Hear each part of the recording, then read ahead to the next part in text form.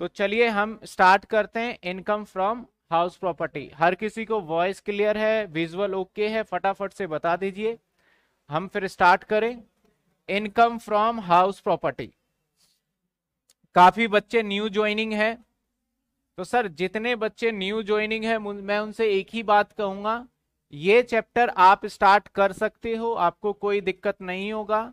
लेकिन वो पहले बेसिक कॉन्सेप्ट को क्लियर कर ले। बाकी इस चैप्टर में जो बच्चा नया है, बिल्कुल समझ में आएगा, ऐसा कुछ नहीं है कि बिल्कुल डिफरेंट रहने वाला है। बिल्कुल डिफरेंट रहने वाला है। अभी कुछ बच्चों का हैंड रेस का आ रहा है तो हैंड रेस देखो, अभी तो मैंने स्टार्ट नहीं किया है, जैसे ही रहेगा, मैं फिर हैंड रेस का सभी बच्चों का सवाल का जवाब भी लूँगा। अभी मैं पहले कॉन्सेप्ट करवाऊँगा कॉन्सेप्ट पे पूरा कॉन्सेंट्रेट कोई किताब नहीं चाहिए, कोई नोटिंग नहीं चाहिए, सिर्फ़ कॉन्सेंट्रेट करना है। सर चैप्टर क्या है, सर? चैप्टर है और चैप्टर का नाम आपका हेड्स ऑफ़ इनकम का एक पार्ट है मेजर चैप्टर सवाल एग्ज़ाम के अंदर ये। दस नंबर का एग्ज़ाम में क्वेश्चन पूछा जाता है अक्सर। दस नंबर का एग्ज़ाम में क्वेश्चन पूछा जाता है। कुछ बच्चों का हैंड रेस का ऑप्शन आ रहा है। तो दस नंबर का, अभी किसी के चैट का जवाब अभी फ़िलहाल नहीं लूँगा, पहले चैप्टर स्टार्ट कर लेते हैं, फिर लेंगे। चलिए। देखिए इनकम फ्रॉम हाउस प्रॉपर्टी साधारण सा, देखो, बड़ा छोटा सा है सेक्शन 22 से लेके सेक्शन 27 तक इसके अंदर हमें पढ़ने हैं। जिसमें से इंपॉर्टेंट जो है हमें पढ़ना, ये हमारे पेपर में 10 नंबर का आएगा। जो मेजरली सेक्शन इसके अंदर हमें कवर करना है वो करना है सर सेक्शन नंबर 23 और सर सेक्शन नंबर 24 इस दो सेक्शन पे ही पूरा चैप्टर टिका हुआ है। इसके अलावा जो सेक्शन आपको दिख रहे हैं, जैसे कि 22 डेफिनेशन का है 23 तो हम करेंगे डिटेल में 24 भी करेंगे 25 नॉमिनल सा सेक्शन है 26 नॉमिनल सा 27 आज कवर हो जाएगा। यानी सर हम आज दो सेक्शन कवर कर लेंगे और शायद ज़्यादा भी कर पाए, ठीक है? तो सबसे पहला पॉइंट है house property sir house property अब नाम पहले देख लेते हैं। हाउस का मतलब क्या है? पहले तो ये समझिए। एक तो ये हमारे पास एक ज़मीन है। एक ज़मीन है और इस ज़मीन के चारों साइड मैंने क्या करा? आपने देखा होगा ज़मीन के साइड में क्या करते हैं? हम नॉर्मली बॉर्डर डाल देते हैं। जिसको बोलते हैं कि हमने बॉर्डर डाल दिया जब कभी नई ज़मीन खरीदते हैं तो चारों साइड मैंने, बनाना घर ही हमें, लेकिन हमने क्या करा, इसके चारों साइड में बॉर्डर जिसे बोलते हैं कि हम बाउंड्री डाल देते हैं। क्या बताइए, ये हमारा हाउस है या फिर नहीं है? सिंपल सी बात बताइए, क्या ये हाउस के अंदर कवर होगा या नहीं होगा कवर तो जवाब है सर, ये हाउस में कवर नहीं होगा। हाउस नहीं है। चलिए सर दूसरा, एक खाली ज़मीन है और बाउंड्री भी नहीं डाला मैंने इनफेक्ट तो जब बाउंड्री वाला घर कवर नहीं हो रहा तो ये कहाँ से कवर हो जाएगा? एक हमने क्या करा, पूरे वॉल वगैरह सब चीज़ें डाल दी है, बस छत डालना भू, अभी डला नहीं है, छत नहीं डला अभी, ऊपर होता है ना, छत डालना रूफ अभी नहीं डला। तो क्या उसको दरवाजे वगैरह सब लग गए हैं घर के अंदर? तो बताइए, अब क्या इसे हाउस बोलेंगे हम? अभी भी हाउस नहीं है। हाउस का मतलब सर, यानी घर। और घर तभी होता है जब कंप्लीट बन जाए। तो सर, इस चैप्टर में हाउस का सबसे पहले मतलब समझ लिया। अब बात करेंगे, सर, इस चैप्टर के अंदर क्या पढ़ेंगे? इस घर को अगर आपने रेंट पे दिया, इस घर को अगर आपने रेंट पे दे दिया तो उस रेंटल इनकम पे, उस रेंट वाले इनकम पे किस प्रकार से, कैसे टैक्स का इम्प्लीमेशन होगा, किस तरीके से टैक्स लगाया जाएगा, ये सारी बातें हम इस चैप्टर के अंदर सीखने वाले हैं। हम घर का मीनिंग भी नहीं, इस जो घर से रेंटल इनकम होगा, उस रेंटल इनकम को कैसे करेंगे? सर रेंट यहाँ से भी आ सकता है। देखिए, आपने बाउंड्री दिया, क्या वहाँ से रेंट आ सकता है? जी हाँ रेंट आ सकता है। आपने किसी को, मान लो, कुछ टाइम के लिए दे दिया, किसी को बोल दिया कि भाई, आपके जो भी एनिमल्स है, गाय वगैरह है, यहाँ पे आप रख सकते हो। मैंने बाउंड्री दे दिया, पाँच सौ रुपए महीना दे देना। तो रेंट तो ले रहा है, लेकिन ये रेंटल इनकम हाउस प्रॉपर्टी का पार्ट नहीं है, क्योंकि हाउस ही नहीं है। सेम ऐसे आपने बाउंड्री दे दिया, ये खाली ज़मीन है, वहाँ पे आपने रेंट वहाँ से रिसीव कर रहे हो तो वो भी नहीं रेंट किससे आना चाहिए? घर से आना चाहिए, तभी यहाँ पे कामयाब होगा। अब कुछ एक एग्ज़ाम्पल साथ के साथ देखते जाइएगा और समझते जाइएगा। एक मैं कुछ एग्ज़ाम्पल ले रहा हूँ जो कि एक्सेप्शन केसेस है। मान लीजिए ये घर है। ये घर है। इस घर से रेंट लिया। और ये घर जो है ना, मिस्टर एक्स का है। सर, मिस्टर एक्स इस घर का कौन है? ऑनर है। और मिस्टर एक्स ने इससे रेंट रिसीव किया मिस्टर वाई से। तो अब जो मिस्टर एक्स के पास ये रेंट आ रहा है पचास हज़ार रुपए का, फॉर एग्ज़ाम्पल, क्या ये हाउस प्रॉपर्टी का इनकम मानेंगे? तो जवाब, यस सर, ये हाउस प्रॉपर्टी की इनकम है, क्योंकि घर से इनकम रिसीव किया जा रहा है। किसके हैंड में चार्जिलिटी टैक्सेबल किसके हाथ में होगा? सर इसके हाथ में होगा। टैक्स कौन देगा? मिस्टर वाई देगा या फिर एक्स देगा? सर मिस्टर एक्स देगा, क्योंकि ऑनर जिसके पास रेंट आ रहा है, वो। सेकेंड एग्ज़ाम्पल देखिए। ये घर है।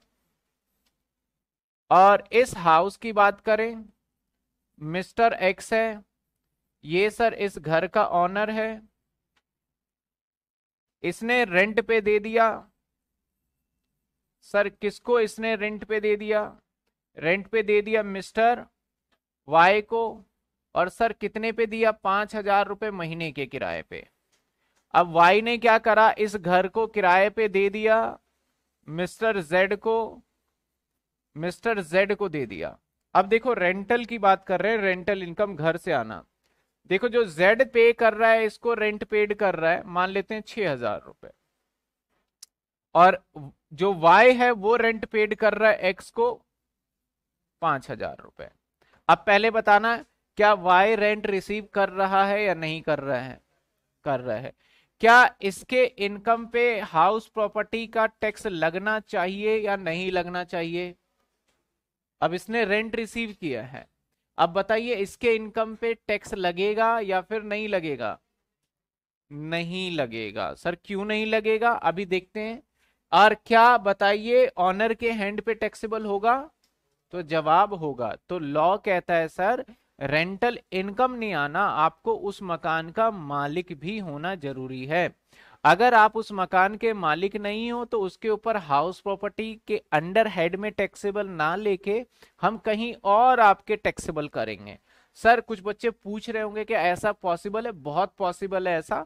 इसको बोलते हैं सब लेटिंग इस कॉन्सेप्ट को बोला जाता है सब लेटिंग एक बार लेट आउट कर दिया, उसके बाद फिर फर्दर कर दिया, उसे बोला जाता है सब लेट आउट मैं खुद ही बताऊँ, मैंने रेंट पे ले रखा है एच ब्लॉक एच ब्लॉक वाला रेंट पे मैंने ले रखा है, मैं मकान मालिक को रेंट पे पेमेंट करता हूँ तो वहाँ पे जो ऑनर है वो हाउस प्रॉपर्टी में टैक्सेबल और फर्दर मैंने किसी और को दे दिया है वो रेंट पे तो वो मुझे रेंट देता है तो उस केस में मैं हाउस प्रॉपर्टी टैक्सेबल नहीं दूँगा, वो अदर सोर्स के अंदर टैक्सेबल हो जाएगा। तो यानी सर, चलो दो बातें समझ में आती है इस चैप्टर में, कि नंबर वन नंबर वन आपका घर होना चाहिए नंबर दो, यहाँ पे रेंट होना चाहिए। नंबर तीन, यहाँ पे ऑनर होना चाहिए। अगर ये तीनों बातें इस लॉ के अंदर अगर एग्जिस्ट करता है, तब तो भाई ये आपका हाउस प्रॉपर्टी इनकम माना जाएगा। अगर तीनों में से कुछ भी मिसिंग है तो हाउस प्रॉपर्टी इनकम नहीं माना जाएगा। सिंपल सी बात है। चलिए सर, हम एक बार इसके डेफिनेशन को देख लेते हैं। फिर डेफिनेशन के बाद फिर हम आगे देखेंगे या फिर पहले मैं ऑनर के ऊपर थोड़ा सा डिस्कस करना चाहूँगा ऑनर सर ऑनर क्या है?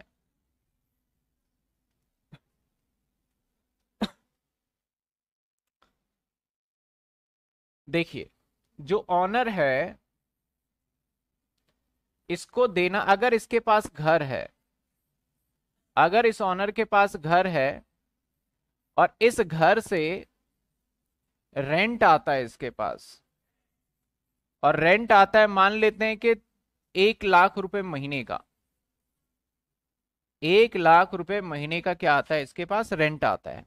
और ये जॉब भी करता है सर ये क्या करता है? जॉब भी करता है। मेरे सवाल का सीधा सीधा जवाब पहले देख लीजिए। जॉब करता है, वहाँ से इसकी सैलरी है चार लाख पचास हज़ार रुपए की। इसकी सैलरी कितनी है? चार लाख पचास हज़ार रुपए का। और इनकम रेंट से कितना आ रहा है? एक लाख रुपए का। इसका टैक्स लाइबिलिटी निकालते हैं। चलो, हम टैक्स लाइबिलिटी निकालते हैं इसका। टैक्स निकालते हैं। पहले तो निकालते हैं income from income from salary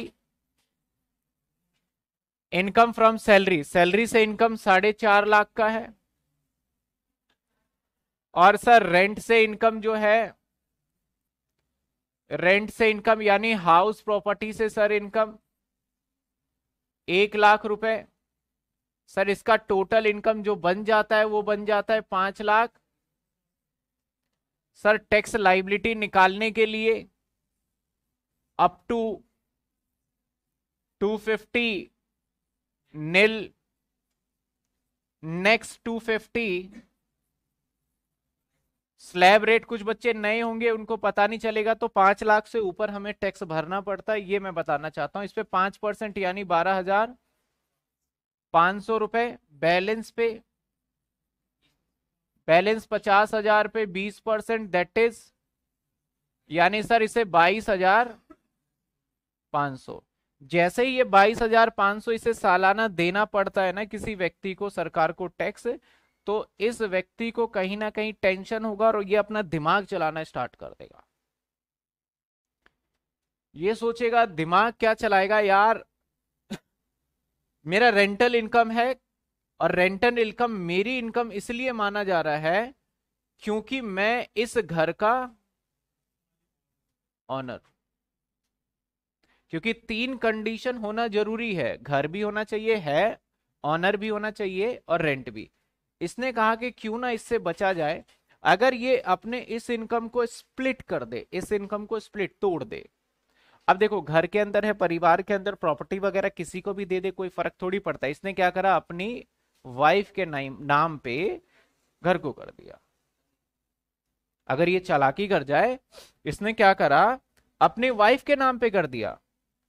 तो जब नेक्स्ट हम टैक्स निकालेंगे, अगर ये घर इसके वाइफ के नाम पे हो जाए तो सर ये वाली जो इनकम है, ये एक्स की नहीं होके किसकी हो जाएगी? तो वाइफ जब अपना टैक्स लाइबिलिटी सरकार को भरने जाएगी तो इसकी टोटल इनकम क्या आएगी बताओ? एक लाख रुपए सिर्फ़। अगर एक लाख रुपए क्या इसकी वाइफ टैक्स भरने वाली है उस पर नहीं है। और उसके जो हस्बैंड जो मिस्टर एक्स है इसका टैक्सेबल इनकम क्या होगा? साढ़े चार लाख। साढ़े चार लाख रुपए तक क्या हो जाता है? एटी सेवन ए लेके रिबेट होके ज़ीरो दोनों बच गए। तो क्या ये ऐसा दिमाग लगा सकता है? नहीं लगा सकता। लगा सकता है। तो जब इस तरीके की दिक्कतें आई ना तो यहाँ पे बोला गया, भैया ऑनर का मतलब एक तो रियल ऑनर होगा और एक होगा डीम्ड ऑनर डीम्ड ऑनर का मतलब जो आपकी चलाकी है ना, वो सारी चलाकी बंद कर दी जाएगी। मतलब आपने सिर्फ़ और सिर्फ़ अपेरेंटली दिख रहा है कि ये जो है घर, अपनी वाइफ को दिया है, सिर्फ़ टैक्स चोरी है इसका पर्पस तो ऐसे में ऑनर मान किसको लिया जाएगा? एक्स को मान लिया जाएगा। मतलब तुम ऑनर नहीं हो, लेकिन इनकम टैक्स बोला, तुम मानो या ना मानो, हम मान रहे तुम ऑनर हो और उसके हिसाब से तुम्हें टैक्स देना होगा। तो ऑनर के भी दो कैटेगरी हो गया। एक तो रियल ऑनर जो कि पेपर मेरे नाम पे है। एक मैं ऑनर नहीं रहूँगा, मैं टैक्स चोरी करने के टैक्स बचाने के चक्कर में मैं कुछ ऐसी एक्टिविटी करूँगा, जिससे मैं ऑनर तो नहीं रहूँगा, लेकिन इनकम टैक्स वाले मुझे ज़बरदस्ती ऑनर बना देंगे। That is a deemed owner जो कि सेक्शन 27 में बताया गया है। समझे बात आप? तो यानी कुछ चीज़ें। अब एक बार डेफिनेशन समझ में आ रहा है थोड़ा बहुत आपको? अब डेफिनेशन देख लेते हैं, क्या कहता है सर डेफिनेशन चार्जेबिलिटी की बात करते हैं। सर चार्जेबिलिटी की बात अगर करें तो क्या कहता है सेक्शन हमारा चार्जेबिलिटी के बारे में?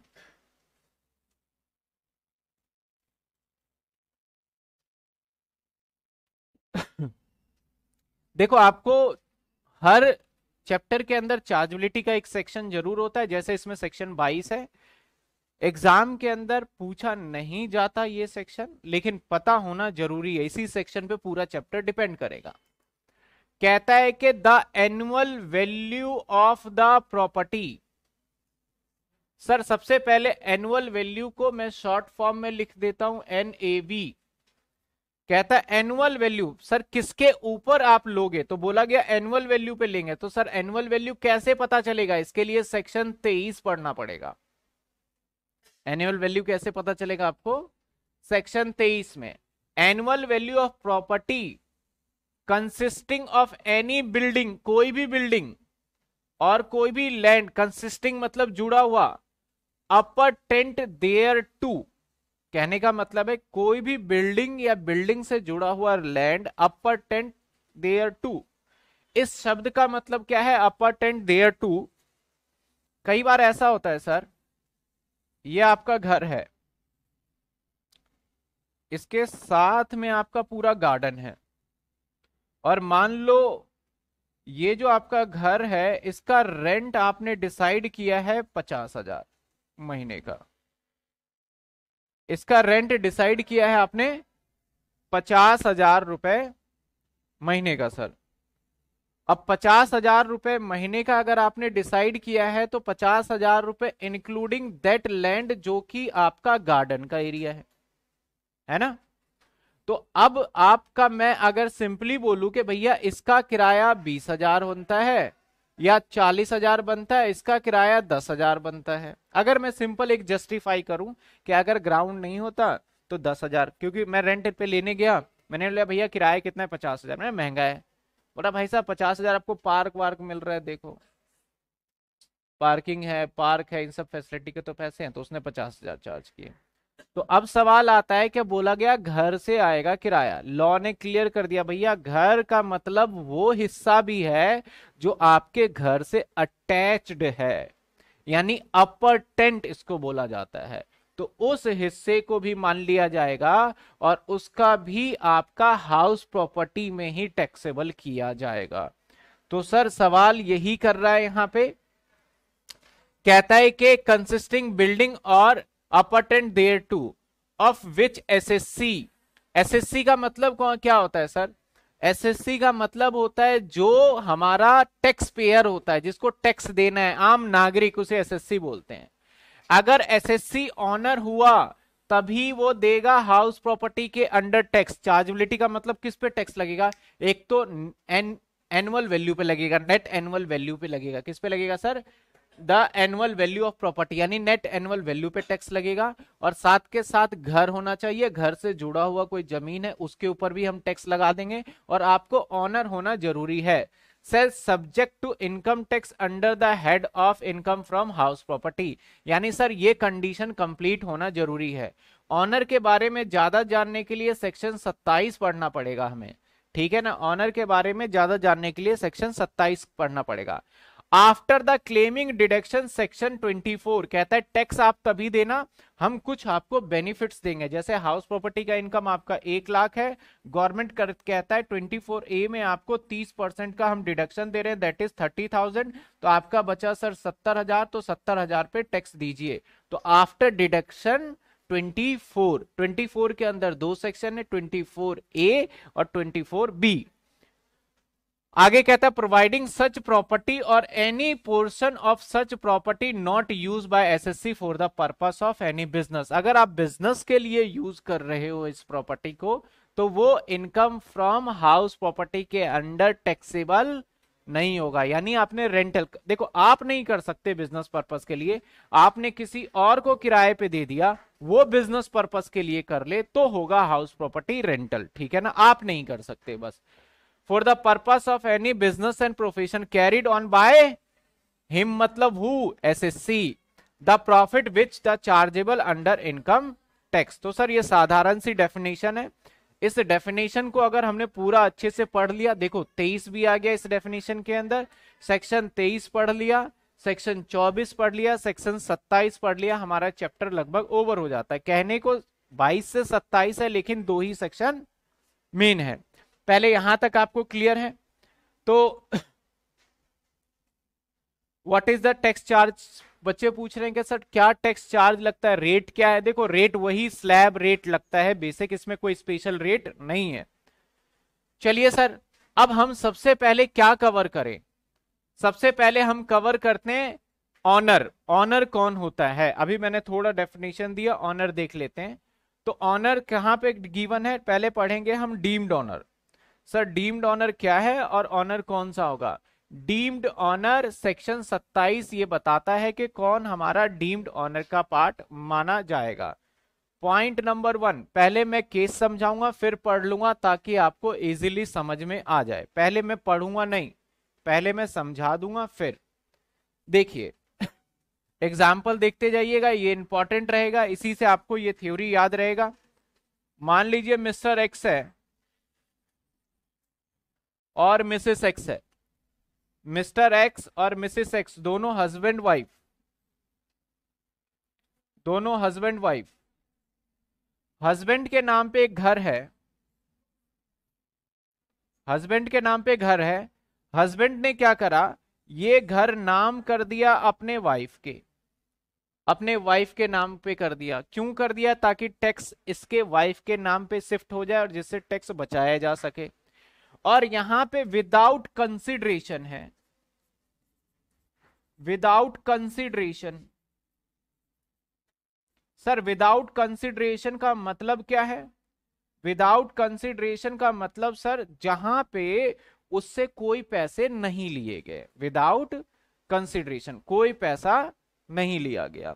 तो ऐसे सिचुएशन में हालाँकि ऑनर की बात करें तो ऑनर ये है इस घर की है ना? ऑनर कौन है?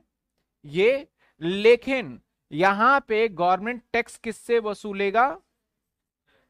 इसे मान लिया जाएगा डीम्ड ऑनर पहला पॉइंट समझ में आया कि अगर कोई व्यक्ति अपनी वाइफ को, सिर्फ़ वाइफ के लिए है ये, अगर अपनी वाइफ को कोई घर ट्रांसफ़र कर देता है ट्रांसफ़र करने के बाद ऐसे सिचुएशन में अगर वहाँ पे कंसिडरेशन का मतलब पैसे का लेन देन ना हो अब पैसे का लेन देन ना हो तो इंसान तो चला के उसने बोला, जी, पाँच हज़ार दे दिए थे। नहीं एडुकेट कंसिडरेशन होना चाहिए। यानी अगर पचास लाख मार्केट कीमत है तो इसकी वाइफ को इसको पचास लाख देने होंगे। सर, कुछ बच्चे पूछते हैं, हो सकता है, सर, मिस्टर एक्स इसको पचास लाख दे देगा? और ये इसको पचास लाख दे देगी, दिखा देगी ट्रांजेक्शन पचास लाख का हो गया, तब क्या होगा? तो सर, इसने घर इसको बेच दिया और इसने खरीदा, मान लो एक लाख का है या मान लो दस लाख का खरीदा है, और बेचा कितने का है सर? पचास लाख का। बीच में 40 लाख कमा लिया that is a capital gain 40 lakh पे सीधा 20 परसेंट इसको टैक्स देना पड़ेगा, जो कि 8 लाख रुपए होगा। तो गवर्नमेंट टैक्स से बचने नहीं देना चाहता। बोला गया कि भैया पैसा पूरा होना चाहिए यहाँ पे लेन देन के तुलना में, ठीक है ना?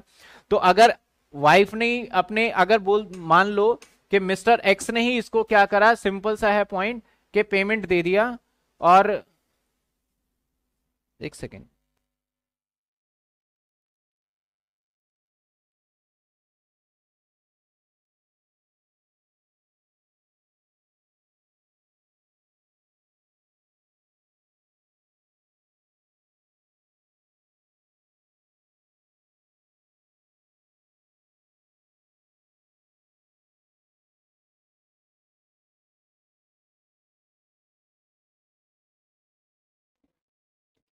जी, ठीक है थोड़ा सा अब ध्यान दीजिए, मैं क्या बता रहा था आपको कि एक्स ने अपनी वाइफ के नाम पे क्या करा? घर को ट्रांसफ़र कर दिया और उसमें कंसिडरेशन नहीं लिया तो घर किसका माना जाएगा? उसके हस्बैंड का ही माना जाएगा। अगर कंसिडरेशन ले लिया तो घर माना जाएगा किसका? इसकी वाइफ का ही माना जाएगा। लेकिन उस केस के अंदर कैपिटल गेन अराइज हो जाएगा, जो कि हमारा इस चैप्टर से रिलेटेड नहीं है। मैंने बता दिया, ऐसा होगा।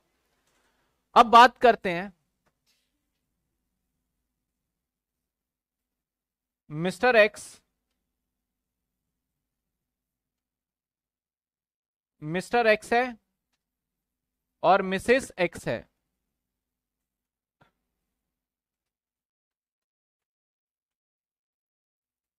और ये दोनों जो है हस्बैंड वाइफ है ओब्वियस सी बात है। और मैंने मिसेस एक्स बोल तो दिया, ये दोनों हस्बैंड वाइफ है। लेकिन इन दोनों के बीच में नहीं बन रही, बहुत दिनों से लड़ाई झगड़ा चल रहा है तो इसका एक ही रिज़ल्ट होगा। क्या होना चाहिए जब लड़ाई झगड़ा चल रहा है? बहुत दिनों से इन दोनों के बीच में बन ही नहीं रहा। डाइवोर्स होगा। अब डाइवोर्स के केस में, अब इंडियन लॉ क्या कहता है, सर? जब कभी भी डाइवोर्स होगा तो एक्स को भी अपनी प्रॉपर्टी में से कुछ हिस्सा इसको देना पड़ सकता है ना? तो दे दिया। तो इसने क्या करा? एक घर इसको दे दिया। कोई कंसिडरेशन नहीं लिया। अब इसके पास जो घर है, उस घर से रेंट आ रहा है, मान लो के पाँच लाख रुपए। तो बताओ, अब इस केस में रेंटल इनकम किसकी मानी जाएगी? मिसेस एक्स की या मिस्टर एक्स की? ऐसे सिचुएशन में मिसेस एक्स की रेंटल इनकम मानी जाएगी।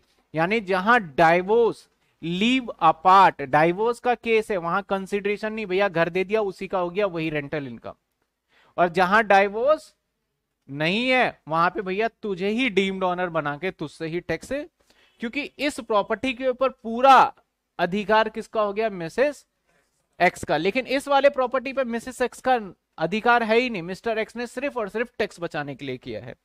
थर्ड एग्ज़ाम्पल देखिए। मान लेते मिस्टर एक्स और मिसेस तो नहीं कह सकते।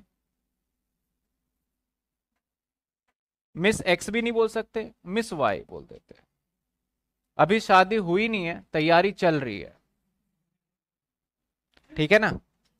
अभी शादी हुई नहीं और तैयारी चल रही है यहाँ पे, और यहाँ पे मिस्टर एक्स ने क्या करा? एक फ्लैट। अभी बस मान लो एंगेजमेंट बोल लो, मंगे, मंगनी बोल लो, जो मर्ज़ी बोल लो, मंगेतर बोल लो, जो मर्ज़ी। अभी शादी नहीं हुई है इसने क्या करा? खुशी खुशी में आके एक अपना फ्लैट इसके नाम पे कर दिया। ठीक है? एक फ्लैट इसके नाम पे कर दिया विदाउट एडुकेट कंसिडरेशन अब इस फ्लैट से शादी हो जाएगी एक महीने, दो महीने, जो भी डेट रखा गया होगा। अब इसने क्या करा सर? इससे इनकम रेंटल इनकम पाँच लाख रुपए। अब बताओ ये इनकम मिस वाई की मानी जाएगी या मिस्टर एक्स की? ये यहाँ पे देखो रिस्क है। लॉ कहता है, जहाँ पे रिस्क हो तो वो इनकम उसकी। यानी कोई भरोसा नहीं है मिस वाई फ्लैट लेटे ही बदल गई तो। अब नहीं करना भाई शादी। तो यहाँ पे रिस्क है। यहाँ पे नहीं बदला जा सकता। यहाँ पे तो बदल ही गए हैं, और यहाँ पे बदलने की संभावना है। तो रिस्क ज़्यादा है। तो ऐसे सिचुएशन में लॉ कहता है कि भैया, यहाँ तुम्हारा रिस्क है, तुमसे टैक्स क्या लेंगे? हम उससे ही टैक्स टैक्स जो है इसके ऊपर ले लेंगे। तो यहाँ पे है कि घर स्पाउस अपनी पत्नी को या पत्नी अपने हस्बैंड को दे देता है तो उसमें क्या क्या कंडीशन हो सकते हैं? तीन। तो यहाँ डीम्ड ओनर एक बार पढ़ लेते हैं फटाफट से क्या कहता है। कहता है transfer of spouse transfer to spouse section 27 कहता है if an individual transfer any house property to his or her spouse otherwise than for the adequate consideration मतलब कंसिडरेशन के अगर अलावा किया गया the transfer that case deemed to be owner आपको मान लिया जाएगा deemed owner of the property so transferred अब देखिए यहाँ पे दो बातें हैं। जो ट्रांसफ़र करता है ना, इसको हम बोलते हैं ट्रांसफरर और जो ट्रांसफ़र रिसीव करता है ना, इसे बोलते हैं ट्रांसफरी इस शब्द का इस्तेमाल करूँगा मैं कई बार तो आपको ध्यान रखना है, ठीक है? This would however not cover ये सेक्शन हमारा काम करना बंद कर देगा case where property is transferred to spouse in connection with agreement leave apart यहाँ पे थोड़ा डाइवोर्स को थोड़ा मॉडर्न वर्ड दे दिया गया। एग्रीमेंट लीव अपार्ट अगर डाइवोर्स का केस हुआ तो भैया ये सेक्शन नहीं, दोनों अलग अलग ही टैक्स देंगे। क्लियर है यहाँ तक? तो पहला पॉइंट हुआ कवर हमारा डीम्ड ऑनर का। सर और क्या केस हो सकता है हमारा डीम्ड ऑनर के केस में? मान लेते हैं मिस्टर एक्स है। मिस्टर एक्स है। अब वाइफ को ट्रांसफ़र करना नहीं है। लॉ ने इसे थोड़ा सा बंद कर दिया कि भाई नहीं कर सकते हो। मिस्टर एक्स के पास एक घर है और मिस्टर एक्स ने इस घर को क्या करा? अपने सन के नाम पे ट्रांसफ़र कर दिया। सन वो भी माइनर वो भी माइनर सन जिसको कुछ भी चीज़ नहीं आता माइनर कौन होता है सर माइनर जो 18 से नीचे है, उसको हम बोलते हैं माइनर सन माइनर सन के नाम पे ट्रांसफ़र कर दिया। तो माइनर सन आप जानते हो 18 साल से कम है तो पूरा कंट्रोल इसके पापा का ही होगा। अब माइनर सन हो सकता है या माइनर चाइल्ड मैं बोल दू। मैं सन गलत वर्ड यूज़ कर रहा हूँ, यहाँ चाइल्ड बोल देता हूँ। माइनर चाइल्ड सर चाइल्ड की बात करें तो दो चाइल्ड हो जाते हैं। कौन कौन हो जाता है? या तो हो सकता है सन या फिर डॉटर। दोनों बातें कंडीशन है तो माइनर आपने करा सन के नाम पे कर दिया ट्रांसफ़र इसने। और ये घर इसके नाम पे ट्रांसफ़र कर दिया इनकम टैक्स अथॉरिटी आता है, बोलता है, मिस्टर एक्स घर के ऊपर आप टैक्स दो। मिस्टर एक्स बोलता है, मैं तो ऑनर हूँ ही नहीं, मेरा बच्चा ऑनर है, आप उससे टैक्स ले लो। और हाउस का इनकम जो है, मान लेते हैं, दो लाख रुपए तो इसका बच्चा भी वैसे टैक्स नहीं दे पाएगा ऐसे सिचुएशन में। तो ऐसे सिचुएशन में 27 आया। 27 ने बोला, भैया आप रिडीम्ड ऑनर माने जाओगे, आपको ही इसके ऊपर टैक्स देना होगा। सेम अगर इसने क्या करा, ये घर ट्रांसफ़र करा होता डॉटर के नाम पे। तब भी डीम्ड ऑनर यही होता और इसको टैक्स देना होता। लेकिन डॉटर के केस में कंडीशन लग जाता है सर वैसे कहा जाता है, देखो लॉ के अंदर पता है क्या कहा जाता है? लीगल इलीगल इनकम टैक्स वाले बोलते हैं, भैया, टैक्स दो, तुम कुछ भी काम करो, सब लीगल है। सिर्फ़ टैक्स दे दो तुम, ठीक है? अब डॉटर या तो हो सकती है माइनर, मैरिड डॉटर हो सकती है या अनमैरिड। वैसे तो कहते हैं कि, भैया, जो माइनर चाइल्ड है, उसका मैरिड हो ही नहीं सकता, लेकिन लॉ में लिखा हुआ है, यहाँ पे या हो सकती है अनमैरिड या हो सकती है मैरिड। तो अगर अनमैरिड होगा तो टैक्सेबल पता है किसके हैंड में जाएगा, सर? टैक्सेबल जाएगा मिस्टर जैसे ही मैरिड होगा तो इस घर के ऊपर अधिकार इसका नहीं रहेगा। उसके ससुराल वालों का हो जाएगा। ससुराल वाले होगा कौन सा हाँ ससुराल ही होगा। ठीक है। उसका अधिकार आ जाएगा। ऐसे सिचुएशन में इसके ऊपर टैक्स किसे देना पड़ेगा? इस केस में मिसेस या मिस मिसेस हो जाएगी ये तो। जो भी है, इसकी डॉटर को टैक्स देना पड़ेगा या उसके घर के तरफ़ जो भी है, उसको टैक्स देना होगा। तो चाइल्ड को देने के नाम पे देखो क्या बोला गया?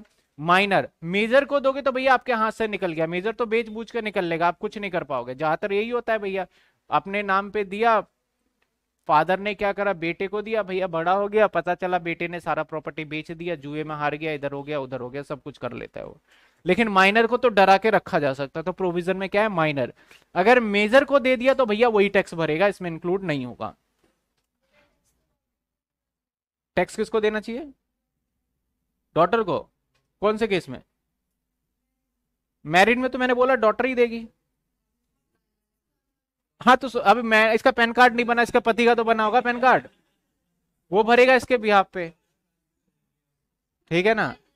हाँ तो उसका डॉक्यूमेंट नहीं बना होगा ना, देना इसी को चाहिए ट्रू लेकिन कई बार क्या होता है, जब कभी कोई माइनर चाइल्ड की इनकम होता है तो उसमें वो टैक्स नहीं दे सकता तो उसके बिहाफ पे उसके गार्जियन को देना पड़ता है। रूल ये कहता है। आप देखते हो इतने सारे ऐड है।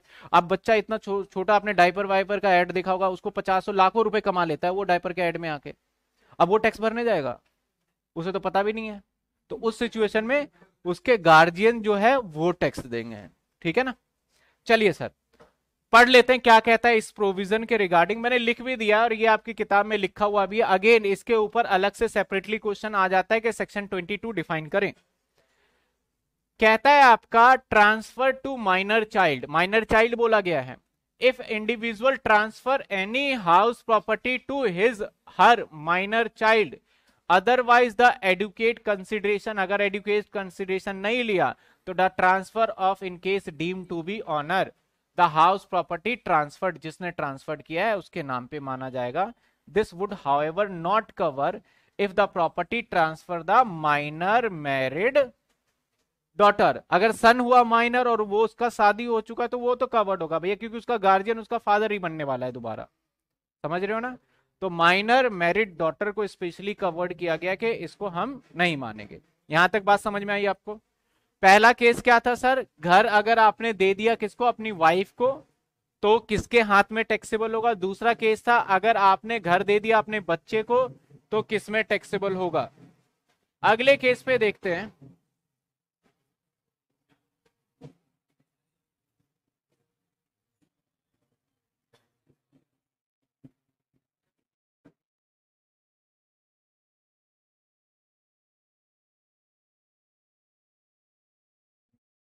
Mister X.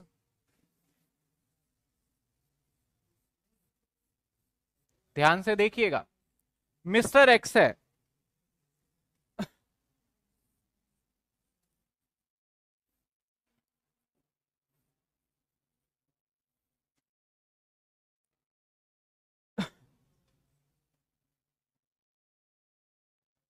इसके चार बच्चे। ए बी सी और डी चार बच्चे हैं। और मिस्टर एक्स के पास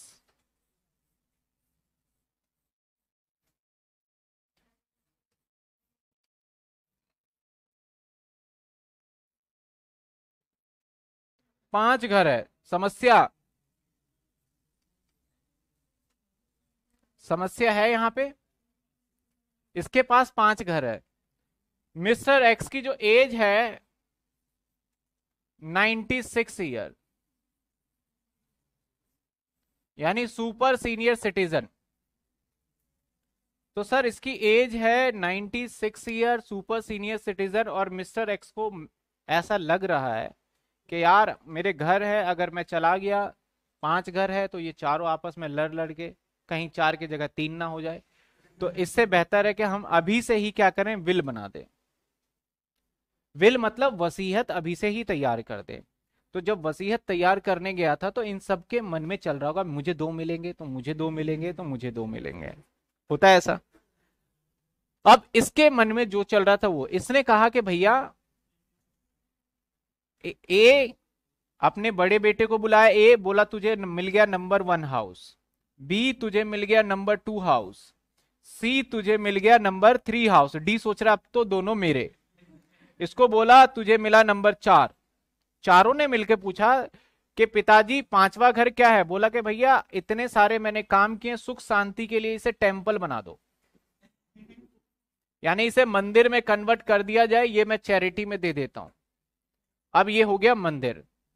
सर, पहले घर से जो रेंटल इनकम अब आएगा, वो ए भरेगा। दूसरे घर से जो रेंटल इनकम आएगा, वो, और तीसरे घर से, और चौथे घर से डी, ये अलग अलग हो गया। भैया, दिक्कत ये आ गया कि पांचवा घर तो किसी के नाम पे भी नहीं है। अब ये इसके नाम पे भी नहीं रहा और इनमें से किसी के नाम पे भी नहीं है तो ये घर बंटवारा भी नहीं हो सकता। तो ऐसा पार्ट जिसे बंटवारा नहीं किया जा सकता, उसको बोलते हैं इम्पेरिटिबल स्टेट या इम्पेरिटिबल एसेट्स, जिसका बंटवारा नहीं हो सकता। तो सर, इस घर का केयर टेकर होगा कोई ना कोई। बोलेगा, भैया, जो ज़्यादा इसमें से मंदिर बना दिया है, जिसका ज़्यादा पूजा पाठ के अंदर श्रद्धा होगा, उसको इसका केयर टेकर बना दिया जाएगा। नॉर्मली इसने क्या करा, अपने बड़े बेटे को बोला, भैया, इस मंदिर का सारा देख रेख किसे करना है? तुझे करना है। अब इस मंदिर से ना, ये जो घर है, एक तरीके से घर है, छत भी है, सारी चीज़ें कंडीशन फुलफिल कर रहा है, यहाँ से रेंट आ सकता है। सर, मंदिर में कौन रेंट देगा? कई बार आपने देखा है, मंदिर यूज़ करते हैं, चाहे कुछ छोटे से फ़ंक्शन के लिए हो, कोई पार्टी के लिए तो वहाँ से रेंटल इनकम आ जाता है। आपने देखा होगा, मंदिर के साथ में कई बार बैंकेट हॉल बना दिया जाता है, जिसके अंदर मैरिज वगैरह होता है। नॉर्मल है? तो अब इस रेंटल इनकम पे कौन टैक्स देगा? अब बोलेगा, बी, मैं क्यों दू? मैं तो मालिक नहीं हूँ। ए बोलेगा, मैं भी क्यों दू? मैं भी मालिक नहीं हूँ। और लॉ के हिसाब से ये सभी मालिक नहीं है। तो इनकम टैक्स डिपार्टमेंट देखेगा, भैया, इसका देखरेख कौन कर रहा है? पाया गया कि इनकम टैक्स में देखरेख कौन कर रहा है? ए केयर टेकर कौन है? ए। तो इसके इनकम पे टैक्स किसको देना पड़ेगा? ए को देना पड़ेगा इसको। हाँ जी। नहीं गवर्नमेंट का थोड़ी टेंपल है वो। वो अपने पास रखेगा टेंपल से। सारा ये देख रेख मंदिर के अंदर खर्चा होगा, सारा चीज़ उसे करना है। गवर्नमेंट के पास कुछ भी नहीं जाता। टेंपल जो भी होता है, वो और क्या? जो जितने भी मंदिर के अंदर जितने भी दान वगैरह होते हैं, उस सभी का इनकम पे कैलकुलेट होके टैक्स जाता है उसके ऊपर, सबके ऊपर। तो यहाँ पे जो भी है, उसके ऊपर टैक्स देना होगा। अभी देखा होगा, हाल फ़िलहाल में बहुत ज़्यादा कॉन्ट्रीब्यूशन चल रहा है कि भैया यहाँ से इतनी सारी फंडिंग आ रही है, इसके ऊपर टैक्स दो, इसका हिसाब दो यहाँ से कहाँ कहाँ से पैसे आ रहे हैं यहाँ पे तो वो चीज़ है कि टैक्स देना होगा। तो कहानी मोरल क्या है कि आपको कहानी तीसरा केस समझ में आया कि अगर ऐसा कोई सिचुएशन हुआ तो किसको देना पड़ेगा? ऑनर नहीं है, लेकिन उसको डीम्ड ऑनर मान के उसको टैक्स देना पड़ेगा। चलिए फटाफट से इसको देख लेते हैं और कवर कर लेते हैं। क्या कहता है? होल्डर ऑफ़ इम्पेरिटेबल स्टेट कहता है होल्डर ऑफ़ इम्पेरिटेबल स्टेट जो बट नहीं पाया था, जो चौथा, पांचवा मकान था ना, उसकी बात कर रहा है।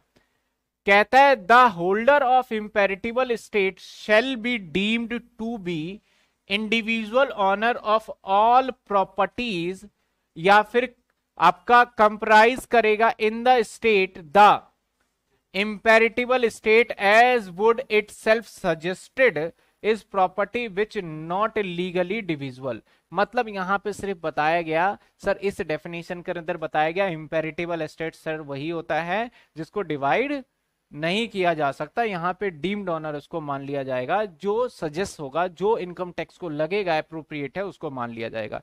मैंने सिंपल सा एग्जांपल में बता दिया, जो उसका केयर टेकर होगा, वही क्या माना जाएगा उसका ऑनर हम जो भी पढ़ रहे हैं ना, सत्ताईस सेक्शन सत्ताईस सेक्शन में बात बनाया गया है कि आप मालिक नहीं हो, लेकिन ठहरो, हम आपको मालिक मान के आपसे टैक्स वसूल लेंगे।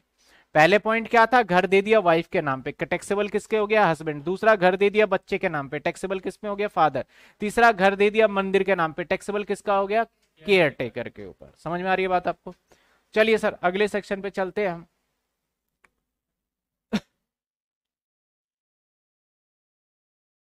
एक होता corporate society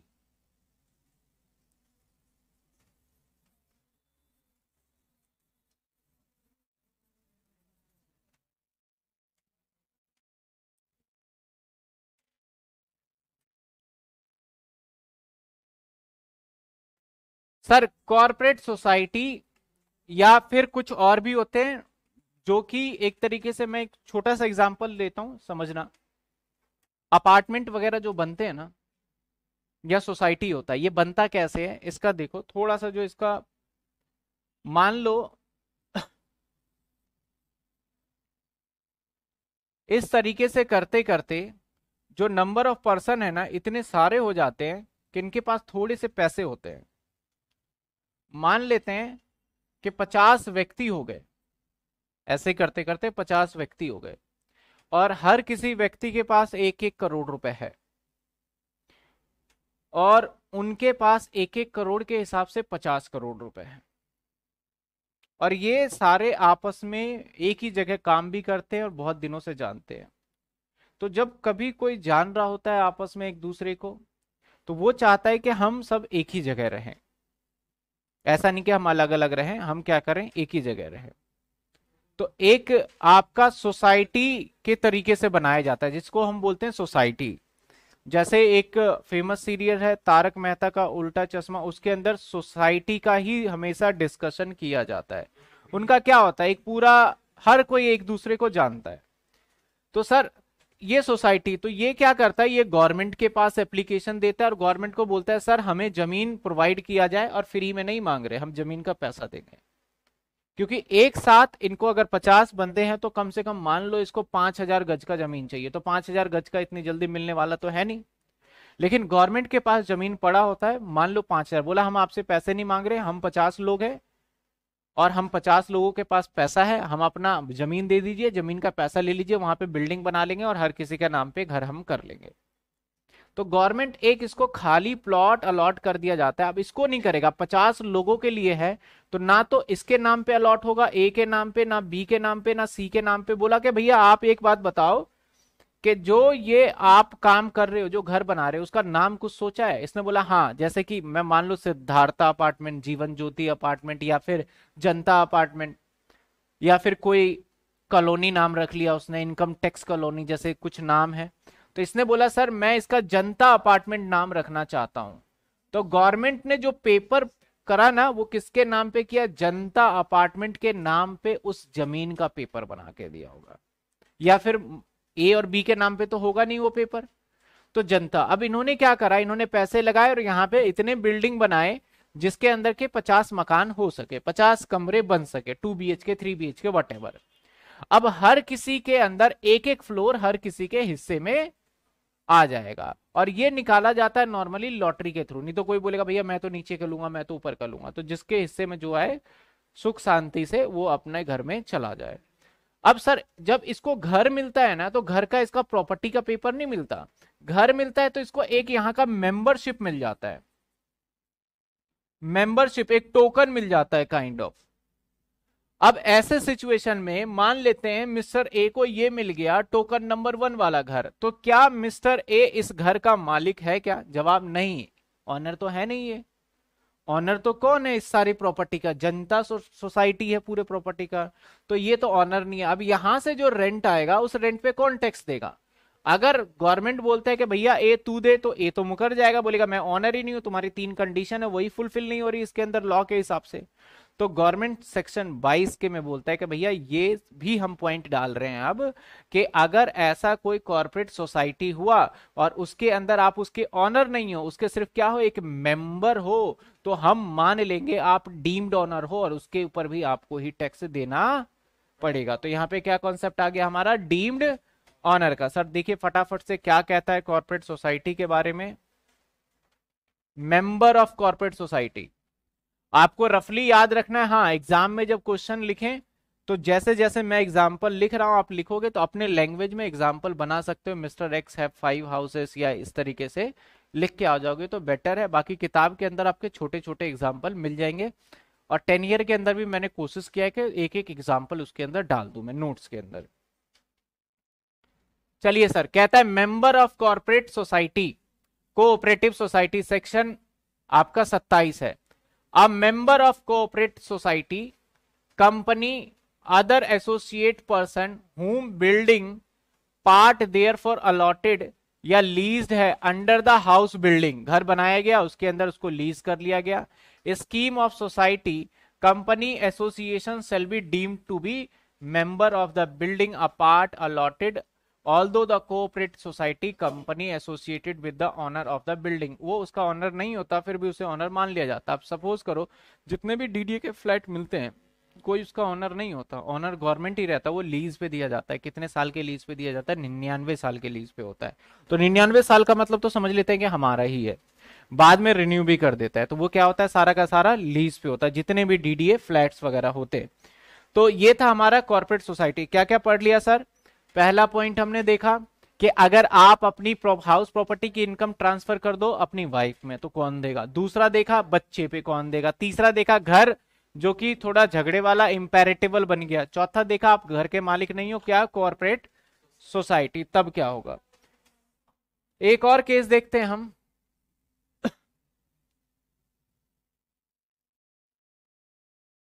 चलिए सर। अब घर ना ऑनर का मतलब क्या है?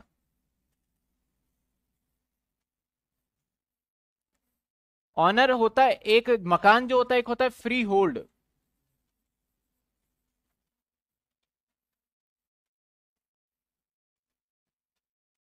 और एक होता है power of attorney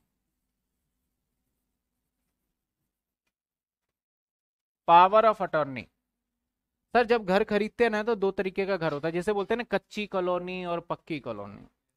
तो कच्ची कॉलोनी में सरकार ने आपके नाम पे ज़मीन नहीं किया है। वो जब मर्ज़ी चाहे, आपकी ज़मीन को छीन सकता है। इसलिए आप अक्सर देखोगे, कच्ची कॉलोनी का रेट क्या होगा? कम होगा। ठीक है?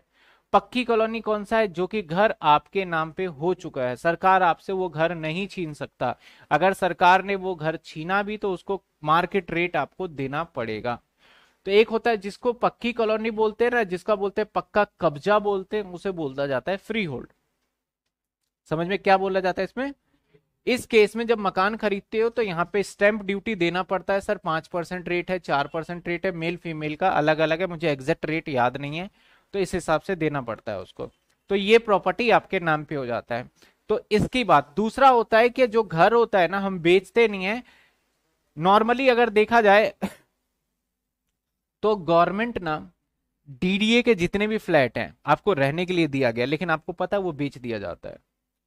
पता है आपको कि डीडीए के फ्लैट्स भी क्या होते हैं? बिक जाते हैं। जो सर, आपको मिला था अलॉटमेंट में, वो भी आप क्या करते हो नॉर्मली तो आप उस ज़मीन को तो आपका है ही नहीं तो ज़मीन तो बेच ही नहीं सकते। आप क्या करते हो? अपने अधिकार दूसरे के नाम पे ट्रांसफ़र कर देते हो। जिसे बोलते हैं पावर ऑफ़ अटर्निंग अपने पावर सारे आपने ट्रांसफ़र कर दिए। तो जैसे ही सारा पावर मैं अभी एक घर के अंदर रह रहा हूँ। एक पेपर में लिख दूँ कि इस घर पे मेरा कोई अधिकार नहीं है। और सारा पावर मैं जब तक है, मैं अपना सारा पावर किसके नाम पे कर रहा हूँ? दूसरे पर्सन के नाम पे। अगर ये लिख के चले जाओ तो ऑटोमेटिकली डायरेक्ट नहीं इनडायरेक्टली ऑनर माना जाएगा, जिसके नाम पे पावर ऑफ़ अटोर्नी है। ऐसे सिचुएशन में कई बार आप सिचुएशन देखोगे तो ये आपने देखा भी होगा, सुना भी होगा। दिल्ली के अंदर मैक्सिमम घर बेचना, खरीदना अलाउड नहीं होता, और बहुत जगहों पे अलाउड नहीं करते। तो लोग बाग फिर भी घर खरीदते हैं और बेचते हैं बाय पावर ऑफ़ अटॉर्नी के थ्रू मालिक आप नहीं हो वहाँ पे रियल ऑनर नहीं हो, सिर्फ़ आपके पास क्या है राइट्स है। ऑनर होना और राइट्स होना दोनों अलग अलग बातें हैं, ठीक है? तो सर पावर ऑफ़ अटर्नी में अगर आपके नाम पे पावर ऑफ़ अटर्नी किया गया है किसी घर का तो अगर इनकम टैक्स डिपार्टमेंट आपके पास आता है, बोलता है, भैया टैक्स लाओ। बोलोगे, मेरे पास तो पावर ऑफ़ अटर्नी हम क्यों दे टैक्स हम तो मालिक नहीं है। तो सेक्शन 27 गवर्नमेंट आपको समझा देगा कि, भैया डीम्ड ऑनर आपको मान लिया जाएगा और इसके अकॉर्डिंग आपको ही टैक्स देना होगा। किसका रियल ऑनर है, उससे कोई लेना देना नहीं है। तो सर पावर ऑफ़ अटर्नी की छोटी से पॉइंट्स गिवन है।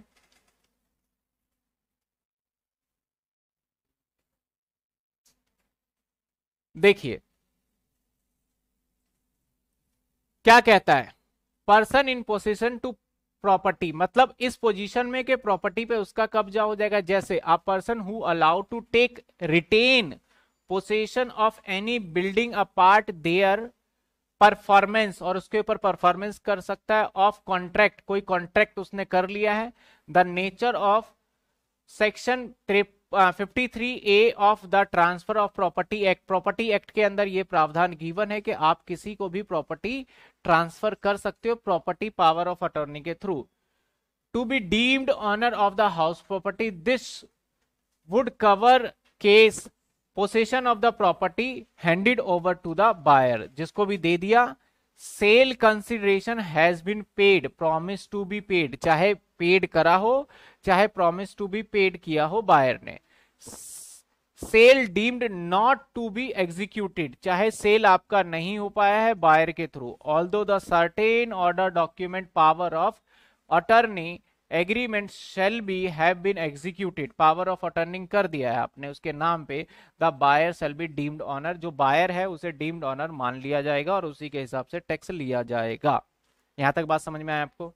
पहला पॉइंट क्या था सर घर वाइफ के नाम पे। टैक्स कौन देगा? हस्बैंड दूसरा, घर, बच्चे के नाम पे। टैक्स कौन देगा? फादर देगा। तीसरा, घर, बट नहीं पाया। टैक्स कौन देगा? केयर टेकर चौथा, हमारा कोऑपरेट सोसाइटी अगर आपके मेंबर हो तो टैक्स कौन देगा? जो उसका मेंबर है। ना कि आप ऑनर नहीं ढूँढने जाओगे। ये क्या है हमारा? अगर आपके नाम पे पावर ऑफ़ अटर्नी है, तब भी आपको टैक्स देना पड़ेगा। एक होता है लीज लीज सुना है आपने वर्ड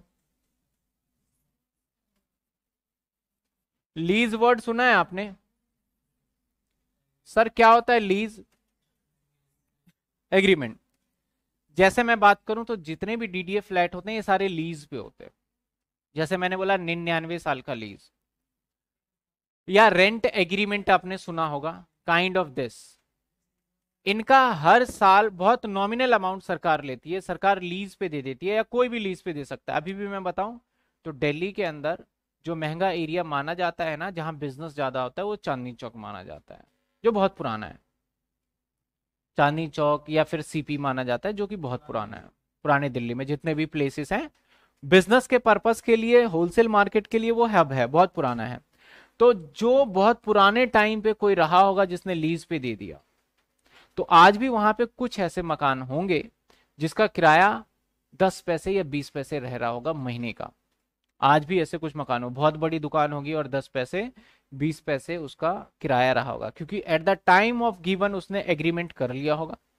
क्योंकि अगर उसने पचास साल पहले एग्रीमेंट किया या सौ साल पहले एग्रीमेंट किया तो उस टाइम पे तो दस पैसे बहुत बड़ी वैल्यू थी। उसने बोल दिया, चल भाई, तेरे को लीज दे देते हैं, पचास साल तक तू रह ले। हर महीने मुझे किराया दे दियो।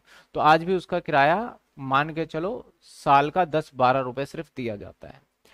तो जब कभी भी ऐसा सिचुएशन आ जाता है, जब कभी भी लीज आप 12 साल से लॉ कहता है कि अगर आपने 12 साल से ज़्यादा पे आपने कोई भी घर किराए पे लिया है तो उसका लीगल ऑनर आप ही माने जाओगे। आपके नाम पे डॉक्यूमेंट नहीं है, कोई बात नहीं है, आप ही ऑनर माने जाओगे और इसके ऊपर जो भी रेंटल इनकम होगा, उस पर आपको ही टैक्स देना पड़ेगा, ना कि जो इसका ऑनर है उसको देना पड़ेगा। क्योंकि जब ज़्यादातर हम निन्यानवे साल की लीज पे लेते हैं तो हम रेंट पे चढ़ा देते हैं उस चीज़ को और रेंटल इनकम हम अपने पास रख लेते हैं। तो यहाँ सब लेटिंग का कॉन्सेप्ट नहीं लगेगा इनकम टैक्स लॉ कहता है, जिसके नाम पे ये लीज पे है, उसी, अगर वो रेंट रिसीव कर रहा है तो कौन टैक्स देगा? जो कि यहाँ पे दो वर्ड होता है। एक होता है लेसी एक होता है लेसर जो लीज पे दे रहा है, वो होता है लेसर और जो लीज पे ले रहा है, उसे बोलते हैं लेसी तो इस सिचुएशन के अंदर अगर 12 साल से ऊपर पे किसी को भी आप लीज पे प्रॉपर्टी दोगे तो जिसके, जिसने लीज पे प्रॉपर्टी लिया है, यानी लेसी वो ऑनर मान लिया जाएगा रेंटल इनकम के लिए। अगर वो फर्दर रेंट पे देता है तो उसको उसके ऊपर टैक्स देना पड़ेगा। ठीक है? सर देखिए क्या कहता है, छोटा सा सेक्शन है person having the right of property for the period not less than twelve year बारह साल से कम का नहीं है, बारह साल से ज़्यादा या बारह साल का है तो उस सिचुएशन में कौन देगा आपका? जैसे मान लेते हैं फॉर एग्ज़ाम्पल भी ले लेता हूँ मैं। मिस्टर एक्स इसने अपना प्रॉपर्टी मिस्टर वाई को दे दिया। मिस्टर वाई को दे दिया और सर ये दे दिया उसने सत्तर साल के लीज पे। सेवेंटी ईयर के लीज पे दे दिया। किसको दे दिया सर? एक्स ने दे दिया वाई को सेवेंटी ईयर के लीज पे दे दिया। अब वाई इसका मालिक माना जाएगा। वाई ने फर्दर क्या करा? जेड को दे दिया ये। अब जो रेंटल इनकम आएगा वाई के पास, इसके ऊपर टैक्स हाउस प्रॉपर्टी के अंडर कौन भरेगा? वाई को भरना पड़ेगा क्योंकि उसने लीज पे ले लिया। लीज का एक लमसम अमाउंट होता है, वो ले लेते हैं ज़्यादातर। तो हमारे कितने पॉइंट है सर ये? पहला वाइफ के नाम पे, दूसरा बच्चे के नाम पे, तीसरा आपका इम्पेरेटिवल स्टेट चौथा कॉर्पोरेट सोसाइटी कोऑपरेटिव सोसाइटी पांचवा क्या था हमारा? पावर ऑफ़ अटर्नी और छठा क्या है हमारा? लीज ये छह पॉइंट आते हैं हमारे सेक्शन 27 में, जो कि कई बार पूछ लिया जाता है कि explain deemed ownership as per section 27 तो आपको ये छह के छह पॉइंट विद एग्ज़ाम्पल के साथ एक्सप्लेन करना पड़ेगा। तो इस चैप्टर के अंदर 22 से 27 सेक्शन है, जिसमें से दो सेक्शन खत्म हो चुके हैं, जो कि थियोरिटिकल सेक्शन थे। अब हम करेंगे पहले सेक्शन नंबर 23 जो कि अब प्रैक्टिकल इस सब्जेक्ट का जो भी प्रैक्टिकल पोर्शन है, वो सारा स्टार्ट हो जाएगा। यहाँ तक किसी को दिक्कत है तो बताइए।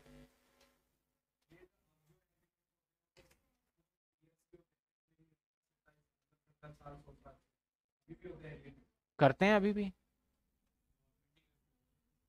देखो, जैसे कि आप जहाँ पे रह रहे हो, शकरपुर 99 ईयर के लीज पे है। ये भी। आपके नाम पे ये मकान नहीं है, जिसका भी है, वो प्रॉपर्टी नहीं है, वो लीज पे ही है। वो 99 ईयर के बाद उसे रिन्यू करता है, नहीं करता, वो उनकी मर्ज़ी है।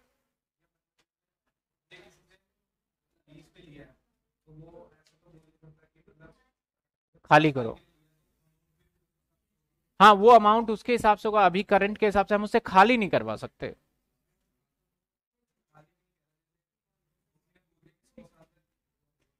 वो बहुत हाँ नॉम जो भी वो डिपेंड बायर और सेलर लेसी और लेसर के ऊपर जो एग्रीमेंट वही तो फ़ायदा होता है ना, जो जितना भी रहे तो उसके हिसाब से जो अमाउंट डिसाइड हो जाता है, उसके अकॉर्डिंग वो बायर सेलर पे। आप कई बार जाओगे ना जो बड़े बड़े बड़े बड़े जो होते हैं ना वहाँ पे लिख, लिखा होता है या तो लिखा होता है प्रॉपर्टी फॉर रेंट या लिखा होता है प्रॉपर्टी फॉर लीज लिखा हुआ होता है। ज़्यादातर लोग लंबे समय के लिए नहीं बनाते अब पहले बना लिया करते थे 25 25 30 30 साल के लिए। अब 12 11 महीने के लिए बनाते हैं। 11 महीने का। 11 महीने का लीज होता है रेंटल 11 महीने के बाद फिर उसे रिन्यू करते जाते हैं ताकि उसका कब्जा उसके ऊपर ना आ जाए।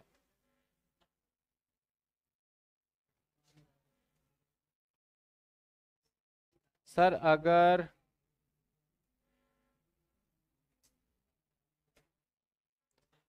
अगर केयर टेकर इम्पर हाँ अगर एक का कहना है कि सर, जो केयर टेकर वाला एग्ज़ाम्पल लिया, अगर वो लेना नहीं चाहता है ए बोलता है, भैया, मैं ज़िम्मेदारी नहीं लूँगा। तो वो बी को देगा सी को देगा। जो भी ज़िम्मेदारी ले, उनके बच्चे ना ले, कोई बाहर वाला ले ले, कोई ना कोई तो लेगा।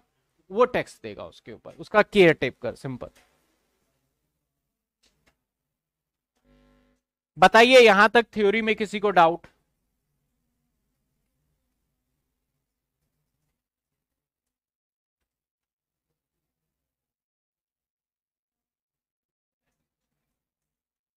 अटर्नी क्या होता है? अटर्नी होता है राइट्स अधिकार देना।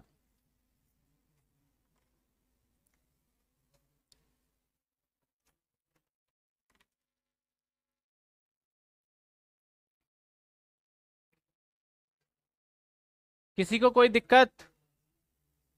आगे बढ़ा जाए। ध्यान से देखिएगा।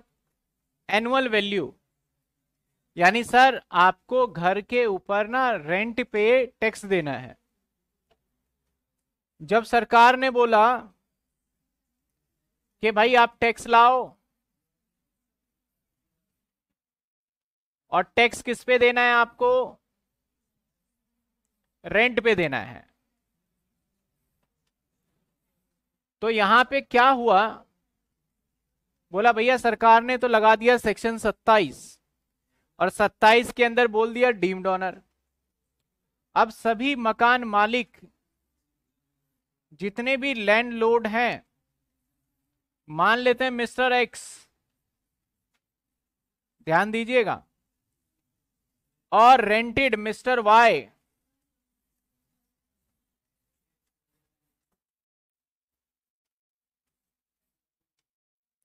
पता है मकान का किराया कितना है? ये मिस्टर एक्स को किराया देता है, ध्यान दीजिए। ये मिस्टर एक्स को किराया देता है पचास हज़ार। एक्स ने अपना घर, चाहे कमर्शियल एक्टिविटी हो, चाहे रेजिडेंशियल ये मैटर नहीं करता। अपना घर किराए पे दे दिया किसको? पचास हज़ार रुपए का मिस्टर। अब इसकी इनकम टैक्स कौन देगा, बताओ हाउस प्रॉपर्टी का? एक्स देगा। एक्स की इनकम बताओ। एक्स की इनकम महीने का पचास हज़ार है। तो सर, साल का? तो भैया इंडिया के अंदर सरकार कानून बनाती है, उससे पहले लोग बाग अपना दिमाग लगा लेते हैं, इससे बचा कैसे जाए, इसको तोड़ा कैसे जाए। कुछ ना कुछ तो करे। ये सोच रहा है, यार, छह लाख रुपए का टैक्स फिर से देना पड़ेगा, क्या फ़ायदा है? कैसे बचाया जाए? एक्स ने सोचा, एक काम करते हैं। बेनिफिट लिया जा सकता है। इसने कहा कि चलो भाई वाई के पास। वाई को बोला, भाई सुन इधर, तू मुझे कितना किराया देता है? उसने बोला, सर, मैं पचास हज़ार रुपये किराया देता हूँ टाइम पे किराया देता हूँ। ऐसा कोई लेट भी नहीं किया, एक आध दिन लेट हो जाता है। बोला, कोई भी पूछने आए तो बोल दियो पाँच हज़ार रुपये किराया देता हूँ मैं। पचास हज़ार मत बोलियो। और आज के बाद बैंक बैंक में नहीं, मुझे नगद चाहिए पैसा। कोई भी आए पूछने के लिए मैं किसी को भी आऊँ लेके कि भाई तू कितना किराया देता है, बता बता इनको। बोल दियो पाँच हज़ार। यानी मिस्टर एक्स और मिस्टर वाई ने आपस में मिलके एक तरीके से प्लान कर लिया। अब मिस्टर एक्स साठ हज़ार रुपए बोलता है गवर्नमेंट को। जी, मेरी इनकम साठ हज़ार है, मैं टैक्स कहाँ से दू? गवर्नमेंट ने बोला, भैया, घर बहुत बड़ा है, टाइल पत्थर लगा रखा है। बोला, भाई, साठ ही है, चलो पूछ लो किराएदार से चल के। किराएदार के पास लेके आया भैया कितना रेंट देते उसने बोला पाँच ही हज़ार देते हम तो। क्योंकि किराएदार को भी डर है, भाई, बोल दिया, मैंने झूठ बोल दिया, मेरे को निकाल देगा अगले दिन ये। तो फिर इस केस के अंदर फिर टैक्स की चोरी हो सकती थी।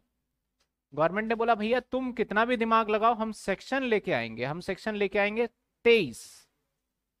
सत्ताईस में तो तुम ऑनर से बच रहे थे, अब तेईस में तुम्हें इनकम से नहीं बचने देंगे। यानी आपका एनुअल इनकम क्या होगा? वैल्यू वो हम बताएँगे सेक्शन तेईस में। अब बोला गया, भैया, जो प्रॉपर्टी से रिलेटेड काम करता है, सबको बुला लिया गवर्नमेंट ने। प्रॉपर्टी से रिलेटेड काम करने वाला होता है एक एमसीडी एमसीडी ना टैक्स लेता है हमेशा प्रॉपर्टी का, जिसे हाउस टैक्स के नाम से जानते हैं, सुना हो तो। जिनका घर फ्री होल्ड होता है ना, उसको हाउस टैक्स देना होता है। बोला एमसीडी वाले, आ जा तू इधर। साथ के साथ पड़ोस वालों को भी नहीं छोड़ा। बोला नेबर इधर आ जाओ। कुछ कर नहीं रहे, लेकिन आ जाओ। कुछ बातें, सवाल पूछनी है। सुप्रीम कोर्ट का एक्ट उठा लिया और उसके जज को फ़ोन लगा दिया, भैया सर आपसे भी कुछ सवाल पूछने हैं, हमें हमें जवाब दे दीजिए, मुझे इनकम टैक्स वसूलना है। तीन लोगों को बुला लिया। एमसीडी वाले को बोला, तू बता, तेरे हिसाब से इसका किराया कितना होना चाहिए? ये तो क्या बोल रहा है इसकी छोड़, तू बता दे इसका किराया क्या है? एमसीडी वाले ने उसको नापा। देखा, भाई, टाइल लग रहा है, पत्थर लग रहा है, एकदम बहुत फ़र्स्ट क्लास है। एसी वेसी सब, फिटिंग फर्निश्ड है, सब चीज़ है। एमसीडी वाले ने बोला सर, एक लाख रुपए किराया होना चाहिए। महीने का एमसीडी वाले ने बोला, सर, इसका तो एक लाख किराया होना चाहिए, मेरे हिसाब से तो एक लाख है। पड़ोस को बुलाया, भाई, तेरा भी मकान ऐसा ही है सेम साइज़ का है, तू कितने पे किराए पे देता है, तू बता। उसने बोला, मैंने तो सर, अस्सी हज़ार रुपए में दे रखा है, और मैं टैक्स भी भरता हूँ, देख लो। सुप्रीम कोर्ट के या जज से पूछा फ़ोन करके कि जज साहब, आप बताइए, इतना एरिया है, इतना सर्कल एट है, एक बार कंप्यूटर में फटाफट चेक करवाइए कि इस एरिया का, इतना एरिया का कितना रेंट होना चाहिए एज पर रेंटल रेंट का भी हमारा एक एक्ट होता है रेंट कंट्रोलिंग एक्ट आप बताइए, इस रेंट कंट्रोलिंग एक्ट के हिसाब से इसका कितना किराया आ रहा है एरिया नाप दिया और सारा सर्कल रेट बता दिया। जज ने बोला, इसका किराया होना चाहिए पचपन हज़ार। यानी सब अलग अलग बोल रहे हैं अपने हिसाब से? और सबसे ज़्यादा झूठ। बोल रहा है? बोला, भैया, तेरी बातों का विश्वास नहीं है। तू पाँच हज़ार रुपए उससे टैक्स ले रहा है ना? पाँच हज़ार ले रहा है। तू कम ले रहा है। तेरी गलती। हमारे अपना नुकसान क्यों करे? तू फ्री में दे दे उसको मकान। हम तो भैया सारे नियम को लगाएँगे और जो सबसे ज़्यादा बन रहा होगा उससे टैक्स वसूल लेंगे तेरे से। उसके अकॉर्डिंगली तो गवर्नमेंट ने क्या करा? एनुअल वैल्यू निकालने के लिए इनके कुछ प्रोविजंस बना दिए। समझ रहे हो ना ये क्या आया सेक्शन तेईस?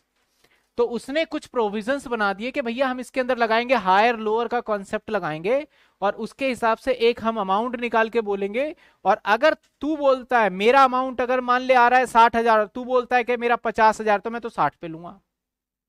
और मेरा अमाउंट आ रहा है साठ हज़ार, तू बोलता है सत्तर आ रहा है तो मेरा गलत है, तू दे दे अपने अमाउंट पे टैक्स तो गवर्नमेंट ने ये रूल बनाया।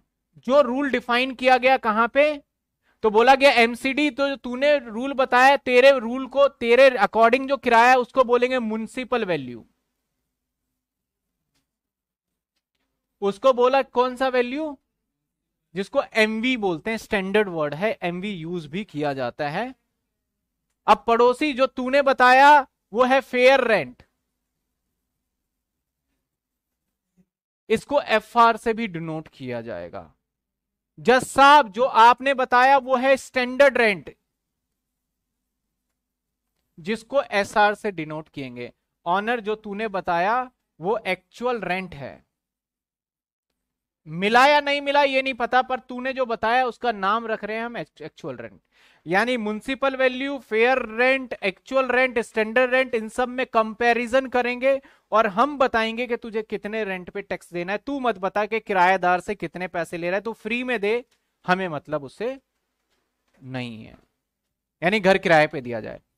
तो उसके लिए 23 आने का मेन वजह यही था।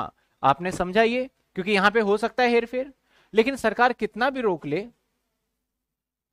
तो कहीं ना कहीं तो कम ज़्यादा हो ही जाता है वहाँ पे, ठीक है ना? कितना भी रोक ले। और बहुत सारे जगह पे तो गवर्नमेंट को पता भी नहीं चल पाता कि एसएससी कौन है, नहीं है। बैंकिंग में जब ट्रांजेक्शन ज़्यादा होता है, तभी गवर्नमेंट आपके पास आ सकता है।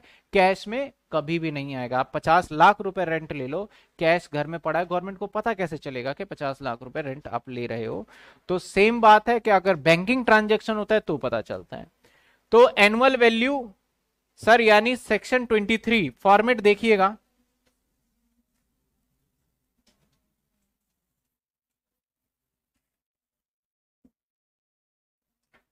सर एनुअल वैल्यू ये डिफाइन है सर सेक्शन 23 के अंदर।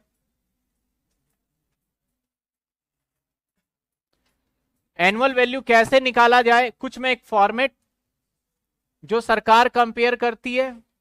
वो मैं करके दिखा रहा हूँ। अभी आपको ये एक दो बार फॉर्मेट कंपेयर करना पड़ेगा, उसके बाद तो आपको याद हो जाएगा, फिर तो आपको ये करने की ज़रूरत नहीं है इंटरनली आप कर सकते हो।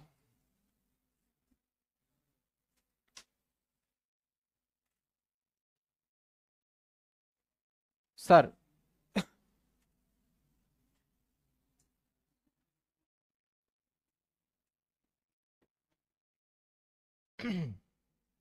अभी मैं सिर्फ़ एनुअल वैल्यू कर रहा हूँ प्रॉपर फॉर्मेट अभी बाद में हम देखेंगे।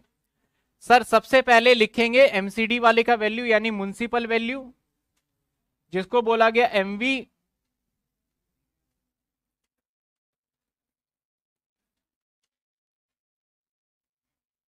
ये रख लेंगे सबसे पहले म्यूनसिपल वैल्यू जो भी लिखा है। मैं एग्जांपल उसके बाद लिखेंगे फेयर रेंट इसको मैं आज के बाद एम बोलूँगा और इसको आज के बाद मैं एफ़ बोलूँगा।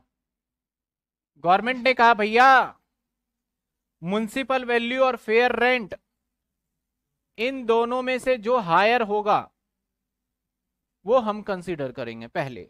और उसको मैं अपनी तरफ़ से नाम दे रहा हूँ, उसको नाम दे देता हूँ मैं F R number one F R number one नाम दे रहा हूँ मैं अपनी तरफ़ से। यानी सर, अगर आपकी इनकम यहाँ पे एक लाख रुपए इसने बताया और इसने बताया डेढ़ लाख रुपए तो एफ़ आर नंबर वन कितना होगा सर? डेढ़ लाख रुपए हो जाएगा, जो कि आएगा 1.5 पहले यहाँ तक बात समझ में आई आपको? इसके बाद बोला गया कि भैया एफ़ आर को, वन को कंपेयर करेंगे हम सुप्रीम कोर्ट के, यानी स्टैंडर्ड रेंट जिसको मैं एस आर लिख देता हूँ, अभी तो लिख देता हूँ। Standard rent that is S R अब हमेशा सोचना, क्या हम कानून से ऊपर जा सकते हैं? जज बोले, इसका किराया साठ हज़ार होना चाहिए। और इनकम टैक्स वाले बोल रहे हैं कि जी, इसका किराया डेढ़ लाख रुपए तो हम किसकी बात मानेंगे? जज की बात मानेंगे फाइनली तो अब एफ़ आर नंबर वन और इसके बीच में जब कंपेयर किया गया तो बोला गया, भैया, यहाँ पे से ले लो लोअर यहाँ पे क्या ले लो आप? लोअर इसलिए बोला कि जज की बात मान ली जाएगी। यहाँ पे देखो एक लाख है, जज ने बोला कितना होना चाहिए? नब्बे हज़ार। कितना होना चाहिए? तो कितना मान लोगे? Ninety thousand. जज ने बोला, भैया, दो लाख होना चाहिए, लेकिन इनकम टैक्स वाले बोल रहे हैं कि, भैया, एक सत्तर पे टैक्स दो। तो जज बोलेगा, भैया, तुम्हें लग रहा है एक सत्तर पे ले लो, हम क्या कह रहे हैं? मतलब हमारे रूल को मत तोड़ो, हमारी बातों से के आगे मत जाओ, लेकिन उससे कम में तो आप निपटारा कर सकते हो। तो यानी इसमें क्या लिया गया? लोअर यानी म्यूनसिपल वैल्यू और फेयर रेंट में हायर और जो भी रिज़ल्ट निकल के आया स्टैंडर्ड रेंट से कंपेयर करेंगे, उसमें कौन सा लिया जाएगा? लोअर लिया जाएगा। जो भी इनके बाद रिज़ल्ट आएगा, उसका एक नाम दे दिया जाएगा, जिसको दैट इज़ एक्सपेक्टेड रेंट यानी इनकम टैक्स वालों ने अपना एक्सपेक्टेड रेंट निकाल लिया, जिसको मैं ई e ER बोल देता हूँ शॉर्ट फॉर्म में। सर, क्या आया इसमें से expected rent ninety thousand expected rent इसको कंपेयर करेंगे अब हम एक्चुअल रेंट से।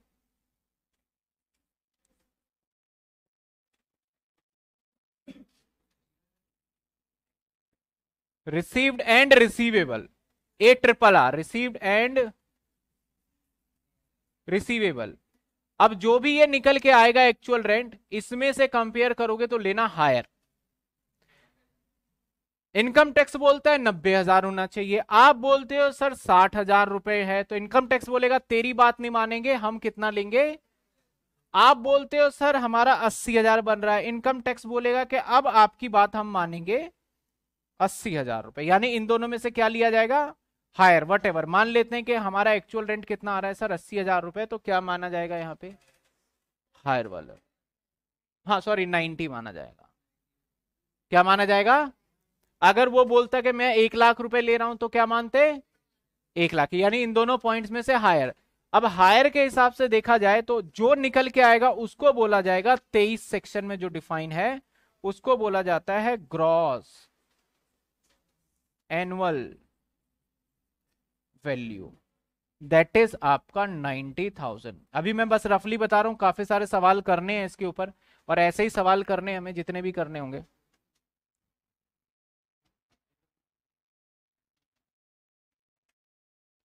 सर ये क्या आ गया? ग्रॉस एनुअल वैल्यू यानी ये वाला जो पोर्शन है ना, मैं सर्कल कर रहा हूँ, ये आप रफ में कहीं कर सकते हो। अभी फ़िलहाल के लिए ये वाला जो पोर्शन है ना, ये ये पोर्शन आप रफ में कर सकते हो, फ़िलहाल के लिए या फेयर में भी कर सकते हो, जैसे मैं कर रहा हूँ। यानी हमारा मेन कहानी स्टार्ट होने वाला है यहाँ से, इसके बाद से। ये वैल्यू निकालने के लिए हमें गवर्नमेंट के सारे रूल ऊपर नीचे करके देखने पड़ेंगे। यानी सर म्यूनसिपल वैल्यू और फेयर रेंट में से हायर। उसके बाद जो आंसर आया और स्टैंडर्ड रेंट में से लोअर अब जो आंसर आया और एक्चुअल रेंट में से, और वो आएगा हमारा ग्रॉस एनुअल वैल्यू जिसको कि मैं आज के बाद बोलूँगा जी ए वी इसमें से अगर कोई म्यूनसिपल टैक्स पेड किया है तो सर उसको माइनस करना अलाउड है लेस कर देंगे यहाँ से। म्यूनसिपल टैक्स सर, जिसको मैं बोलूँगा एमटी जो भी है, कैसे दिया जाता है, नहीं दिया जाता है, इसके हम ऊपर पूरा क्वेश्चन करेंगे अगली क्लास के अंदर। मान लेते हैं कि दस हज़ार रुपए मैंने म्यूनसिपल टैक्स पेड किया है तो अब मेरा जो आएगा, उसे बोलेंगे नेट एनुअल वैल्यू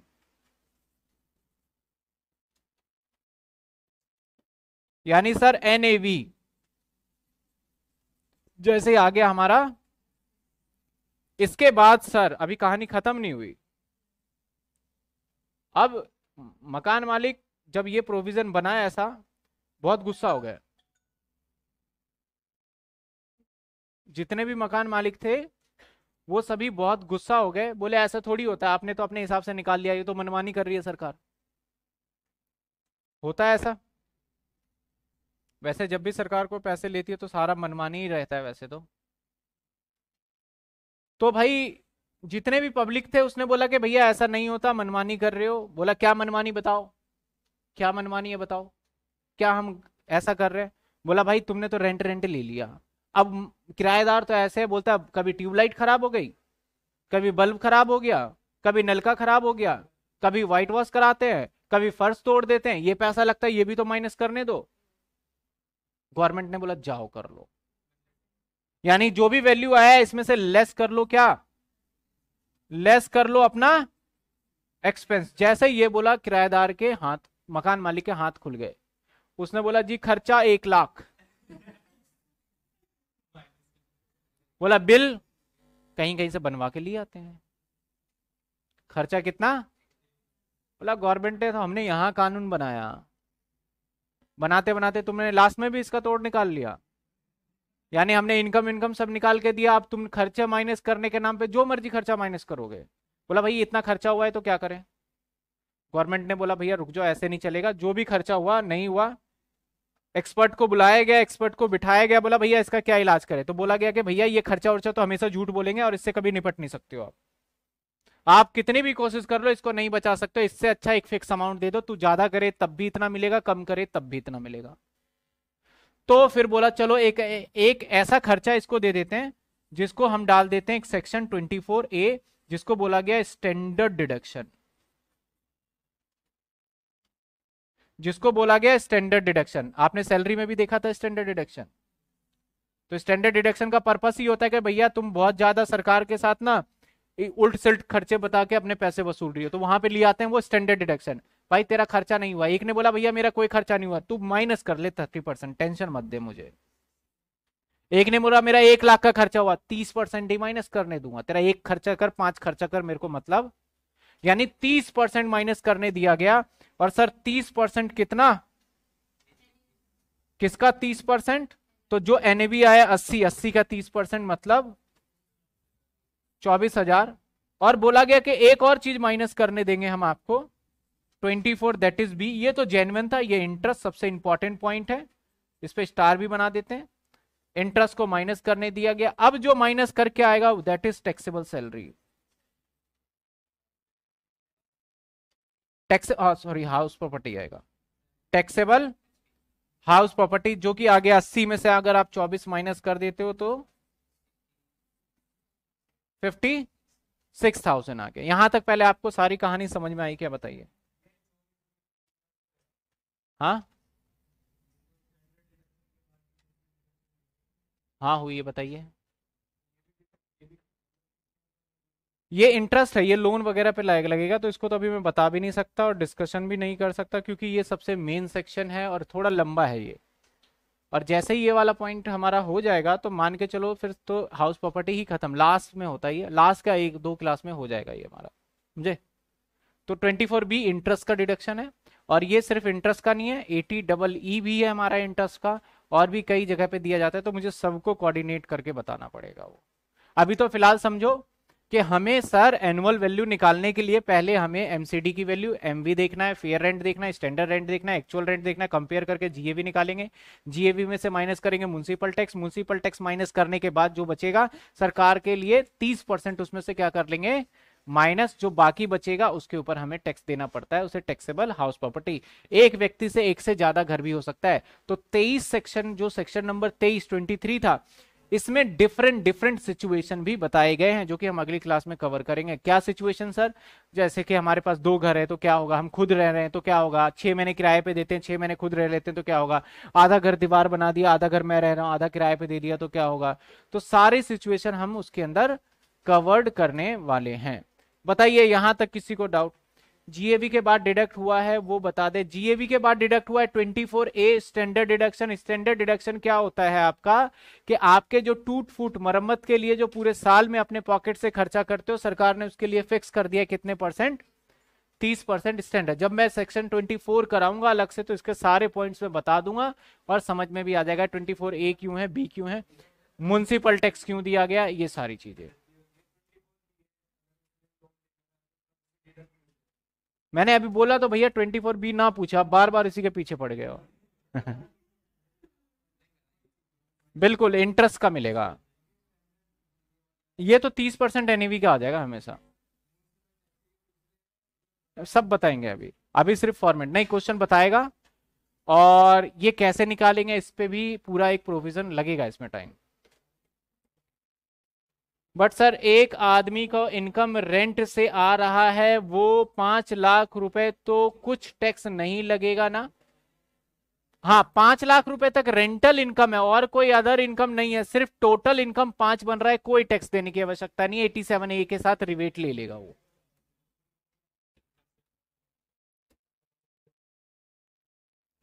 कोई दिक्कत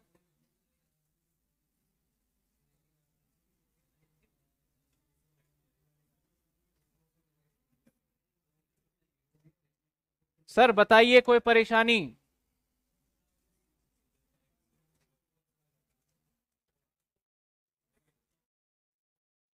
नो प्रॉब्लम यहाँ तक क्लियर है? अब देखिए, मैं तो चीज़ों को बताऊँगा कैसे करना है। अभी देखा जाए ना तो अभी वाले क्लास में देखा जाए तो चलिए सर। इसके ऊपर कुछ क्वेश्चंस भी देखेंगे। काफ़ी स्टूडेंट को टेंशन हो रही है कि सर कैसे खत्म होगा? बहुत सारा सिलेबस लग रहा है हमें। डेफिनेटली खत्म होगा और समय पे ही खत्म होगा। सिलेबस ज़्यादा तो है, लेकिन उसके लिए प्रोविज़न है ना, बारह तारीख से रेगुलर क्लासेस होंगी आपकी। बारह या तेरह तारीख से रेगुलर क्लासेस हो जाएगी। तो ये प्रोविज़न है जिससे कि खत्म होगा। बाकी सबसे बड़ा चैप्टर सैलरी था जो कि हम कर चुके हैं। अब बाकी हाउस प्रॉपर्टी दो से तीन दिन, ऐसे छोटे छोटे चैप्टर्स हैं। चलिए सर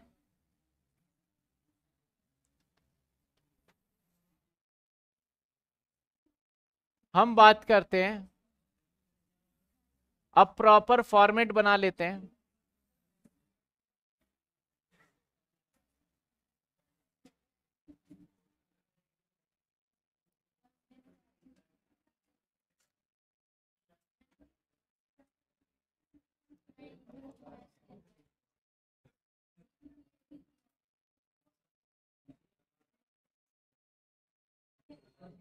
सबसे ऊपर लिखना है computation. Computation of house property income. HP income लिख देता हूँ। और फोर, जैसे मान लो मिस्टर एक्स और नीचे आपको लिखना है assessment year previous year what name आप लिखना चाहते हो। नीचे हम वो लिख देंगे, मैं बता ही देता हूँ।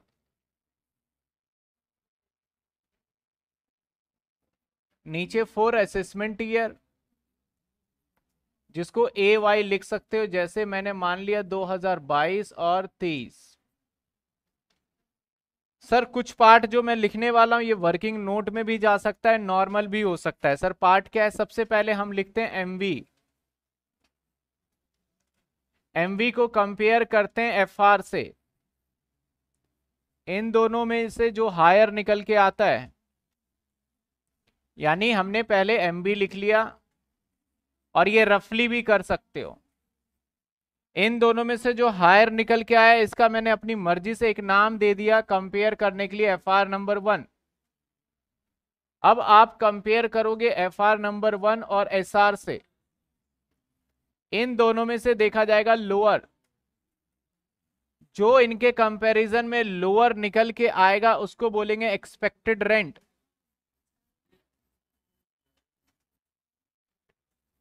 एक्सपेक्टेड रेंट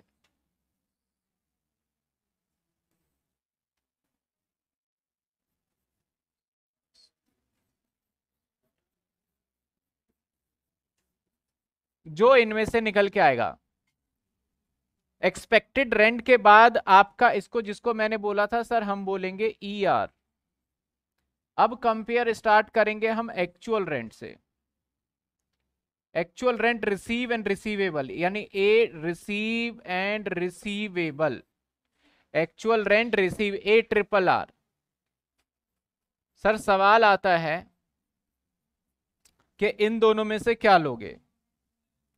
सर, इन दोनों में से अभी फ़िलहाल के लिए सिखाया जा रहा है आपको, जैसे जैसे सवाल बढ़ेगा तो यहाँ पे एक पॉइंट एक्टिव हो जाता है हमारा पॉइंट एक्टिव एक्टिव हो जाता है हमारा। अगर रियलिटी में वो किराया कम ले रहा हो या रियलिटी में वेकेंट रहा हो, कुछ ऐसा सिचुएशन आ जाए।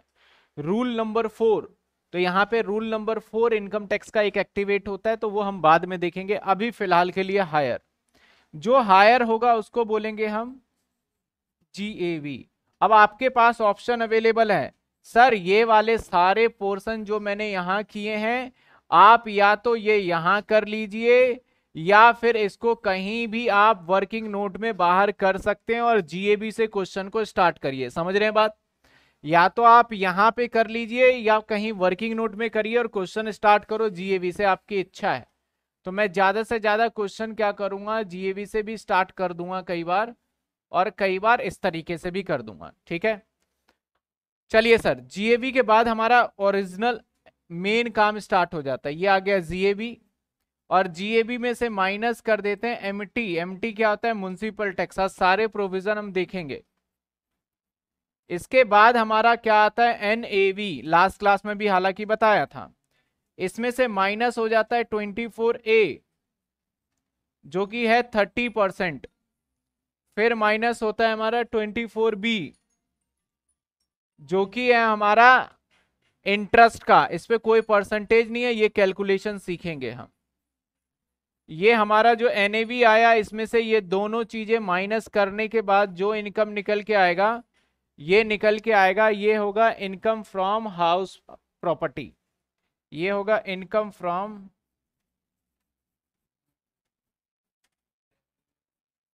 house property income from house property पहले बताइए कोई दिक्कत।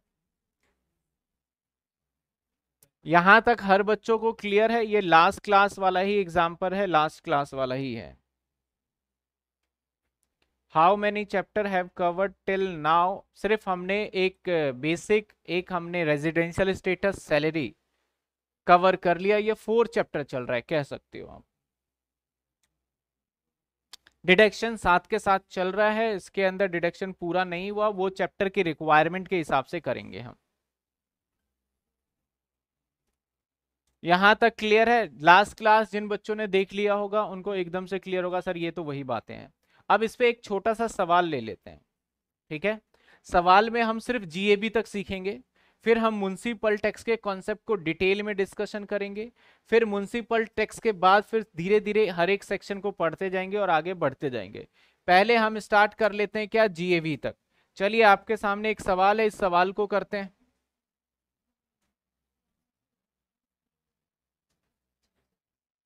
ये आपकी किताब का ही सवाल है। 5.1 आपकी किताब का। सर, कौन सी किताब है? ग्रीस, आहूजा।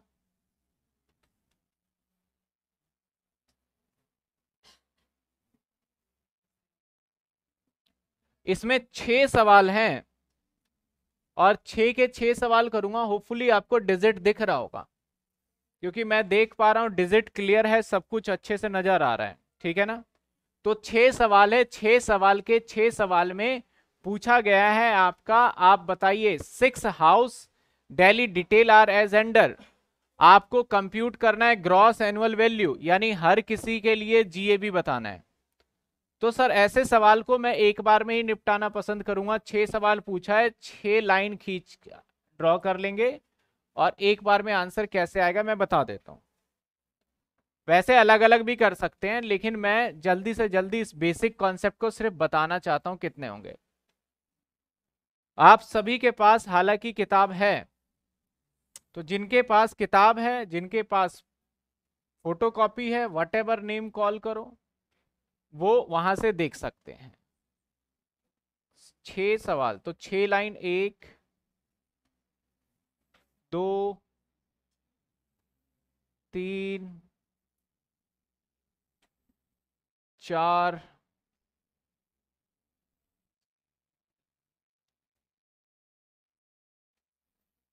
पाँच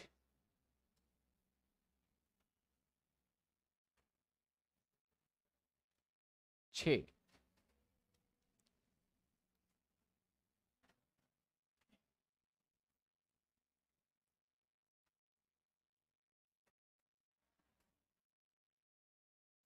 सर, आपके पास house number one H number two H three H four H five H six छ घर हैं, छह के छह, ये लास्ट में ऐसे ही कर हो गया। एक्स्ट्रा मैं एक का निकालूँगा, तीन का मैं निकालूँगा, तीन आपकी रिस्पॉन्सिबिलिटी कहता है, सर म्यूनसिपल वैल्यू दे रहे हैं फेयर रेंट दे रहे हैं स्टैंडर्ड रेंट दे रहे हैं एक्चुअल रेंट दे रहे हैं, जी भी बताइए। तो सबसे पहले क्या लिखेंगे municipal value sir municipal value कितना है? दो लाख। इसको कंपेयर करते हैं किससे? फेयर रेंट से। तो सर फेयर रेंट कितने दे रखे हैं? दो चालीस। इसके बाद मैंने बताया, हम एक लिख लेते हैं F R number one comparison के लिए। और बाद में ये हटा दूँगा मैं। तो क्या आएगा? हायर वाला part that is through two forty higher है ना? अब सर इसको कंपेयर करेंगे स्टैंडर्ड रेंट से। तो पहले केस में स्टैंडर्ड रेंट कहता है कि सरकार के पास कोई केस नहीं गया तो स्टैंडर्ड रेंट क्या हो गया? नॉट एप्लीकेबल स्टैंडर्ड रेंट के बाद हमारा इन दोनों में से क्या लिया जाएगा? हायर तो सर नॉट एप्लीकेबल कभी ज़ीरो मत कर देना। आप ज़ीरो गलत शब्द है। ज़ीरो का मतलब कोर्ट ने बोल दिया रेंट ना लिया जाए। नॉट एप्लीकेबल का मतलब सरकार कोर्ट के पास का कोई फैसला आया नहीं है, उसके पास गया नहीं। तो नॉट एप्लीकेबल लिखना है। सर, इन दोनों में से हायर जो आएगा, उसको नाम दिया मैंने ई आर ई आर आ जाएगा हमारा 240 ई आर क्या आ गया? अब इसको कंपेयर कर लेंगे एक्चुअल रेंट रिसीव या रिसीवेबल ज़रूरी नहीं है पैसा मिला हो। ना मिला हो तो उससे भी कंपेयर कर लेंगे, सर। सर, जो कि हमें पहले वाले सवाल के अंदर देखिए, क्या गिवन है? पहले वाले सवाल में आप चेक करिए क्या गिवन है। तो सर, पहले वाले सवाल में गिवन है 180 तो सर, इसके अंदर क्या लेंगे हम? हायर मैंने बताया था सर, इसमें लेना है हमें हायर जो ज़्यादा होगा। और जो ज़्यादा होगा, उसको देंगे अच्छा हाँ सॉरी इसमें लोअर है लोअर लोअर यहाँ लोअर है. ज़ीरो नहीं है ना, मैंने कहा ना? लोअर तो सर यहाँ नॉट एप्लीकेबल है तो यही अमाउंट आ जाएगा. ये आ जाएगा G A B ji A B देखा जाए तो हर किसी का कुछ ऐसे ही रहेगा. हर किसी का यहीं से निकाल देंगे जी ए बी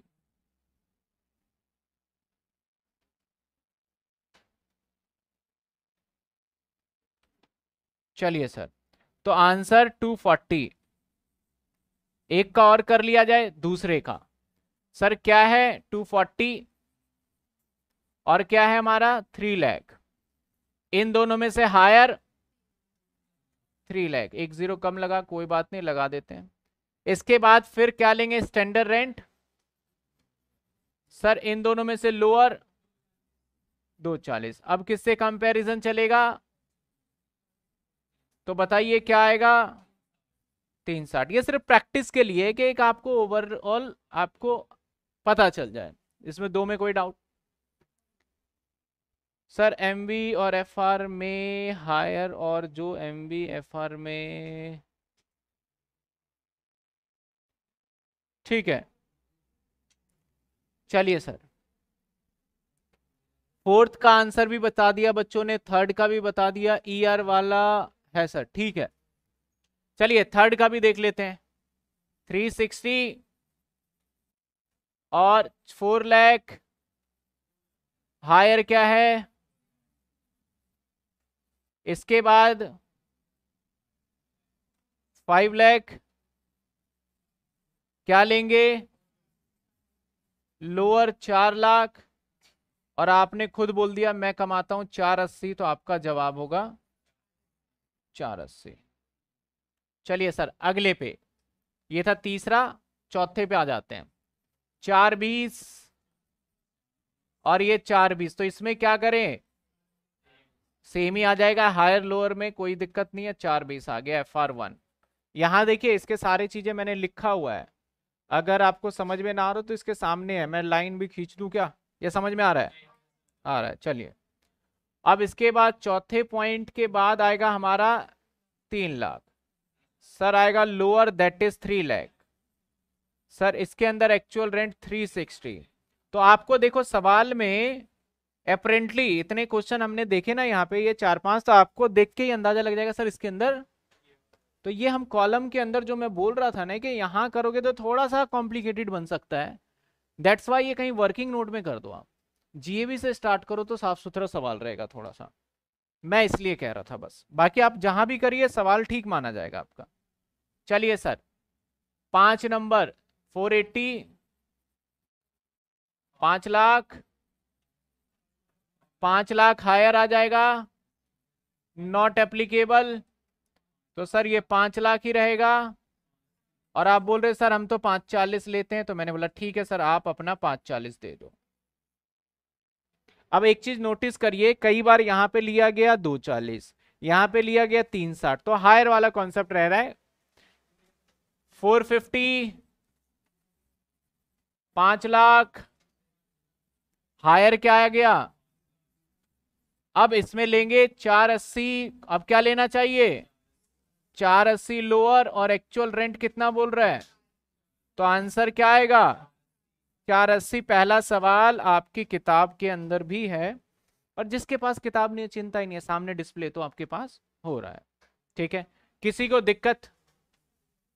परेशानी, समस्या है किसी को? ऑल डन किसी को कोई प्रॉब्लम इस क्वेश्चन में बताइए? नहीं, अगले कॉन्सेप्ट पे चले। यानी मैंने कहा कि मैं पहले आपको जीएवी तक थोड़ा सा पक्का कर दूँ। इसके अंदर मैं स्टार भी बना देता हूँ ऑल कुछ बच्चे बोलेंगे, जो मैंने बोला रूल नंबर फोर जैसे जैसे सिचुएशन आएगा, वैसे वैसे करेंगे। पहले करा के मैं चैप्टर का इंटरेस्ट खत्म नहीं करना चाहता। बाद में आ जाएगा, कोई दिक्कत नहीं है। चलिए सर, इसके बाद हम सवाल सीखेंगे, सर, ये म्यूनसिपल टैक्स कैसे? ठीक है? तो म्यूनसिपल टैक्स एक होता है म्यूनसिपल वैल्यू एक होता है म्यूनसिपल टैक्स ध्यान दीजिएगा।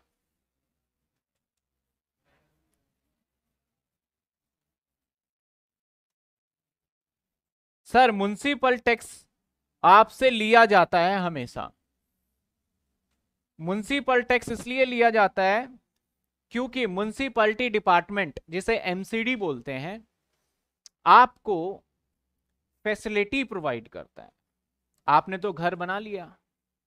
अब घर बनाने के बाद आपके लिए जो वहाँ के नाली की फैसिलिटी है, वहाँ पे पानी की फैसिलिटी है, वहाँ के लाइटिंग की फैसिलिटी है, जो वहाँ पे कूड़े वाला डेली आता है, ये सारा आपसे पैसे थोड़ी लेता है। अगर कूड़े वाला आ रहा हो या नाली आ रहा हो तो आपसे पैसे नहीं लिया जाता इनका। आपके लिए क्या है सर? ये फ्री ऑफ़ कॉस्ट है? तो इसके बदले में सरकार आपसे लेता है म्यूनसिपल टैक्स अब कुछ बच्चे कह सकते हैं, कुछ लोग कह सकते हैं, हमसे तो नहीं लेता। जो फ्री होल्ड प्रॉपर्टी है, उनसे हाउस टैक्स के नाम पे वसूला जाता है। जहाँ फ्री होल्ड प्रॉपर्टी नहीं है तो पानी के वाटर बिल दिल्ली की मैं बात कर रहा हूँ, दिल्ली में तो वाटर बिल जिस जिस महीने आपका या जिस टाइम पे आपके साफ़ सफ़ाई हो रही होगी, नाली वगैरह अगले महीने का बिल उठा के देखना, उसके अंदर सिवर चार्ज या हाउस टैक्स के नाम से अलग से वो जोड़ के दे देंगे आपको। ठीक है? तो सर, ये म्यूनसिपल टैक्स आपसे लिया जाता है। तो आप बोलोगे, सर म्यूनसिपल टैक्स अगर हमसे लिया गया, हम रेंट भी पेड करें। रेंट आया, ठीक है, पाँच लाख रुपए रेंट आया, आप बोलो, टैक्स दो। ठीक है, एग्री टैक्स देंगे। लेकिन हमने एक टैक्स दे तो दिया, कौन से वाला? म्यूनसिपल टैक्स तो सर ये मुझे माइनस करने देना चाहिए, क्योंकि हम दो दो टैक्स थोड़ी दे सकते हैं। हमने जो आपको म्यूनसिपल टैक्स दिया, इस किराए में से तो ही दिया है था। तो हमें माइनस करने दो तो गवर्नमेंट ने बोला अलाउड आपको म्यूनसिपल टैक्स आप पेमेंट करो, आपको अलाउड होगा। लेकिन कुछ शर्तों के साथ, वो शर्तें क्या हैं, वो शर्तें देखते हैं। बोला गया, सर म्यूनसिपल टैक्स आपको अलाउड किया जाएगा। सबसे पहली बात म्यूनसिपल टैक्स जो अलाउड होगा, वो होगा हमेशा पेड बेसिस पे। Paid basis. पेड बेसिस का मतलब आप पेमेंट करोगे तभी आपको मिलेगा। अभी समझ लेंगे पेड बेसिस क्या है। उससे पहले गवर्नमेंट ने बोला, भैया म्यूनसिपल टैक्स हम मान गए आपकी बात, लेकिन आप ये बता दीजिए म्यूनसिपल टैक्स जो है, वो पेमेंट कौन कर रहा है? आप ये बता दीजिए म्यूनसिपल टैक्स पेमेंट कौन करेगा? चलिए सवाल आता है म्यूनसिपल टैक्स पेमेंट कौन करेगा? यानी उसका पैसा कौन देगा? दो ही व्यक्ति दे सकते हैं। या तो दे सकता है ऑनर या तो ऑनर दे सकता है या फिर किरायादार जिसे टेनेंट बोलेंगे। या तो ऑनर देगा या टेनेंट देगा। या मैं सिंपल शब्दों में लिख देता हूँ रेंटेड पर्सन रेंटर बोल देते हैं। वैसे हालाँकि टेनेंट वर्ड यूज़ होता है, मैं थोड़ा सिंपल लिखना चाहता हूँ, रेंटर स्लैश टेनेंट भी करता हूँ। तो सर यहाँ पे पेड की बात हुई। पेमेंट कौन कर रहा है सर? ऑनर करेगा या फिर टेनेंट? अब सबसे पहले बताओ मुझे। House property tax. या हाउस प्रॉपर्टी के ऊपर टैक्स जो रेंटल इनकम है रेंटल इनकम किसकी मानी जाएगी? मालिक की मानी जाएगी या किराएदार की मानी जाएगी? मालिक की मानी जाएगी। तो अब पेमेंट में गवर्नमेंट ने बोला, भैया, कुछ मकान मालिक बड़े चलाक होते हैं। बोलते हैं कि, भैया, बिजली बिल तुम भरो, पानी का बिल तुम भरो हाउस टैक्स तुम भरो, हमें बस किराया दो। ऐसा होता है। तो अगर मालिक भरता है, तब तो हम अलाउड करेंगे। अगर टेनेंट या आपके रेंटर ने पेमेंट किया हो अगर रेंटर ने पेड किया, क्या पेड किया सर म्यूनसिपल टैक्स तो लॉ कहता है सर आपको म्यूनसिपल टैक्स का डिडक्शन नहीं मिलेगा. Not allowed not allowed law कहता है नॉट अलाउड क्योंकि भैया, आप तो लड़ रहे थे मुझसे इस बात को लेके कि हम तो म्यूनसिपल टैक्स भी पेड करते हैं, इसी किराए से पेड कर रहे हैं। तो भैया आप तो तुम पेड ही नहीं कर रहे तो लड़ाई झगड़ा खत्म। आपको पैसा इसमें माइनस करने नहीं दिया जाएगा। लेकिन अगर ऑनर पेड करता है तो यहाँ पे कंडीशन हो सकता है सर सर क्या कंडीशन होगा? ऑनर पेड करेगा। सिंपल सी बात है ना पेड कर देगा। यहाँ पे कंडीशन हो सकता है पेमेंट जब करेगा, या तो ऑनर की बात करें, या तो ड्यू हो गया है but not paid not paid वो बोलता सर दे देंगे ना, क्या दिक्कत है? अभी बाद में देंगे। तो बोल रहा दे देंगे हम, कोई दिक्कत नहीं और और अब मुझे आप बताइए, इनकम टैक्स कब देना होता है? इनकम टैक्स कब देना होता है? सर, इनकम टैक्स देना होता है डेट 31 जुलाई 31 साल। 31 सात का हर बार ड्यू डेट होता है इनकम टैक्स। लेकिन फाइनेंशियल जो इनकम कैलकुलेट करते हो, वो 31 सात का नहीं करते 31 तीन का करते हो। तो लॉ ने कहा, भैया, अगर आपने ड्यू किया है और आप मान लो इकतीस तीन को आप इनकम टैक्स भरने जा रहे हो और आपने तीस तारीख को क्या करा? एम टी पेड कर दिया। हम तुम्हें लेने नहीं देंगे डिडक्शन सर, ऐसा क्यों? पेड तो कर दिया। बोला कि आपको जो पेमेंट करना है, वो पेमेंट करना है। Due but not paid then not allowed तो आपको अलाउड नहीं होगा। एक हो गया आपका पेड तो अगर आपने पेड कर दिया तो ये भी ध्यान रखना है। अगर आपने पेड कर दिया तो ये भी ध्यान रखना है, सर। क्या ध्यान रखना है? आपको पेड करना है। पेड बिफोर ड्यू डेट या ऑन। मैं थोड़ा शब्द को चेंज कर दू। बिफोर। इधर ध्यान दीजिए, बिफोर और on. Thirty first three end जो भी ईयर होगा, जिस साल के लिए कंप्यूटेशन तैयार करिएगा उस साल का। समझिए क्या कहना चाहता है लॉ लॉ कहना चाहता है कि भैया म्यूनसिपल टैक्स माइनस ऐसे नहीं आँख बंद करके करने देंगे। म्यूनसिपल टैक्स अगर रेंटर टेनेंट ने पेमेंट किया हो तो नॉट अलाउड ऑनर ने पेड किया है तो देखेंगे। या तो ड्यू हो चुका है बट नॉट पेड तब अलाउड नहीं है। लेकिन पेड करा है तो पेड में भी आपको चेक करना है कि कब पेमेंट किया है, वो भी पेमेंट करना इकतीस मार्च, जिस साल का कंपटीशन जिस साल का इनकम टैक्स 2023 का बना रहे हो 2022 को तो उस साल के 31 मार्च तक पेमेंट अगर 31 मार्च के बाद पेमेंट करता है तो वो अगले साल में काउंट होगा। सर, अब पेमेंट अब एक और सवाल आ जाता है, सर पेमेंट कितना करना है? अब वो पेमेंट लॉ ने कहा कि भैया पेमेंट कितना करना है? हमें तो ये मतलब है, आपने पेड जितना किया होगा डिडक्शन दे देंगे। तो सर पेमेंट अगर हम करते हैं, कितना पेमेंट सर? सर, अगर आप पेमेंट करंट ईयर का करोगे तो मिलेगा। करंट ईयर का अगर आप पेमेंट कर रहे हो तो मिलेगा, सर मिलेगा। सर, अगर आप प्रीवियस ईयर का पेमेंट करोगे तो? आपका ड्यू हो गया था, पिछले साल आपके पॉकेट में पैसे नहीं थे, लेकिन आपने इस साल पेमेंट कर दिया, क्या मिलेगा? ये भी मिलेगा। सर, आप बार बार परेशान होते हो, सरकार को नेक्स्ट ईयर का पेड कर दिया तो? नेक्स्ट ईयर का एडवांस में पेड कर दिया तो ये भी डिडक्शन मिलेगा। यानी कहने का मतलब है, सर, जितना अमाउंट पेड करोगे तो total amount total amount paid का डिडक्शन मिल जाएगा। सर, कितना भी पेड करो, आप एक बार में कर दो दस साल का एडवांस, सारा डिडक्शन ले सकते हो। यानी इसमें ऐसा नहीं है कि भैया इस साल का था तो भी देंगे आपको डिडक्शन। आप जितना पेमेंट करोगे, लेकिन तारीख याद होनी चाहिए इकतीस मार्च से पहले। जितना मर्ज़ी पेमेंट करो आप 31 मार्च से पहले, आपको सबका डिडक्शन मिल जाएगा। कहाँ पे मिलेगा सर? म्यूनसिपल टैक्स के अंदर जाके माइनस करने के लिए दे दिया जाएगा। तो ये सारी कहानी है। ये सारी सिचुएशन है जो कि आपको ध्यान रखना है। एक और बात, कई बार एग्जामिनर चालाकी करेगा कि municipal tax municipal tax 20 percent बच्चा बोलेगा, सर 20 परसेंट किसका? तो हमेशा याद रखिएगा, ये 20 परसेंट कैलकुलेट होगा एमवी के ऊपर। जब आपको बोल दिया जाए म्यूनसिपल टैक्स 20 परसेंट है 30 परसेंट है 50 परसेंट है तो ऑलवेज कैलकुलेट होगा किसके ऊपर?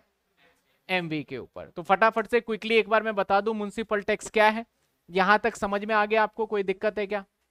एक बार फटाफट म्यूनसिपल टैक्स एक बार देखिए फटाफट, कोई दिक्कत नहीं है तो एक सवाल ले लेते हैं फटाफट से। कोई दिक्कत नहीं है तो बताइए, एक सवाल इसके ऊपर ले लेते हैं जिसमें सारे केसेस आ जाए, सारे कॉन्सेप्ट क्लियर हो जाए। क्लियर तो क्या कहा गया? मैं एक बार फिर से रिपीट कर देता हूँ। चलिए सर, एक म्यूनसिपल टैक्स के ऊपर क्वेश्चन ये भी आपकी किताब का सवाल.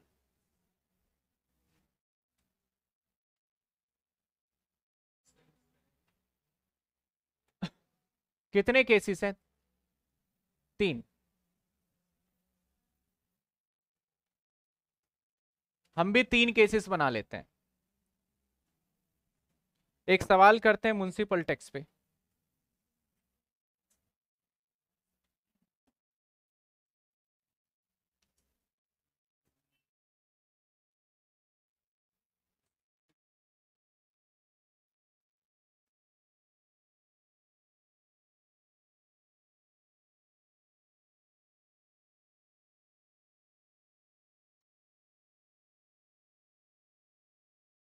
यानी सर, तीन लाइन की आवश्यकता है हमें।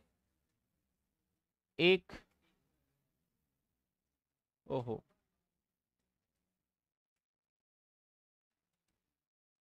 दो,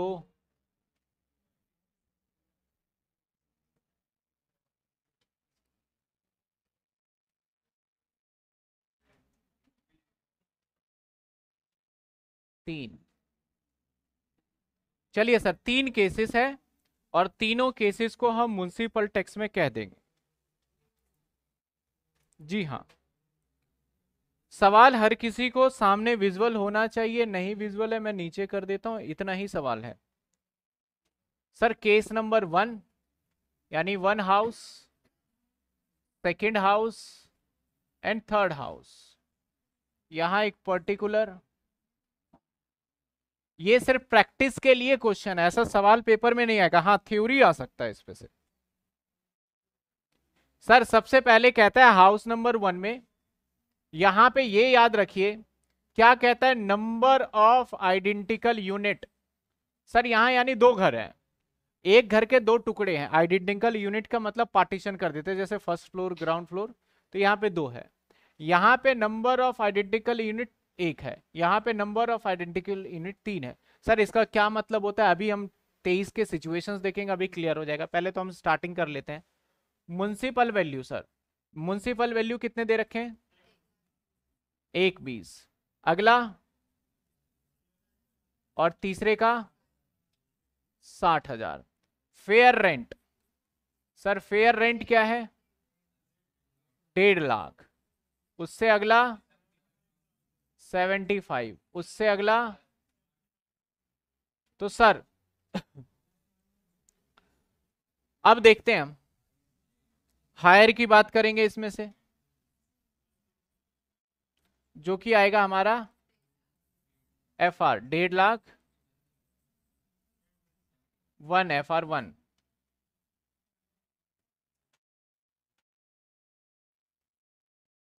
अब इसके अंदर चेक करते हैं स्टैंडर्ड रेंट स्टैंडर्ड रेंट क्या है? इकतीस अस्सी, बहत्तर. सर, इन दोनों में से लेंगे लोअर जिसे बोलेंगे ई e यानी एक्सपेक्टेड रेंट तो क्या आएगा?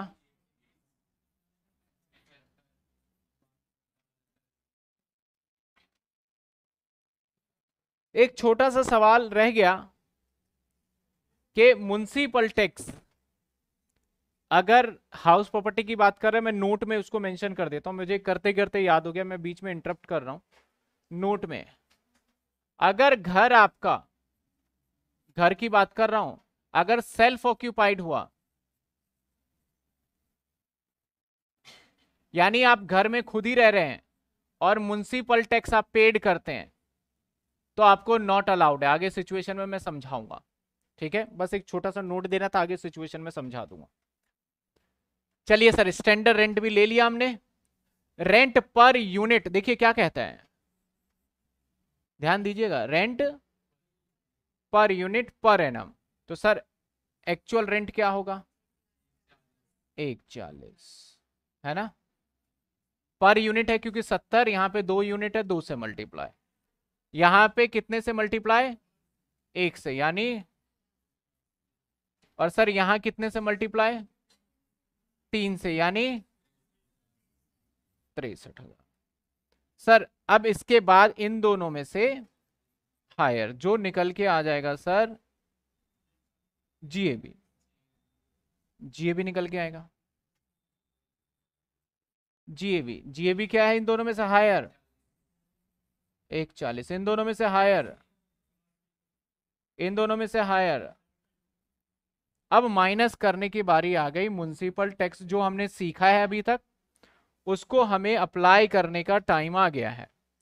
पहले में कहता है, सर, बारह हज़ार रुपए म्यूनसिपल टैक्स है। अच्छा दिख नहीं रहा। पहले में कहता है, बारह हज़ार म्यूनसिपल टैक्स है due but not paid due तो हुआ, लेकिन पेमेंट नहीं किया जी मैंने अभी। तो क्या म्यूनसिपल टैक्स माइनस कर सकते हैं? नहीं कर सकते, जवाब है। दूसरे में, पहले वाला समझ में आया क्यों नहीं माइनस किया? क्योंकि ड्यू पेड ही नहीं किया उसने, ठीक है? दूसरे में कहता है, सर, आठ हज़ार रुपए फॉर लास्ट ईयर पिछले साल का आठ हज़ार पेड दिस ईयर ठीक है सर एंड नौ हज़ार रुपए current year due but not paid तो कहने का मतलब है, सर, इस बार हमने आठ हज़ार पिछले साल वाला पेमेंट तो किया है इस साल वाला नौ हज़ार पेमेंट ही नहीं किया तो बताइए कितना माइनस करें? तो बिल्कुल सही जवाब यहाँ पे माइनस किया जाएगा, बच्चों ने सभी ने सही जवाब दे दिया। आठ हज़ार रुपए माइनस किया जाएगा। ठीक है। अगला थर्ड केस देखते हैं थर्ड केस का आंसर कौन बताता है। साठ हज़ार इट इंक्लूड चौवन हज़ार paid advance in next nine year कितना माइनस करें? नौ साल का एडवांस है। एक साल का नहीं, दो साल का नहीं, नौ साल का एडवांस। क्या हम माइनस कर सकते हैं? या नहीं कर सकते? सर, कर सकते हैं, पेड कर दिया ना आपने। कितना भी एडवांस पेमेंट करो, कर सकते हैं तो जवाब है सर, साठ हज़ार। तो मेरे हिसाब से आपको ये जो इफ़ वट आता है इस पॉइंट में, वो क्लियर हो गया होगा। तो इस सवाल में हमने एनएवी निकालना सीख लिया। दैट इज़ 140 आपके किताब में वैसे सॉल्यूशन भी है, आप चेक कर सकते हो। तो ये कितना आ जाएगा? 72 76 और ये 12 सर, ये आ गया हमारा सवाल नंबर दो। किसी को कोई परेशानी, कोई दिक्कत तो बता दीजिए, फिर हम अगले कॉन्सेप्ट पे चलेंगे। म्यूनसिपल टैक्स खत्म। तो आज हम करेंगे इंटरेस्ट कहानी समझना, थोड़ा स्टोरी समझना, क्यों बनाया गया इंटरेस्ट और क्या डिडक्शन दिया गया, कैसे डिडक्शन दिया जाता है, सारी बातों का डिस्कशन करेंगे इसके अंदर। सर या इंटरेस्ट की क्या बात करें हम? हम 24 की ही बात कर लेते हैं। हम 24 सेक्शन की ही बात कर लेते हैं।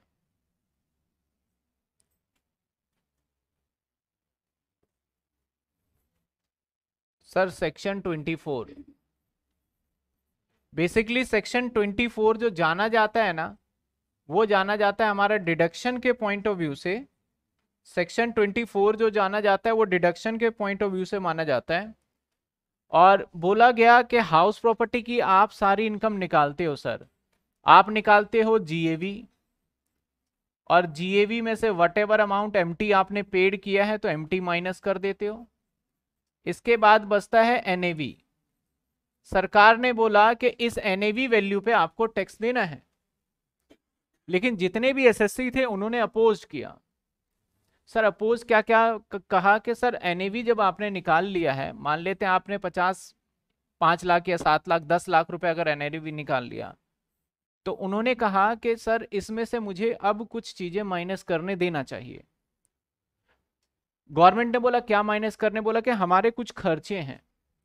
वो खर्चे माइनस करने दीजिए। जैसे हम वाइट वॉश कराते हैं, हम टैब चेंज करवाते हैं, हम इलेक्ट्रिसिटी का काम करते हैं, यानी किराएदार जो रहते हैं ना, किराएदार बोलते हैं, हमारे मकान का जो रिपेयर करवाना है, वो हमारी ज़िम्मेदारी है। किराएदार नहीं करा के देगा हमें।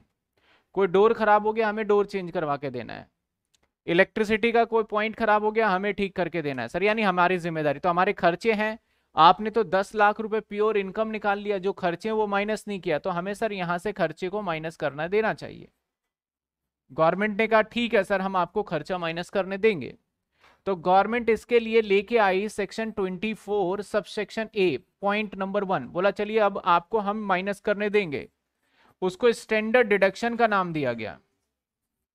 Standard deduction.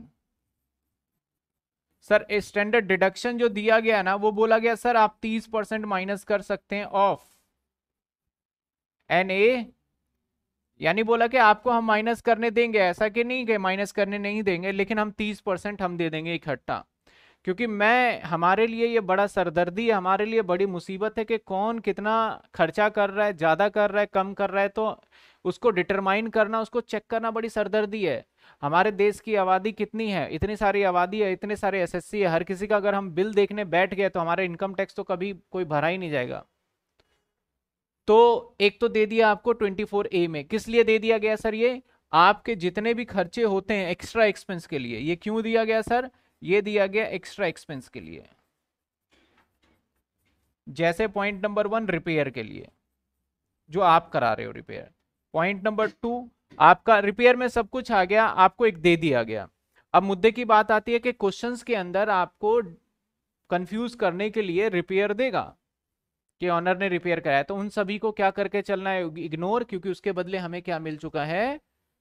तीस परसेंट। समझे बात आप? यानी अगर सवाल के अंदर क्वेश्चन के अंदर बोलता है कि एमवी दे रहे हैं एफआर दे रहे हैं एसआर दे रहे हैं और रिपेयर करवाए इलेक्ट्रिसिटी बिल पे किया वाटर बिल पे किया, बहुत सारी चीज़ें बताए इसके साथ। तो electricity bill water bill repair tap change electricity switch change अगर ये सारे खर्चे दे रखे हैं तो सर इनको क्या करेंगे आप? इग्नोर क्योंकि उसके बदले क्या मिल गया आपको?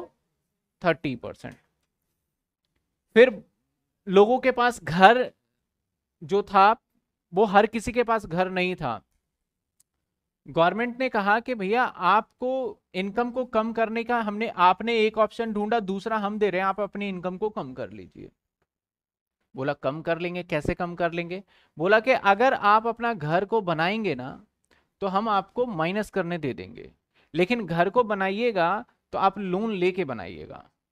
तो यानी आप लोन लेके अगर घर को बनाते हैं, या लोन ले करके घर खरीदते हैं, या लोन लेके रिपेयर करते हैं तो सरकार का इसमें बड़ा फ़ायदा हुआ।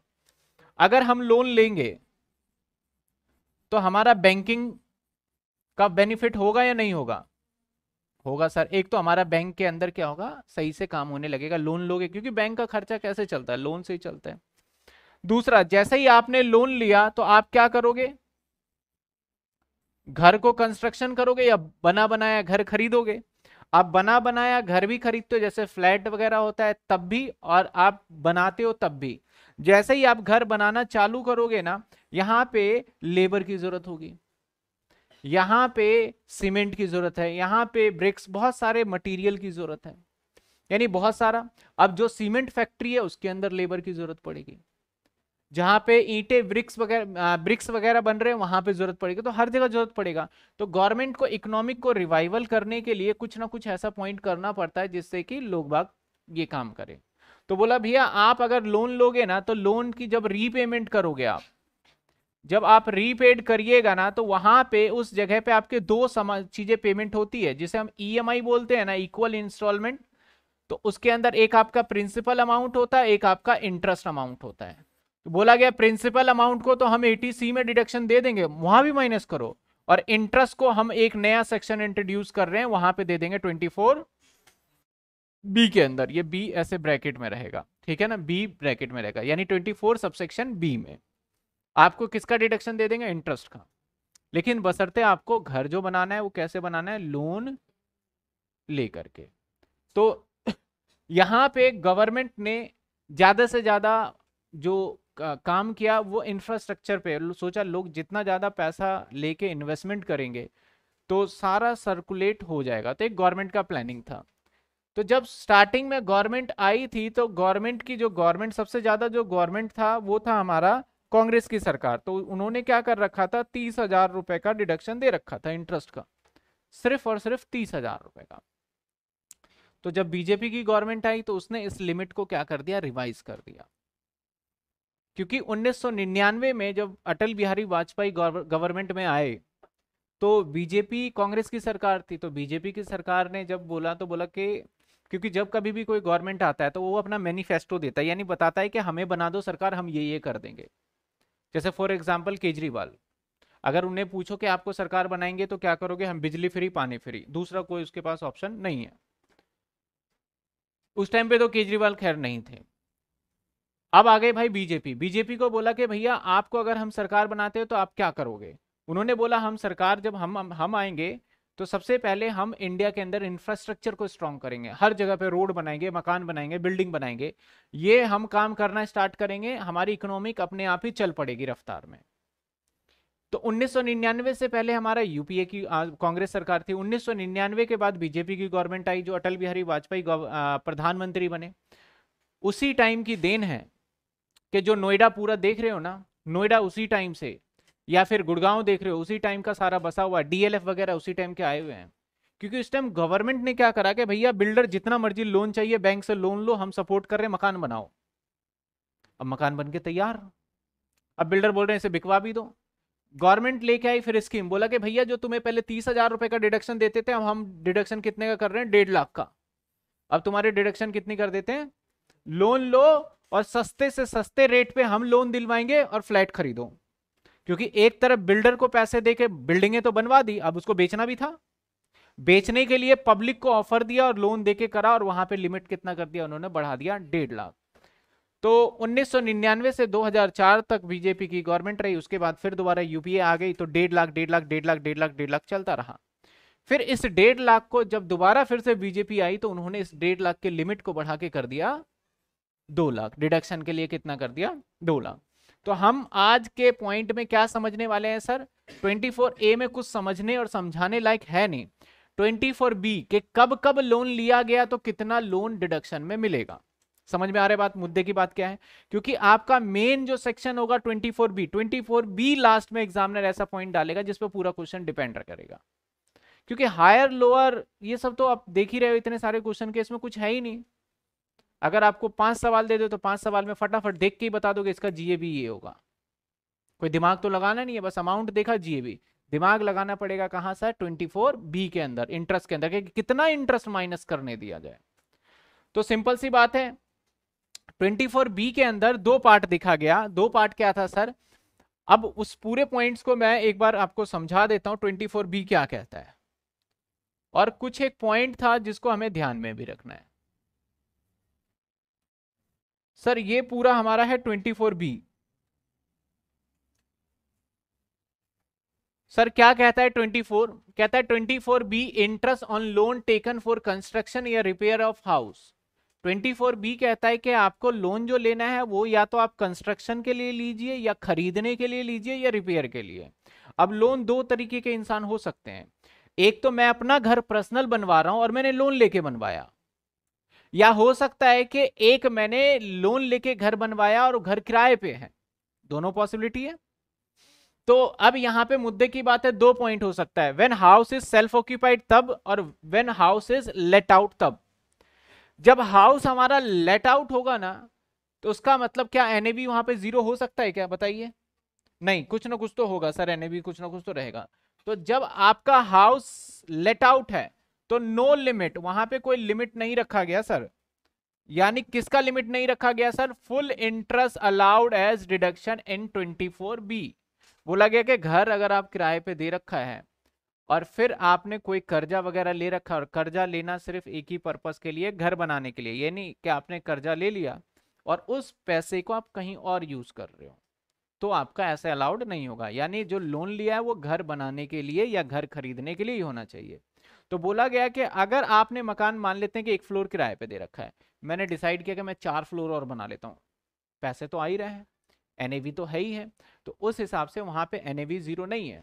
तो ऐसे सिचुएशन में अगर घर लेट आउट है और उस घर के लिए आपने लोन लिया है तो इंटरेस्ट की डिडक्शन कितनी मिलेगी? तो गवर्नमेंट ने बोल दिया कि कोई लिमिट नहीं है। अब पाँच लाख रुपए का ब्याज पे करोगे, पाँच लाख रुपए माइनस कर लो, दस लाख का पे करोगे तो दस लाख का माइनस कर लो। अब सवाल आता है, सर, माइनस कर लो, माइनस कर लो, कहाँ से माइनस करने की बात कर रहे हो? तो एक बार मैं छोटा सा फॉर्मेट बना दू जिससे कि आपको क्लियर हो जाए। सबसे पहले होता है एमबी एमबी के बाद क्या होता है?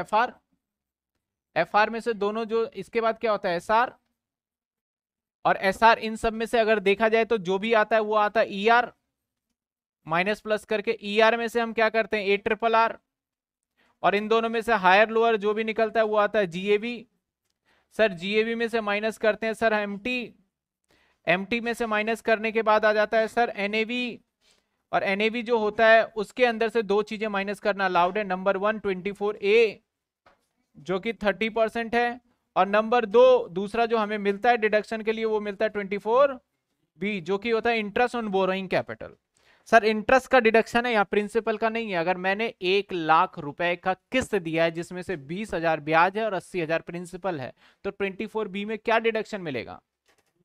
बीस हज़ार रुपए का डिडक्शन मिलेगा। ट्वेंटी फोर बी में क्या मिलेगा हमें? बीस हज़ार रुपए का डिडक्शन मिलने वाला है। तो सर, अगर आपने घर को किराए पे दे रखा है तो कितना इंटरेस्ट माइनस कर सकते हो? नो लिमिट लेकिन अगर घर आपका सेल्फ ऑक्यूपाइड है तो ऐसे सिचुएशन में हम देखेंगे कि आपने लोन कब लिया है? अगर आपका घर जो है वो सेल्फ ऑक्यूपाइड है तो हम चेक करेंगे सर क्या चेक करेंगे सर कि आपने लोन लिया कब है? अगर सेल्फ ऑक्यूपाइड है। तो इस सिचुएशन में डिडक्शन विल बी अलाउड या तो डिडक्शन आपको मिलने वाला है सर दो लाख का, या मिलने वाला है कितने का? तीस हज़ार। कब दो, कब तीस। या तो आपने लोन लिया होगा एक चार दो उन्नीस सौ पहले, या फिर लोन लिया होगा एक चार उन्नीस के बाद। अगर एक चार उन्नीस सौ पहले आपने लोन लिया तो लोन लिया होगा, दो पर्पस होगा। या तो आपने लिया होगा कंस्ट्रक्शन के लिए, या फिर रिपेयर के लिए कंस्ट्रक्शन या परचेज तब तो सर यूपीए की गवर्नमेंट थी और यूपीए की बीजेपी की सॉरी कांग्रेस की गवर्नमेंट थी। उस टाइम पे कितनी मैक्सिमम लिमिट थी? सर, किसी काम के लिए लो, आपको तीस हज़ार रुपए का मैक्सिमम डिडक्शन दे दिया जाएगा। यानी आपने अगर लोन ले रखा है, सर किस लिए लोन लिया है? लोन घर बनवाने के लिए लिया हो, चाहे घर रिपेयर के लिए हो और लोन लिया हो उन्नीस सौ निन्यानवे से पहले तो आप कितना माइनस कर सकते हो? तीस हज़ार। लेकिन वही आपका घर किराए पे हो और लोन भले ही आपने उन्नीस सौ निन्यानवे से पहले का ले रखा हो तो कितना इंटरेस्ट माइनस कर सकते हैं हम? कोई लिमिट नहीं है। ये लिमिट जो है, बच्चे भूल जाते हैं। इतनी बार ये लिमिट को याद करना पड़ता है, वो भूल ही जाते हैं, कहीं मैक्सिमम लिमिट भी है। तो यहाँ पे कितना है मैक्सिमम लिमिट तीस हज़ार। और जो रेंटेड घर है, वहाँ के लिए लोन ले रखा है तो कितना मैक्सिमम लिमिट है? कोई लिमिट नहीं है। सर, इसके बाद वेन आपने लोन लिया है आफ्टर एक चार उन्नीस के बाद तो गवर्नमेंट ने कैटेगराइज कर दिया कि रिपेयर कराओगे तो रिपेयर कराओगे तो हम कम डिडक्शन देंगे। दैट इज़ कितना? थर्टी थाउज़ेंड रुपीज़ लेकिन अगर आप घर खरीदोगे या घर बनवाओगे तो डिडक्शन कितना कर दिया गया आपको मैक्सिमम दो लाख रुपए कर दिया गया। अगेन देखिए फटाफट से, आपने लोन दो पर्पस के लिए लिया होगा। या तो लिया होगा आपने सेल्फ ऑक्यूपाइड घर के लिए या लेट आउट लेट आउट घर के लिए लिया तो इंटरेस्ट का कोई झंझट ही नहीं इंटरेस्ट टोटल मिल जाएगा जितना भी आपके है, कोई लिमिट नहीं है। लेकिन सेल्फ ऑक्यूपाइड लिया होगा तो आपको देखना पड़ेगा कि लोन किस पर्पज के लिए लिया है। उन्नीस सौ निन्यानवे के बाद अगर रिपेयर के लिए ले रखा है तो तीस अदरवाइज़ आपको दो लाख। अगर उन्नीस सौ निन्यानवे से पहले का लोन है तो कुछ किसी भी वर्क के लिए लिया हो तो वो कितना होगा आपका? तीस, आपका तीस हज़ार रुपए अब ये दो लाख की लिमिट मैक्सिमम है, आपके दो घर के लिए लोन लो, तीन घर के लिए लोन लो, सबका मिला के दो लाख है एग्रीगेट। पहले क्या था कि मैंने एक घर लिया, वो भी सेल्फ ऑक्यूपाइड दूसरा घर लिया, वो भी सेल्फ ऑक्यूपाइड इसके लिए भी लोन लिया, इसके लिए भी लोन लिया, यहाँ भी दो लाख का डिडक्शन ले रहा हूँ, यहाँ भी दो लाख का डिडक्शन ले रहा हूँ तो गवर्नमेंट ने लास्ट ईयर इसको रिवाइज कर दिया और बोला कि भैया आप टोटल देंगे, हम आपको दो लाख। तो एक कॉन्सेप्ट था सिचुएशन में 23 में when more than two house more than two house तो वहाँ पे इंटरेस्ट का इंटरेस्ट का पॉइंट वहाँ पे है, इसलिए हम उसे बाद में करेंगे, पहले ये कर रहे हैं। ठीक है? अगर 1999 से पहले तो तीस हज़ार, उन्नीस के बाद तो तीस हज़ार और दो लाख रुपए। कुछ बातों का यहाँ पे ध्यान रखना है, जो कि मैंने नोट में मेंशन कर दिया। Sir loan taken for house किसके लिए लेना है? सिर्फ़ घर के लिए if fresh loan taken for both interest allowed मान लेते हैं एक लोन चल रहा है। इस लोन का रेट महँगा है। इस लोन को चुकाने के लिए मैंने एक और लोन ले लिया। तो दो दो इंटरेस्ट जा रहा है। एक पुराने वाले लोन का, एक नए वाले लोन का। तो दोनों का इंटरेस्ट हमें अलाउड हो जाएगा एज अ डिडक्शन समझ में आ रही है आपको बात? मैंने एक लोन लिया बीस लाख रुपए का। बीस लाख का लोन लिया, उस टाइम पे रेट बड़ा महँगा था, वो दस परसेंट पे था। अब पाँच साल बाद किसी बैंक ने ऑफ़र दिया कि आपका लोन मेरे पास कन्वर्ट करवा लीजिए, आपको सात परसेंट देना पड़ेगा। तो मैं एक और लोन ले रहा हूँ, एक पुराना लोन दो दो लोन हो गया। दोनों का इंटरेस्ट कभी ना कभी जाएगा तो दोनों के इंटरेस्ट के लिए आपको जो डिडक्शन मिलेगा, वो ट्वेंटी बी में मिल जाएगा, सर। तीसरा नोट एनी कमीशन ब्रोकरेज कुछ भी दलाली वगैरह पेमेंट करते हो बैंक में गए मैनेजर से बोले, मेरा लोन पास करवा दो, आपको बीस हज़ार दे दूँगा टेन परसेंट दे दूँगा तो ये जो भी कमीशन ब्रोकरेज आप बैंकर को दे रहे हो, ये डिडक्शन अलाउड नहीं होगा। आपका खर्चा ज़रूर है, लेकिन ये अलाउड नहीं होगा। अगर आपने लेट पेमेंट किया, मैंने पॉइंट नहीं लिखा, आपका ईएमआई e बाउंस हो गया तो ईएमआई e बाउंस होने के बाद तो आप सभी को पता ही है। ईएमआई e आपने नहीं भरा तो क्या लगता है? पेनल्टी लगता है। तो आपने जब आगे पेमेंट किया तो इंटरेस्ट भी पे किया प्रिंसिपल भी पे किया और पेनल्टी भी पे किया तो उस पेनल्टी का डिडक्शन नहीं मिलेगा, सिर्फ़ ब्याज का डिडक्शन मिलने वाला है। Interest allowed on paid as well as due एक बात यहाँ ध्यान देने वाला है, जो हमारा म्यूनसिपल टैक्स था पेमेंट करोगे तभी डिडक्शन मिलेगा, लेकिन इंटरेस्ट में ये एप्लीकेबल नहीं होता। इंटरेस्ट के अंदर आपने पेमेंट किया हो, चाहे ना किया हो, तब भी आपको डिडक्शन क्लेम कर सकते हो 24 बी में। अगेन बताइए, अगर आप जवाब दीजिए कमेंट में भी आप सब भी बताइए कि अगर मैंने लोन लिया है, मेरा घर रेंटेड है, ठीक है? मैं एग्जांपल ही ले लेता हूँ ताकि आप मुझे जवाब देना।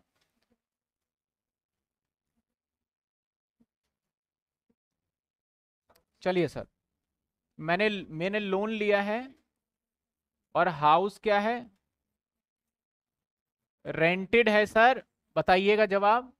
और मेरा पचास लाख रुपए का लोन है ईएमआई मेरा दस लाख रुपए का गया, जिसमें से चार लाख रुपए का इंटरेस्ट ऐसा एग्ज़ाम्पल ले रहे हैं, और छह लाख रुपए का प्रिंसिपल है। अब बताइए इंटरेस्ट कितना डिडक्शन मिलेगा? चार लाख या मैक्सिमम लिमिट, दो लाख, फटाफट बताइए। चार लाख रुपए। कुछ बच्चे अभी दो लाख कह रहे हैं, कुछ बच्चे चार लाख कह रहे हैं। तो यहाँ पे कितना मिलेगा? चार लाख। सर, चार लाख, वैसे तो दो लाख दो लाख कर रहे थे बड़ी देर से, अब चार लाख क्यों? क्योंकि ये घर रेंटेड है लेट आउट है। अगर यही मैं कर देता सेल्फ ऑक्यूपाइड तो आपका भले ही चार लाख का ब्याज आपने पेमेंट किया but deduction will be allowed only two lakh rupees subject maximum ठीक है? क्लियर है ये वाला पॉइंट आपको? इसके अंदर मुद्दे की बात और सबसे बड़ी टेंशन पता है कब आती है? और लोगों ने क्या अपोज किया? ध्यान से सुनना। गवर्नमेंट ने रूल बनाया। ठीक है भाई रूल बनाया।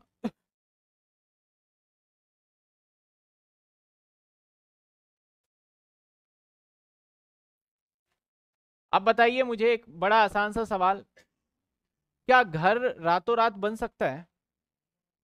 टाइम लगेगा? It will be taking time sir, कितना टाइम लगेगा? बताते हैं अभी।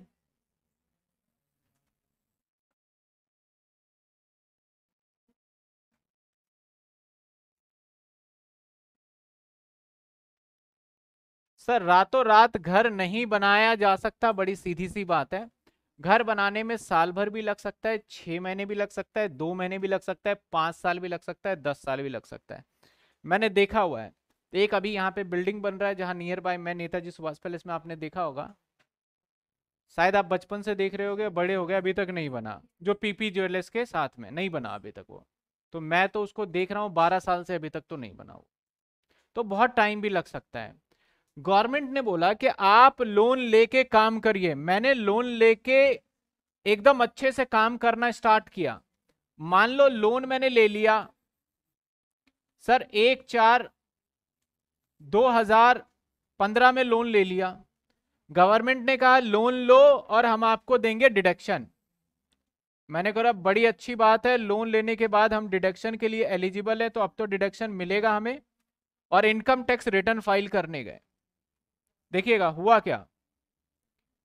2015 का जो डेट कंप्लीट होगा, वो होगा 31 मैं 31 तीन 2016 में गया और 16 में मैंने बोला, सर, हम आप फ़ाइल करना जा रहे हैं अपना रिटर्न। और 15 में लिया, थोड़ा लंबा सा प्रोजेक्ट था। मैंने कमर्शियल पर्पस के लिए लिया। अभी ना तो किराए पे कुछ भी नहीं है। अभी थोड़ा लंबा प्रोजेक्ट है। और जो मैंने घर जो लिया था ना प्लॉट, अभी प्लॉट पे सिर्फ़ और सिर्फ़ बस नीवी डाली है और थोड़ा सा वॉल बाउंड्री टाइप का मैंने डाल दिया है। थोड़ा सा बाउंड्री टाइप का डाला है। हुआ नहीं, एक साल इतना ही काम चला, कोई भी रीजन हो सकता है। मैं गया, सर, मुझे, मैंने कहा अभी घर किराए पे तो है नहीं। तो सर, इसका मेरा सैलरी से इनकम था पाँच लाख और मैंने बोला, सर, एचपी से इनकम मैं बता देता हूँ। मेरा घर किराए पे नहीं है तो जीएवी क्या, एनएवी क्या आ जाएगा? ज़ीरो क्योंकि किराए पे तो है नहीं, अभी तो अंडर कंस्ट्रक्शन है, ज़ीरो। और मैंने कहा 24 ए माइनस करूँगा मैं। बोला, करो, ज़ीरो। मैंने बोला 24 बी भी माइनस करूँगा मैं, क्योंकि लोन लेने का मतलब क्या, बैंकर बोलेगा, अभी घर नहीं बना तो ब्याज मत दो। बैंकर क्या कहेगा, लोन लिया तो भैया ब्याज चालू हो गया। इस साल इस साल में मैंने ब्याज का पेमेंट किया सर, और ब्याज का पेमेंट किया पचास हज़ार, ठीक है? और मैंने पचास हज़ार यहाँ से माइनस कर लिया तो मेरा माइनस का पचास आ गया, दैट इज़ मेरी इनकम बन गई चार लाख, और मैंने सरकार को अपना कंप्यूटेशन दिया कि भैया चार लाख पचास हज़ार रुपए की मेरी इनकम है। कैसे बोला उसने? मैंने बोला, देखो, सैलरी कमाया पाँच लाख या फिर मैं थोड़ा और इंटरेस्टिंग कर दूँ, मैं इसको पाँच लाख पचास हज़ार कर देता हूँ, और यहाँ पे मेरी इनकम कितनी आ जाएगी सर पाँच लाख। और मैं बोलूँगा सर मैं आपको क्यों टैक्स दूँ? मेरी इनकम कितनी है? पाँच लाख रुपए, क्योंकि पचास हज़ार तो देखो मेरा, आपने बोला डिडक्शन अलाउड है तो माइनस में इनकम आ गया। और साढ़े पाँच लाख का मेरा पॉजिटिव इनकम और पाँच लाख रुपए पचास हज़ार रुपए का नेगेटिव इनकम मेरी इनकम कितनी बन गई? पाँच लाख रुपए। तो मैं क्यों टैक्स दू? गवर्नमेंट ने बोला अच्छा भाई, घर दिखाओ। मैंने बोला, ये रहा। बन रहा है अंडर कंस्ट्रक्शन अभी चल रहा है इसके लिए लोन लिया सारे सर्टिफिकेट दिखाए। उसने बोला घर दिखाओ। मैंने बोला ये घर तो है। बोला सर आप एक बार सेक्शन तेईस सेक्शन जो चार्जेबिलिटी का बाईस पढ़िए। वहाँ पे बोला गया घर होगा और उसका तभी आपका हाउस प्रॉपर्टी के इन, इनकम के अंडर काउंट होगा। अगर घर होगा तभी इनकम हाउस प्रॉपर्टी के अंदर काउंट होगा। ये तो आपका घर ही नहीं है। घर का मतलब छत भी होना चाहिए, पूरा कंस्ट्रक्ट होना चाहिए, वेल बिल्ड होना चाहिए। मैंने बोला, सर, घर नहीं है तो क्या? बोला, घर नहीं है तो हाउस प्रॉपर्टी की इनकम कौन सी? हाउस प्रॉपर्टी है ही नहीं। जब हाउस प्रॉपर्टी है ही नहीं तो ट्वेंटी फोर बी कहाँ से आएगा? ट्वेंटी फोर बी तभी ज़िंदा होगा जब आपके पास घर होगा। नहीं तो ट्वेंटी फोर बी नाम की कोई चीज़ नहीं है। यानी गवर्नमेंट ने मुझे ये माइनस करने नहीं दिया और मेरी इनकम पाँच लाख पचास हज़ार पे मैं टैक्स देने के लाइबल हो गया। आप बताइए कहीं ना कहीं ये गलत है? गलत है तो लोगों ने इसका बहुत अपोज किया कि भैया ऐसा थोड़ी होता है, आपने लोन दिलवा दिए। और डिडक्शन के टाइम पे आप हमें दिखा रहे हो सेक्शन 22 लोन तो दिलवा दिया, लेकिन डिडक्शन के टाइम पे आप सेक्शन 22 का हवाला दे रहे हो, घर नहीं है। अब पाँच साल मेरे मकान को बनने में लग जाएगा तो उसके हिसाब से क्या पाँच साल तक मैं अपना इंटरेस्ट बेकार जा रहे हैं मेरे? तो गवर्नमेंट ने उसके हिसाब से देखा कि सर, अगर आपकी पाँच साल तक, अगर पाँच साल तक आपकी इनकम, पाँच साल तक अगर आपकी इनकम मतलब कि लोन ले रखा है, टैक्स जा रहा है या फिर इंटरेस्ट? लोन ले रखा है, आपको सबसे बड़ी चिंता किसकी थी? आपकी सैलरी इनकम थी साढ़े पाँच लाख, उसके लिए आपने गवर्नमेंट से कोई लड़ाई झगड़ा नहीं किया सर साढ़े पाँच। आपकी टेंशन है कि आपको ट्वेंटी फोर बी मिला या नहीं मिला? क्यों नहीं मिला? क्योंकि हाउस प्रॉपर्टी नहीं है आपके पास। आपको ट्वेंटी फोर बी कब मिलेगा? जब आपके पास हाउस प्रॉपर्टी होगा। इसके चक्कर में गवर्नमेंट को फिर एक और पॉइंट लेके आना पड़ा और समझाना पड़ा कि भैया देखो, आप टेंशन मत लो। आपका, हम अपने सेक्शन 22 के अंदर कोई चेंजेस तो नहीं लाएँगे, लेकिन हम ये प्रॉमिस करते हैं कि आप जितना भी ब्याज पेमेंट करोगे, जितना भी आप ब्याज का पेमेंट करोगे उस ब्याज का हम आपको बाद में बेनिफिट दे देंगे, लेकिन अभी तो बेनिफिट नहीं देंगे। यानी सर, मैंने यहाँ पे मान लेते हैं, ब्याज पेमेंट किया पचास हज़ार और मेरा घर बना ही नहीं। चल रहा है भाई, यहाँ आ गए हम। डेट आ गया एक चार, दो हज़ार सत्रह। खत्म हुआ मेरा ये। इकतीस तीन, दो हज़ार। अभी तक घर नहीं बना। सिर्फ़ घर का नी भी है। और थोड़ा बहुत छत वगैरह बनाना चालू चल रहा है एक साल, नहीं मिला सर इंटरेस्ट इसके बाद हम फिर आगे गए, हमारा अगला डेट आ गया, अगला साल आ गया। क्या आ गया? एक चार दो हज़ार अठारह और खत्म कब होगा? एक चार दो हज़ार उन्नीस को खत्म होगा। सर, जो ये वाला साल था, ये वाला साल जो है, क्या इसमें आपने ब्याज पेमेंट किया है? जी हाँ ब्याज पेमेंट किया है, बिल्कुल पेमेंट किया है। कितने का ब्याज पेमेंट किया है? सर, यहाँ पे भी मैंने पचास हज़ार का पेमेंट किया। मैं एक एग्ज़ाम्पल ले रहा हूँ। सर, अगला साल जो खत्म हुआ आपका, ये वाला साल, जो ये वाला साल खत्म हुआ है आपका, इकतीस तीन तक यहाँ ब्याज किया। मैंने बोला हाँ बिल्कुल जी, यहाँ ब्याज पेमेंट किया है कितने? तीस हज़ार का। यानी घर बना नहीं फाइनली मेरा घर जो है, वो बन के तैयार हुआ। पंद्रह अगस्त 2018 में। यानी आज़ादी वाले दिन घर बनके फाइनली मेरा तैयार हो गया और ये रहा मेरा घर। घर बनके तैयार हो गया। अब समझिएगा बात को बात को समझिएगा। 15 अगस्त को घर बनके तैयार हो गया, यानी एक चार 2019 से लेके इकतीस तीन 2020 में हमारा घर बनके तैयार है। बहुत बच्चों को ये थोड़ा सा डाउटेबल रहता है, लेकिन समझ जाओगे तो कोई डाउट नहीं रहेगा। यहाँ सैलरी इनकम सैलरी इनकम कितनी थी मेरी? पाँच लाख पचास हज़ार। और मेरा ट्वेंटी फोर बी जो कि मैं इंटरेस्ट का एज अ माइनस बेनिफिट लेना चाह चाहता था, पचास हज़ार नहीं दिया। क्या बोल के नहीं दिया? क्योंकि आपका घर नहीं बना। ठीक है, सर। अगले साल जैसे आए, फिर से मेरी इनकम सैलरी इनकम मान लेते हैं मेरा छह लाख। माइनस में करने के लिए गया 24 बी का डिडक्शन लेके नेगेटिव लाना चाहता था फिर से गवर्नमेंट ने क्या मुझे डिडक्शन दिया होगा? नहीं दिया होगा सर। फिर नहीं दिया मुझे। अब अगले साल आ जाते हैं। अगला साल कहाँ से कहाँ तक है सर? आ, ये रहा ये छोटा सा बना रखा है मैंने ये है। फिर से मैं सैलरी पेमेंट करने गया होगा और सैलरी के बाद अभी भी फ़िलहाल कहाँ से कहाँ था? एक चार से ये तीस हज़ार। अभी भी घर नहीं बना थोड़ा सा हम पेंडिंग छोड़ देते हैं। नहीं, सत्रह, अठारह और अठारह और उन्नीस अच्छा उन्नीस में बना होगा। बिल्कुल बिल्कुल राइट राइट उन्नीस और बीस, ठीक है? तो सर, यहाँ पे इस वाले साल में भी हमारा घर नहीं बना। पहले पिछला क्लियर करेंगे। यानी सर, इस सेशन के अंदर, इस ड्यूरेशन में हमारा घर नहीं बना था तो इंटरेस्ट नहीं मिला। इस ड्यूरेशन में भी हमारा घर नहीं मिला तो इंटरेस्ट का डिडक्शन नहीं मिला। और इस ड्यूरेशन में भी, इस ड्यूरेशन में भी हमारा घर नहीं बना तो इंटरेस्ट का डिडक्शन अब रही बात इस ड्यूरेशन की बात करते हैं। सर, कौन से ड्यूरेशन की बात कर रहे हैं? इस ड्यूरेशन की। घर बन गया। मैं गया सरकार के पास सैलरी पाँच लाख और इस साल का जो ब्याज है ना, इस साल का ब्याज है, मान लेते हैं कि पचास हज़ार।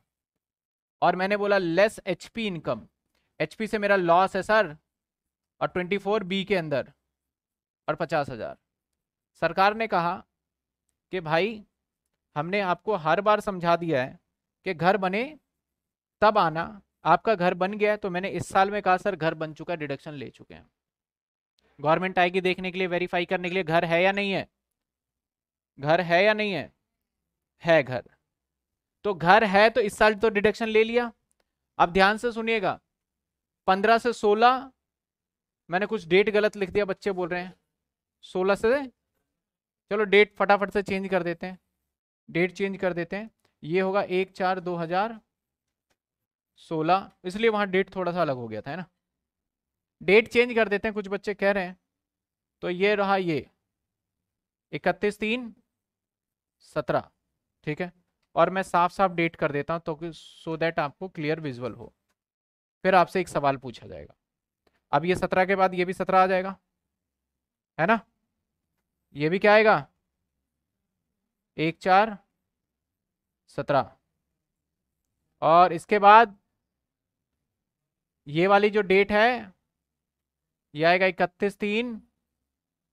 ये थोड़ा छोटा बन गया ना। कोई बात नहीं समझ में आना चाहिए। अठारह। ये थोड़ा गैप कम रह गया अठारह। अब ये क्या आएगा? एक चार। ये लो। अठारह। और ये आएगा हमारा अब, जो पहले लिखा था, अठारह। देख लो भाई डेट एक बार सही लिखा ही नहीं लिखा। ये आएगा उन्नीस। डेट देख लो, एक बार कुछ बच्चे डेट को कैच कर रहे हैं, वैसे तो समझने का कॉन्सेप्ट था। पंद्रह से सोलह सोलह से सत्रह सत्रह से अठारह अठारह से उन्नीस। दैट्स क्लियर है? यानी सर, एक डेट को मैं, एक डेट की मैं बात कर रहा हूँ। सर, कौन सी डेट की बात चल रही है? ध्यान दीजिएगा। मैं बात कर रहा हूँ। सर, यहाँ से यहाँ तक घर बन के तैयार नहीं हुआ इंटरेस्ट का डिडक्शन नहीं मिला। यहाँ से यहाँ तक घर बन के तैयार नहीं हुआ इंटरेस्ट का डिडक्शन नहीं मिला।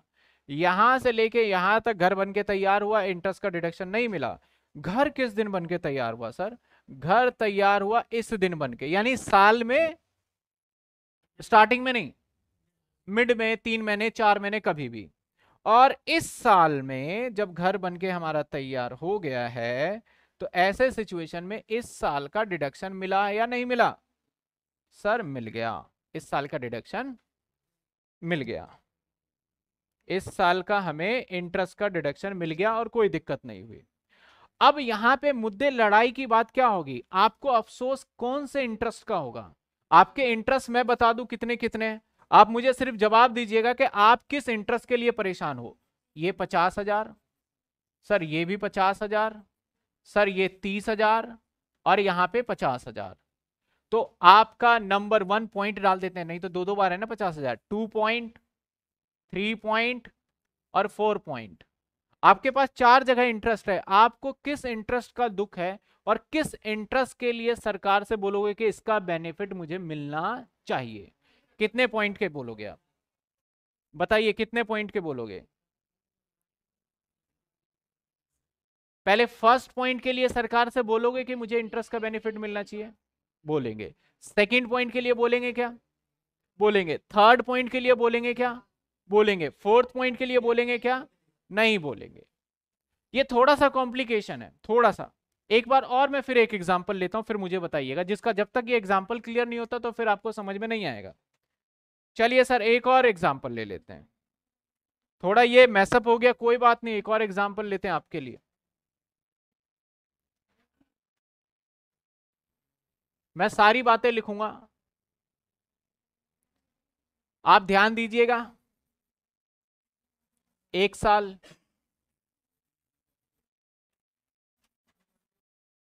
अब थोड़ा गैप देके लिख लेते हैं ना?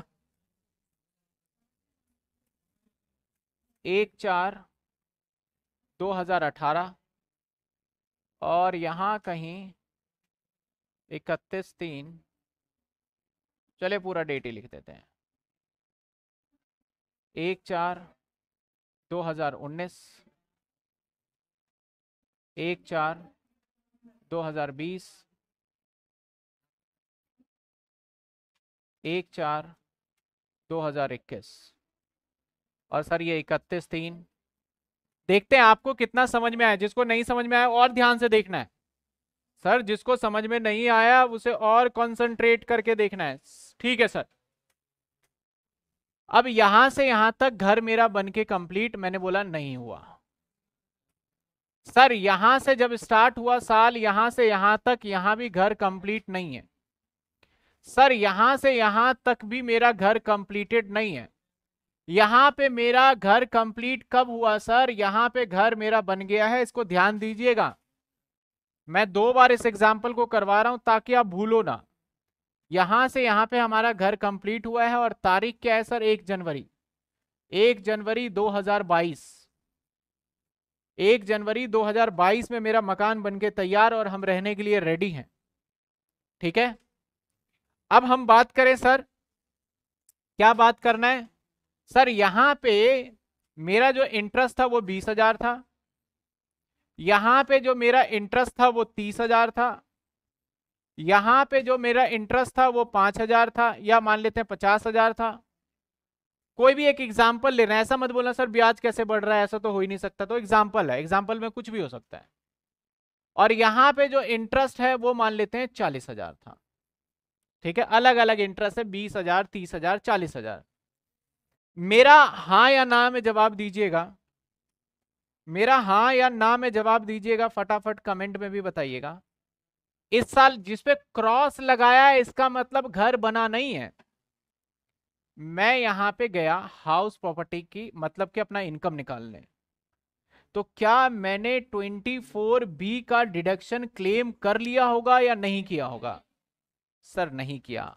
यानी सर ये मुझे 24 बी का डिडक्शन मिल जाना चाहिए था, जो कि था बीस हज़ार का, जो कि मुझे नहीं मिल पाया तो सरकार ने मेरे बीस हज़ार रुपए के डिडक्शन नहीं दिए अभी।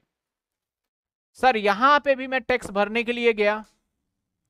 और जब मैं यहाँ पे टैक्स भरने के लिए गया तो बताइए, सैलरी इनकम तो लिखा मैंने, मान लेते हैं पाँच पचास माइनस मैं करने के लिए गया। अब ध्यान दीजिए, कुछ बच्चे सोचेंगे, सर 24 बी कैसे? माइनस करने गया एचपी के अंदर 24 बी का लॉस करके। तीस हज़ार रुपए। क्या सरकार ने ये मुझे अलाउड कर दिया होगा? नहीं किया होगा। कोई बच्चा बता सकता है कि, सर, ये तीस हज़ार रुपए का इंटरेस्ट अलाउड क्यों नहीं किया होगा? क्योंकि घर नहीं बना, क्योंकि सेक्शन 22 कहता है कि आपका घर प्रॉपर्टी हाउस प्रॉपर्टी होना तो 22 के हिसाब से घर नहीं और 22 नहीं, क्योंकि 22 तो बोलता है हाउस प्रॉपर्टी इसे बोलेंगे। 20 जब टू फुलफिल नहीं करोगे तो हाउस प्रॉपर्टी की इनकम भी नहीं होने वाला, ठीक है? चलिए सर मैंने दो चीज़ें सेक्रीफाइस कर दिया सर ये बीस हज़ार रुपए का भी बेनिफिट नहीं ले पाए। सर इस तीस हज़ार रुपए का भी बेनिफिट नहीं ले पाए। बड़ा दुख है कि दो बार हमारे बेनिफिट नहीं ले पाए। अब आ जाते हैं यहाँ यहाँ उम्मीद है कि मिल जाएगी। मेरा सैलरी इनकम था पाँच लाख पचास हज़ार और फिर मैंने एचपी का लॉस दिखाया।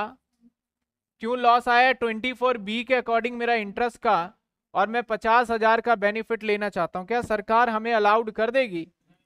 सर, सरकार फिर से अलाउड नहीं करेगी। सर, हमें इसका भी अलाउड नहीं करेगी। यानी सर, हमारे तीस, बीस और पचास, एक लाख रुपए तक का मेरा जो पैसा था, ब्याज का, जो सरकार ने मुझे प्रॉमिस किया था ट्वेंटी फोर बी में देंगे डिडक्शन लेकिन एक लाख रुपए तक का तो सरकार ने दिया ही नहीं। लोन लेके हम बैठे हैं। चलिए सर, अगले साल आ जाते हैं। अगले साल आ जाते हैं। मैंने सैलरी पाँच लाख पचास हज़ार और एचपी का लॉस मानते हुए मैंने ट्वेंटी फोर बी का डिडक्शन ले लिया, सर, चालीस हज़ार रुपए। अब भी सरकार क्या कहने वाली है? क्या 24 डी का डिडक्शन, जो बी का 24 बी का डिडक्शन जो है, देगी या नहीं देगी? क्यों देगी सर? क्योंकि घर है, यानी ये वाली दे देगी। यानी आपको टेंशन है सर। यानी यहाँ से लेके यहाँ तक का जो ब्याज बनता है, उस ब्याज का डिडक्शन आपको नहीं मिला। इसके लिए आप सरकार से लड़ाई कर सकते हो कि ये मिलना चाहिए, जो आप नहीं दे रहे गवर्नमेंट ने बोला, ठीक है भाई हम आपको डिडक्शन देंगे और आप क्लेम कर सकते हो बड़े इजीली लेकिन इत, इतना सारा इकट्ठा करके एक बार में तुम हमारे ऊपर बर्डन डालोगे हमारी इनकम तो मर जाएगी। तो ये जितने भी इंटरेस्ट है सब जोड़ लो। तो मैंने बोला कि जोड़ के सर कितना इंटरेस्ट बन गया टोटल एक लाख। टोटल तो वैसे एक चालीस है लेकिन हम लड़ाई जिसके लिए कर रहे हैं उसकी बात करेंगे। एक लाख। तो बोला इसको हम आपको बेनिफिट देंगे पाँच सालों में। वन बाई फाइव में। यानी आने वाले सक्सीडिंग फाइव ईयर में। और सक्सीडिंग क्या यहीं से यहीं से जिस साल से आपका घर बना है, उसी साल से आपको गिन लीजिए। एक साल ये हो गया। हाँ 2021-22 में, फिर 22 23 23 24 24 25 जब तक पाँच साल पूरे नहीं हो जाते। यानी हर साल आप एक्स्ट्रा 20 बीस हज़ार रुपए माइनस करते रहिए। किसके नाम से? ये वो इंटरेस्ट है, जब आपका घर बना नहीं था, तब के इंटरेस्ट का बेनिफिट दिया जा रहा है, और जब घर नहीं बना होता तो बोलते हैं प्री कंस्ट्रक्शन पीरियड उसे क्या बोलते हैं? प्री कंस्ट्रक्शन पीरियड यानी सर प्री कंस्ट्रक्शन पीरियड का मतलब वो ब्याज है, जिसका बेनिफिट आपको नहीं मिला था। लेकिन प्री कंस्ट्रक्शन पीरियड में बच्चे क्या समझते हैं और कहाँ पे सबसे ज़्यादा एरर कर देते हैं? वो देखिए। वो बोलते हैं प्री कंस्ट्रक्शन पीरियड मतलब घर सर जनवरी में बना है तो यहाँ से यहाँ तक का हो गया ना pre construction period pre construction जब घर बना, उससे पहले का प्री कंस्ट्रक्शन लॉ कहता है, भाई, मैं तुम्हें ये नहीं बोल रहा, घर बनने से हमारा कोई लेना देना नहीं है। जिस साल का आपने इंटरेस्ट का बेनिफिट नहीं लिया, उसे बोल रहे हैं प्री कंस्ट्रक्शन पीरियड ना कि आप बोलो कि, सर, घर अब बना है, इससे पहले का पीसीपी यानी प्री कंस्ट्रक्शन पीरियड मानेंगे। तो यहाँ पे प्री कंस्ट्रक्शन पीरियड कहाँ से कहाँ तक होगा? एक चार दो से लेके एक चार दो ने इक्कीस तो नया साल हो गया। यानी इससे जस्ट बिफोर इकतीस तीन दो हज़ार इक्कीस, यानी सर, जिस साल हमारा घर कंप्लीट हो जाता है वट किसी भी टाइम कंप्लीट हो रहा हो, उससे पहले वाला, ये वाला जो एरिया हमें नज़र आता है ना कि सर, ये भी तो घर नहीं बना, लेकिन ये प्री कंस्ट्रक्शन पीरियड का पार्ट नहीं माना जाएगा, क्योंकि ये वाला इंटरेस्ट का बेनिफिट आप ले चुके तो प्री कंस्ट्रक्शन पीरियड कौन सा पीरियड होता है? वो पीरियड जिसके अंदर हमें इंटरेस्ट का बेनिफिट ना कि जिसमें घर नहीं बना, ऐसा नहीं होता, क्योंकि लैंग्वेज में और आप वर्ड देखोगे प्री कंस्ट्रक्शन पीरियड तो समझ में आता है भैया, घर बनने से पहले जितना समय है, वो प्री कंस्ट्रक्शन पीरियड है। लेकिन ऐसा नहीं है। जिस समय का आपको इंटरेस्ट का बेनिफिट नहीं मिला, उसे बोलेंगे प्री कंस्ट्रक्शन पीरियड और उसका इंटरेस्ट कितने सालों में आपको दिया जाएगा? पाँच सालों में बराबर बराबर आपको आगे आने वाले अपकमिंग ईयर के अंदर दे दिया जाएगा। तो ये सारी बातें कहा है? ट्वेंटी फोर बी चल रहा है। तो सर, यहाँ पे हमें इस साल में डिडक्शन में चालीस हज़ार लेने जाऊँगा, लेकिन चालीस नहीं मिलेगा। मुझे इस साल में मिलेगा बीस हज़ार एक्स्ट्रा वाला, यानी टोटल साठ हज़ार माइनस कर पाएँगे हम। समझ रहे हो बात को आप? कितना माइनस कर पाएँगे? चालीस हज़ार तो करंट ईयर का इंटरेस्ट और बाकी का पुराने वाला जो चलता आ रहा है, उस इंटरेस्ट को भी हम क्या करेंगे? माइनस करेंगे। हाँ दो लाख से ऊपर जाएगा या दो लाख से कम होगा, वो डिपेंड करेगा कि घर किराए पे है या घर क्या है आपका सेल्फ ऑक्यूपाइड उसके ऊपर डिपेंड करेगा टोटली तो पहले यहाँ तक देखिए आपको, क्या समझ में आया, किस समय को हम प्री कंस्ट्रक्शन पीरियड कहेंगे? मेन ये मुद्दा सबसे इंपॉर्टेंट इसके ऊपर अलग से। बच्चों का सवाल रुकता है ना तो सिर्फ़ इसी सेक्शन की वजह से रुकता है। बाकी हाउस प्रॉपर्टी में कोई भी ऐसा सेक्शन नहीं है, जो आपको रोक पाए। अकेला जो लॉ है, वो यहीं पे है, जो सबसे ज़्यादा टेंशन देता है आपको। सर, ये दो लाख के साथ में एंट्री करेंगे? नहीं, दो लाख टोटल मिला के है। अगर आपका, मान लो प्री कंस्ट्रक्शन पीरियड आपका एक एक साठ का बन रहा होता और ये चालीस का तो टोटल मिला के दो लाख है, ऐसा ना समझे। करंट ईयर का दो लाख और पीसीपी का अलग से। नहीं टोटल मिला के ये दो लाख रहने वाला है, अगर सेल्फ ऑक्यूपाइड है तो। सर ये चालीस हज़ार के बाद अलग से करेंगे। बिल्कुल, चालीस हज़ार के बाद हम अलग से करेंगे इसका डिडक्शन यानी टोटल मिला के मैं कह दू, भैया, साठ हज़ार एक साथ माइनस कर दो। कभी भी एग्जामिनर नहीं बोलेगा, ये साठ हज़ार कैसे लिखे या मुझे बताओ। एक छोटा सा एक सवाल ले लेते हैं इस पे। ताकि आपको और क्लियर हो जाएगा सवाल कैसा पूछा जाएगा और हमें जवाब कैसा देना है। ठीक है ना? तो हमने सर हेडिंग डाला था प्री कंस्ट्रक्शन पीरियड सबसे पहले दिमाग में डालना है प्री कंस्ट्रक्शन पीरियड क्या होता है। चलो इस वाले सवाल में बता दो प्री कंस्ट्रक्शन पीरियड किस डेट से लेके किस डेट तक होगा? एक अप्रैल 2015 से लेके 2018 इसमें घर बनानी है क्या? इसको पीसीपी में लेंगे हम? नहीं, क्योंकि यहाँ तो ब्याज का बेनिफिट मिल चुका है। चलिए सर, आगे चलते हैं, एक सवाल देखते हैं आपकी किताब का सवाल है ये। और याद रखिएगा 24 बी न्यू रिजिम में नहीं मिलता। 24 बी न्यू रिजिम के अकॉर्डिंग नहीं मिलेगा। ओल्ड में मिलेगा, न्यू में नहीं मिलेगा। तो सवाल कुछ ऐसा ही आपके लेटेस्ट बुक के अंदर, ये गिवन है। मैंने इनफैक्ट इसलिए इलिस्ट्रेशन नंबर भी चेंज नहीं करता मैं। सो so दैट आपको थोड़ा सा क्लियर हो और दिक्कत ना हो। ठीक है? सवाल हर किसी को साफ़ साफ़ दिख रहा है, जिसके पास किताब है, उसको भी कोई दिक्कत नहीं, जिसके पास नहीं है, सवाल सामने है, हर किसी को पता चल जाएगा, ठीक है? चलिए सर। पढ़ लेते हैं क्वेश्चन।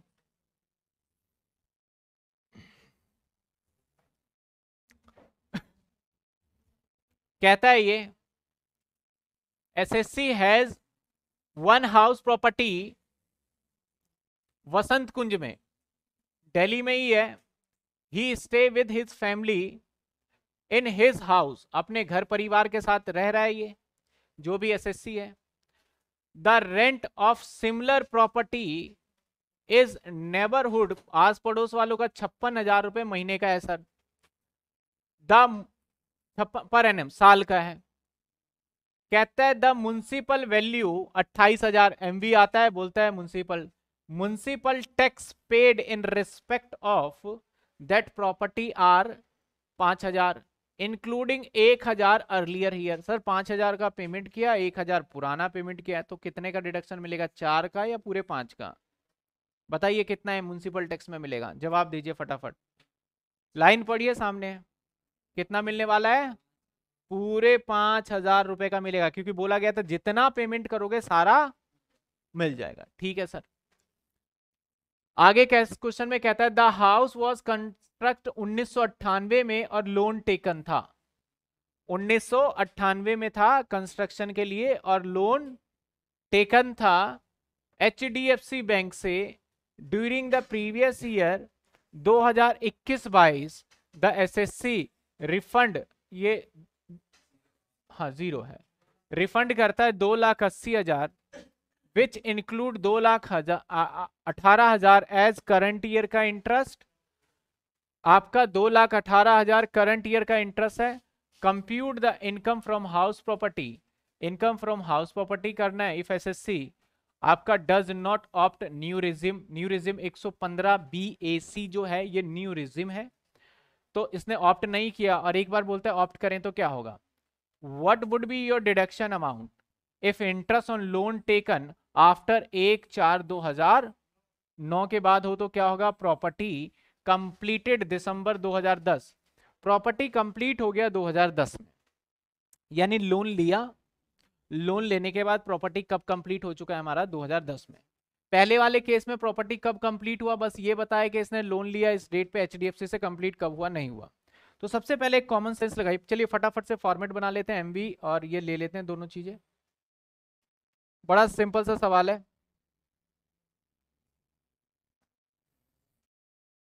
यहाँ पे पीसीपी का कोई जवाब ही नहीं मतलब पीसीपी का कोई काम ही नहीं है।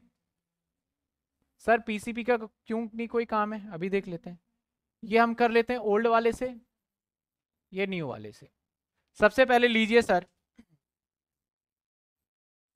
F R sorry M M B अब ध्यान से देखिएगा ना तो ये घर किसके लिए था, सर? सेल्फ ऑक्यूपाइड या किराए पे? सर सेल्फ ऑक्यूपाइड है तो इसका मतलब सर, मैं सीधा एनएवी ना कर दूँ? भैया नेबरहुड क्या बोल रहा है? म्यूनसिपल वैल्यू क्या बोल रहा है? ये सब खत्म? क्योंकि self occupied NAV zero minus क्या करेंगे? नहीं एनएवी ज़ीरो आ गया, यानी एमटी भी था। क्या एमटी माइनस करना था इसमें? सेल्फ ऑक्यूपाइड में एमटी माइनस करने नहीं दिया जाता। अब आ जाते हैं, सर 24 ए के ऊपर, जो कि नहीं मिलेगा। अब आ जाते हैं 24 बी जो कि हमारा ओल्ड रिजिम में मिलेगा और न्यू में नहीं मिलेगा। सर इसने लोन कब लिया था? पहला पॉइंट पहले दूसरा पॉइंट बिल्कुल अलग सेपरेट क्वेश्चन है। लोन कब लिया था? उन्नीस निन्यानवे से पहले। और इंटरेस्ट कितना पेड किया उसने करंट ईयर में? दो लाख। तो सर माइनस कितना करे? तीस हज़ार। तो यहाँ पे हमारा एचपी इनकम आ जाएगा माइनस का तीस हज़ार और यहाँ कुछ भी नहीं रहेगा ज़ीरो रहेगा। सर माइनस तीस हज़ार करके फ़ायदा, बिल्कुल फ़ायदा रहेगा, क्योंकि हमारे पास इसका बेनिफिट दूसरे इनकम से सेट ऑफ़ करने में आएगा, जो कि एक चैप्टर है set off and carry forward जिसमें सीखेंगे हम कि एक के लॉस को दूसरे इनकम से कैसे हम कंपनसेट कर पाएँगे। ये तो हो गया, सर, सवाल नंबर वन का पॉइंट का। और ये सवाल नंबर टू। तीसरा पॉइंट कहता है कि आप मान लो मान लो आपका इंटरेस्ट जो है, आपका घर कंप्लीट हुआ 2010 में और लोन लिया एक चार 2009 के बाद। तो सर, तीसरे सवाल का जवाब, आपका यहाँ पे भी अगेन एनएवी क्या रहेगा? ज़ीरो रहेगा NAV minus twenty four A और minus twenty four sir twenty four A तो फिर ज़ीरो और ट्वेंटी फोर बी। अब यहाँ पे क्या प्री कंस्ट्रक्शन पीरियड निकाला जाएगा? तो जवाब है सर प्री कंस्ट्रक्शन पीरियड तो अगर कंस्ट्रक्शन से पहले लिया तो डेफिनेटली क्वेश्चन क्या कहता है? कि घर कंप्लीट आपका होता है 2010 में। और लोन कब लिया आपने? इस रेट पे। अब यहाँ पे इंटरेस्ट रेट वगैरह नहीं है। सीधा फ्लैट आपको ये रेट दे रहा है कि दो लाख अठारह हज़ार। तो आप माइनस कितना कर पाओगे? एग्जामिनर ने ब्याज कैलकुलेट करके दे दिया। अभी जो हमने ये चीज़ें सीखा था ना पीछे, कि ऐसे करेंगे, ये होगा, आगे जाएगा, पीछे जाएगा, जब आपको ब्याज निकाल के ना दे, हमें ब्याज निकालना पड़े, तब ये काम करना है। अगर एग्जामिनर हमें ब्याज निकाल के दे दे तो कोई टेंशन ही नहीं है। तो यहाँ पे सर जवाब आ जाएगा हमारा, दो लाख दैट सेट हमारा आंसर डन एचपी हमारा। और ये भी क्या है सर? नेगेटिव में लॉस में। ठीक है? चलिए एक और सवाल देखिए। पहले इस सवाल में बताइए, किसी का डाउट ये हर किसी को क्लियर है? कैसे किया? बड़ा बेसिक सा सवाल था।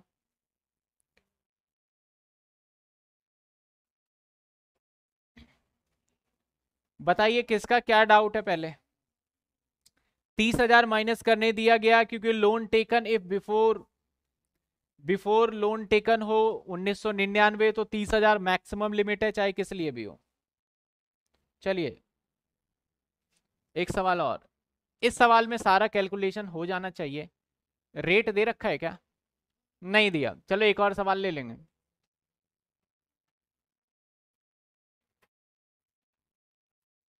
चलिए sir.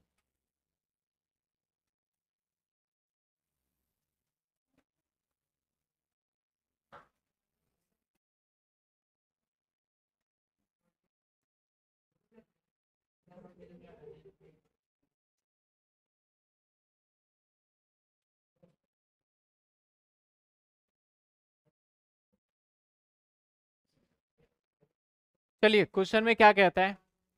Illustration R on a house property Delhi 60 percent property आपका let out 15,000 per month 40 percent self occupied तो जब सर ये आपका जो है वो किस बेसिस पे है सर एरिया तो एरिया के केस में सब कुछ बट जाएगा हमारा?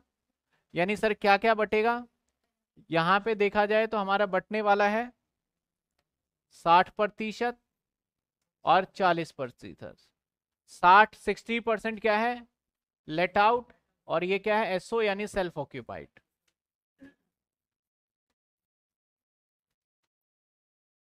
कहता है compute his income from house property following information submitted particular में आपको गिवन है एमबी दे रखा है हाउस का।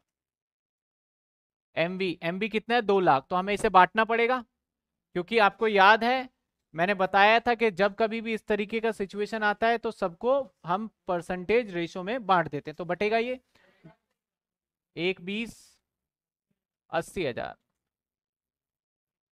इसके बाद एफ़ आर दो लाख सॉरी बाईस हज़ार रुपये महीने की बोल रहे हैं। यहाँ पे कुछ नहीं बोला तो इसका मतलब सर ये होगा बाईस हज़ार गुणा में बारह, जो कि क्या निकल के आएगा? बताइए फटाफट। दो लाख? सर, दो चौसठ को दो रेशो में बांट दीजिए। फोर्टी और सिक्सटी, क्या आ गया? One fifty? और? One fifty eight? और अगला?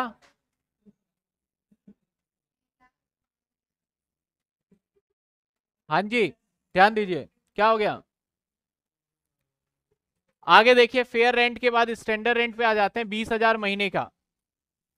सर एस आर है तो बीस हज़ार महीने के हिसाब से देखा जाए तो टू फोर्टी टू फोर्टी को बांट दीजिए रेशो में। वन फोर्टी फोर और कितने? 96 सर, आगे आ जाते हैं municipal tax paid thirty thousand सब कुछ बटेगा, सब कुछ।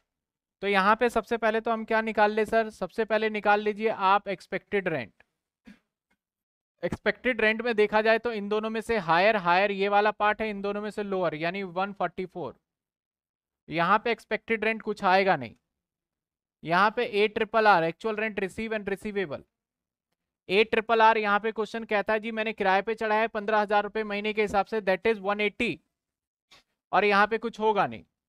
इन दोनों में से जो भी हायर बनेगा, उसको नाम दे देंगे ग्रॉस एनुअल वैल्यू यानी जीएबी दैट इज़ क्या आएगा यहाँ पे?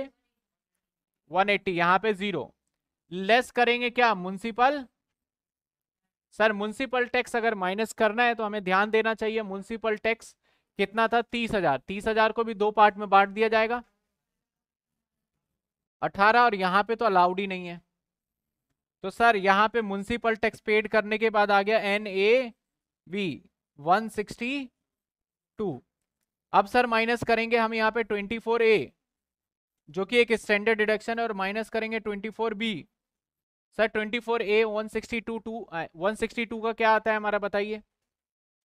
कितने percent sir? Forty eight six hundred आ गया यहाँ और इसके में तो मिलेगा नहीं, क्योंकि ज़ीरो पहले से ही है। अब आगे बात करते हैं कहता है interest on money borrowed purchase house property which acquired in 2010 में ए, 2010 में लिया था उसके ऊपर हमने इंटरेस्ट पेमेंट किया कैलकुलेट करके दे रहा है दैट इज़ 180 तो 180 माइनस करेंगे लेकिन दो सेक्शन में बटेगा ये 180 तो 180 का आपका 60 परसेंट क्या आएगा? एक लाख और दूसरे का 70 अगर ये घर हुआ, अगर ये घर हुआ रिपेयर के लिए लोन तो सर यहाँ कितना मिलेगा? अगर रिपेयर के लिए होता तो यहाँ पे तो 108 ठीक है, क्योंकि लेट आउट है लेट आउट में कोई लिमिट डिसाइडेड नहीं है। लेकिन अगर रिपेयर के लिए होता तो यहाँ बहत्तर जा रहा है। तो यहाँ कितना मिल जाता? मैक्सिमम लिमिट लग जाता कितना? तीस हज़ार रुपए का लग जाता। क्या यहाँ पे घर किस लिए लिए, लिया है? कहता है interest on borrowed for purchase of house तो रिपेयर के लिए तो है नहीं। अब टैक्सेबल आ जाएगा इनकम हमारा। इनकम फ्रॉम आईएचपी कर रहा हूँ। इनकम फ्रॉम हाउस प्रॉपर्टी बताइए माइनस करके। ये तो 72 और ये?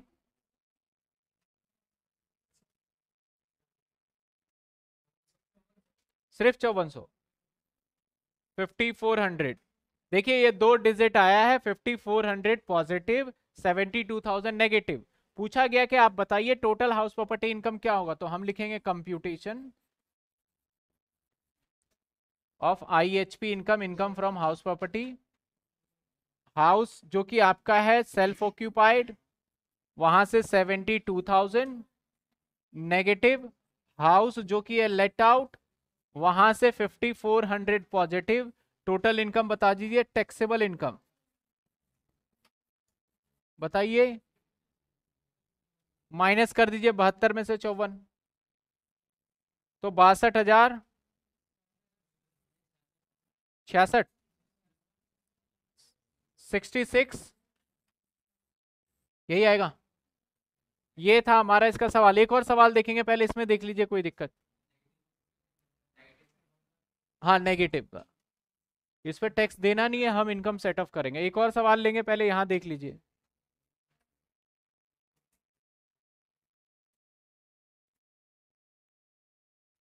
हाँ देखो सेल्फ ऑक्यूपाइड में ज़ीरो ही लिया है।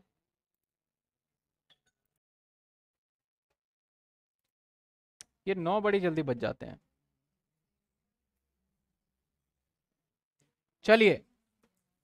कहता है R is a sales tax officer अब यहाँ पे ध्यान दीजिएगा, यहाँ पे सरकारी इंप्लॉय प्राइवेट इंप्लॉय का कोई चक्कर नहीं है। हाउस प्रॉपर्टी का इनकम है टैक्स देना पड़ेगा। कहता है, सर आर सेल्स ऑफिसर है जयपुर में। He own two residential house first house Delhi में और कहता है कि इसके पास दो घर है। हम फॉर्मेट भी बना लेते हैं और साथ के साथ करते जाएँगे, ताकि आपको समझ में आता जाए। आप ध्यान से बस देखते जाइएगा। और मैं पढ़ पढ़ के बताता जाऊँगा।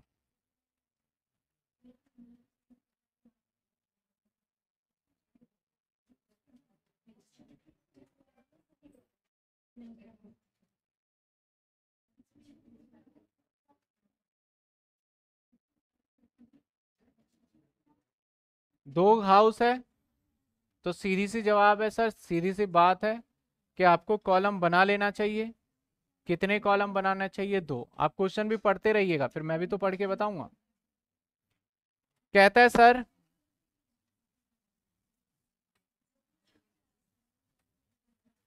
कहता है he owns two residential house H number one H number two भाई, किसी का हैंड रेस का भी मैं आंसर लूँगा नहीं। मैं बंद कर देता हूँ इसको। ठीक है। कहता है हाउस नंबर वन और हाउस नंबर टू दो घर है। द फ़र्स्ट हाउस दिल्ली में है। कंस्ट्रक्शन कंस्ट्रक्टेड ऑन 31 बारह उन्नीस में। बन चुका था ये। यानी बहुत पुराना घर है। उन्नीस सौ इक्यानवे में बन गया था सर ये। This has been let out rent और इसको किराए पे भी दे रखा है, इस घर को रेंट पे दे रखा है सर और रेंट है तीस हज़ार रुपए per month company for its office और ये रेंट है तीस हज़ार रुपए। और अपने ऑफ़िस के लिए, खुद के बिज़नेस के लिए तो आपको याद होगा हाउस प्रॉपर्टी के अंदर मैंने बताया था रेंट रेजिडेंशियल हो चाहे कमर्शियल हो, लेकिन खुद का व्यापार करोगे तो वो हाउस प्रॉपर्टी का पार्ट माना नहीं जाएगा। याद है आपको?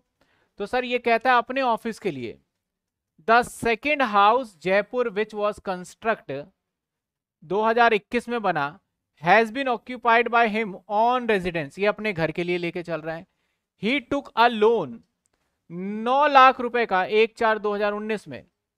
अब यहाँ से बात आती है सेकंड हाउस की। फ़र्स्ट हाउस की बात करें तो सर फ़र्स्ट हाउस का कोई हाउस प्रॉपर्टी इनकम नहीं है, क्योंकि सवाल में कह देता है, अपने ऑफ़िस के लिए इसने ले रखा है और मैं मान के चल रहा हूँ कि यहाँ पे यही मालिक है इस ऑफ़िस का। तो कहता है कंपनी फॉर इट्स ऑफ़िस के लिए इसने किराए पे दिया तो वो हाउस प्रॉपर्टी के अंदर टैक्सेबल आता ही नहीं है तो इसलिए मैंने यहाँ कट कर दिया। सर हाउस नंबर टू कहता है सेकेंड हाउस के लिए इसने लोन लिया। सर कब लोन लिया? एक चार दो हज़ार उन्नीस में। सर, कितने रुपए का लोन लिया?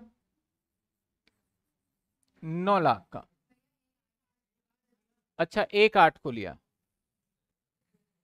एक आठ। रेट क्या था सर इसके ऊपर? एट द रेट आठ परसेंट का ब्याज देना है। The interest for the purpose of construction of his house entire loan outstanding बोलता है कि भैया इंटरेस्ट इंटरेस्ट सारे अभी कोई भी नहीं दे, सारा का सारा आउटस्टैंडिंग है। तो यहाँ पे देखते हैं, अब सबसे पहली बात सेकंड हाउस को पढ़िए एक बार। कहता the second house Jaipur was constructed on एक तीन कंस्ट्रक्टेड बन चुका है एक तीन दो हज़ार इक्कीस। यानी जो घर कंप्लीट हुआ कंप्लीट कब हो चुका है? एक तीन दो हज़ार। तो पहला मेरा क्वेश्चन आपसे ये है एक तीन दो हज़ार इक्कीस में बना है। मुझे प्री कंस्ट्रक्शन पीरियड सबसे पहले निकालना होगा। मैं अभी स्टार्टिंग है न्यू क्वेश्चंस है। इसके लिए मैं आपके सामने टाइमलाइन बनाऊँगा। लेकिन बाद में फिर आपको खुद करना पड़ेगा ये। तो सर, कहने का मतलब घर जो कंप्लीट हुआ, वो सर कंप्लीट हुआ एक तीन दो हज़ार इक्कीस। सर, जो साल घर कंप्लीट हुआ वो साल हमारा स्टार्ट कब हुआ होगा? सर स्टार्ट हुआ होगा एक चार दो हज़ार बीस। और खत्म कब हुआ होगा? इकतीस तीन दो हज़ार इक्कीस। पहले इस बात को समझिए। यानी सर 20 में स्टार्ट हुआ होगा और 21 में बन के तैयार हो गया। समझ में नहीं आया तो मैं दोबारा बता देता हूँ। मैं दोबारा बता देता हूँ एक बार एक बार बिल्कुल फेयर तरीके से करके।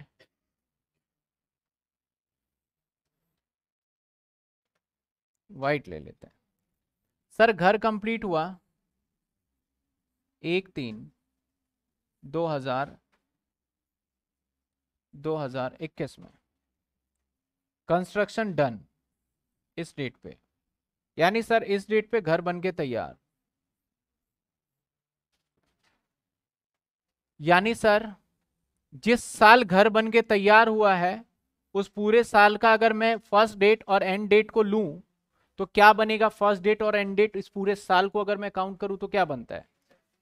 एक, चार, बीस और इकतीस, तीन, इक्कीस। ये बन रहा है जो साल हमारा घर बन के तैयार हुआ है। लोन हमने लिया था एक, आठ, दो हज़ार उन्नीस। अब बताइए प्री कंस्ट्रक्शन पीरियड जो होगा, वो कहाँ से कहाँ तक का होगा? प्री कंस्ट्रक्शन पीरियड होगा वो कहाँ से कहाँ तक होगा? कौन बताएगा? प्री कंस्ट्रक्शन पीरियड कहाँ से कहाँ तक का होगा? इससे लेके यानी इकतीस तीन दो हज़ार बीस तक। क्योंकि भले ही घर कंप्लीट इक्कीस में हुआ, लेकिन उस साल का हमने इंटरेस्ट का डिडक्शन यहाँ से तो हम काउंट कर लेते हैं कितने महीने होंगे। तो सिंपल सी सीधी साधी बात है। सर, अक्टूबर के महीने में, ये अगस्त के महीने में बना हमारा। तो नहीं, जून, जुलाई, अगस्त हाँ। तो आपका 2019 में कितने महीने? बताइए। 19 में कितने महीने? क्यों छे आप अगस्त, सितंबर, अक्टूबर, नवंबर, दिसंबर, कितने हो गए? पाँच महीने। और बीस में कितने महीने? बारह, बीस तो पूरा ही चला। बीस तो नहीं। मैं मार्च से नहीं चल रहा, चलो मार्च से ले लेते हैं, कोई बात नहीं। उन्नीस और बीस, देखिए उन्नीस और बीस, उन्नीस और बीस हमारा एक ही साल चल रहा है, इकतीस तीन दो हज़ार बीस तक जाना कितने महीने हो गए टोटल यानी यहाँ पे आठ महीने हमारे वो साल है जो कि प्री कंस्ट्रक्शन पीरियड होंगे क्लियर और अब प्री कंस्ट्रक्शन पीरियड का इंटरेस्ट निकाल लेते हैं सर प्री कंस्ट्रक्शन पीरियड का इंटरेस्ट कैसे निकालोगे? सर प्री कंस्ट्रक्शन पीरियड का नौ लाख इनटू में कितने? आठ बटे में सौ, और क्योंकि आठ महीने का है तो आठ बटे में बारह, और क्योंकि पाँच बार में बटेगा तो एक बटे में पाँच। सर ये हर साल पाँच साल तक अपकमिंग फाइव ईयर तक हमें डिडक्शन मिलेगा। तो इसमें बताइए क्या अमाउंट बन रहा है टोटल जल्दी जल्दी, फटाफट कैलकुलेट करके बताइए।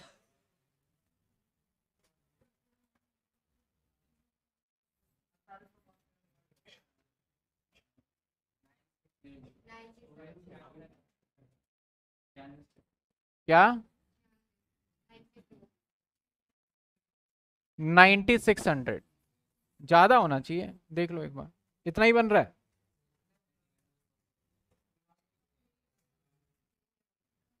नौ लाख का आपका, अगर मैं दस में नब्बे हज़ार नब्बे हज़ार को पाँच से डिवाइड कर दे तो? बारह, नहीं, ज़्यादा बनना चाहिए, देखो सही से। पक्का? चलिए, अब ये वाला साल जो है, ये वाला साल ध्यान दीजिएगा, ये वाला जो साल है, इस वाले साल का ब्याज पेमेंट नहीं हुआ, ये तो करंट ईयर के अंदर काउंट हो जाएगा। तो करंट ईयर पूरे बारह महीने के लग जाएँगे, जो कि नौ लाख होगा इनटू में एट बाय हंड्रेड तो ये आ जाएगा हमारा कितना? बहत्तर हज़ार रुपए। तो अगर मैं बात करूँ यहाँ पे एनएवी की तो सर एनएवी क्या रहने वाला है? ज़ीरो अगर माइनस बात करूँ 24 ए की तो सर 24 ए क्या होगा? ज़ीरो लेकिन बात करूँ 24 बी का तो सर 24 बी का करंट ईयर का इंटरेस्ट बनता है हमारा कितना? बहत्तर हज़ार। और साथ के साथ हमें मिलेगा प्री कंस्ट्रक्शन पीरियड का भी, जो कि है तो सर टोटल इंटरेस्ट का माइनस करना कितना मिलेगा? कितने? और ये हमारा आ जाएगा माइनस में लॉस आ गया eighty one six hundred loss from house property फटाफट से चेक करिए। फटाफट चेक करिए, समझ में आया?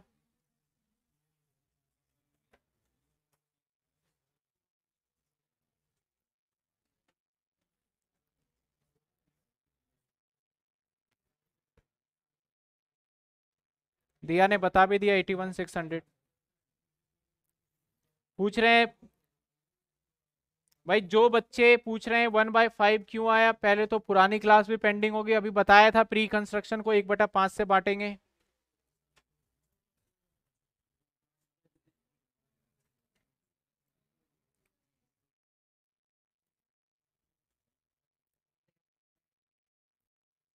चलिए एक और क्वेश्चन देखिए फटाफट। इस सवाल में हम सिर्फ़ इंटरेस्ट निकालेंगे, बाकी देखते हैं।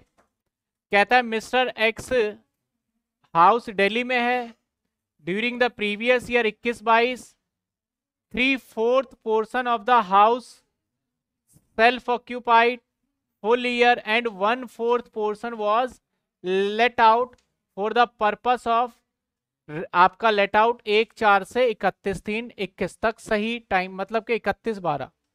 On a rent seven thousand per month एक एक बारह से the portion was also use for own residence अपने लिए फिर से उसने यूज़ कर लिया। म्यूनसिपल वैल्यूएशन आपका गिवन है दो lakh.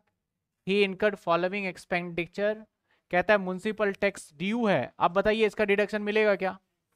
नहीं मिलेगा। रिपेयर इसका डिडक्शन मिलेगा क्या? नहीं मिलेगा। फायर इंश्योरेंस प्रीमियम पेड किया। मिलेगा? सर, इन सब के बदले क्या मिलता है? Thirty percent. लैंड रेवेन्यू, इसका कुछ होगा क्या? नहीं होगा। ग्राउंड रेंट, इसका कुछ होगा क्या? तो देखो, बहुत सारी बातें बोल रहा है। Were paid during the year कोई मतलब नहीं है। एक कहता है लोन लिया इसने दस लाख का विच वॉज़ टेकन एक चार दो हज़ार सत्रह एट नाइन परसेंट तो एक चार दो हज़ार सत्रह में एक लोन लिया दस लाख का, और at the rate nine percent. मेरा सिर्फ़ इसमें मुद्दा है इंटरेस्ट बताना। वैसे सवाल में कुछ बचता नहीं है समझ में आ गया हो तो। For the construction of the house which was completed on अट्ठाईस तीन दो हज़ार अट्ठारह और ये घर 28 तीन 2018 में बन के तैयार हो गया सर ये घर। Nothing was repaid loan account sir, अभी तक लोन का रीपेमेंट नहीं किया।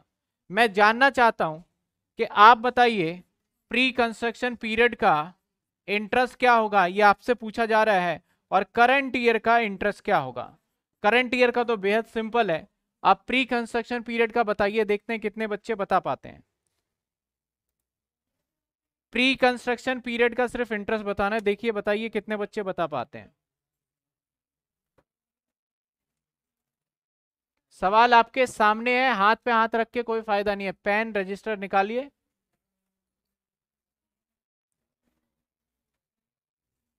चेक करिए अब क्लियर होगा।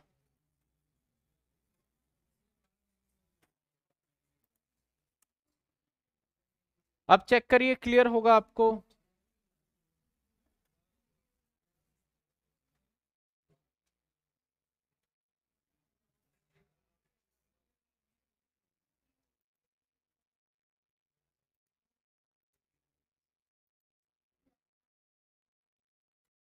सवाल है मैंने नीचे लिख दिया है कि लोन इतने का था पीसीपी इंटरेस्ट ये है करंट ईयर का ये है आंसर देना है।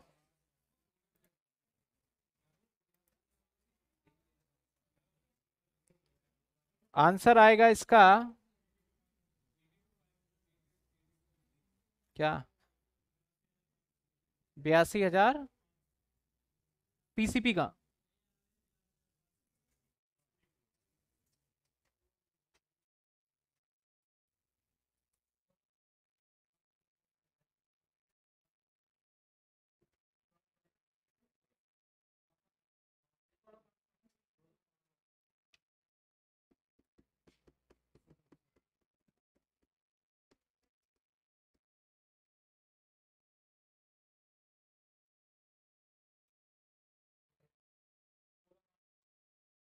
देखते हैं अभी निकालिए पहले फटाफट।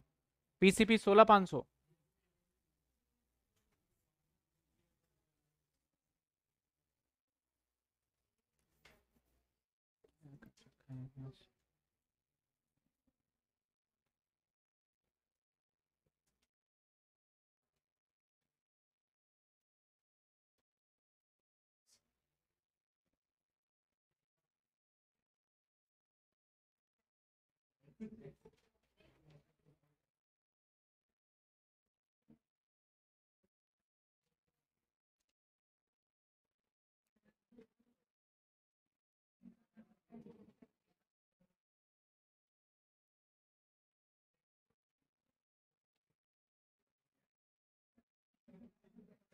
देखिए, एक चार दो हज़ार सत्रह, घर कंप्लीट 28 तीन 2018 में हो गया।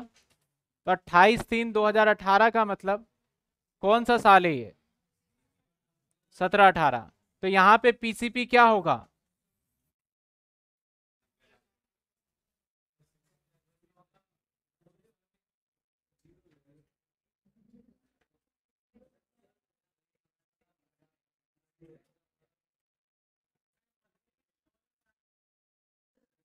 यस एक बच्चे ने जवाब दिया, सर पीसीपी नील होगा।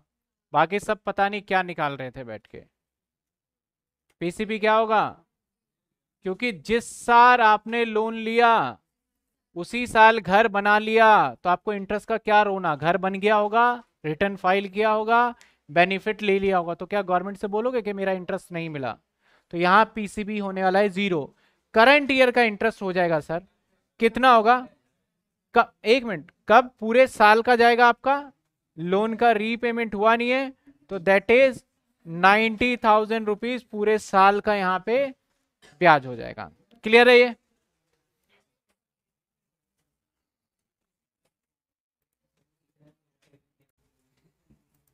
हाँ जी। लास्ट क्लास में हमने प्री कंस्ट्रक्शन पीरियड से रिलेटेड क्वेश्चन और आज भी वही करेंगे हम। एक 23 का एक सिचुएशन था मोर देन टू हाउस। वो पेंडिंग था। हम उसको करने जा रहे हैं अब। तो सर, जब मोर देन टू हाउस होगा तो क्या लॉ कहता है? एक बार हम देख लेते हैं वो, क्योंकि नॉर्मली हमें लॉ के हिसाब से चलना होता है। हाँ जी, बोर्ड पे देख लीजिए। सारी बातें बंद हो गई तो तो इसके अंदर क्या कहता है लॉ? आप ध्यान दीजिएगा।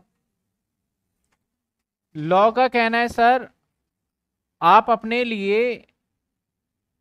एक से ज़्यादा घर नहीं रख सकते मतलब कि आपको घर किराए पे रखना है।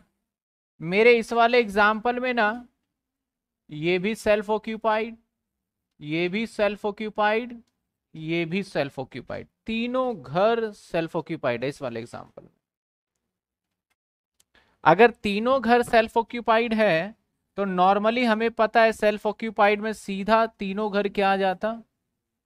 यानी इन केस हमारा घर सेल्फ ऑक्यूपाइड हुआ तो एन ज़ीरो ये पढ़ा है हमने। लेकिन लॉ का थोड़ा सा अलग रूल है। लॉ का कहना है कि आप दो घर ही सेल्फ ऑक्यूपाइड कर सकते हो। अगर आपके पास मान लेते हैं पाँच घर है तो दो घर कोई भी चुन लीजिए सेल्फ ऑक्यूपाइड उसमें रह रहे या नहीं रह रहे मैटर नहीं करता। बाकी हम तीन घर को लेट आउट मान के आपसे टैक्स ले लेंगे। यानी सर, हमारे पास तीन घर है।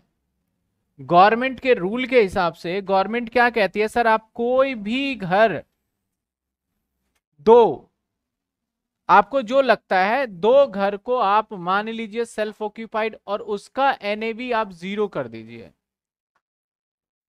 और जो घर आपका सेल्फ ऑक्यूपाइड नहीं है मतलब के एच वन एच टू और एच थ्री देख H one H two H three यानी कोई भी दो घर आपको सेल्फ ऑक्यूपाइड मानना है। तो एक सब्जेक्ट होता है आपका पर्सनल टैक्स प्लानिंग अगर हाउस प्रॉपर्टी में क्वेश्चन पूछा जाएगा ना तो वो यहाँ से पूछा जाता है।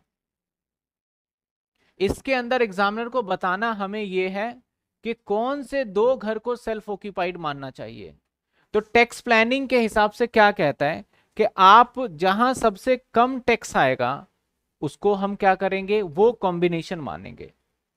यानी हमें यहाँ हर लेवल पे चेक करना होगा सर पहले हम इस दो घर को सेल्फ ऑक्यूपाइड इसको लेट आउट मान लेंगे। यानी मैं अगर चेक करूँ तो एक सिचुएशन नंबर वन बनेगा। सर सिचुएशन नंबर वन क्या बनेगा सर कि मैं H one plus H two दोनों को एसओ मान लू और प्लस एच थ्री को मैं मान लू let out situation number two क्या बनेगा? एच वन और एच थ्री दोनों को एसओ मान लू और प्लस एच टू को क्या मानू? एच वन को क्या मान लू मैं? लेट आउट मान लू।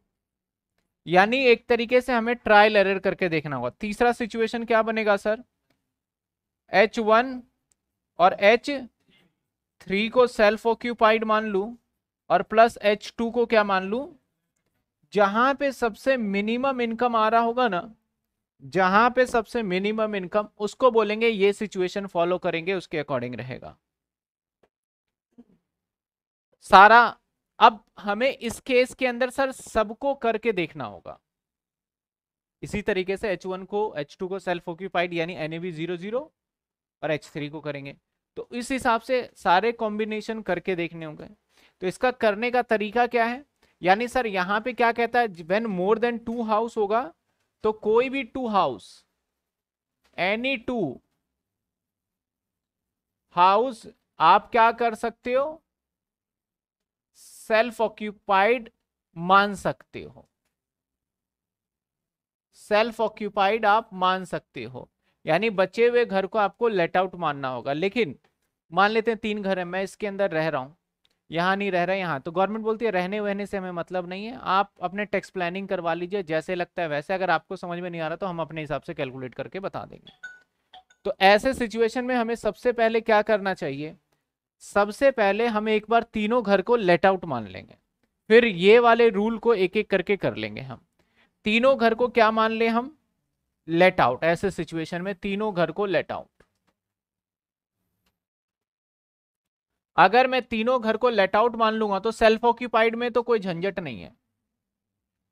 एक बार तीनों घर को लेट आउट मानो और एक बार तीनों घर को सेल्फ ऑक्यूपाइड या तो फिर मैं केस ही अलग अलग कर देता हूँ, कोई बात नहीं। थोड़ा लेंदी हो जाएगा, लेकिन कोई बात नहीं। मैंने सिचुएशन बनाया sir H one H two और एच थ्री इन दोनों को मैंने माना है सेल्फ ऑक्यूपाइड इसको लेट आउट मान लिया, ठीक है? और ये है हमारा सिचुएशन नंबर वन यानी केस नंबर वन सर, यहाँ पे क्या होने वाला है? सबसे पहले, अब तीनों घर, इसमें से ये वाला एम सर एम एक लाख और दो लाख और तीन लाख। एफ़ आर सर, दो लाख, तीन लाख, चार लाख। एस आर सर, यहाँ है ही नहीं, यहाँ दो लाख और यहाँ थ्री पॉइंट फाइव लाख मैं अपने वाले एग्ज़ाम्पल से लेके चल रहा हूँ। अब यहाँ पे एक्सपेक्टेड रेंट होगा sir expected H one self occupied है तो ज़ीरो एच टू भी सेल्फ ऑक्यूपाइड है तो ज़ीरो यहाँ पे क्या होगा? इन दोनों में से हायर देन लोअर तो क्या आ जाएगा? यानी आपका जीएवी जो है ये ज़ीरो ये ज़ीरो ये थ्री पॉइंट इसमें से माइनस क्या करेंगे? एम टी तो एम टी यहाँ पे क्या माइनस हो नहीं सकता? ज़ीरो है. यहाँ पे भी नहीं हो सकता. दूसरे वाले में माइनस किया जा सकता है दैट इज़ पैंतीस नहीं, पंद्रह हज़ार। जो कि है हमारा पंद्रह हज़ार रुपए। यहाँ पंद्रह हज़ार।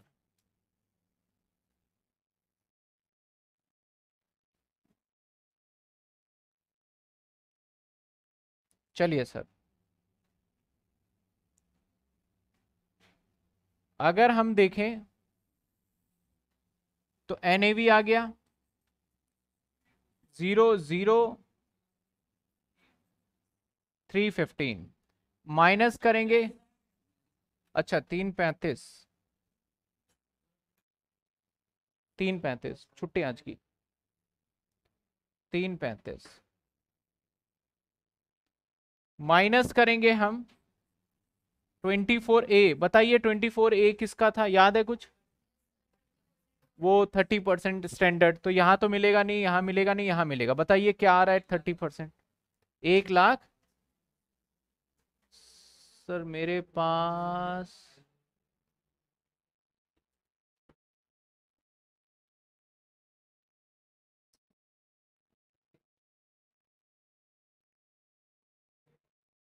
बिल्कुल बिल्कुल बिल्कुल, जो बुक में लिखा है वही, बुक में गलत बातें थोड़ी पढ़ाई जा रही है आपको। कितना आ रहा है एक लाख पाँच हज़ार। एक लाख पाँच सौ। अब माइनस कर देंगे ट्वेंटी फोर। पहले घर का कितना है? अब देखो सेल्फ ऑक्यूपाइड में आपको पता है कि कितना मैक्सिमम डिडक्शन है? दो लाख। पहले घर का कितना है सर दूसरे घर में मैक्सिमम डिडक्शन कितना अलाउड है? तो दूसरे घर में मिलेगा। और तीसरे घर में कोई लिमिट है क्या? यानी सर, इस क्वेश्चन में मुझे यही समझाना है जो अमेंडमेंट है। इसलिए इसको मैंने इंटरेस्ट के बाद कंसीडर किया। नहीं तो पहले समझ ही नहीं आता सर आपको ये। यानी जो दो लाख की लिमिट है ना, वो टोटल है। एक घर का दो लाख नहीं है। जितने भी आपके मिला के सेल्फ ऑक्यूपाइड होंगे, सबका टोटल तो यानी देखो, एक पचास यहाँ ले लिया और मैंने पचास. ऐसा भी मेरे को, मैं कर सकता था, यहाँ पे पूरे दो लाख ले लू और यहाँ पे ज़ीरो लेके कर सकते थे, ठीक है? तो यहाँ पे इनकम आ गया माइनस का डेढ़ लाख. यहाँ इनकम आ गया माइनस का पचास हज़ार. और यहाँ बताइए क्या आया? One nine nine five zero zero sir, अब आईएचपी निकालना हो ना आईएचपी तो क्या निकालेंगे? तीनों घर की इनकम को जोड़ दिया जाएगा, वही आईएचपी होगा। तीनों घर के इनकम को अगर जोड़ेंगे तो पंद्रह हज़ार माइनस का, प्लस माइनस का, सॉरी, डेढ़ लाख माइनस का, प्लस पाँच, पचास हज़ार माइनस का, और प्लस एक लाख निन्यानवे हज़ार पाँच सौ। बताइए क्या आया इसका जवाब? हाँ? नेगेटिव पाँच सौ रुपए आया। अब जिसका इनकम कम आएगा, जिस कॉम्बिनेशन में टोटल इनकम कम आएगा, वो बेस्ट ऑप्शन है, वही हमारा आंसर माना जाएगा एग्ज़ाम के अंदर भी। अब सिचुएशन टू करके देखते हैं। सर सिचुएशन टू करके देख लेते हैं थोड़ा सा।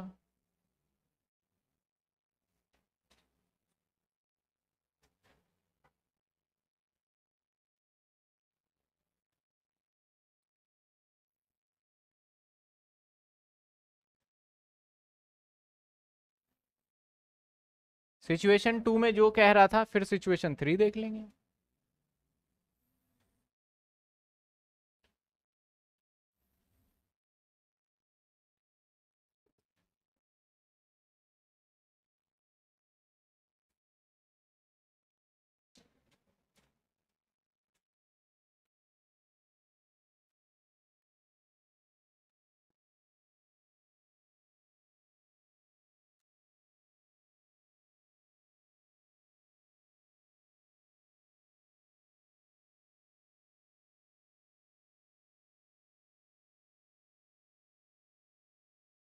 देखिए सर एच वन और मैंने कहा एच सॉरी एच टू और एच थ्री को क्या मान लेंगे हम? और एच वन को मान लेंगे लेट आउट शॉर्टकट भी है, कुछ बच्चे सोच रहे हैं सर इसका कोई शॉर्टकट नहीं है। शॉर्टकट भी है, बताएँगे अभी, पहले लॉन्ग प्रोसेस से समझ लेते हैं। एक लाख, दो लाख, एक लाख, दो लाख अच्छा। मैंने चेंज कर दिया ना। दो लाख, तीन लाख और F R sir F R को अगर ले तो तीन लाख, चार लाख और दो lakh. S R sir S R में क्या आएगा? दो lakh, three point five lakh और ज़ीरो। एक्सपेक्टेड रेंट आ गया, सर। सर एक्सपेक्टेड रेंट क्या आया? क्योंकि ये सेल्फ ऑक्यूपाइड है तो ये ज़ीरो ये भी सेल्फ ऑक्यूपाइड है ज़ीरो यहाँ पे आ गया हमारा। तो यही जी कंसिडर किया जाएगा।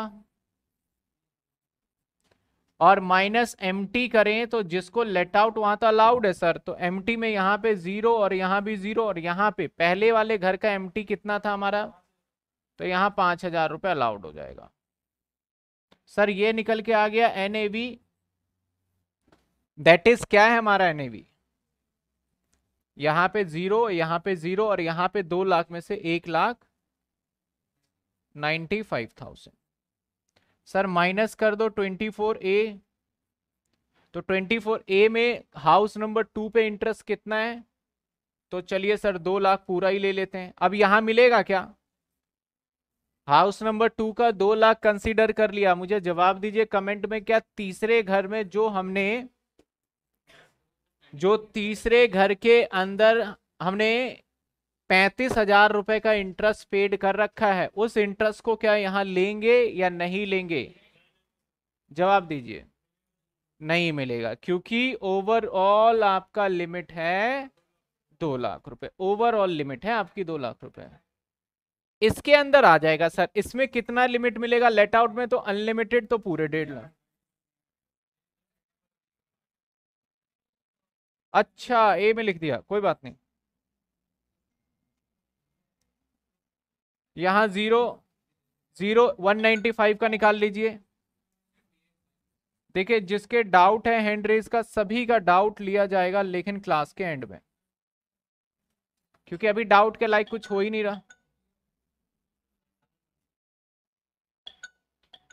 इंटरेस्ट फिर से बता दो लास्ट क्लास देखनी होगी, जो बच्चे लास्ट क्लास नहीं देख के आए, उसे इंटरेस्ट का कुछ भी समझ में नहीं आएगा।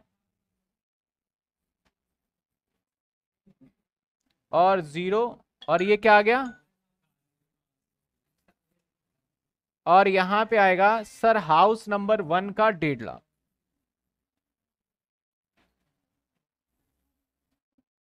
ये आ गया आई एच पी पहले का आ गया दो लाख नेगेटिव। दूसरे का तो ज़ीरो रह गया सर। तीसरे का नेगेटिव तेरह पाँच सौ। ये लो दोनों नेगेटिव। तो आई एच पी अगर यहाँ पे निकाला जाए, दो लाख नेगेटिव का प्लस तेरह पाँच सौ भी नेगेटिव। तो बताइए, दो लाख तेरह हज़ार पाँच सौ माइनस का। कह रहे हैं कि सर एच वन में दो लाख। तो आपको पहले इंटरेस्ट का पॉइंट ध्यान रखना है। इंटरेस्ट में बार बार पिछली क्लास से भी इंटरेस्ट ही चल रहा है। यानी आपको मैक्सिमम सेल्फ ऑक्यूपाइड में दो लाख की लिमिट और लेकिन इससे पुरानी जिसने पढ़ा हो, वहाँ पे हर घर का दो लाख लिखा हुआ था, हर घर का। लेकिन 2019 में अमेंडमेंट आया कि भाई, आप हर घर का दो लाख नहीं देंगे। अब हम सब मिला के घर का कितना देंगे? दो लाख अगर सेल्फ ऑक्यूपाइड हुआ। लेट आउट के लिए तो कोई चीज़ है ही नहीं। लेट आउट में तो कोई रूल नहीं लगता भैया। लेट आउट में तो जितना इंटरेस्ट पे किया, सबका डिडक्शन ले लो, चाहे दस लाख हो, चाहे पचास लाख हो। किसमें? को ऑनर्स की अभी बात ही नहीं कर रहे। सेक्शन 26 तो पढ़ ही नहीं रहे अभी हम। जब पढ़ेंगे तब। अभी सिर्फ़ इसकी बात। अभी जो चल रहा है सिर्फ़ इसका। ई e आर कैसे आया? ई आर एक्सपेक्टेड रेंट वही हायर लोअर करते करते सेल्फ ऑक्यूपाइड में तो मैं डायरेक्टली बस ये मैं फॉर्मेलिटी कर रहा था। हालाँकि मुझे क्या करना चाहिए था पता है? सेल्फ ऑक्यूपाइड में डायरेक्ट ज़ीरो कर देना चाहिए था। वो तो जस्ट फॉर्मेलिटी है ये। लेट आउट वाले का तो हायर लोअर के हिसाब से होता है। एक्चुअल ए ट्रिपल आर होगा नहीं, क्यों नहीं होगा सर क्योंकि मकान किराए पे है ही नहीं। मकान अगर किराए पे होता, तब होता हमारा ए ट्रिपल आर क्योंकि क्वेश्चन में कह दिया कि तीनों घर सेल्फ ऑक्यूपाइड है। मिस्टर एक्स कह रहा है, तीनों घर क्या है? हमारा सेल्फ ऑक्यूपाइड तो सर यहाँ पे इनकम आई माइनस पाँच सौ, यहाँ पे दो लाख तेरह हज़ार पाँच सौ। तो अभी तक तो मुझे ये वाला सिचुएशन ठीक लग रहा है। लेकिन अभी तीसरा कॉम्बिनेशन बाकी है। क्या पता तीसरे में इससे ज़्यादा माइनस में आ जाए तो हम बोलेंगे, भैया, ये सिचुएशन चूज़ करेंगे। तो ये वर्किंग नोट का पार्ट नहीं है, ये फेयर वर्क का पार्ट है। तीनों सिचुएशन करके कंक्लूजन डालना पड़ेगा कि यहाँ पे हायर हमारा बेनिफिट है, इसलिए हम ये वाला पोर्शन ऑप्ट करेंगे। तो चलिए सर, इसके बाद हम ले लेते हैं दूसरे वाले का, यानी एच वन और H3 थ्री सेल्फ ऑक्यूपाइड ले लेते हैं।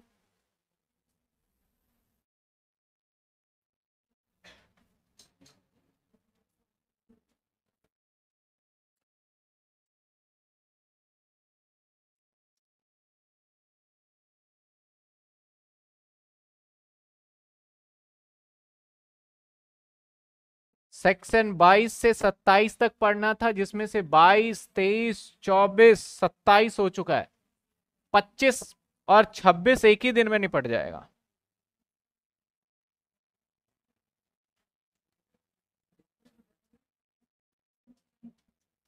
सर ये क्या कॉम्बिनेशन है? एच नंबर कौन सा है? सर एच वन और थ्री एच वन और एच ये हमारा एसओ और H number two LO let out sir M V H one का एक लाख, इसका इसका दो लाख. एफ़ आर क्या था, याद है? एफ़ आर है हमारा तीन, नहीं एफ़ आर चार, मैंने गलत ले लिया क्या? एच वन एच थ्री ठीक है. तो एफ़ आर आएगा हमारा दो और चार। दो लाख, चार लाख और और एस आर क्वेश्चन में गिवन है। ये सिर्फ़ मैंने एग्ज़ाम्पल बना दिया आप लोगों को समझाने के लिए। बताइए क्या था? वन में तो था ही नहीं। थ्री में क्या था सर थ्री में था आपका साढ़े तीन और दो। अब यहाँ ई e आर आ जाएगा एक्सपेक्टेड रेंट तो ये तो सेल्फ ऑक्यूपाइड ज़ीरो होगा, ये भी ज़ीरो होगा, यहाँ से क्या होगा? दो लाख। अब यहाँ पे इसी को जीएबी कंसिडर कर लिया जाएगा ज़ीरो ज़ीरो और दो लाख। माइनस एमटी कर देंगे सर एमटी में यहाँ मिलेगा नहीं, यहाँ मिल जाएगा। एच टू का देख लेते हैं एम क्या है? सर एच टू का दस हज़ार है तो दस हज़ार यहाँ से माइनस करने दे दिया जाएगा। इसको माइनस करने के बाद आ जाएगा N A B zero zero one ninety अब इसमें से माइनस करेंगे पहले ट्वेंटी फोर ए फिर माइनस करेंगे twenty four B sir B sum A पता है क्या है? तीस परसेंट और बी पता है क्या है? इंटरेस्ट, ठीक है ना? तो ए में तो यहाँ पे कुछ है नहीं, यहाँ पे आ जाएगा, कितना आएगा? फिफ्टी सेवन और बी की बात कर लेते हैं, सर बी की एच वन का सर एच वन का डेढ़ lakh. Okay minus H three का। एच थ्री का पैंतीस है। तो क्या पैंतीस पूरे ले लें? यस पूरे पैंतीस ले सकते हैं, क्योंकि डेढ़ लाख रुपए और एक पैंतीस एक पिचासी होता है, जबकि लॉ दो लाख परमिसेबल करता है हमें। तो सर, हमने इसको दोनों को ले लिया। इसमें और लिया जा सकता था, लेकिन है ही नहीं हमारे पास। एच टू का क्या था हमारा? दो लाख तो यहाँ पे तो सर कोई लिमिट ही नहीं है। चलिए सर, अब देखते हैं तीनों में क्या बनता है। इनकम फ्रॉम हाउस प्रॉपर्टी, ये तो माइनस का डेढ़ लाख। ये माइनस का पैंतीस हज़ार। और ये सिक्सटी सेवन माइनस का? Minus sixty seven. सही से देख लिया ना? ठीक है। सब माइनस में। यानी आई एच पी क्या बन गया? आपका दो लाख सबको जोड़ने दो लाख बावन हज़ार माइनस का। तो सर, जो सबसे कम इनकम है, देखिए, एक है ये माइनस का दो बावन, एक है माइनस का दो तेरह और एक है माइनस का पाँच सौ। सबसे कम इनकम कौन सी है? यानी हमारा ये वाला सिचुएशन क्या रहेगा? नहीं, कौन सा वाला? जो लास्ट वाला लिखा हमने, तीसरे वाला। अब सर, तीसरे वाला ज़्यादा क्यों आया? इसको पता करने का देखो क्या तरीका होगा। सबसे महँगे घर जो है, वो सेल्फ ऑक्यूपाइड मान लो। अब देखो, इसमें से सबसे महँगा घर ये है, एक। इसके बाद कौन सा महँगा घर है? H2 है। तो H2 और H3 लेकिन यहाँ पे इस इंटरेस्ट का भी फैक्टर आ जाता है। तो वैसे हालाँकि अगर इंटरेस्ट नहीं होता तो मैं H2 और H3 को SO मानता और ये वाला कॉम्बिनेशन बढ़िया बन जाता। लेकिन क्योंकि इंटरेस्ट है तो इंटरेस्ट के केस में क्या हो गया? हमारा सिनेरियो चेंज हो गया, हमें तीनों करके देखना होगा। मैं अगेन कह रहा हूँ, हमारे सवाल 2021 में भी आया था 2020 में भी आया था सेम सवाल।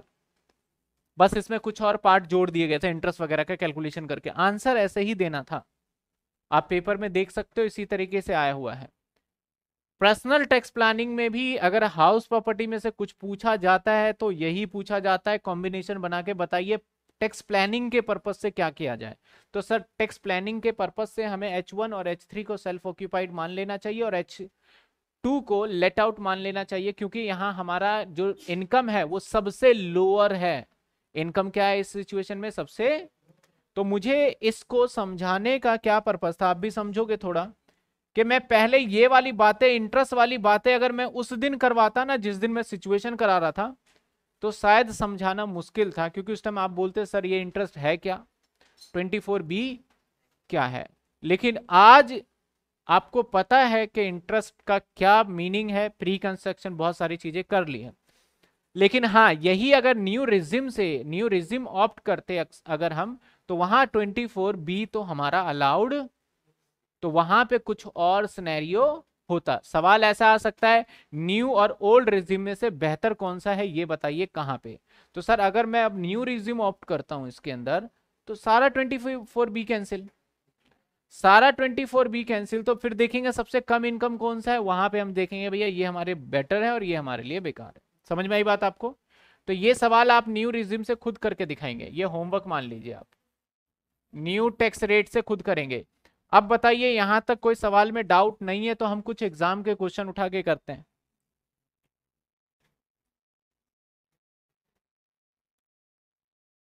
सुमित का कहना है, दो लाख को कहाँ से माइनस करेंगे? एच वन एच टू भैया, जिस घर से रिलेटेड है, आप सिचुएशन नंबर बताना होगा कौन सा? यह सिचुएशन करना होगा। बिल्कुल, सारे सिचुएशन एग्ज़ाम में करके दिखाने हैं एग्ज़ाम को। पंद्रह नंबर का सवाल है ये, पंद्रह नंबर ऐसे नहीं मिलेंगे। अगर इंटरेस्ट नहीं होगा तो आप फिर से सिचुएशन बनाइए। आप इंटरेस्ट वाला पॉइंट माइनस नहीं करेंगे और सारे सिचुएशन पे आप करके एक एक बार चेक करेंगे तो आपको पता चल जाएगा।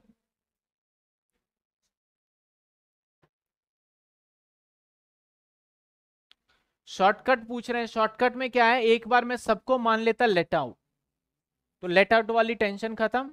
और सेल्फ ऑक्यूपाइड में हमें कुछ करना ही नहीं था, हमें सिर्फ़ माइनस में। मतलब हमने जो इतनी टेंशन ली है, एक ही टेबल में हो जाता। अब इसका सेल्फ ऑक्यूपाइड में इनकम माइनस डेढ़ लाख। इसका सेल्फ ऑक्यूपाइड में इनकम माइनस दो लाख। इसका सेल्फ ऑक्यूपाइड में इनकम माइनस पंद्रह हज़ार। तो सेल्फ ऑक्यूपाइड में हमें टेबल बना के कैलकुलेशन नहीं करना था। यानी एक टेबल बनाते सबका लेट आउट निकल जाता सिचुएशन वन और टू का हमें पता ही था क्या लेना है थ्री का। तो वहाँ थोड़ा आसान बन जाएगा। अभी आगे क्वेश्चन आएँगे। जब आएगा क्वेश्चन तो करके बताएँगे। और ये रूल अगर आपके पास दो ही घर होता तो दोनों का ज़ीरो ज़ीरो मानो, भैया, साफ़ खत्म कहानी, ज़्यादा टेंशन मत लो। जब दो से ज़्यादा घर है, तब ये टेंशन आएगी आपके पास। समझ में आई बात आपको? एक सवाल करते हैं इसके ऊपर। एक सवाल करते हैं। आपके एग्ज़ाम में आया हुआ क्वेश्चन है। चलिए।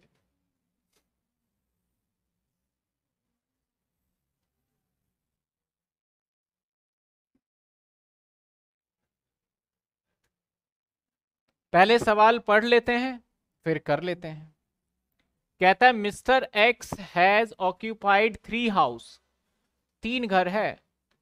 फॉर हिज रेजिडेंस यानी क्वेश्चन में ये बोलता है, तीन घर रखूँगा अपने रेजिडेंस के लिए। कहता है for the purpose of two house given below दो घर तो दिया जा रहा है। Financial detail third house not available sir, तीसरे घर का हमें अवेलेबल नहीं है। यानी तीसरे घर का क्या है, नहीं है पता, हमें कुछ भी नहीं पता। यानी इसके पास तीन घर है और तीनों घर को ये सेल्फ ऑक्यूपाइड ले रहा है। यानी हम हाउस नंबर जिसका पता नहीं है ना, उसको हम ज़ीरो मान लेंगे। सब कुछ ही ज़ीरो मान लेंगे। जब कुछ नहीं पता तो ज़ीरो मान लिया जाएगा। आगे कहता है, सर, इसका स्टैंडर्ड रेंट दे रहे हैं, म्यूनसिपल वैल्यूएशन दे रहे हैं, फेयर रेंट दे रहे हैं, म्यूनसिपल पेड दे रहे हैं, इंश्योरेंस प्रीमियम पेड दे रहे हैं। यानी जो जानकारी चाहिए वो गिवन है।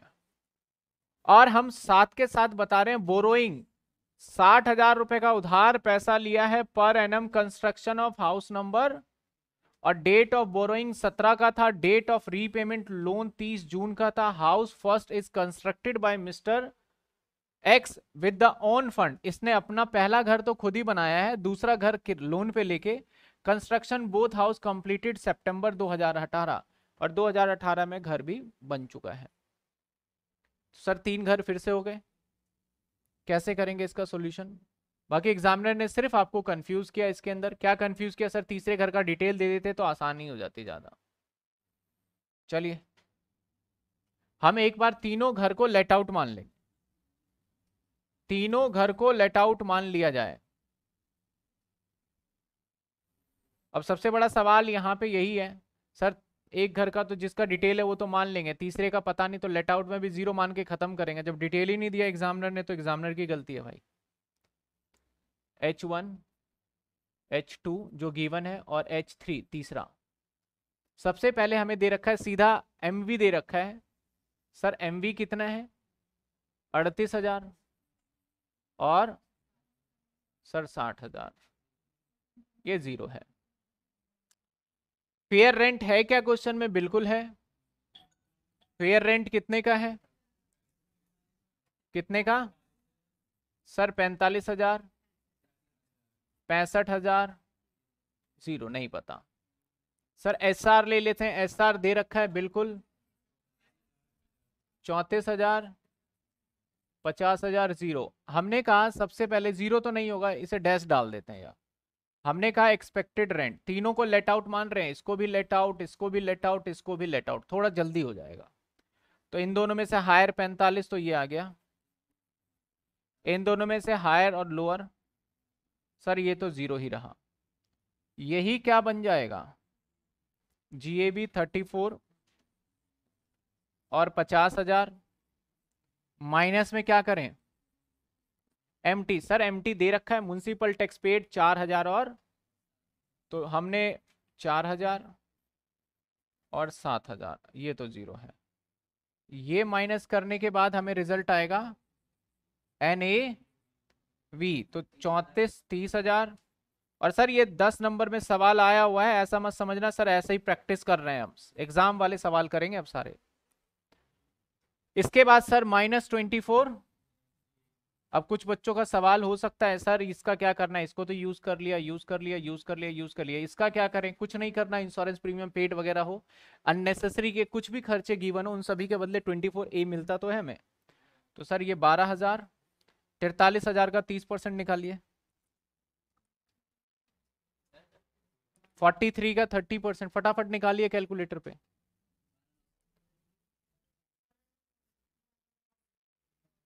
बारह हज़ार?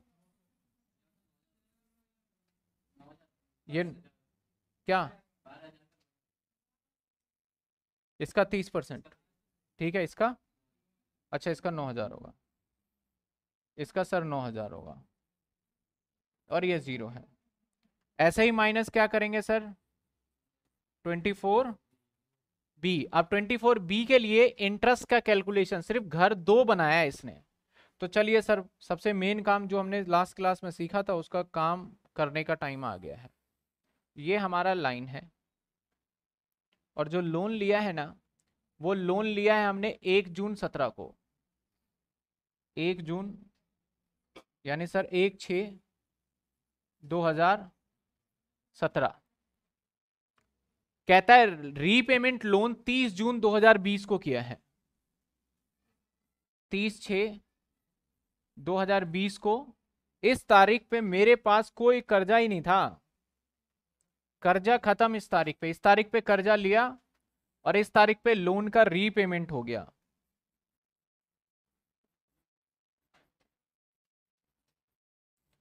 अब घर कहता है, दोनों घर बन के तैयार हुआ सितंबर 18 में।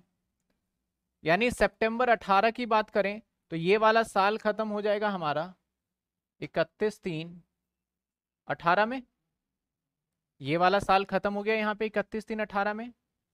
उसके बाद सर हमारा नया साल स्टार्ट होगा, एक चार अठारह, और ये साल खत्म होगा हमारा इकतीस तीन। यानी इस साल के अंदर हमारा घर बन के सर तैयार हो गया। इस साल में हमारा घर बन के तैयार हो गया, ये वाला साल है। तो इस साल में तो मैंने जब इनकम टैक्स रिटर्न फ़ाइल किया होगा, उसका बेनिफिट तो ले चुका हूँगा मैं। क्योंकि उस साल मैंने ऐसे थोड़ी बोला होगा कि मेरा घर भले ही बोला गया क्वेश्चन में कि 30 सितंबर यानी कहीं बीच में बना है। सर, कहीं भी बना हो, रिटर्न जब आपने फ़ाइल किया होगा तो इस साल का बेनिफिट ले लिया होगा। तो पीसीपी तो इससे पहले वाला है। तो प्री कंस्ट्रक्शन अगर पीरियड में पूछूँ प्री कंस्ट्रक्शन पीरियड तो यहाँ से लेके यहाँ तक जो कि कितने महीने बनते हैं? सर, दस महीने। कितने महीने? काउंट करिए, जून, जुलाई, अगस्त, सितंबर, अक्टूबर, नवंबर, दिसंबर, जनवरी, फरवरी, मार्च, कितने महीने हो गए? दस महीने। इस दस महीने का बेनिफिट मुझे अठारह से कहाँ तक बेनिफिट मिल सकता है, ये भी मैं आपको बता दूँ।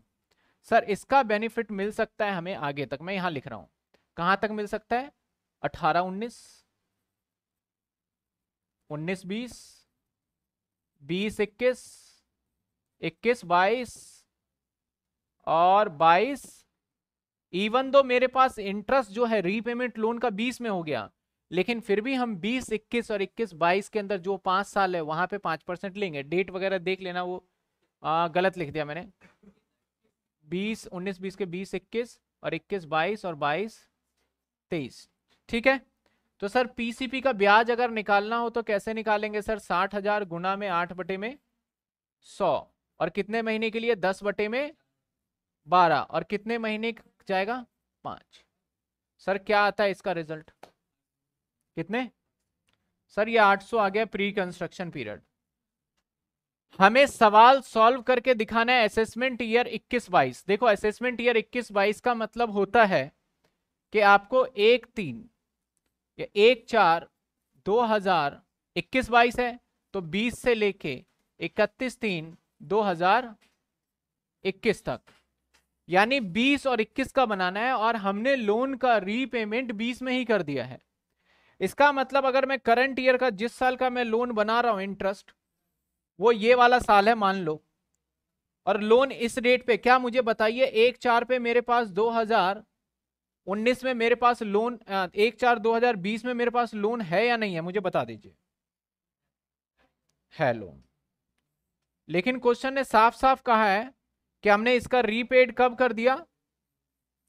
कब कर दिया? तीस छ दो हज़ार। क्या इस डेट के बाद मेरे पास लोन है? तो करंट ईयर में मैं सिर्फ़ यहाँ से यहाँ तक का ब्याज ही निकालूँगा। और यहाँ से यहाँ तक का ब्याज कितने महीने हो जाता है? अप्रैल, मई और जून पूरा तीन महीने। तो तीन महीने का ब्याज निकलेगा सर किस पे? साठ हज़ार पे।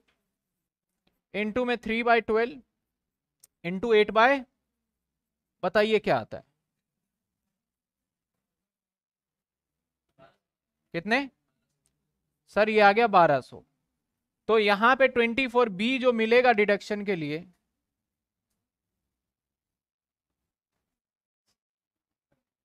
ट्वेंटी फोर बी जो डिडक्शन के लिए मिलेगा। सर, इस वाले, पहले वाले लाइन में तो है ही नहीं।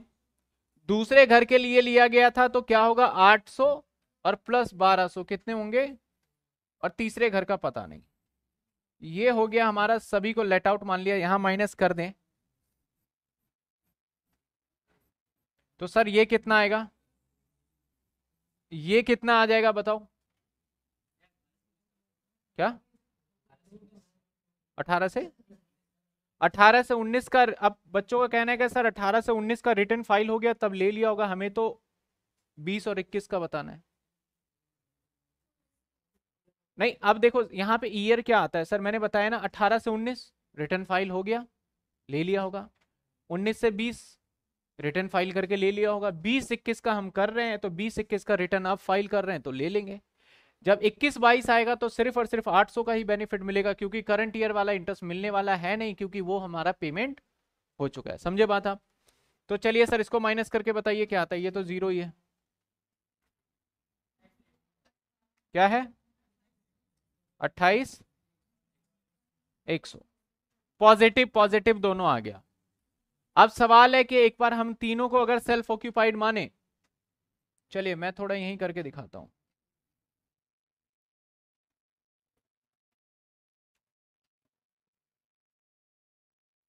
अगर मैं तीनों में सेल्फ ऑक्यूपाइड मान लू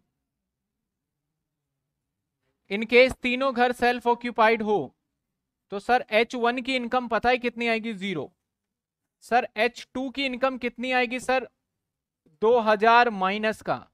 और एच थ्री का इनकम क्या आएगा? ज़ीरो। पहले तो ये आप एग्री करते हैं नहीं करते सेल्फ ऑक्यूपाइड डायरेक्ट निकाल लिया मैंने। तीनों घर को सेल्फ ऑक्यूपाइड यही कह रहा था थोड़ा सा इजी प्रोसेस हो जाता है कि हम पहले पूरा लिख लें, भैया पूरा लेट आउट मान लिया, फिर सेल्फ ऑक्यूपाइड उसके बाद क्या करना है? सबके इनकम जोड़ जोड़ के कॉम्बिनेशन में। बताना है, हमें ज़्यादा लाइनें खींचने नहीं पड़ेगा। अब हमें क्या करना है, सर?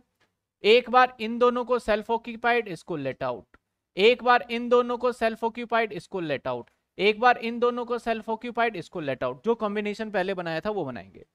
तो चलिए सर, यही बनाने की कोशिश करते हैं और थोड़ा सा स्मॉल करते हैं इसको।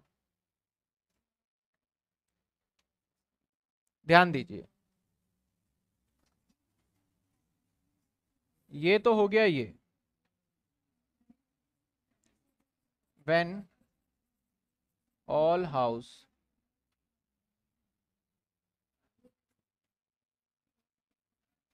out self occupied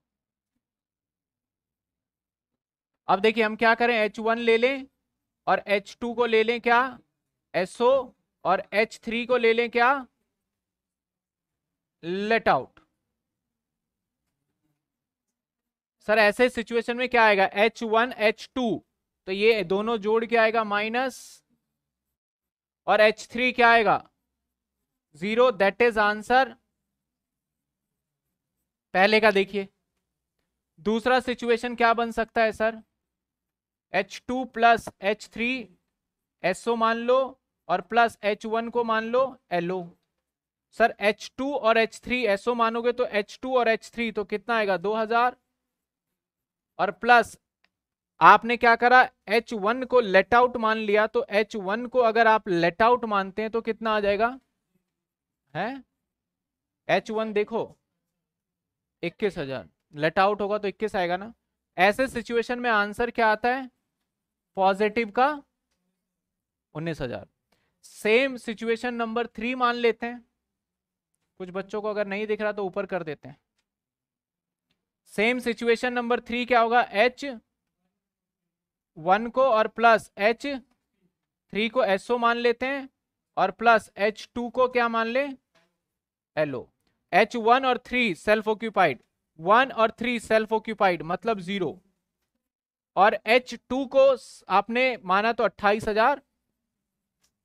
अट्ठाईस हज़ार एक सौ. दैट इज़ आपका आंसर आ गया अट्ठाईस हज़ार. तो सर, कौन से वाला ऑप्शन बेस्ट है? वन टू या थ्री तो जवाब है सर, हमारा फ़र्स्ट ऑप्शन बेस्ट माना जाएगा. सर, क्यों फ़र्स्ट ऑप्शन क्यों बेस्ट माना जाएगा? इसलिए क्योंकि सबसे कम है तो हमारा आंसर ये वाला ठीक माना जाएगा। कौन सा सर? ये आंसर हमारा ठीक है। समझ में आया आपको बात? यहाँ पे अजम्पन देंगे नोट के हाउस नंबर थ्री का डिटेल अवेलेबल नहीं है, इसलिए ऑल थिंग ज़ीरो मान के हमने कर लिया। देखिए, कोई दिक्कत? इसी को मैं कह रहा था कि पिछले वाले सवाल को भी ऐसे करता ना तो देखो सेल्फ ऑक्यूपाइड वाला तो हम फटाफट से निकाल लेते इंटरेस्ट इंटरेस्ट नेगेटिव करके। लेट आउट वाला एक बार मेहनत होता फिर ये लाइन खींचते तो जल्दी हो जाता। अगर मैं इसको फिर से तीन कॉलम में करूँ तो ये फिर से एक और पेज पे जाएगा, एक और टेबल बनना है। फिर उसके बाद एक और टेबल बनेगा तो सॉल्व होगा। तो वो आपके ऊपर डिपेंड करता है कैसे करना चाहते हैं। सर एच टू दो हज़ार कैसे आया? एच टू दो हज़ार कैसे आया? बच्चों को डाउट है। एच टू दो हज़ार जो आया, मैं ब्रैकेट में लिख रहा हूँ। सर आठ सौ रुपए प्री कंस्ट्रक्शन पीरियड का ब्याज। और बारह सौ रुपए करंट ईयर का ब्याज। टोटल ब्याज जो माइनस करना अलाउड है, वो है हमारा ये, जो कि हमारा इस वाले घर के लिए मिलेगा सिर्फ़। क्योंकि वन के लिए है नहीं टू के लिए है नहीं। क्लियर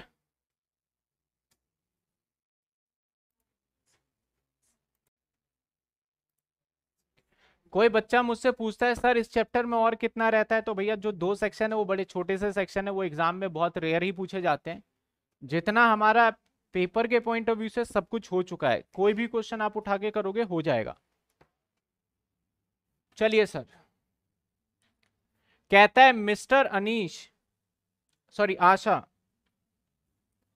Mrs Asha है on a house in Delhi में कंस्ट्रक्शन कंप्लीटेड सितंबर 2019 में घर बन के तैयार और ड्यूरिंग द प्रीवियस ईयर 2021 में the house let out residential purpose first April 2020 से लेके 31 जनवरी 2021 तक, और उसका किराया इसने वसूला बारह हज़ार रुपए महीने का, per month and self occupied residential purpose remaining part बाकी का पार्ट सेल्फ ऑक्यूपाइड यानी partly let out partly self occupied on the basis of time ऐसे सिचुएशन में कुछ भी नहीं बदलने वाला नॉर्मल कैलकुलेशन जाने वाला है हमारा। Previous year other particular in respect of house given है। कहते हैं, सर म्यूनसिपल वैल्यू हम आपको बता रहे हैं फेयर रेंट भी बता रहे हैं और म्यूनसिपल टैक्स पेड भी बताया जा रहा है।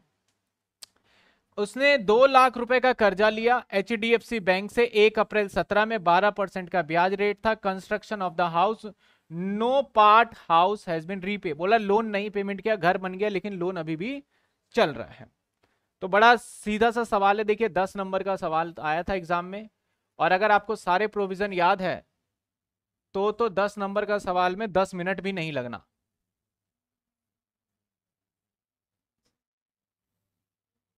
आपके सामने एग्ज़ाम वाले क्वेश्चन है ये।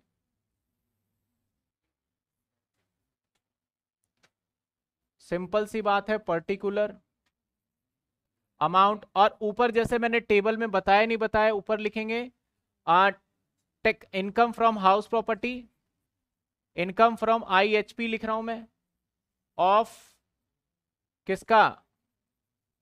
आशा का फॉर असेसमेंट ईयर बाईस तेईस बाईस तेईस है ना? हमें निकालना है बीस इक्कीस तो इक्कीस बाईस होगा। बीस इक्कीस है तो सर, इक्कीस बाईस होगा। इक्कीस, कोई दिक्कत? सर एमवी से स्टार्ट करते हैं। एमवी क्या इसको बांट दे हम? कहता है कि घर कुछ दिनों तक हमने रखा और कुछ दिनों किराए पे। क्या इसको बांट दे? या नहीं बांटेंगे? क्योंकि कहता है कि सर, एक चार से 2019 से लेके आपका जनवरी तक, एक एक 2020 तक ये लेट आउट था। उसके बाद वाला रिमेनिंग रिमेनिंग जो बचे तीन महीने, वो एसओ था। तो क्या इसे हमें इस रेशो में बांटने की ज़रूरत है क्या? जवाब नहीं। लॉ जो पढ़ा था, तेईस नंबर सेक्शन नंबर तेईस, उसमें हमने सिचुएशन में देखा था कि सर कुछ भी नहीं बटेगा। हाँ एरिया होता तो बट जाता। एरिया वाला भी देख लेंगे। सर म्यूनसिपल वैल्यू चुपचाप हमें लिखना, एक लाख टेंशन ही लेना। मन करेगा कि भैया बांट लो, लेकिन उसका कोई फ़ायदा नहीं है ना। एक लाख दस हज़ार। एस आर नहीं दे रखा, sir. S R not applicable इन दोनों में से हम क्या ले लेंगे? ई आर ई आर दोनों में से हायर आएगा एक लाख दस हज़ार। ए ट्रिपल आर आ जाएगा सर ए ट्रिपल आर की हम बात करें तो निकाल लेते हैं कैलकुलेशन कितने रुपए किराए? बारह हज़ार। और कितने महीने तक? चेक करते हैं, हमने कब तक किराए पे दिया था? सर किराए पे दिया इकतीस जनवरी। इकतीस जनवरी है, नौ महीने नहीं, दस महीने। कितने महीने? दस महीने, एक लाख बीस हज़ार। तो सर, मकान मालिक खुद ही बोल रहा है, हमारा ज़्यादा है तो कोई बात नहीं। जीएवी आ गया हमारा, एक लाख बीस हज़ार। माइनस में म्यूनसिपल टैक्स क्या पेमेंट किया है? जी हाँ पेमेंट किया है। कितने रुपए? छह हज़ार। तो ये आ गया हमारा एनएवी देख रहे हैं कितनी जल्दी जल्दी क्वेश्चन हो रहा है। एक लाख चौदह हज़ार। माइनस में ट्वेंटी फोर ए आपका तीस प्रतिशत। और माइनस में ट्वेंटी फोर बी कहानी यहीं आके रुकती है बच्चों की। कितने आ रहे चौतीस? 200 सर, अब कहानी रुकती कहाँ पे? इंटरेस्ट पे। चलिए, लोन लेने की तारीख है। कहता है 15 सितंबर 19 में, कंस्ट्रक्शन कंप्लीट हो गया 19 में ड्यूरिंग द प्रीवियस ईयर इसने जो लोन लिया है, वो लोन लिया है, कब लिया है, कब लिया एक अप्रैल सत्रह। एक चार 2017 सर लोन तो ले लिया। अब बात करते हैं, हमारा ईयर जो कंप्लीट होगा अकाउंटिंग ईयर वो होगा इकतीस तीन, दो हज़ार बीस। बीस इक्कीस का है या बीस? इक्कीस। खत्म होगा? सर, इक्कीस में अकाउंटिंग ईयर यानी इस साल को तो मैं सेपरेट ही ले लू। इस साल को पहले कट मार लेते हैं। ये होगा हमारा स्टार्ट एक चार 2020 में। यानी ये करंट ईयर है। अब सर, अब चेक करो घर कब बना। घर बना हमारा 15 सितंबर 19 में। सितंबर है। यानी सर, एक चार अठारह से ये खत्म हुआ होगा। सितंबर है ना, एक चार अठारह नहीं। एक चार उन्नीस। एक चार उन्नीस और खत्म होगा ये इकतीस तीन। कुछ इस साल के अंदर हमारा घर बन के तैयार हो गया। इस साल के अंदर हमारा घर बन के तैयार हो गया। यानी प्री कंस्ट्रक्शन पीरियड जो माना जाएगा, इससे पहले वाला टाइम माना जाएगा। समझिए बात आपको, इसके बीच में क्या हुआ, नहीं हुआ, उसकी बात नहीं कर रहे, इससे पहले वाला टाइम यानी ये वाला साल, यहाँ पे तो उसने घर बनाया डिडक्शन ले लिया होगा। तो इससे पहले वाला माना जाएगा तो एक चार सत्रह से इकतीस तीन अठारह, अभी भी पीसीपी है। उसके बाद एक चार अठारह से इकतीस तीन उन्नीस। यानी सर कितने महीने?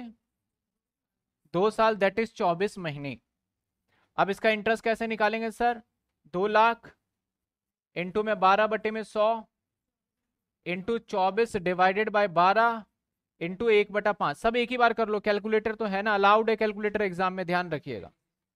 कितने आ गए? नाइन्टी सिक्स हंड्रेड थाउज़ेंड नहीं आएगा हंड्रेड आएगा शायद। नाइन्टी सिक्स अब मुद्दे की बात आती है, सर, इस साल का कोई ब्याज करना है क्या? घर तो कंप्लीट हो गया। अब चेक करना होगा, घर कंप्लीट हुआ लोन का पेमेंट हुआ या नहीं हुआ? अगर क्वेश्चन कुछ नहीं बोलता तो अजम्पन लो के लोन का पेमेंट अगर क्वेश्चन बोलता है नहीं हुआ, तब तो नहीं है। और क्वेश्चन बोलता है पेड हो गया तो हो गया। जैसे पिछले वाले सवाल में तीन महीने बाद पेमेंट हो गया था। यहाँ पे सवाल ने बोला कि हमारा no part loan payment has been so far तो सर, यहाँ पे पूरा आउटस्टैंडिंग होगा। तो करंट ईयर का जो ब्याज बनेगा, वो पूरा ही बनने वाला है, सर। दो लाख पे। सिंपल सी बात है, बारह परसेंट दैट इज़ आपका चौबीस हज़ार। तो डिडक्शन के लिए एलिजिबल चौबीस और प्लस छियानवे सौ। तो चौबीस हज़ार प्लस नाइन्टी सिक्स हंड्रेड कितने हो गए? कितने? चौतीस? पैंतीस, चौबीस और अच्छा।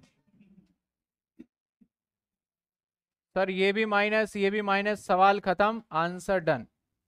Income from house property. पैंतालीस, नौ सौ। टू हंड्रेड, है ना? पॉजिटिव। चलिए, ये सवाल भी कर लिया, किसी के दिक्कत, परेशानी बताइए। सर इंटरेस्ट से पहले वाला बता दो। इंटरेस्ट से पहले वाला क्या बताना है? ये सारा तो सिंपल आप बताइए कौन सा डाउट है?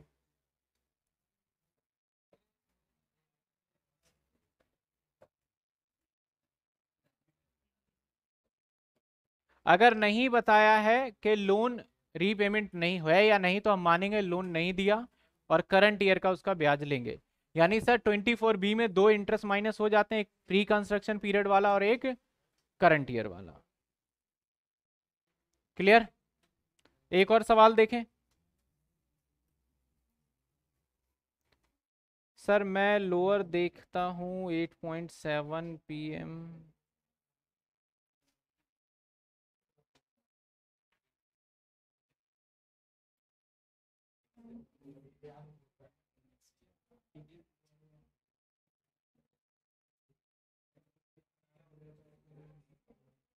बच्चे कह रहे हैं, सर, छियालीस दो सौ आएगा, गलत निकाल के बताया। किसने निकाला? फिर से माइनस करो। माइनस करके बताओ। क्या आएगा? छियालीस दो सौ।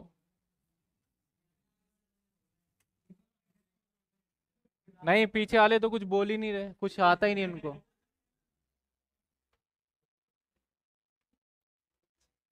चलिए, एक और सवाल देखें। सर, आपने हायर क्यों क्यों देखा? हायर ओब्वियस सी बात है, हम expected rent A triple R में हमेशा हायर ही लेते हैं तो हायर ले लिया। पीसीपी 24 महीने क्यों लिया? देखो, सवाल के अंदर मैंने डेट भी लिखा है भाई। यहाँ से यहाँ तक घर नहीं बना। यानी सिंपल सी बात है ना पीसीपी का निकालते कैसे हैं? जिस साल घर बना है ना, उस साल को छोड़ दीजिए। उससे पहले 31 मार्च जो आ रहा है, वो और जहाँ पे लोन लिया है, वहाँ तक का पीसीपी होता है।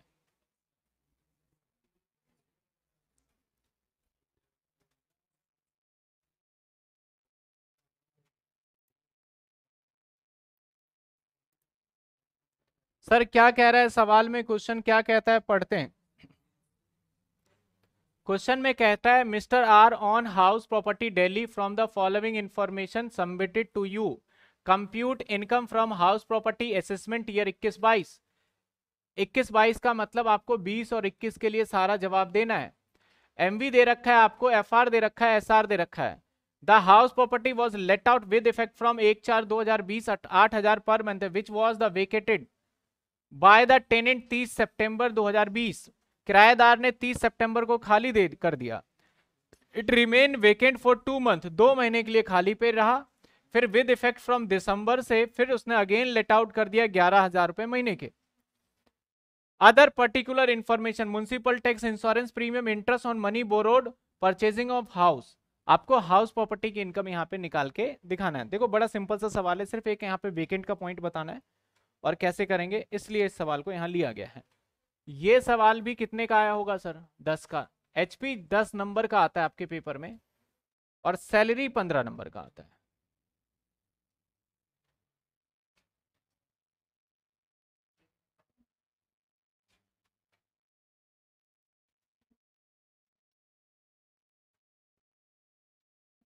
चलिए, sir. M V M B हमारा है नब्बे हज़ार एफ़ आर आस पड़ोस के रेंट और हमारा आ जाता है आगे। एस आर सर कितने का? वन लैख। एस आर के बाद आगे चलते हैं। ई आर निकालेंगे। ई आर इन दोनों में से हायर, लोअर। अब निकालेंगे A triple R. Sir A triple R निकालेंगे तो क्वेश्चन खुद कह रहा है चिल्ला चिल्ला के, कि एक चार दो हज़ार बीस को किराए पे दिया और सितंबर तीस को किराएदार भाग गया। सितंबर तीस में किराएदार चला गया, यानी छह महीने रहा।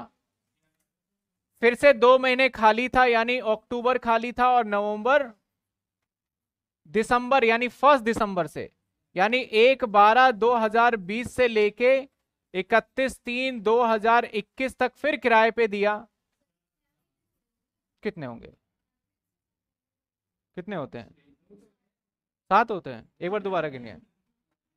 सर, यहाँ पे किराया था आठ हज़ार पर मंथ। और यहाँ पे किराया बनता है चार महीने का।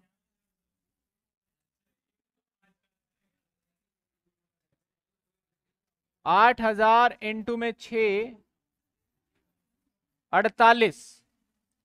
ग्यारह हज़ार इंटू में चार, चौवालीस। बताइए।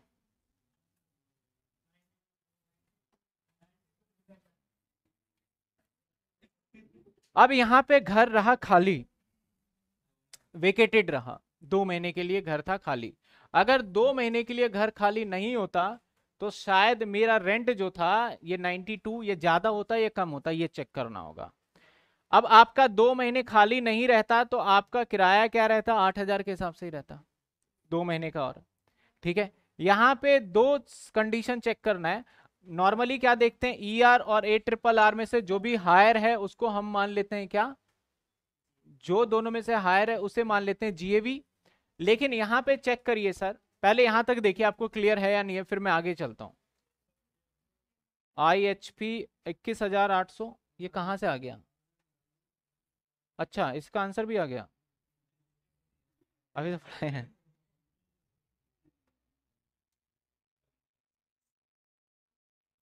एक मिनट। जल्दी बताइए आप देख के।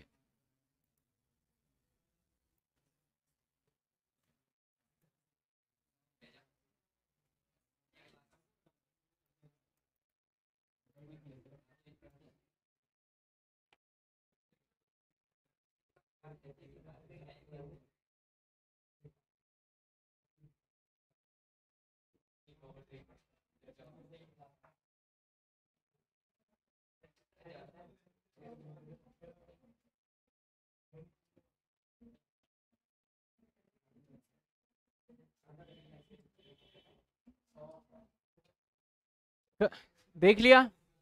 अब मैंने आपको बताया था, सर, अगर 12 महीने का एक मन में कैलकुलेशन लो, क्योंकि वो कहते हैं कि, सर हायर हम तभी कंसे मान लेते हैं पूरे साल 12 महीने चढ़ा होता किराए पे तो क्या एक लाख से ज़्यादा होता या कम? दो महीने जोड़ते सोलह हज़ार रुपए और तो आप बानवे में सोलह हज़ार और जोड़ोगे दो महीने खाली पे था ना? अगर आपका पूरे साल किराए पे रहता तो डेफिनेटली एक लाख से ऊपर का किराया जाने वाला था। यानी हम जो गवर्नमेंट का स्टैंडर्ड रूल है गवर्नमेंट कहता है आपका एक साल में एक लाख होना चाहिए। मैंने कहा, सर, मैं मना कहाँ कर रहा हूँ? मैं तो कह रहा हूँ एक साल में आपका पूरे एक लाख से ऊपर भी हो सकता है, जो कि मेरा सोलह हज़ार आ रहा है, लेकिन कुछ महीने खाली रहा, इसलिए किराया था। तो गवर्नमेंट क्या कहेगा? आप प्रूफ करो कि खाली था या नहीं था, आपने प्रूफ करना है। जो कि हमें सवाल में कहीं मेंशन नहीं होता, हम ये अजम्पन ले लेते हैं कि उसने प्रूफ कर दिया होगा।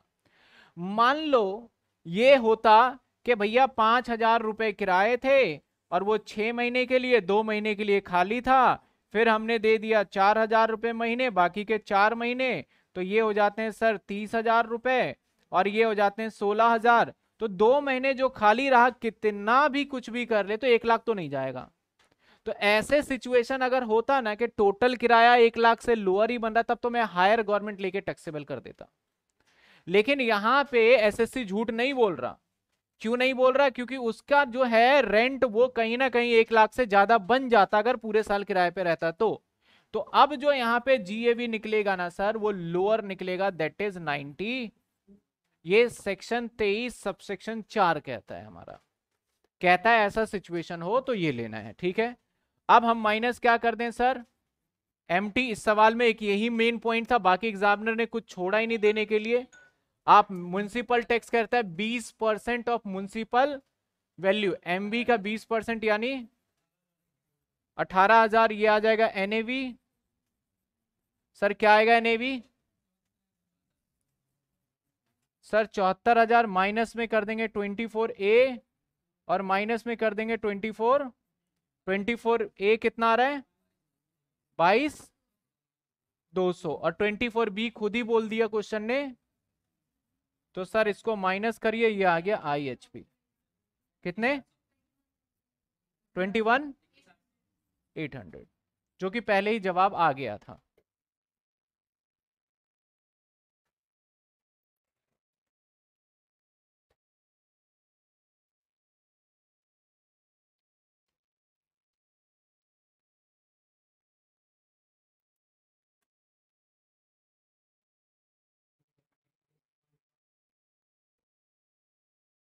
अब चेक करिए, ठीक होगा। फिर से देख लीजिए, आपको जीएवी क्लियर है या इसके सिचुएशन फिर से बना के बता दूँ? देखो वैकेंसी के केस में दिक्कत है। बाकी अगर किसी केस और होता तो नहीं। हमें सबसे पहला काम, जब खाली घर है तो हमें क्या करना है? टोटल एक बार कैलकुलेट करके देखना है कि जो टोटल किराया बनता है पूरे साल का, वो एक्सपेक्टेड रेंट से ज़्यादा बन रहा है, नहीं बन रहा है। खाली है, उसे भूल जाइए। खाली उस बात को भूल जाइए। आप पूरे साल को एक किराए पे लीजिए। अगर एक्सपेक्टेड रेंट से ज़्यादा बन रहा है हमारा ए ट्रिपल आर बारह महीने का तब तो, तो लोअर वाला पार्ट आ जाएगा। लेकिन इनकेस आपका एक्सपेक्टेड रेंट अभी भी ये आता मान लेते हैं एक लाख पाँच हज़ार तब क्या आता? एक लाख पाँच हज़ार हायर ही आता, तब लोअर कॉन्सेप्ट नहीं लगता। लेकिन अगर इन सभी को टोटल 12 महीने का मान लेते हैं और तब भी एक लाख के बराबर नहीं हो पाता, तब क्या आता मान लो? नहीं समझे। देखिए, मैं बता देता हूँ। केस नंबर वन, सर मेरा जो एक्सपेक्टेड रेंट है ना वो है एक लाख। मैंने कहा, मेरा रेंट जो रिसीव हुआ है, वो पाँच हज़ार रुपये छह महीने तक और छह हज़ार रुपये बाकी के मेरे चार महीने तक। यानी मैं बताना चाहता हूँ A triple R that is कितने हो जाएँगे? तीस हज़ार और चौबीस हज़ार मैंने बता दिया फिफ्टी अब सबसे पहले वैकेंसी है या नहीं है? बिल्कुल है, सर। दस महीने का डिटेल है तो दो महीने का क्या रहा होगा? अब सबसे पहले आप मन में कैलकुलेट करो, एक अजम्पन लो कि ये बारह महीने तक किराए पे रहता तो क्या होता? पूरे बारह महीने तक रेंट पे रहता तो क्या होता? एक अजम्पन लो। सर, बारह महीने तक होता तो ज़्यादा से ज़्यादा दो महीने तक छह हज़ार और जोड़ देते हैं। या ज़्यादा से ज़्यादा पाँच हज़ार दो महीने और जुड़ जाता है। यानी दस से बारह हज़ार और जुड़ना था। दस से बारह हज़ार जोड़ने के बाद भी तो एक लाख से ऊपर नहीं जा रहा। अगर आपका पूरे साल भी किराए पे रहता, तब भी तो गवर्नमेंट यही कंसीडर करने वाला था। करने वाला था यही ना? तो ऐसे सिचुएशन में एसएससी को बोल दिया जाता है, तुम झूठ बोल रहे हो। तुम्हारे किराए से हमें मतलब नहीं है, तुम दो रुपए किराए पे दो, हमें क्या लेना देना? हमने रूल निकाला, इसके हिसाब से टैक्स देना होगा। तो यहाँ पे ऐसे सिचुएशन में जीएवी जो होगा, वो होगा एक लाख। सिचुएशन नंबर टू देखिए। एक्सपेक्टेड रेंट हमारा है एक लाख। और मेरा जो रेंट है, मैं पिछला ही सवाल ले लेता हूँ। आठ हज़ार रुपये महीने का था, ये था छह महीने। ग्यारह हज़ार रुपये महीने का था चार तो आठ हज़ार के हिसाब से कितना बनता है सर? अड़तालीस, ग्यारह के हिसाब से कितना बनता है? चौवालीस टोटल कर दिया तो नाइन्टी टू। यानी सर दो महीने की वैकेंसी है। या दो महीने पे किराए पे रहता या तो आठ हज़ार के हिसाब से चढ़ाता या तो ग्यारह हज़ार के। मान लो आठ हज़ार के हिसाब से दो महीने पे चढ़ाते आप तो सोलह हज़ार और एड ऑन कर देते। तो कितना बन जाता? यानी गवर्नमेंट अगर मैं पूरे साल किराए पे रखता, तब भी गवर्नमेंट का जो रूल है, उससे कहीं ज़्यादा बन रहा था। तो गवर्नमेंट कहता, जी, आप जो बताएँगे, वही किराया वैलिड माना जाएगा। तो मैंने बोला, सर, मेरा अभी फ़िलहाल ए ट्रिपल आर जो बन रहा है, वो बन रहा है नाइनटी टू बोला, आपका रूल ठीक है, आप कम किराए नहीं दे रहे तो ऐसे सिचुएशन में यहाँ पे जीएवी क्या माना जाएगा? लोअर तीसरा केस देख लीजिए। मान लेते हैं एक्सपेक्टेड रेंट है मेरा एक लाख और मेरा रेंट जो है रेंट मैंने दिया, सर, बीस हज़ार रुपए महीने के किराए पे दिया मैंने। बीस हज़ार रुपए महीने के किराए पे दिया, आठ महीने तक, चार महीने खाली रहा मेरा। बीस हज़ार महीने का किराया दिया, चार महीने क्या रहा? तो मेरा ए ट्रिपल आर क्या होगा? एक लाख तो गवर्नमेंट कहता है, भैया, तुम जो निकाल रहे हो, तुम्हारे रूल को ही मानेंगे, क्योंकि पूरे साल मेरे से तो बेहतर निकाल रहे हो तुम। तो यहाँ पे क्या बन जाएगा? यानी लोअर वाला कॉन्सेप्ट कब लगता है? जब आपका गवर्नमेंट वाले रूल से कम आ रहा हो और आपका टोटल मिलाए तो गवर्नमेंट से ज़्यादा जा रहा हो। हायर वाला कब लगेगा? जब आपका गवर्नमेंट के हिसाब से कम आ रहा हो और टोटल भी करो, तब भी आपका कमी पड़ रहा है। तो गवर्नमेंट बोलते तब तो हम तुम्हारा मानेंगे ही नहीं। अब सिंपल सी बात है ना, आप देखो सिंपल सी बात है। मैंने कहा, सर एक्सपेक्टेड रेंट है यहाँ पे एक लाख। आपने कहा, मेरा पूरे साल किराए पे था दस रुपए महीने के हिसाब से। तो बारह एक सौ बीस गवर्नमेंट क्या कहेगा? झूठ बोल रहे हो? किस पे टैक्स लेंगे? तो यहाँ पे क्या है ऐसा कंडीशन बना? यहाँ पे कंडीशन बना आपका ओवरऑल तो हमसे कमी जा रहा है। तो तो तुम गलत बोल रहे हो, हम। ओवरऑल के हिसाब से लेके चले। तो ये तीन केसेस बन सकता था जो कि हमारा यहाँ पे भी मैंने कंसिडर किया। क्लियर है? बच्चे पूछ रहे, पाँच हज़ार, छह हज़ार कहाँ से आया? मेरा मानना है वो अजम्पन है। क्वेश्चन में नहीं है।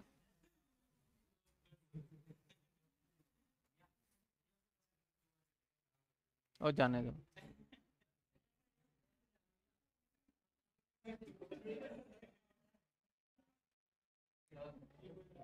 ठीक है, एक और सवाल देखें।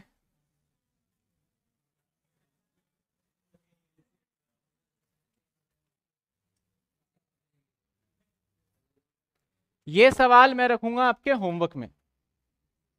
लेकिन लेकिन लेकिन, पहले समझना होगा। पहले एक बार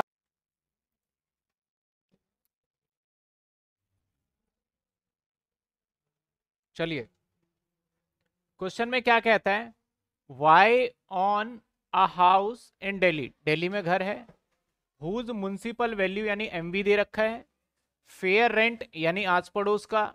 ड्यूरिंग द प्रीवियस ईयर 20 इक्कीस हाउस रिमेन वेकेंट कुछ दिनों तक सर खाली रहा। एक चार 2020 से लेके तीस छः 2020 तक। इट वॉज़ लेट आउट एक साथ से कर दिया मिस्टर ए को। For residential purpose monthly rent इतने का होगा। और कहता है वाई ये थोड़ा सा मिसप्रिंट हो गया, ये इधर शिफ्ट हो गया, ये एग्ज़ाम में आया हुआ क्वेश्चन है 2009 में।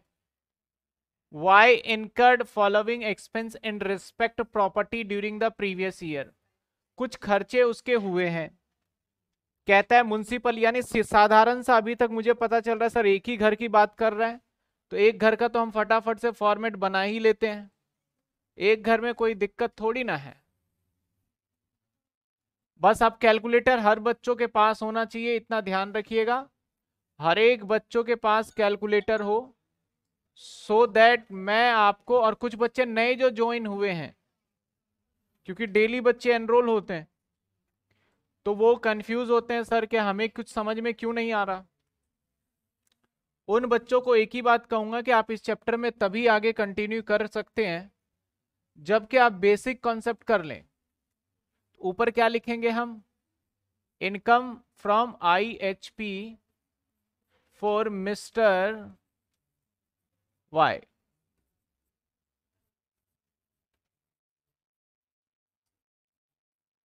तो जो बच्चे नए ज्वाइन हुए हैं, उनको पहले बेसिक कंसेप्ट करना होगा और बेसिक कंसेप्ट के साथ साथ फिर ये हाउस प्रॉपर्टी स्टार्टिंग से करेंगे, तब समझ में आएगा हाउस प्रॉपर्टी का चैप्टर एंडिंग में चल रहा है।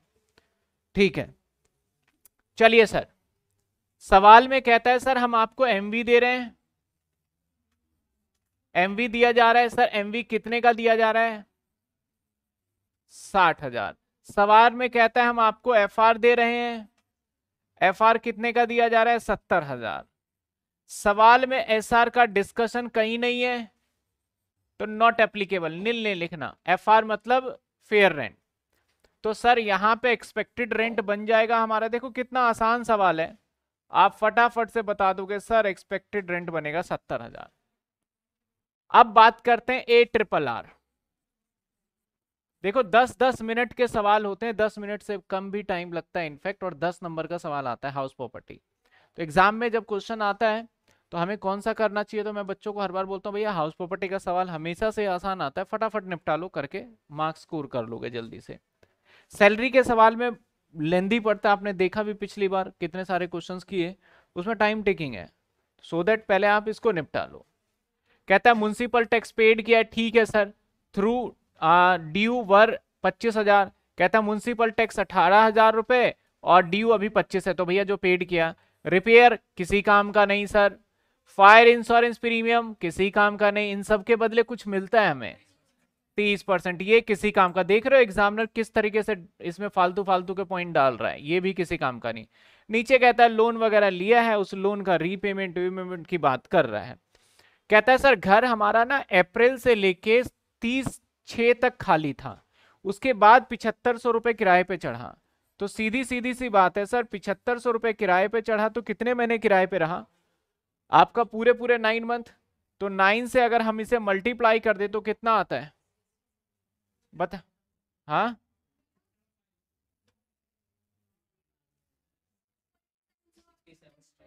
फ़र्स्ट एक सेकेंड।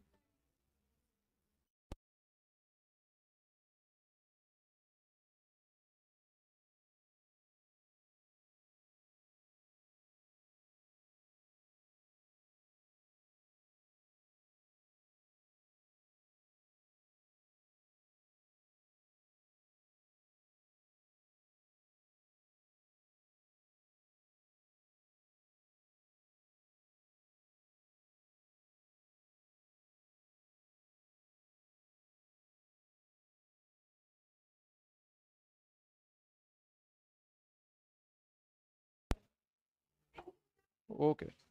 हाँ जी, थोड़ा वॉइस कट हो गया था, एक थोड़ा सा आवाज़ हर किसी को आ रही है, बता दीजिए। वॉइस हर किसी के पास प्रॉपर है कि नहीं है, ये भी मुझे बता दे फटाफट से, क्योंकि मैंने बीच में वॉइस कट कर दिया था थोड़ा सा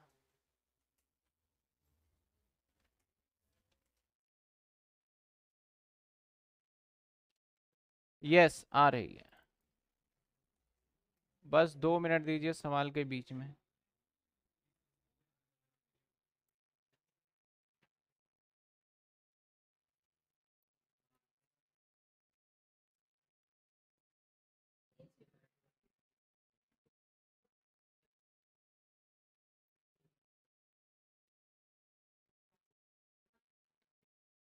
यस सर ठीक है डन मैं बात कर रहा था सर इसको मल्टीप्लाई करने की।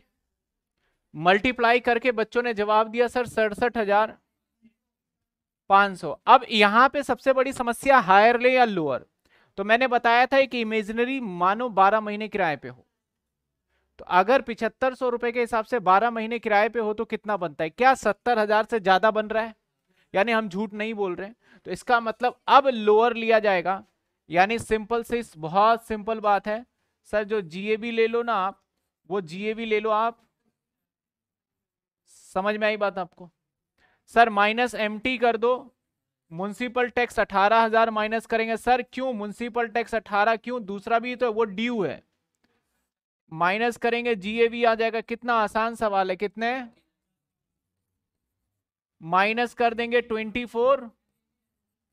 और माइनस कर देंगे ट्वेंटी फोर इन केस अगर है हमारे पास तो। तो सर, यहाँ पे क्या आता है बताओ ट्वेंटी फोर चौदह हज़ार आठ सौ पचास। तो देखो, कैलकुलेटर आपके पास है तो कोई डरने की ज़रूरत नहीं है कि एग्ज़ाम में बड़ा कैलकुलेशन आ जाए, छोटा आ जाए। आपके लिए फटाफट से क्या करें? आपके लिए प्री कंस्ट्रक्शन पीरियड और इंटरेस्ट जो सबसे बड़ी टेंशन लगती है बच्चों को, लेकिन है नहीं।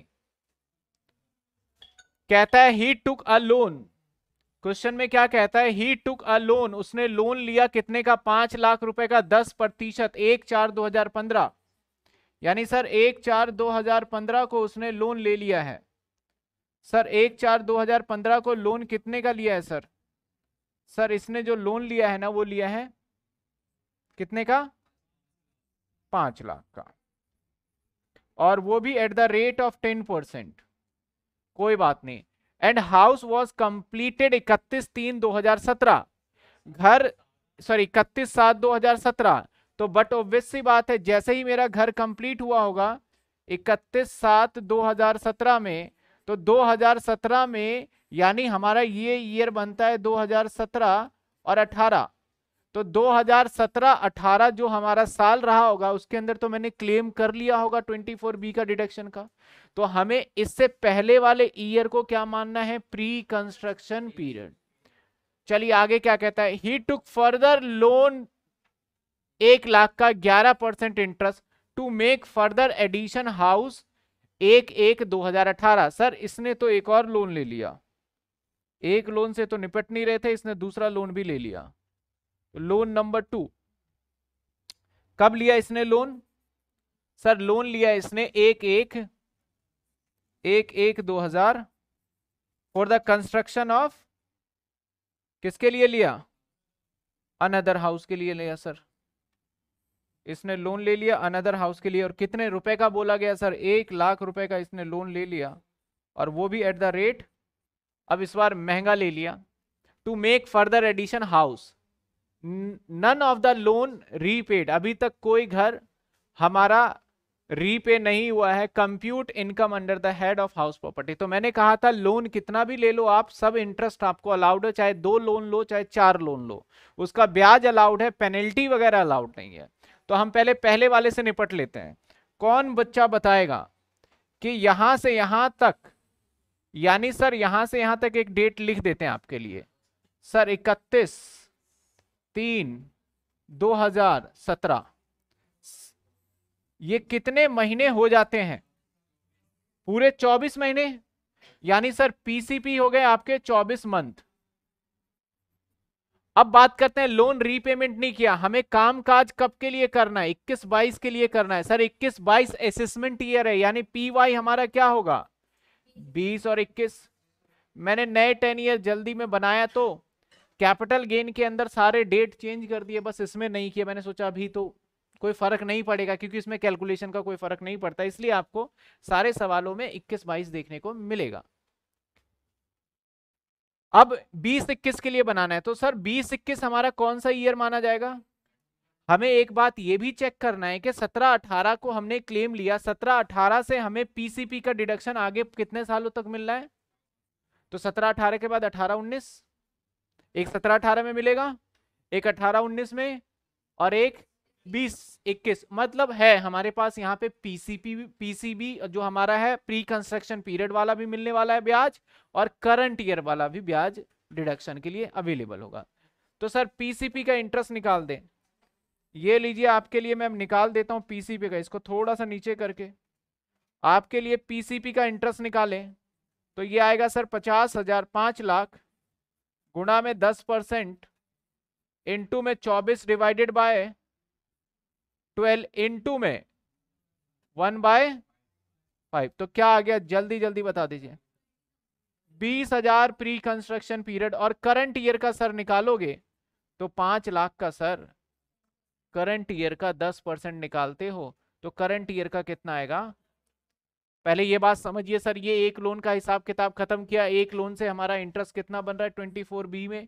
सर बीस हज़ार और पचास हज़ार, सत्तर हज़ार। सवाल समझ में आया? सत्तर हज़ार कैसे? बीस हज़ार प्री कंस्ट्रक्शन पीरियड वाला और पचास हज़ार रुपए आपका करंट ईयर का, क्योंकि क्वेश्चन में लाइन दे देता है none of the loan repaid और मैंने वैसे ही बोला, ये लाइन नहीं देता तो क्या मानोगे? कोई लोन रीपेमेंट नहीं हुआ है, सर। अब दूसरे लोन का हिसाब किताब, एक अठारह में घर कंप्लीट वगैरह हुआ नहीं कुछ, यहाँ पे तो पीसीपी का कोई कॉन्सेप्ट लग नहीं रहा, क्योंकि 2018 में कहता है ही टुक अ फर्दर लोन एक लाख रुपए eleven percent interest to make further addition in the house house बन चुका है। हाउस के अंदर कुछ एडिशन के लिए तो इस वाले कॉन्सेप्ट में क्या प्री कंस्ट्रक्शन पीरियड का कोई सवाल खड़ा होगा? मैं जाऊँगा रिटर्न फ़ाइल करने के लिए सरकार के पास। सरकार बोलेगा, भैया रिटर्न फ़ाइल कर रहा है, घर है क्या? मैंने घर है, बस एक दो दीवार डलवा रहे हैं चेक चेक कर सकते हो। तो मुझे तो हर साल डिडक्शन मिलेगा। यानी सर, यहाँ पे पीसीपी वाला कॉन्सेप्ट नहीं आएगा।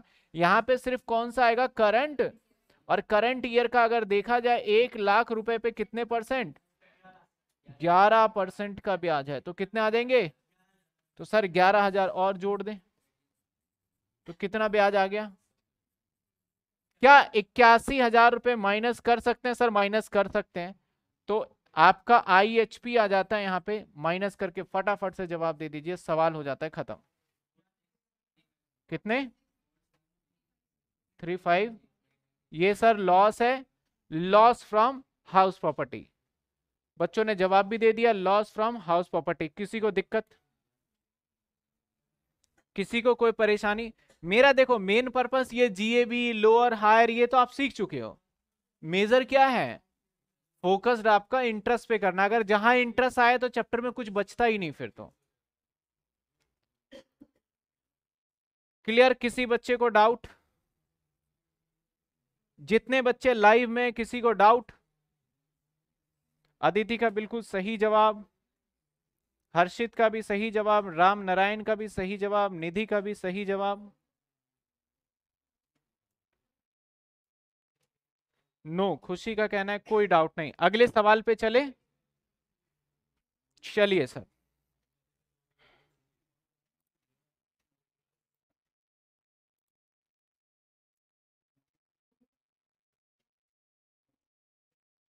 अनरिलाइज रेंट का क्या रोल होगा? बच्चे का पूछना है, रमन का तो अभी अनरिलाइज रेंट आज आज अभी अभी एक घंटे का इंतज़ार करिए, आपको सारा पता चल जाएगा धीरे धीरे अनरिलाइज रेंट इसके बाद हम करने वाले हैं, ठीक है ना? एक और सवाल आपके सामने कर लिया जाए, क्योंकि जब तक हमें कुछ सवालों से बिल्कुल पक्का नहीं हो जाता इंटरेस्ट वाले पॉइंट में, मैं ज़्यादा से ज़्यादा सवाल, आप देख रहे हो, ये सारे एग्ज़ाम में आए हुए हैं और हाउस प्रॉपर्टी में एग्जामिनर सोचता है, क्या दू बच्चों को करने के लिए? क्या दू बच्चों को करने के लिए जिससे कि सवाल रुक जाए? तो बस एक ही चीज़ नज़र आता है उनको इंटरेस्ट इसलिए हर सवाल में वो घुमा फिरा के इंटरेस्ट देगा।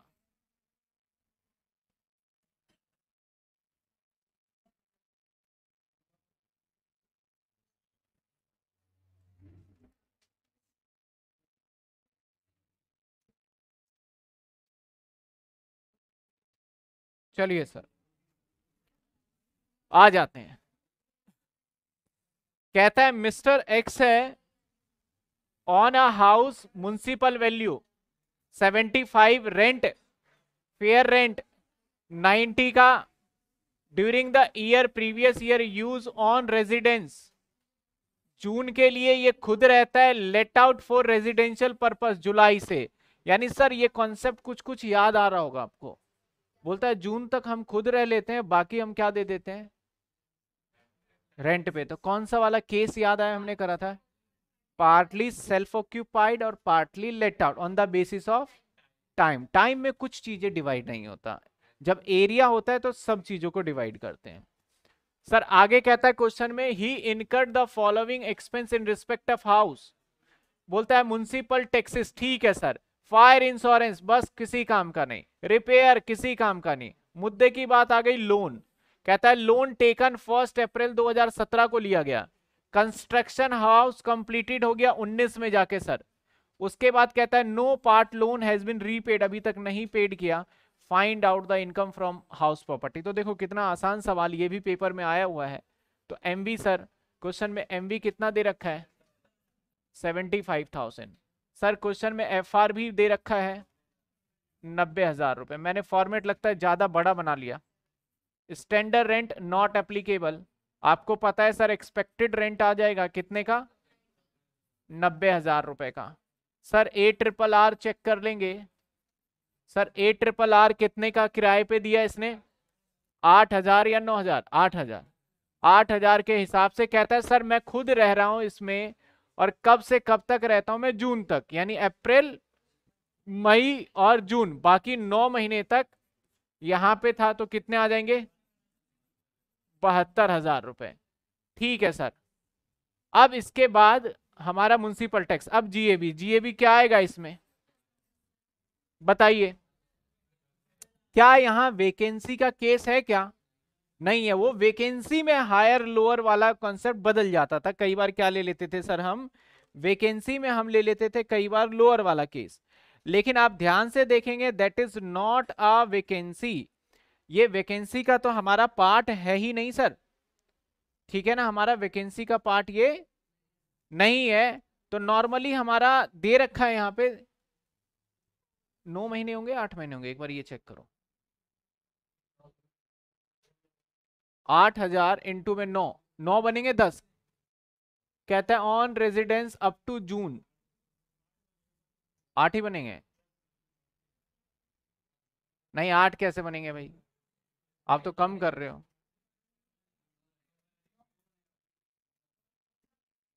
एक मिनट चेक कर लेते हैं।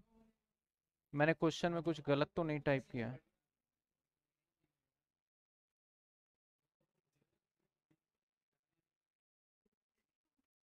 नहीं, ठीक है। ठीक है नाइन मंथ बनेंगे। तो सर, यहाँ पे देखा जाए तो ऐसे सिचुएशन में हमेशा हायर लेना, अगर वेकेंसी का केस होता है, तब लोअर लेते हैं, और जो भी डिपेंड करता है। अगर वेकेंसी का केस नहीं है तो भैया हायर ही चलेगा तो जीएवी हायर आ जाएगा। नब्बे हज़ार, इन बातों को आपको ध्यान रखना है, क्योंकि थोड़ा कंफ्यूजन करता है बच्चों को। तो मेरी पिछली वीडियो को और इस वाले वीडियो को बड़े ध्यान से देखोगे तो आपको क्लियर हो जाएगा फिर। माइनस में एमटी सर एमटी कितने का है? एम टी नौ हज़ार का। कहाँ की? चाबी मेरे पास नहीं है इसके। तो सर, ये आ जाएगा। माइनस करें 81 ये क्या आ गया, सर? एनएवी आ गया। माइनस करो 24 ए। फिर सर माइनस करो 24 बी। अब 24 ए कितना आएगा? सर 30 प्रतिशत जो चौबीस हज़ार तीन सौ। अब सबसे मेन पार्ट जो एग्जामिनर जानना चाहता है और मैं भी चाहता हूँ हर सवाल में ये पूछा जाए ताकि बच्चा कम से कम तो थोड़ा कंसंट्रेट होके पढ़े इस चैप्टर को। कहता है, सर, मैंने एक लोन लिया अप्रैल सत्रह में। कब लिया? एक चार दो हज़ार सत्रह में मैंने एक लोन ले लिया। कोई बात नहीं। कितने रुपए का लोन लिया? ये मुद्दा है। सर, इसने लोन ले लिया दो लाख रुपए का। सर, दो लाख का लोन तो ले लिया। कहता है, हाउस कंस्ट्रक्ट इकतीस पाँच दो हज़ार उन्नीस। सर 2019 में हमारा घर बन के तैयार हो गया। कब? इकतीस पाँच 2019 तो जिस साल घर बन के तैयार हुआ है, वो वाला ईयर रहा होगा 19 यानी सर 19-20 में तो हमने क्लेम कर लिया होगा। 19-20 में हमने क्लेम कर लिया होगा। तो पीसीपी की अगर बात करें तो हमारा पीसीपी काउंटेबल जो होगा, वो होगा इकतीस तीन दो हज़ार अठारह या उन्नीस? उन्नीस। यानी सर इसका मतलब यहाँ से लेके यहाँ तक का पीसीपी का पार्ट माना जाएगा। सर, हमारा करंट ईयर क्या है? सर, करंट ईयर 19-20 है, जो कि चल ही रहा है, यही है 19-20 की बात कर रहे हैं। करंट ईयर में घर बना तो ये पीसीपी है। कितने महीने सत्रह। करंट ईयर 20 अच्छा हाँ करंट ईयर 20 इक्कीस होगा। ये हमारा करंट ईयर की अगर मैं बात करूँ तो दैट इज़ करंट ईयर हमारा 20 और 21 ठीक है सर। यानी यहाँ के बाद तो हमने डिडक्शन लेना चालू किया होगा, इससे जस्ट बिफोर रहेगा। पहले ये बात आपको समझ में आया कि यहाँ से यहाँ काउंट करना है तो 17 से 18 और 18 से 19 यानी कितने महीने? अगेन 24 महीने। एग्जामिनर आपको आसान आसान सवाल दे रहा है 24 महीने देके अब सर लोन कितने का है? फटाफट निकाल लो, दो लाख। और दो लाख पे कितने परसेंट? दस बटे में सौ। कितने? चौबीस बटे में बारह, कितने महीने? एक बटे में पाँच। कितने आ गए? सर, आठ हज़ार पीसीपी जिसका डिडक्शन मिलेगा, आठ हज़ार जमा प्लस और सर करंट ईयर का भी तो लेंगे। करंट ईयर का कितना लेंगे सर? दो लाख पे सीधा सीधा दस परसेंट। दैट इज़ हमारा आ जाएगा बीस हज़ार। तो सर, बीस हज़ार ये आ गया। अट्ठाईस हज़ार रुपये टोटल आ गया। सात सौ क्यों? अच्छा माइनस माइनस करके। अट्ठाईस, सात सौ, नेगेटिव, पॉजिटिव पॉजिटिव। तो सर, ये आ गया आई एच पी किसी को दिक्कत, देखो, दो सवाल कर लिए हमने, फटाफट से किसी को कोई दिक्कत? किसी को कोई परेशानी? पढ़ लेते हैं सर सवाल को। सारा सवाल करने में फिर आपको क्या करोगे? कहता है, Shri R on two house. हाँ यहाँ अलग हो गया, दो घर है। Furnish the following information particular financial year बीस इक्कीस first house its municipal value and standard rent and आपका act applicable it has been let out तीन हज़ार.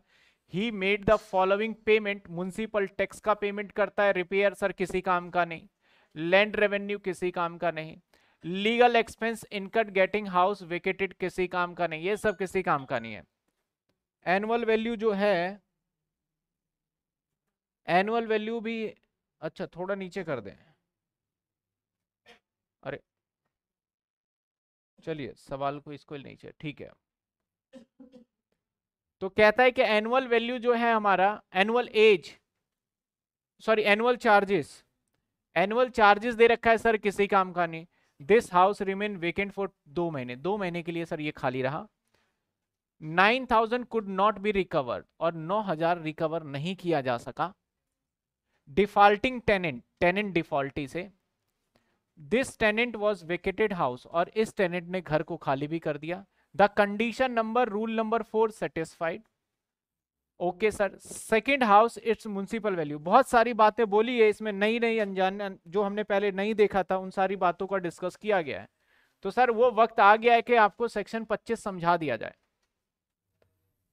सेक्शन 25 आपको समझा दिया जाए। अभी फटाफट से जो पूछ रहे थे अनरिलाइज रेंट या अरियर रेंट का वेट कर रहे थे, इसी सवाल में हम उसको खत्म करेंगे। अलग से, बस मुझे फॉर्मेट बनाने दो, पहले मैं समझाऊँगा वो देन हम आगे चलेंगे।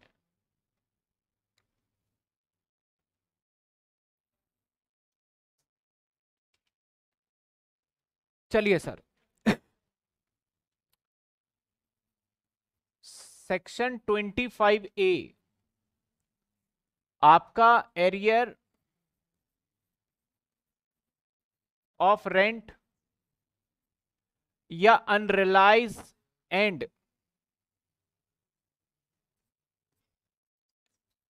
एंड नहीं लिख के, दूसरा है अनरिलाइज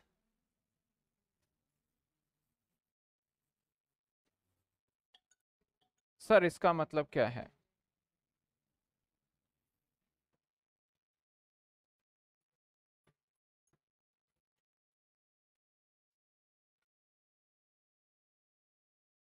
थोड़ा नीचे कर दें ठीक है। एक मिनट।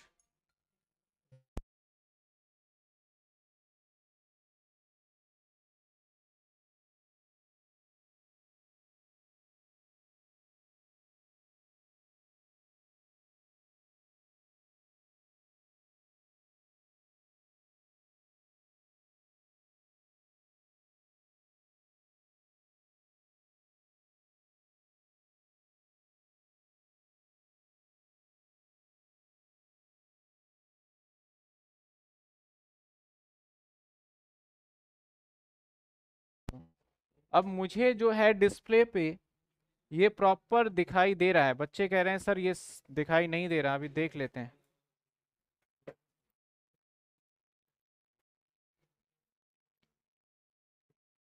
सभी को विजुअल क्लियर है, बता दीजिए मुझे। मुझे तो प्रॉपर दिख रहा है ये कि आपको दिखना चाहिए। कुछ बच्चे कह रहे हैं, थोड़ा सा नीचे कर दें। पता नहीं क्यों। चलिए एनीवेज हम कॉन्सेप्ट को समझते हैं। फिर हम उस सवाल पे बैक आ जाएँगे, जिस सवाल को हमने जहाँ पे छोड़ा था। सर, क्या है कॉन्सेप्ट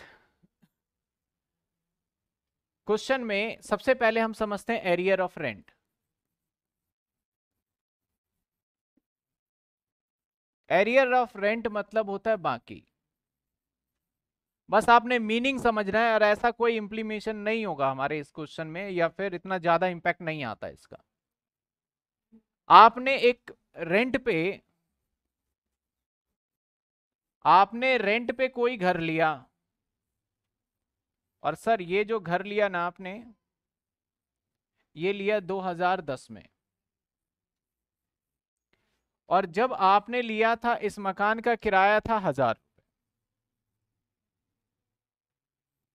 2010 में मकान सस्ते पे किराए पे मिल जाया करता था। और जो हज़ार रुपए का आपका रेंट था, उस टाइम ना तो आपको दिक्कत, ना ही मकान मालिक को दिक्कत।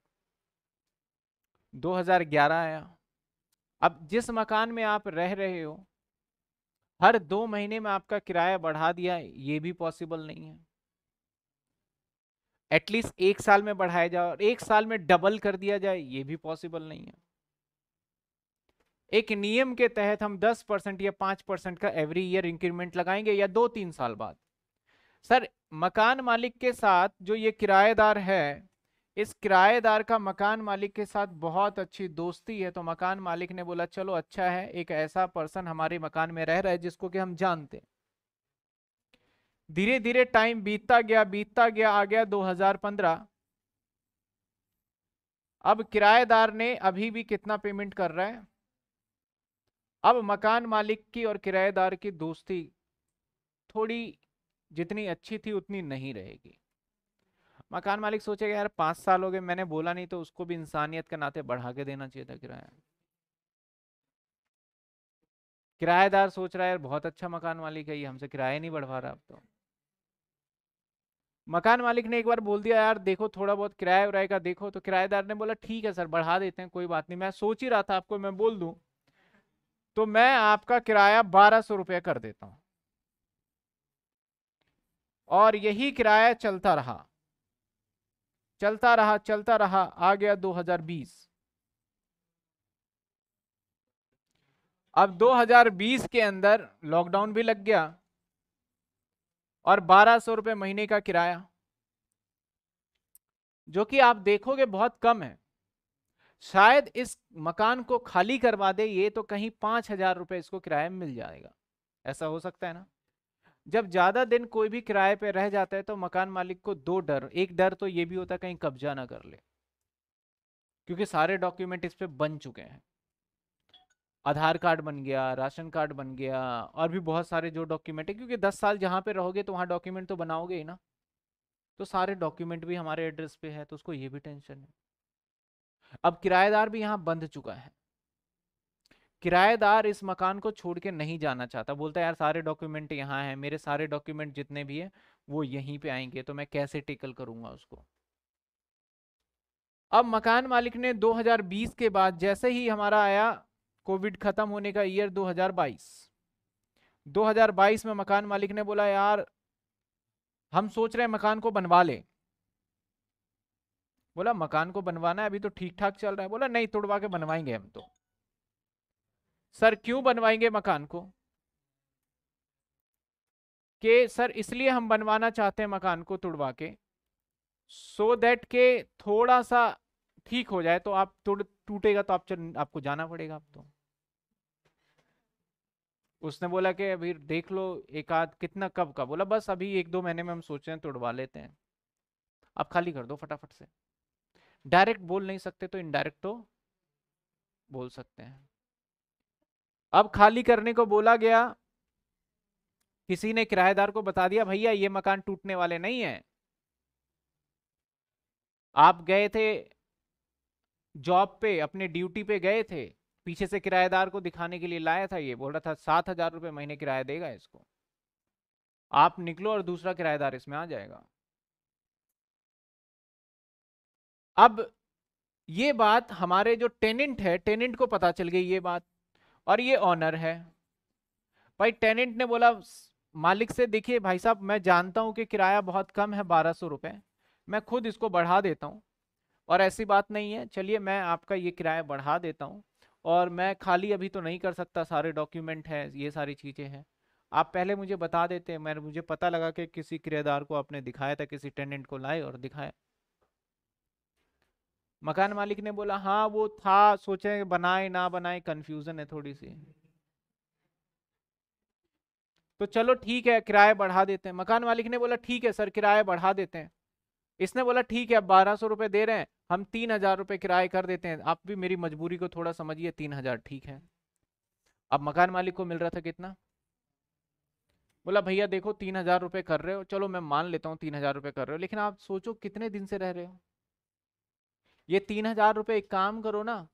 आप 2022 में है ना, आप एक काम करो 2017 से मेरे को तीन हज़ार रुपये गिन के दे दो किराया। यानी 2017 से तीन तीन काउंट करो। आप 17 में पता है कितना दे रहे थे? 17 में दे रहे थे 1200 तो 18 1800 रुपए वो भी दो मुझे। यानी 17 में 1800 इंटू में 12 17 अठारह में फिर से 1800 इंटू में 12 क्योंकि मैं 1200 तो दे ही रहा हूँ। इसने बोला, बैक डेट से किराया बढ़ाएँगे हम आपका। यानी अभी से नहीं बढ़ाने वाले, आपका बैक डेट से बढ़ाएँगे। अगर ऐसा आप कर सकते हैं, हमें पैसे की भी ज़रूरत है, नहीं तो दूसरा किराएदार सात हज़ार दे रहा है तो वो कम कर लेते हैं। अब भाई, किराएदार ने मजबूरन आके इस मकान मालिक ने अपना हाउस प्रॉपर्टी इनकम जो फ़ाइल किया होगा 2017 में तो वहाँ पे उसने क्या दिखाया होगा? ए ट्रिपल आर बारह सौ रुपए इंटू में बारह, चौदह हज़ार। लेकिन 22 के अंदर आते ही उसको पिछला भी कुछ एक्स्ट्रा पैसा मिलने जा रहा है। तो इसे बोलते हैं एरियर ऑफ़ रेंट एरियर का मतलब होता है कि हम रेंट का तो रिसीव करेंगे, लेकिन रिसीव करेंगे हम बैक डेट से बढ़ा हुआ। तो मान के चलो करंट ईयर का तो इसको कितना मिलेगा सर? तीन हज़ार इंटू में बारह मिलने वाला है करंट ईयर का छत्तीस हज़ार। और यहाँ पे कुछ लास्ट ईयर के भी इंक्रीमेंटल मिलेगा। कितना मिलेगा सर? आप गिन सकते हो सत्रह, अठारह, उन्नीस, बीस, इक्कीस, बाईस। बाईस में तो बढ़ गया, इक्कीस तक। तो सत्रह, अठारह, उन्नीस, बीस, इक्कीस, पाँच साल। तो पाँच साल यानी अठारह सो इंटू में पाँच इंटू में दैट इज़ ह्यूज अमाउंट समझ रहे हो इसको? क्या मैं बात करने की कोशिश कर रहा हूँ, बता रहा हूँ। तो जब ये मिलेगा इसको तो सर ये भी हाउस प्रॉपर्टी का पार्ट माना जाएगा। गवर्नमेंट कहता है, मान लो आप पहले ही रेंट बढ़ावा लेते तो तीस परसेंट का डिडक्शन लेते। तो अभी भी आपका जो भी बनता है, फटाफट से कैलकुलेट करके बता दो तो मैं एक एग्जांपल में इसी को कवर कर लेता हूँ। मुझे एक बार टोटल करके बता दो तो मैं इसका जीएवी वगैरह निकाल देता हूँ एक बार। तो सर, इसका आ जाएगा एनएवी आ गया। सर एनएवी मान लेते हैं, इसका छत्तीस हज़ार है। अब 24 ए भी लग गया। 24 बी भी लग गया। सर, है नहीं कुछ 24 ए 30 परसेंट माइनस करिए तो कितना आएगा सर? 30 परसेंट माइनस करके दिखाइए छत्तीस हज़ार का। दस हज़ार? ये माइनस हो गया। Sir, income from house property आ गया। फटाफट बताइए।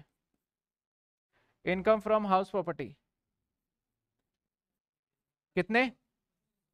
पच्चीस दो सौ। सर, अब इसमें ऐड कर देंगे अन एरियर रेंट। अब ऐड कर देंगे।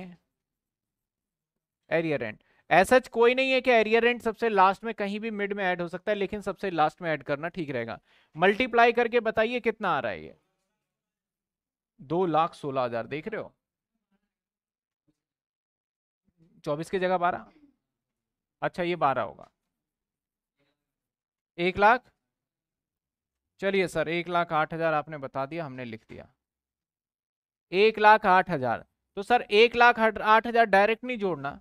एक लाख आठ हज़ार का, या तो आप ले लीजिए सेवेंटी परसेंट, या पहले इसमें से तीस परसेंट घटा दीजिए, क्योंकि इस तीस परसेंट के बेनिफिट के आप हकदार हैं।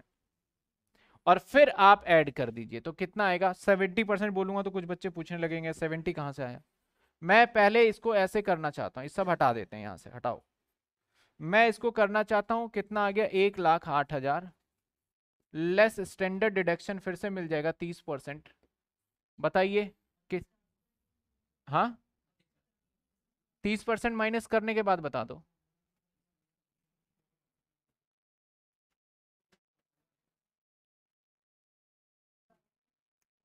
बताइए।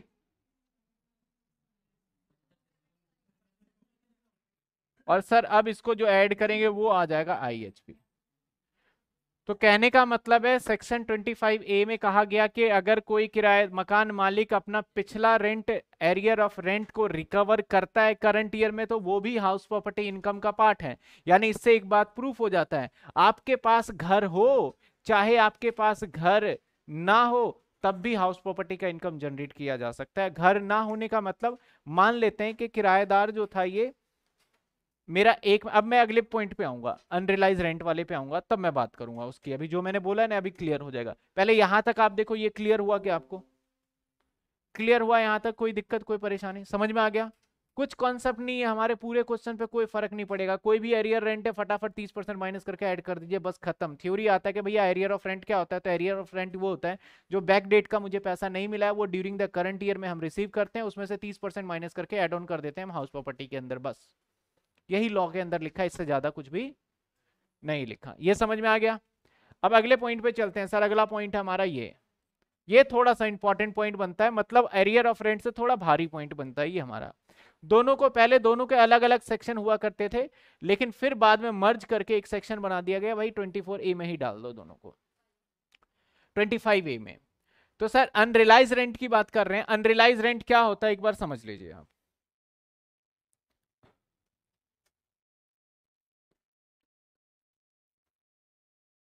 अनरिलाइज रेंट देखिए, ये मकान है और इस मकान के अंदर किराएदार है। ठीक है, इस मकान के अंदर कौन है? किराएदार। और ये है मकान मालिक। ये है मकान मालिक।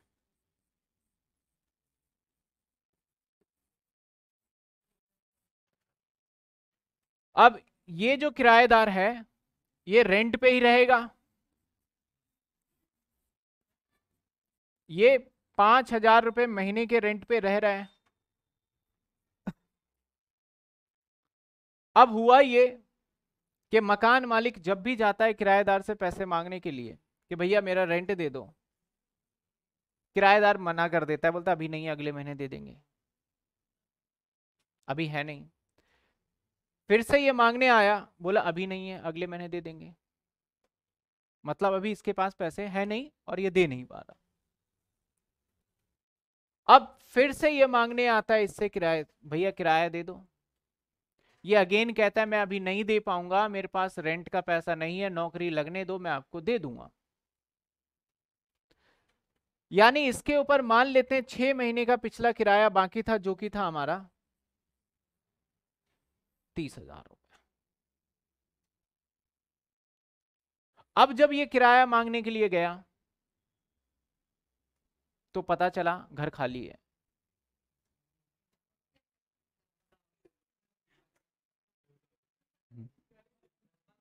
क्या पता चला घर, रातों रात किराएदार ने घर खाली करके चले गए। अब इसका ये तीस हज़ार, अब इनकम टैक्स वाले बोलते हैं कि भैया तुम्हें हम तो टैक्स लेंगे आपसे।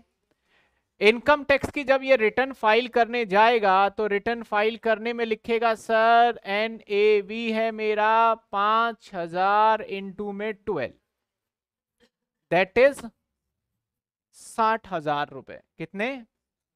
लेकिन लेकिन, ये बोलेगा, सर, मकान, किराएदार ने पैसे ही नहीं दिए मुझे छह महीने के। अगर इनकम टैक्स इसको बड़ी आसानी से मान ले, ठीक है भाई, नहीं दिए तो कोई काम कर, तू बारह से मत मल्टीप्लाई कर। तू मल्टीप्लाई कर दे किससे? अगर इतनी साधारण सी बात है, हटा यार, इसे हम तेरी बात मान लेते हैं।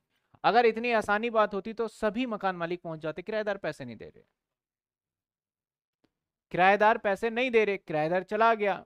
बहुत सारे एक्सक्यूजेस थे और इनकम को क्या कर देते वो? ज़ीरो कर देते कर देते ना अपने इनकम को ज़ीरो वो।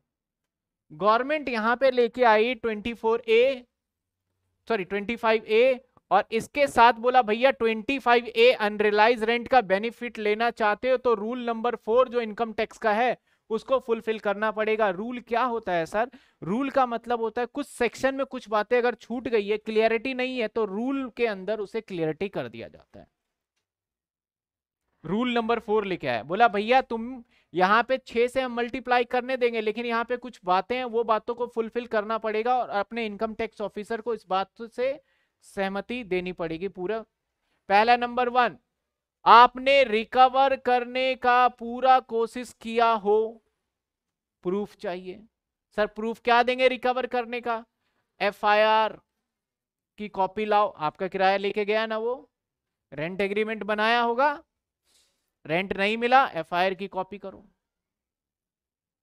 नंबर दो, किराएदार उस मकान में तो नहीं रह रहा अब। सर, ये बात दूसरी समझ में नहीं आया। किराएदार उस मकान में अगर रह रहा होगा तो हम तो रिकवरी कर लेंगे। अब यहाँ कंडीशन बदल भी सकता है। छह महीने का तीस हज़ार आ गया मकान मालिक गया, भैया, किराया दे किराया दे, जल्दी दे। उसने गन रखा सामने। बोला क्या बोल रहे थे? उसने बोला, नहीं नहीं, बस किराया था, पिछला ये मांगने आया था। कोई बात नहीं नहीं दे रहे, कोई बात नहीं, हम जा रहे हैं। यानी किराएदार इसी मकान में रह रहा है, और ऐसा भी पॉसिबल है, रह भी रहा है, लेकिन किराया नहीं दे रहा। यूपी में बहुत हुआ है ऐसा। ऐसा ही है। बताओ। तो ये दिक्कत हो सकता है। रूल नंबर टू जो टेनेंट है टेनेंट सर इस मकान में नहीं रहना चाहिए। नहीं, अगर रह रहा है मकान के अंदर तो एफआईआर करो, पुलिस को बुलाओ। आपने सारी कोशिश कर ली हो, सारी कोशिश का मतलब आपने यहाँ पे सारा का सारा क्या किया हो? उसको मतलब के गुंडों से पिटवाने की कोशिश कर लिया हो, आपने उससे पैसे रिकवर करने का मतलब हर एफर्ट लगा दिया हो और सारी बातें इनकम टैक्स ऑफिसर को समझाओ और इनकम टैक्स ऑफिसर हर किसी का प्रूफ लिखेगा और उसे लगेगा कि अब आप सच बोल रहे हो तो आपको छह से मल्टीप्लाई करने देगा। नहीं तो बोलेगा, भैया, तुमने रूल नंबर फोर नहीं सेटिस्फाई किया। हम नहीं मानते कि आपका घर का किराया नहीं मिला होगा। तो सर अनरिलाइज रेंट का मतलब क्या होता है? कि आपके मकान के अंदर किराएदार ने आपके पैसे that is unrealised rent arrear में क्या था? मिल गए। वो कौन से? पिछले आके मिल गए। अब अनरिलाइज रेंट के अंदर आपने अभी तो सब कुछ रूल नंबर फोर सेटिस्फाई कर दिया। तो अब आपका एनएवी क्या होगा? कायदे से देखा जाए तो एनएवी होगा सर पाँच हज़ार इंटू में छह। मैंने रूल नंबर सेटिस्फाई किया है। इनकम टैक्स ऑफिसर को बोला, भैया, छह महीने तक मैंने किराए पे रखा, छह महीने के तो किराए लेके भाग गया किराएदार। इसका क्या करें? इनकम टैक्स ने बोला, ठीक है, आप इसी के ऊपर टैक्स दो। यहीं पे लगेगा 24 ए और यहीं पे लगेगा 24 बी ये बात थी 2020 की लॉकडाउन की। 2022 आया। 2022 आया। और 22 के अंदर इसका फिर से यही मकान पूरा दूसरे किराएदार को दे रखा है। उसने 12 के हिसाब से पूरे साठ हज़ार रुपए दिए, जो कि क्या बना सर हमारा? एन ए बी जैसे ही 2022 आया, नए किराएदार है भैया, वो तो दे ही रहा है किराया। ये पुराना वाला भी लौट के आ गया। बोलता है, भाई साहब, किराए पे मिल जाएगा क्या? उस, उसने बोला, अरे, किराए पे मिलेगा, वो तो बाद में है। पहले वो जो पुराने पैसे दे हाँ वो तो मैं दूँगा, वो तो मेरे पास मजबूरी थी, आप बार बार बोल रहे थे मेरे पास पैसे नहीं थे तो अब मैं कैसे मना करता, ये लो अपने तीस हज़ार। यानी तीस हज़ार मिल गया सर 2022 में। 2022 के अंदर तो हम आईएचपी ये फ़ाइल करने वाले थे। 24 ए का छोड़ो डिडक्शन अभी, हम साठ हज़ार फ़ाइल करने वाले थे, लेकिन हमारा क्या हुआ, पैसा that is unrealised rent recover हो गया। अनरिलाइज रेंट क्या हो गया? तो गवर्नमेंट कहता है, भैया रिकवर हुआ, पहले तो तुमने सारे रूल नंबर फोर दिखा दिए, लेकिन अब तो मिल गया, अब तो दो इस पे पैसा टैक्स तो बोलता है, अगर पहले तुम नहीं दिखाते तो हम तो आपसे पूरे साठ पे लेते तो तीस परसेंट का बेनिफिट देते। अभी अगेन इसमें से हम क्या करेंगे सर तीस परसेंट सिर्फ़ माइनस कर देंगे, जो कि आ जाएगा हमारा नौ हज़ार और इक्कीस हज़ार रुपए और एड ऑन कर से आपसे टैक्स ले लिया जाएगा। यानी जब कभी भी आपको अनरिलाइज रेंट मिलेगा तो सेम आपका एरियर ऑफ़ रेंट के जैसा ही होगा। देखो आप, इसलिए एक सेक्शन में मर्ज किया गया कि जब पैसा मिला, आप क्या करिए उसके अंदर? ऐड कर लीजिए। ऐड करने के बाद आप टू बी कंटिन्यू तीस परसेंट माइनस करके टैक्स दीजिए। बड़ी सिंपल सी बात है। मेरा क्वेश्चन नंबर टू है। अगर मान लो इनकम टैक्स ऑफिसर यहाँ पे नहीं उससे सहमत होता एग्री नहीं करता बोलता, नहीं भैया, तेरा सारा एफ़ आई आर पता नहीं कहाँ से लिखवा उखवा के लिया। नहीं मानते, तेरे को तो टैक्स देना ही पड़ेगा। उसने बोला, ऐसा थोड़ी होता। बोला, ऐसा ही होता है, तेरे को देना पड़ेगा टैक्स तुझे तो टैक्स देना पड़ेगा साठ हज़ार रुपए पे। मजबूरन में उस मकान मालिक ने साठ हज़ार पे दे दिया टैक्स क्योंकि वो प्रूफ नहीं कर पाया। अब 2022 में उसे मिल गया तीस हज़ार। तो मेरा सवाल यह है कि 2022 के अंदर क्या वो इस तीस हज़ार पे दोबारा टैक्स देगा? नहीं देगा, क्योंकि वो पहले दे चुका है। तो अनरियलाइज रेंट पे आपको टैक्स तभी देना है जब आपको पहले बेनिफिट ना मिला हो। अगर आपने पहले पूरा पूरा टैक्स दिया है, तब मिलेगा रिकवरी होगा, तब तो आपको देना पड़ेगा। अब इसमें ऐसा भी हो सकता है, बोला जाता है कि घर का मालिक होना चाहिए सेक्शन 22 याद दिलाता है। मान लेते हैं ये मकान मालिक ने 2020 के अंदर किराएदार के साथ इतना ज़्यादा हैरेसमेंट किया, इसको इतनी बदुआ लगी, इसके मकान ही बिक गई भाई। ये रोड पे आ गया। 2022 में घूम रहा है ये रोड पे। कुछ नहीं है इसके पास मकान।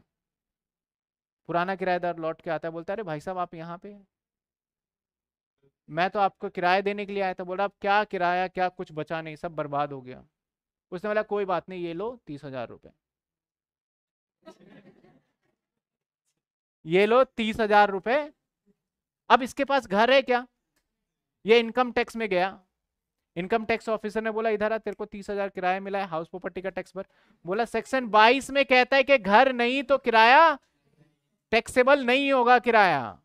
सेक्शन 22 के हिसाब से नहीं तो बोलता है सेक्शन 25 ए भी यही कहता है कि अगर अनरिलाइज रेंट हुआ तो घर नहीं देखेंगे, उसके ऊपर तुझे टैक्स तो ट्रू एंड फॉल्स में क्वेश्चन आ सकता है कि अगर किसी एसएससी के पास घर नहीं है और उसे रेंट रिसीव हुआ है तो क्या वो under the head of house property जाएगा? Yes under the head of क्योंकि सुनने में कई बार ऐसा लगता है घर ही नहीं है रेंट मिला है। पहली बात तो क्वेश्चन हो नहीं सकता, दूसरा रेंट मिला है, घर नहीं है तो इसके हिसाब से नहीं जाएगा। ट्रू फॉल्स में क्वेश्चन पूछा जा सकता है। तो सर, ये था हमारा एरियर ऑफ़ रेंट या फिर अनरियलाइज रेंट पहले बताइए, ये समझ में आ गया दोनों।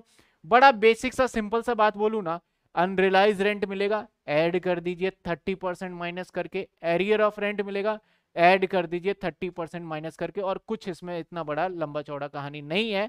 बस सिंपल सी बात है, इसके ऊपर थ्योरी आता है कि अनरिलाइज और एरियर ऑफ़ रेंट को एक्सप्लेन करी तो जितनी बातें मैंने आपसे करी है, वही बातें आपको लिखना होगा, और वही आपके सैंपल पेपर टेन ईयर जहाँ भी देखोगे बुक्स में यही बातें लिखी हुई है। यहाँ तक क्लियर है आपको सारा? तो अब सवाल पे आ जाते हैं बैक सर इस सवाल में ऐसी कुछ बातें बोली गई थी। तो सवाल पे आ जाते हैं।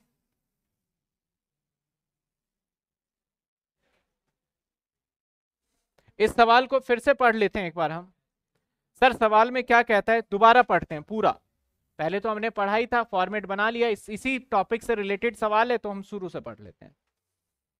कहता है क्वेश्चन में हाँ इसके पास दो घर है और पर्टिकुलर फाइनेंशियल ईयर 20 इक्कीस 2011 रेगुलर में आया हुआ है ये। फ़र्स्ट हाउस का बताता है, यानी हम एच वन कर लेते हैं और एच टू कर लेते हैं। एम बी फ़र्स्ट हाउस का एम बी बोलता है, सर, चौबीस हज़ार है। एंड स्टैंडर्ड रेंट तीस हज़ार है। सर एफ़ आर बताया नहीं तो अभी देख लेंगे और एस आर कहता है कितना है? तीस हज़ार है। इट हैज़ लेट आउट तीन हज़ार पर month he made the following payment इसने तीन हज़ार रुपए के महीने पे किराए पे दिया हुआ है। तीन हज़ार रुपए महीने के किराए पे घर को दे दिया है। म्यूनसिपल टैक्स छह हज़ार रुपए। तो सर म्यूनसिपल टैक्स हमारा अलाउड होगा। इस पर मैं रिपेयर किसी काम का नहीं लैंड रेवेन्यू किसी काम का नहीं लीगल एक्सपेंस किसी काम का नहीं हाउस वेकेटेड के लिए किसी काम का नहीं, आपका एनुअल चार्ज किसी काम का नहीं this house remain vacant for two month और ये घर दो महीने वेकेंट रहा। और 9000 could not be recovered from the defaulting tenant sir, दो महीने तो खाली भी रहा और 9000 मिले भी नहीं। सर 2000 नहीं मिले हम तभी मानेंगे जब आप रूल नंबर फोर को कंप्लीट कर दो। तो आगे क्वेश्चन में खुद कहता है the tenant has the vacated house the condition of rule number four satisfied यानी टेनेंट ने उस घर को खाली भी करवाया रूल नंबर फोर सेटिस्फाई कराया। इसका मतलब ये सच बोल रहा है, नौ हज़ार रुपए इसको नहीं मिले होंगे। इसका मतलब सर स्टैंडर्ड रेंट एफआर तो है नहीं तो इन दोनों में से क्या लेते हैं? हायर जो यही आता, फिर क्या लेते हैं? लोअर तो आपको पता चल गया सर ई e क्या होगा? चौबीस। ई e क्या होगा? चौबीस। हम इसके आगे की कहानी लेके चलते हैं। सेकेंड हाउस म्यूनसिपल वैल्यू चालीस हज़ार।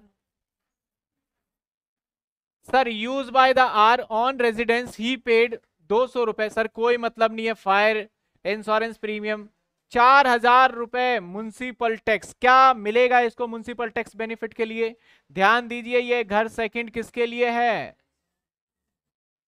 अपने लिए म्यूनसिपल टैक्स पेड करोगे तो सर नहीं मिलने वाला। He also paid interest on loan sir इसका बेनिफिट मिलेगा the loan was taken repay another loan construction of house क्या बेनिफिट मिलेगा इसने ब्याज पे किया बीस हज़ार लेकिन जो लोन लिया था ना वो लोन घर बनाने के लिए भी नहीं लिया। इसने लोन घर खरीदने के लिए नहीं लिया। पहले कभी लोन ले रखा था घर बनाने के लिए उसको रीपेमेंट करने के लिए नया लोन इसने ले लिया। क्या इस इंटरेस्ट का बेनिफिट मिलेगा? यस yes, मिलेगा। मैंने कहा था ना कि अगर आप कोई भी लोन लो या तो पुराने लोन को आप रीपे करने के लिए ले लो तब भी आपको बेनिफिट मिल जाएगा। समझे बात? मैं क्या कहना चाह रहा हूँ, समझो आप। लोन वाले पॉइंट में मैंने ये पॉइंट लिखवाया था नोट में भी लिखवाया था। In case any addition loan taken करोगे रीपेमेंट के लिए तो उसका बेनिफिट आपको 24 बी में मिलने वाला है। चेक कर लीजिए आप। तो सर बेनिफिट मिल जाएगा। सर, किराया तीन हज़ार है। बात करते हैं, तीन हज़ार किराया है तो तीन हज़ार के हिसाब से बारह महीने का कितना होना चाहिए सर? छत्तीस हज़ार। जिसमें माइनस कर दो सर कितना? दो महीने वेकेंट तो तीन हज़ार इंटू में दो, यानी छह हज़ार वेकेंट जिसमें माइनस कर दो sir unrealised rent that is नौ हज़ार। तो कितने बचे?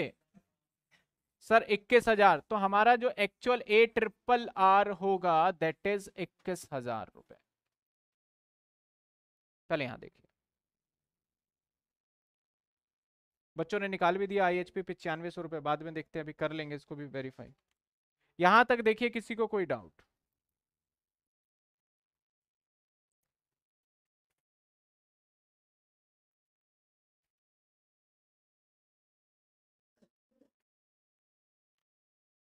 क्लियर है यहाँ तक?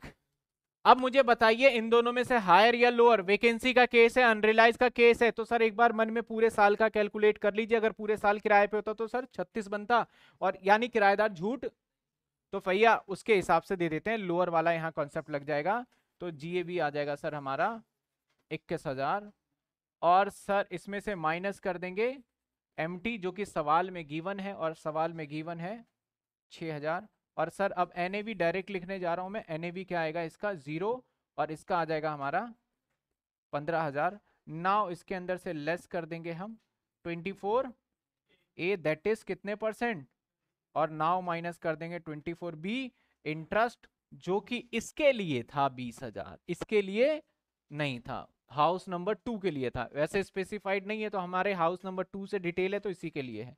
तो पंद्रह परसेंट इसका आ जाएगा 500 अब टैक्सेबल आ गया हमारा।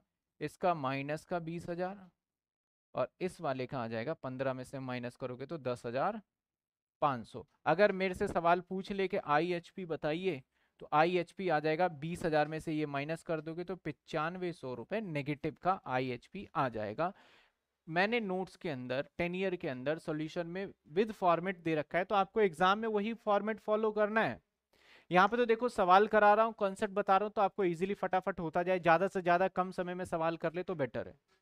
समझ में आए आगे हम कर देंगे income from house property house number one से हमारा दस हज़ार पाँच सौ का इनकम माइनस कर देंगे हाउस नंबर टू से लॉस समझ में आई बात आपको यहाँ तक? कोई दिक्कत, कोई परेशानी? चले आगे। चलिए सर नेक्स्ट क्वेश्चन पे चलेंगे। यानी आज का जो 25 था, कुछ बच्चे कह रहे थे, उनका डाउट भी हो गया। तो देखिए, अब रह गया एक सेक्शन 26 22 कर लिया 23 कर लिया 24 कर लिया 25 अभी देख लिया 27 कर चुके हैं, एक रह गया 26 26 भी देख लेंगे हम। यानी ये चैप्टर एंडिंग पे चल रहा है सर एक और सवाल।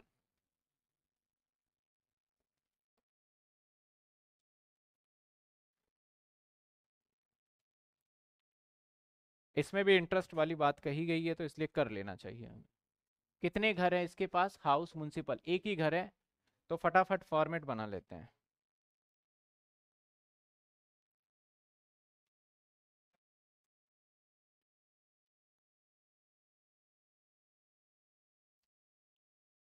पिछली क्लास के अंदर हमने, पिछली क्लास कह रहा हूँ, अभी हमने लास्ट में अनरिलाइज रेंट कर लिया है। वैसे इतनी बड़ी तो ज़रूरत भी नहीं पड़ती, मैं ऐसे ही आ गया तो। ये क्या हो रहा है?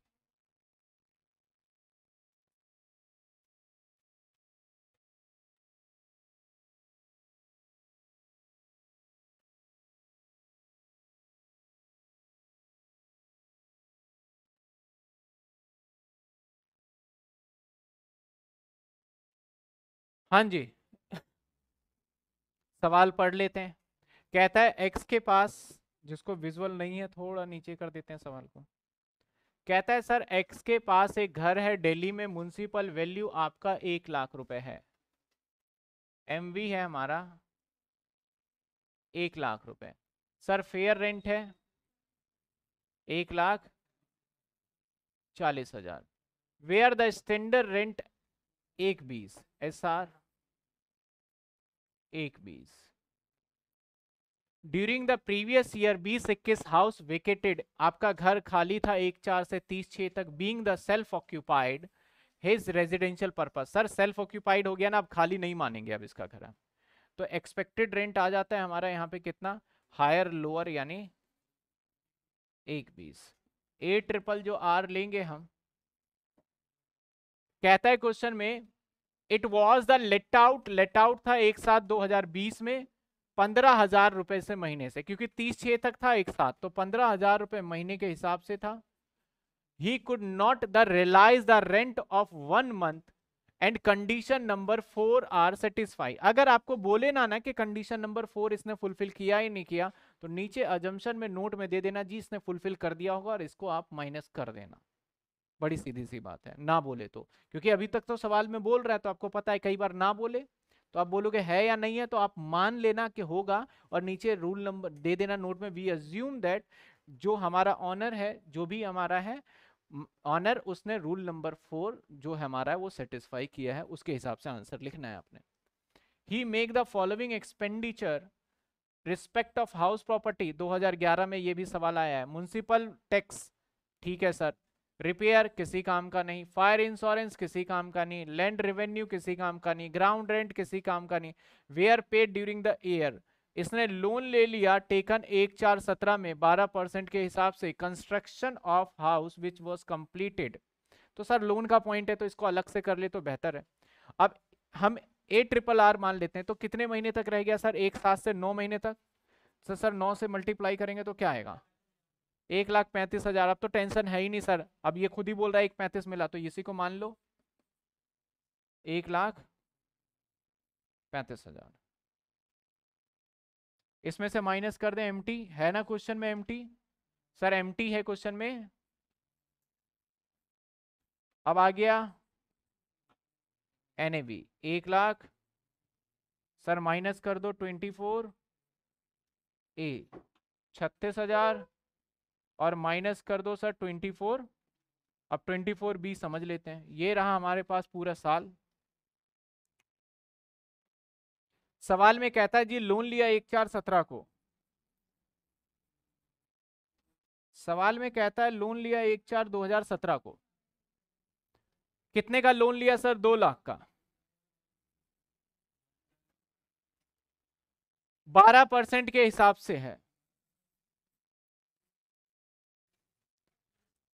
For the construction of the house which was completed 21 आठ 2019 और ये घर हमारा कंस्ट्रक्शन कंप्लीट हो गया 21 आठ 2019 यानी सर 21 आठ 2019 यानी 19 20 के अंदर ये डिडक्शन ले चुका है। प्री कंस्ट्रक्शन पीरियड की बात होगी तो 31 तीन 2019 से हम कंसीडर करेंगे। पहले ये देखिए। कब से कंसीडर करेंगे? इकतीस तीन उन्नीस से। समझ में आ रहा है यहाँ तक बात? आगे कहता है ये 50 परसेंट लोन रीपेड 30 जून 30 सितंबर 2020 हमारा करंट ईयर जो बनता है, वो बनता है सर एक चार 2020 से लेके इकतीस, तीन, इक्कीस। सर सवाल में क्या कहता है? सर सवाल में ये कह रहा है एग्जामिनर कि आपने 30 सितंबर, यानी यहाँ बीच में आपने 50 प्रतिशत का लोन पे कर दिया था करंट ईयर में, क्योंकि करंट ईयर ये 30 सितंबर 2020 कब जाएगा? करंट ईयर के अंदर ही फॉल करेगा।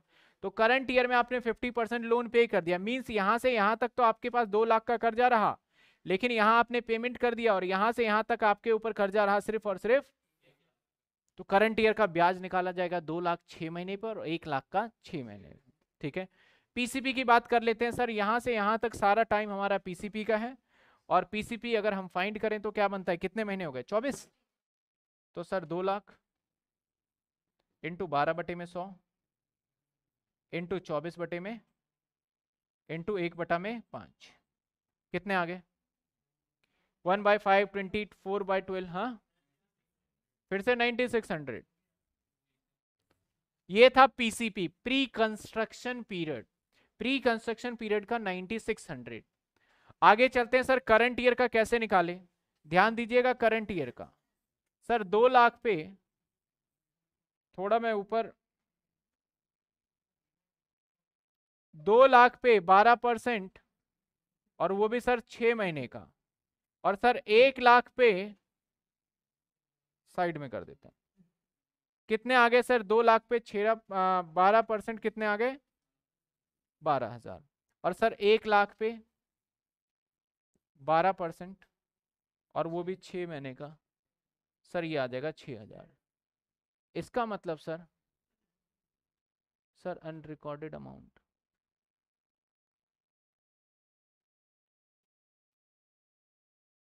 पंद्रह के माइनस क्यों? अभी देखते हैं, क्या आ गया छह हज़ार? टोटल आ गया अठारह हज़ार। तो सर अठारह हज़ार करंट ईयर का और ये इंटरेस्ट हो गया। अठारह हज़ार प्लस सत्ताईस हज़ार। अभी चेक कर लेते हैं, कुछ बच्चे कुछ सवाल पूछ रहे हैं, अभी देखते हैं आपका। स्टूडेंट का कहना है, सर, ए ट्रिपल आर आठ महीने का होगा। वन महीने का अनरिकवर है। अच्छा। कहता है, एक महीने का। बिल्कुल सही जवाब। सर, एक महीने का अनरिलाइज तो यहाँ पे कितना लेना चाहिए? देखो थोड़ा सा एरर हो गया, वो तो सही है, जितने बच्चे लाइव रहते हैं, वो बता देते हैं मुझे। नहीं तो मैं तो ऐसे ही कर दूँ। इनटू में आठ।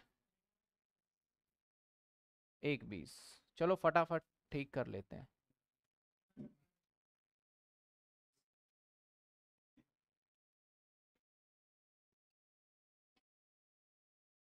अब ये आ गया। अब ठीक है। अब माइनस करके ये भी गलत आ जाएगा फिर तो। कितने आएँगे इसका? तीस परसेंट। अब माइनस करके बता दीजिए आई एच पी बताइए। हाँ? कितने? पैंतालीस? नौ सौ। सर, ये सवाल भी खत्म हो गया, इसके अंदर भी हमने दोनों बातें देख ली।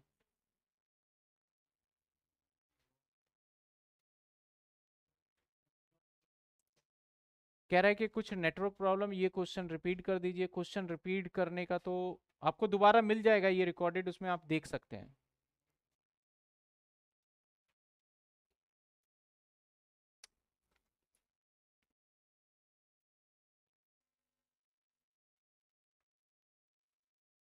हाँ जी।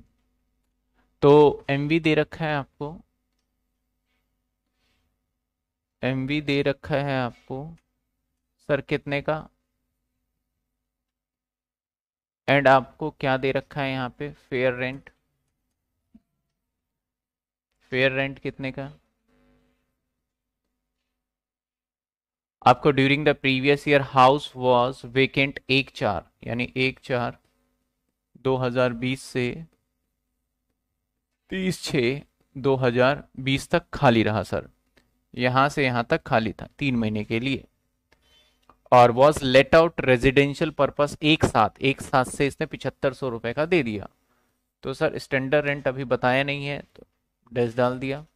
तो इसमें से आ जाएगा हमारा एक्सपेक्टेड रेंट आपको पता है सेवेंटी टू अब ए ट्रिपल आर जो आएगा वो आएगा sir seventy five hundred into nine कितने आ गए? Sixty seven five hundred. अब चेक कर लेते हैं, दोनों में कंपेयर तो किया जाएगा ना? और कंपेयर करने का तरीका क्या है? एक बार देख लेते हैं कि बारह महीने के बराबर है या नहीं। तो सेवेंटी फाइव इंटू में ट्वेल्व तो बारह महीने होता तो नब्बे होता तो यानी गवर्नमेंट के रूल से ज़्यादा है। तो यहाँ पे जो जी निकल के आएगा sir, sixty seven five hundred आएगा। माइनस एमटी कर देंगे। आगे कहता है he make the following expenditure municipal tax अठारह हज़ार. ठीक है सर माइनस करना अलाउड है।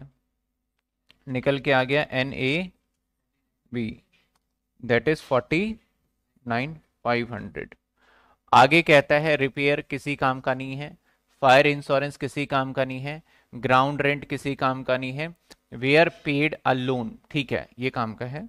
कहता है were paid sorry were paid during the year ठीक है। अ लोन एक लाख पैंतीस हज़ार टेकन एक चार दो हज़ार चौदह। एक चार दो हज़ार चौदह में लोन लिया गया है। एंड पर एन एम टेन परसेंट के हिसाब से। तो सर, पैंतीस, एक पैंतीस का लोन है और टेन परसेंट के हिसाब से। ठीक है sir. For the construction of the house completed उन्नीस में हो गया। तो इसका मतलब सर, कब घर कंप्लीट हुआ? इकतीस तीन दो हज़ार उन्नीस में कंप्लीट हो चुका है घर। नथिंग तो आप ध्यान रखिए, मैं अगर पीसीपी की बात करूँ तो एक चार दो हज़ार चौदह और कंप्लीट घर बन के हो गया कब? इकतीस तीन दो हज़ार उन्नीस। तो जो 18 19 का टैक्स गया होगा, उसमें तो हमने डिडक्शन क्लेम कर लिया होगा, क्योंकि 18 19 के अंदर हमारे पास तो घर है तो 18 19 में तो मैंने डिडक्शन क्लेम कर लिया होगा तो 18 19 का मतलब 18 का जब हो ही गया तो हमें काउंट करना है इकतीस तीन दो हज़ार अठारह। तो आपका चौदह पंद्रह पंद्रह सोलह सोलह सत्रह और सत्रह, इतने टाइम प्री कंस्ट्रक्शन पीरियड के होंगे। तो कितने साल हो गए ये? चौबीस, अड़तालीस महीने। तो कैसे निकालेंगे सर? पैंतीस, एक पैंतीस इंटू में टेन बाय हंड्रेड इंटू में forty eight by twelve into में वन बाय फाइव। तो सर, एक लाख पैंतीस हज़ार पे सिंपल सी बात है, मैं चालीस परसेंट ही ना निकाल दू। ये आ गया चौवन हज़ार और सब करा करा के आ गया दस हज़ार आठ सौ रुपए। तो सर, अब यहाँ से सबसे पहले माइनस कर दो twenty four A, that is thirty percent. और माइनस कर दो twenty four B that is आपका एक तो पीसीपी का बन गया हमारा दस हज़ार आठ सौ, और हमारा करंट ईयर का तो फुल्ली है तो तेरह हज़ार पाँच सौ दैट इज़ इंटरेस्ट क्या होगा? दस हज़ार आठ सौ प्लस तेरह हज़ार पाँच सौ, चौबीस हज़ार तीन सौ। तो आप चेक कर लीजिए आंसर हाँ? तीस परसेंट कितना है? चौदह हज़ार आठ सौ? पचास। चलिए माइनस वाइनस करके चेक करिए आप, क्या आता है? चौदह आठ सौ पचास। क्या आ रहा है? दस तीन सौ दस। ठीक है, ये हो गया आई एच पी देखिए, आपके सामने ये सवाल है, किस कोई लेके आया है टेन ईयर प्रोग्राम का? चेक करो ये आंसर क्वेश्चन नंबर नाइन ही होगा इसमें। कितना है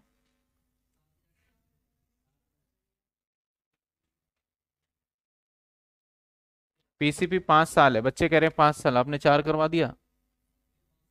दो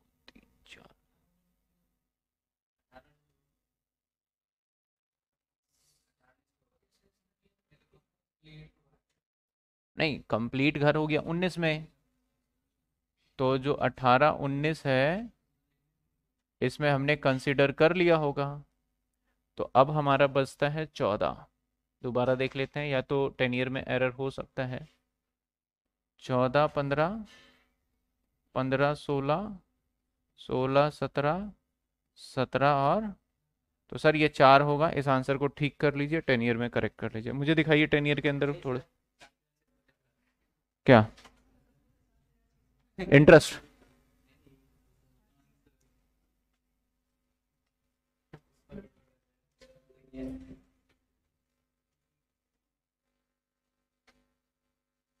क्वेश्चन नंबर नाइन है ना?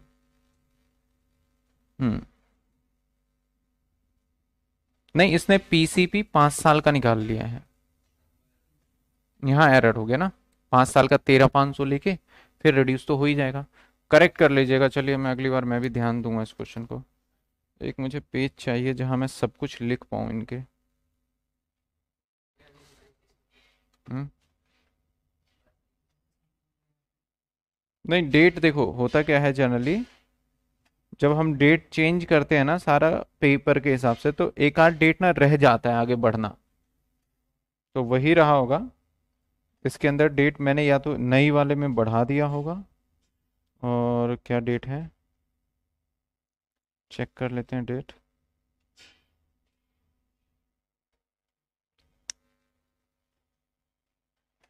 हम्म। दस तीन सौ पचास है क्या? यस दस तीन सौ पचास राइट आंसर है। और आप कैसे करूँ इसको? इसको लगा दीजिए आप। अभी मुझे आप लिखवा देना इसका आंसर ना।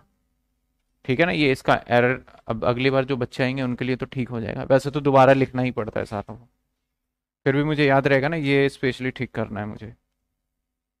सर अठारह उन्नीस का भी तो निकालेंगे। नहीं, अठारह देखो कंसेप्ट क्या है?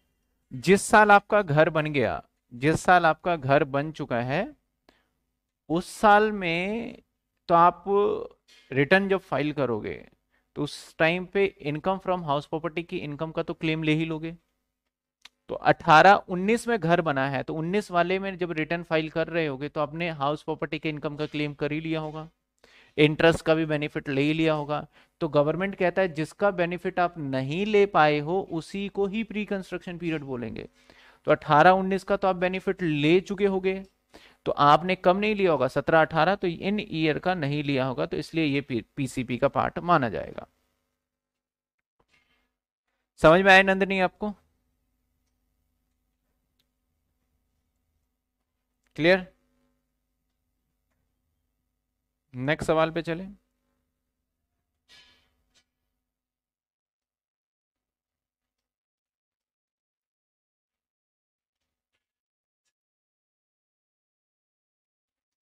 हाँ ये अलग से है, ये प्रोग्राम के अंदर है, ये सवाल तो मैंने कुछ हल्के सवाल प्रोग्राम अब देखो, थोड़े से टफ क्वेश्चन भी उठाते हैं ऑनर्स के भी लेते हैं अभी।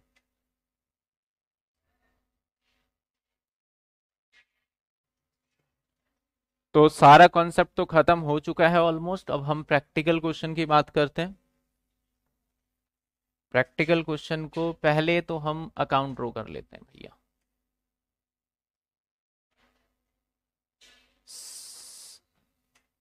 अगर इनकम टैक्स में कोई आसान चैप्टर है ना तो हाउस प्रॉपर्टी क्योंकि ज़्यादा कुछ है ही नहीं, एक बस कहाँ दिमाग लगवाते हैं आपसे ये?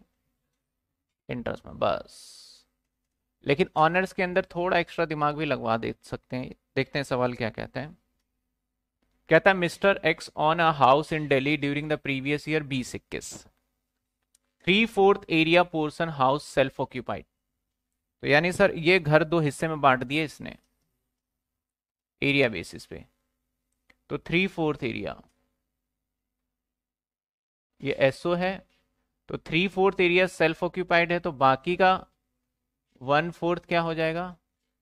Let out and full and one fourth portion was let out for residential purpose एक चार दो हज़ार बीस से इकतीस तीन दो हज़ार बीस तक जिसका किराया आता रहा चौदह सौ रुपए महीने का। ठीक है, सर। एक एक 2021 में portion was use own residence, जो ये अपने लिए कर रहा था रेजिडेंस को, इसने कहता है कि एक एक 2000 फ्रॉम एक एक 2021 this portion was also use for यानी कहने का मतलब है सर जो लेट आउट किया ना इसने घर, एक चार 2020 से किराए पे गया और ये चला गया बारह, इकतीस बारह यानी इकतीस, बारह और 2020 तक किराए पे रहा। कौन से वाला? जो वन फोर्थ एरिया है, वन फोर्थ पोर्सन है, वो रहा। लेकिन इसके बाद इसने ये वाला एरिया भी क्या कर लिया? सेल्फ ऑक्यूपाइड कर लिया। कहता है फ्रॉम एक एक एक एक 2020 से 21 से लेके आगे टू बी कंटिन्यू इसने क्या कर लिया इसको? Portion was use for residence अपने कहता है कि फ्रॉम इस डेट से portion use for own residence यानी सेल्फ ऑक्यूपाइड ठीक है? Municipal valuation of the house twenty thousand rupees अब म्यूनसिपल वैल्यू हमारे हाउस का ट्वेंटी थाउज़ेंड है।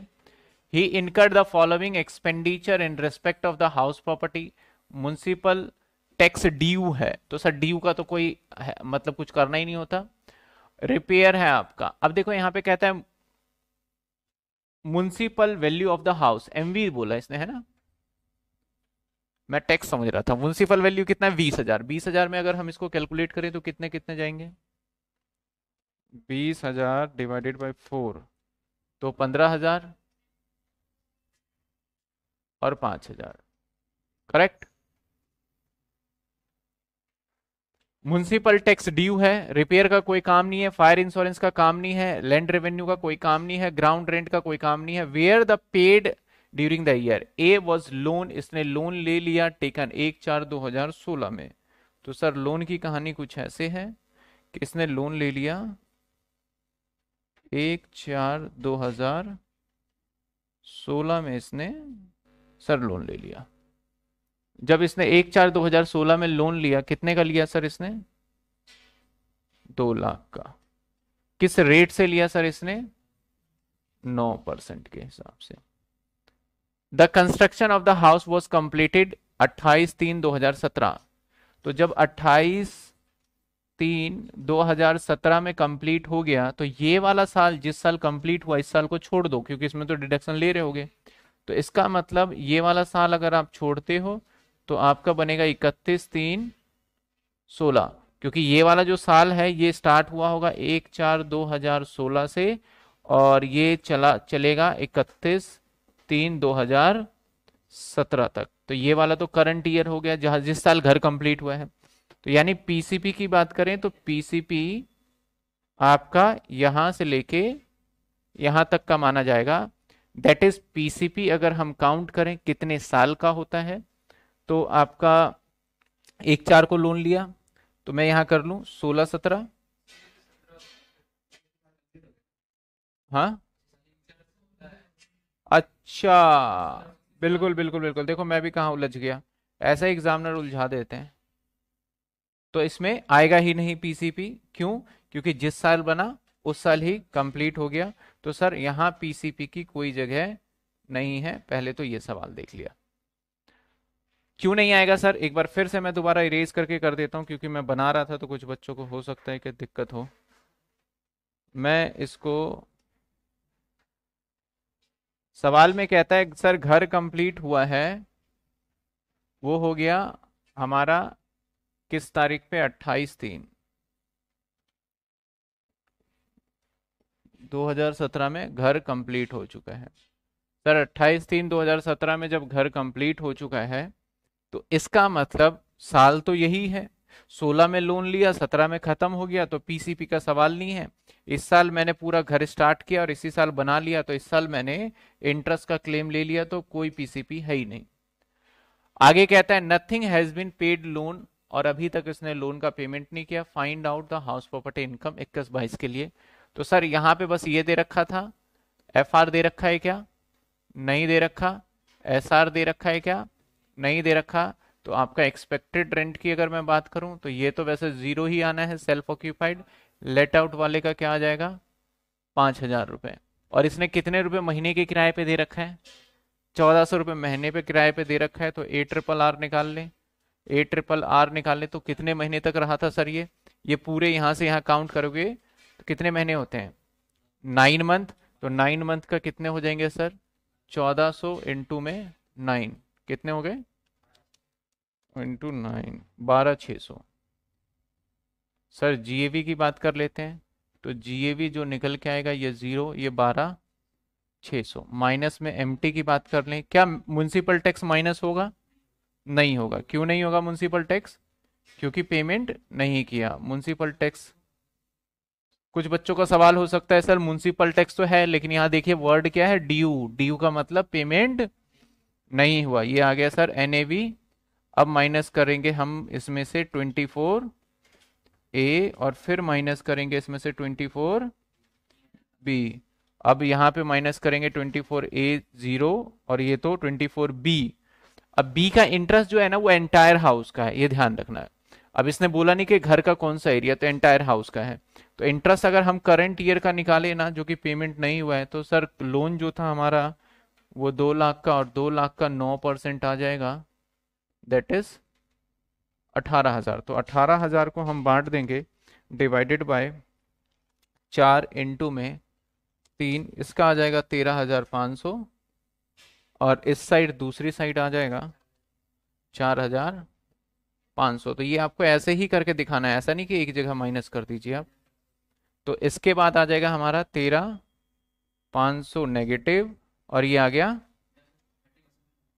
हाँ इसका थर्टी परसेंट तो लिया ही नहीं। बारह छः सौ। थर्टी परसेंट सैंतीस सौ। अस्सी।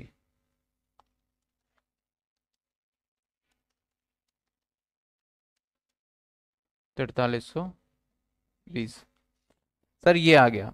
आपको सिर्फ़ सवाल यहाँ नहीं पूछना इसने बोला find out the income from house property तो जब ऐसा सवाल आ जाता है ना तो आपको एक और कॉलम बनाना पड़ता है और वहाँ पे इनकम फ्रॉम हाउस प्रॉपर्टी बनाना बताना पड़ता है। या फिर आप यहीं पे कह, सक, कह सकते हो income from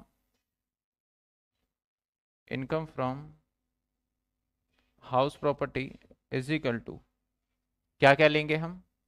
तेरह हज़ार पाँच सौ नेगेटिव प्लस तिरतालीस हज़ार तिरतालीस सौ बीस तो ये तो लॉस आ गया ना? तेरह पाँच सौ। तो जवाब दोगे इक्यानवे सौ, अस्सी का दैट इज़ लॉस ये था हमारा सवाल नंबर वन। बताइए किसी को डाउट क्या हो गया? चलो चलो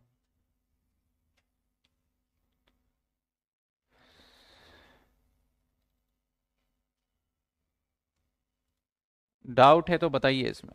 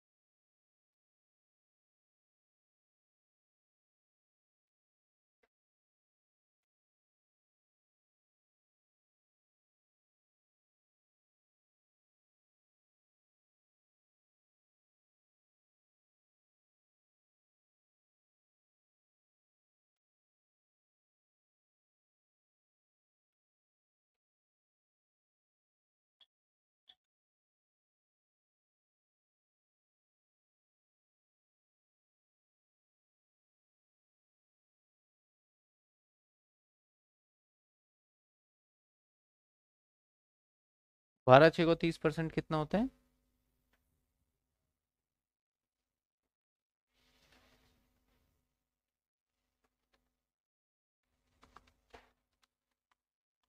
इसमें ना एक पॉइंट और भी है मैं बताना चाहूँगा।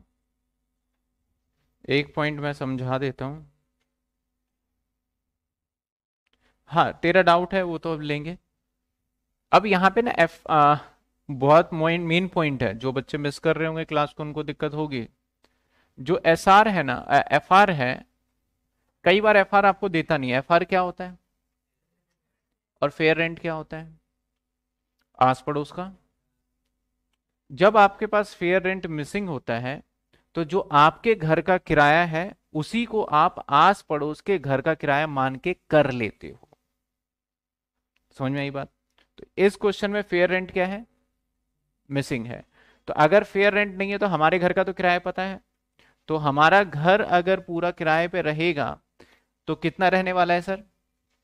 फेयर रेंट आप यहाँ पे निकाल सकते हो, जैसे 1400 तो सर 1400 सौ इंटू में 1400 सौ इंटू में क्या आएगा?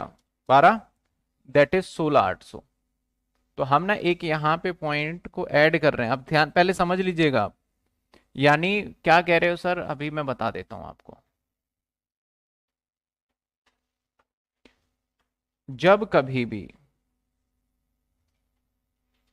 देखो म्यूनसिपल वैल्यू तो ये गवर्नमेंट डिसाइड करता है और फेयर रेंट डिसाइड करता है हमारा आस पड़ोस से।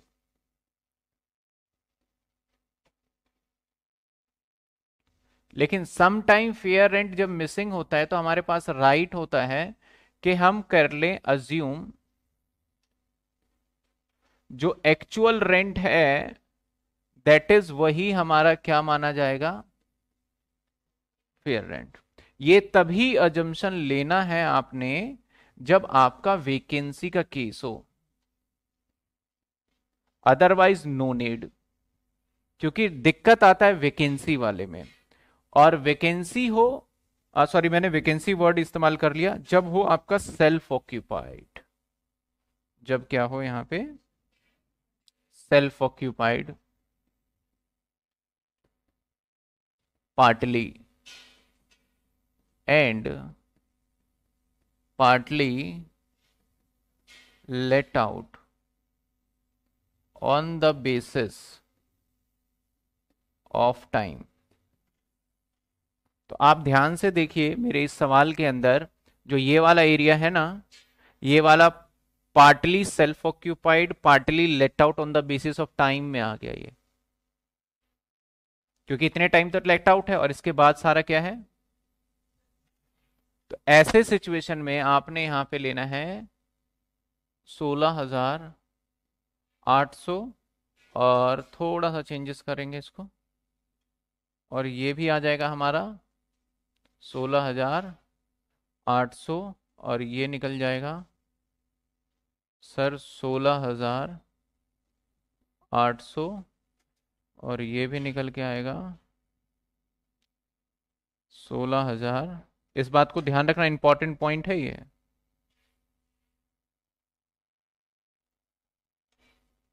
ये आ जाएगा तीस परसेंट ना। पाँच हज़ार चालीस और माइनस पैंतालीस सौ। तो ये बहत्तर सौ साठ लिख लो इसको बस। ये थोड़ा चेंजेस है। ये कॉन्सेप्ट पहले हुआ नहीं था। और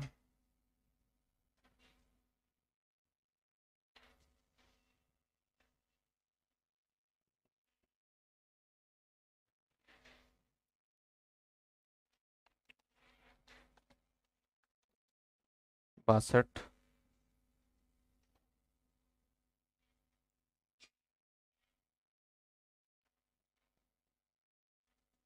ठीक है?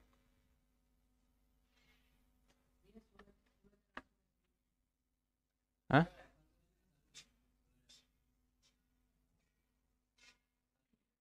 अरे मैंने नीचे ले लिया। एफ़ आर एफ़ आर में जाएगा। ये थोड़ा सा नीचे शिफ्ट हो गया। ये, अरे। ये थोड़ा सा नीचे शिफ्ट हो गया। इसको करते हैं यहाँ शिफ्ट ठीक है? एफ़ आर लेना है। ठीक है? लेकिन अगर यहाँ पे वैकेंसी नहीं होता मतलब कि सेल्फ ऑक्यूपाइड वाला पार्ट नहीं होता, तब तो हम ले लेते लोअर जब सेल्फ ऑक्यूपाइड पार्टली जब हो जाता है तो रूल क्या कहता है? नॉर्मल कैलकुलेशन करोगे आप, जिसके अंदर से हायर वाला ही पार्ट जाएगा हमेशा। ठीक है ना? चलो। ये था सवाल नंबर वन सोलह आठ सौ को कहना है कि डिवाइड नहीं करेंगे क्या, सर? सोलह आठ सौ को? नहीं डिवाइड नहीं करना। सर, सोलह आठ सौ को डिवाइड अब किस तरीके से डिवाइड करने की बात कर रहे हैं, मैं समझा नहीं। बताइए। अच्छा सोलह आठ सौ नहीं, जो सोलह आठ सौ जो फेयर रेंट है ना, वो सिर्फ़ इसी एरिए का है। सिर्फ़ इसी एरिए का एफ़ आर बनवाना है ना हमने तो ये डिवाइड नहीं होगा। सर, ऐसे केस में फिर एफ़ आर को मान लेते हैं। बिल्कुल सही। इसमें एफ़ आर आपको अजम्पन लेना पड़ता है। सेल्फ पारस सेल्फ और इसमें डिस्ट्रीब्यूटेड नहीं होगा, वो अलग अलग है, क्योंकि इसका सिर्फ़ रेंट गिवन था लेट आउट का तो हम लेट आउट वाले पोर्शन को ही मान के चलेंगे। यस बारह सौ चालीस, बासठ चालीस का लॉस है ये। ये लॉस है। अरे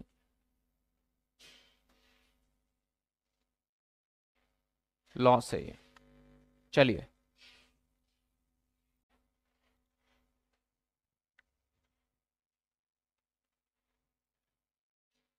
इस बार जो नई बनाऊँगा इनकम टैक्स की बुक, वो इससे बढ़िया बनाने वाला हूँ मैं अब। इसके अंदर थोड़े से क्वेश्चन के स्टैंडर्ड नहीं डाले मैंने अभी। मतलब कि पहले ये होना चाहिए, फिर ये होना चाहिए, फिर सेमेस्टर पाँच में तो कर दिया फाइनेंशियल मैनेजमेंट में। अगली बार जो बुक बनाऊँगा, पहले हल्के सवाल, फिर उससे भारी, फिर उससे भारी उससे भारी।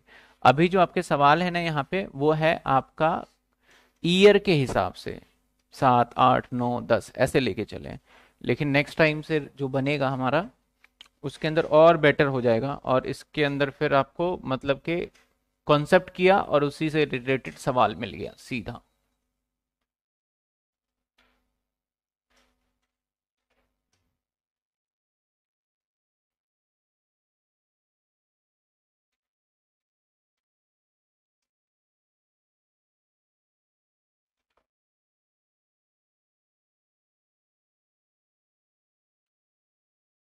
चलिए, सवाल पढ़ते हैं।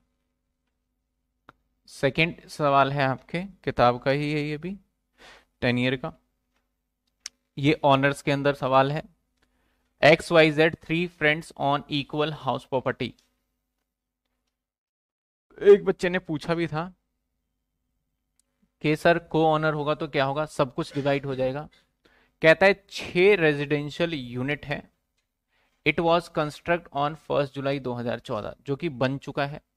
One unit is self occupied by each one of them their residence the remaining three unit let out monthly rent छह हज़ार रुपए per unit the municipal valuation of the property is चार लाख रुपए, पूरे घर का चार लाख है। म्यूनसिपल टैक्स पेड अस्सी हज़ार रुपए during the previous year the other expenses आपका कलेक्शन चार्ज किसी काम का? इंश्योरेंस नहीं है। Interest on loan taken construction sir सीधा निकाल के दे दिया। On the let out unit remain vacant for three month आपका one of the let out unit कोई भी एक लेट आउट यूनिट था जो कि कितने महीने के लिए खाली रह गया? तीन में, कहते हैं one of the let out unit three month के लिए वेकेंट रहा। Mister Y could not occupy, mister Y ने ऑक्यूपाई नहीं किया हिज यूनिट एट, और मिस्टर वाई जो था could not occupy his unit eight month, and he transfer to the some other city, क्योंकि उसे कहीं और भेज दिया गया तो वो रह नहीं पाया उसमें। He does not own any other house property इसके पास था नहीं। द अदर टैक्सेबल इनकम दूसरी इनकम जो इसकी है, वो अलग अलग दी हुई है।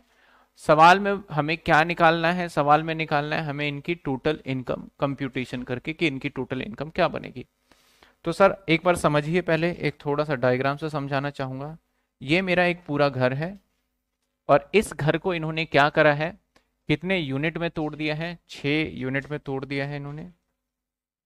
ये इसके हो गए छह यूनिट ठीक है? और तीन पार्टनर है तो एक एक तो ये खुद ही रह लेते हैं। यानी मान लेते हैं एक है एक्स एक है वाई और एक है जेड तो एक एक तो सेल्फ ऑक्यूपाइड हो गया इनका। और एक एक क्या हो गया? लेट आउट हो गया। सवाल में कहता है कि जो लेट आउट वाला भी पोर्सन है ना द म्यूनसिपल वैल्यू के बाद आगे कहता है सवाल में कि one of the let out unit मतलब अभी बताया नहीं। बोला, इसमें से कोई एक भी लेट आउट यूनिट जो रहा है ना, वो क्या रहा? One of the let out unit remain vacant for three महीने। तीन महीने के लिए ये रहा खाली पे यानी इसका हमारा ए ट्रिपल आर जब निकालेंगे तो तीन महीने का खाली आ जाएगा।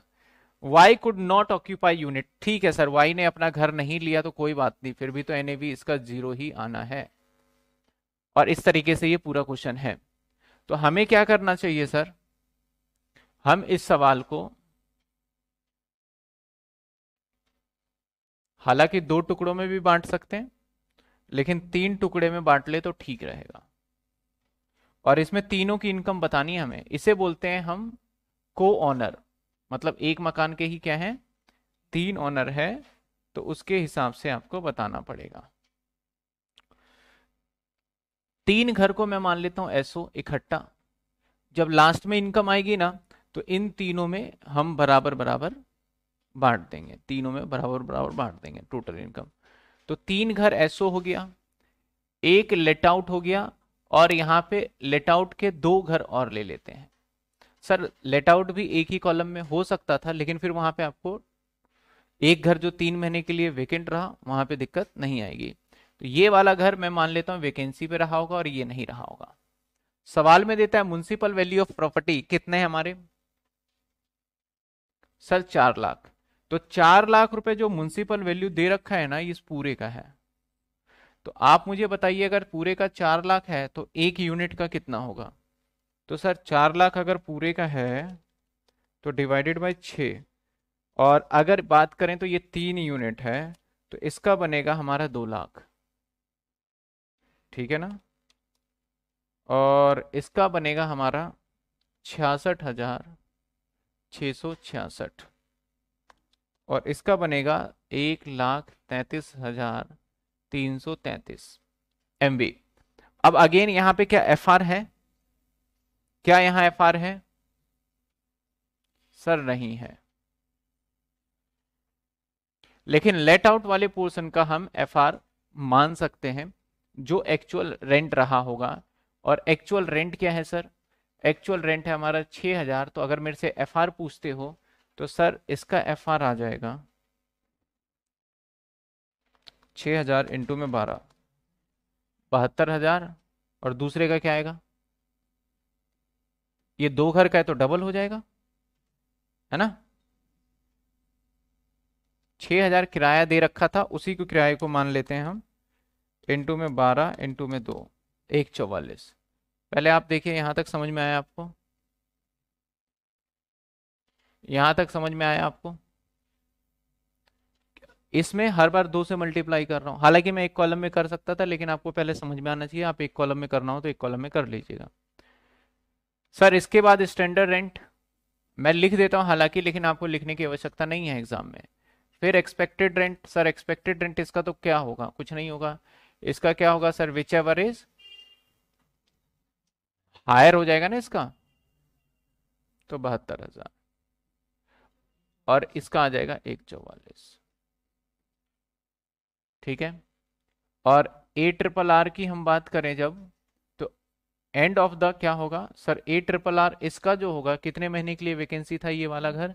तीन महीने। तो इसका आएगा हमारा पाँच हज़ार, नहीं छ हज़ार। एक का तो आ जाएगा छ हज़ार इंटू में नाइन चौवन हज़ार। और एक का आ जाएगा छ हज़ार इंटू में ट्वेल्व इंटू में टू दैट इज़ आ जाएगा अगेन एक लाख चौवालीस हज़ार. अगर हम जी ए वी की बात करें आ, सर मुझे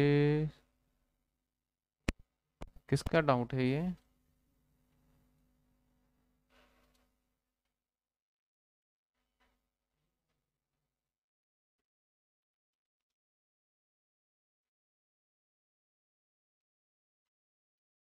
बच्चे कह रहे हैं, सर, ये समझ में नहीं आ रहा।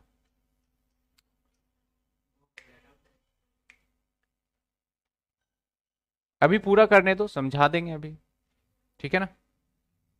तो जीएवी इसका ज़ीरो आ गया। इसका जीएवी क्या आएगा? लोअर लेंगे यहाँ पे क्यों? क्योंकि, सर, ये वैकेंसी का केस है और रूल नंबर फोर कंप्लीट किया है और ये एक चौवालीस आएगा। माइनस म्यूनसिपल टैक्स अस्सी हज़ार जो इसने पेमेंट किया है, वो कब का, किसका पेमेंट किया है? पूरे घर का। तो इसके भी छ यूनिट कर दीजिए। अस्सी हज़ार इंटू डिवाइडेड बाई छ और इंटू तीन। यहाँ तो आ जाएगा बीस हज़ार। और अस्सी हज़ार डिवाइडेड बाय छ आ जाएगा तेरह हज़ार। तीन सौ तैतीस। और ये छब्बीस हज़ार। छ सौ सड़सठ क्या? चा, चालीस तो टोट अस्सी अच्छा हाँ इसका चालीस होगा। इसमें तो होगा ही नहीं। हाँ ठीक है ना? अब बच्चे कह रहे हैं एनएवी निकालने के बाद आते हैं आपको लोगों के पास ही। कुछ बच्चे कह रहे हैं सर समझ ही नहीं आ रहा कैसे हो रहा है ये? ये कितना आएगा? माइनस करो। ये आ जाएगा चालीस।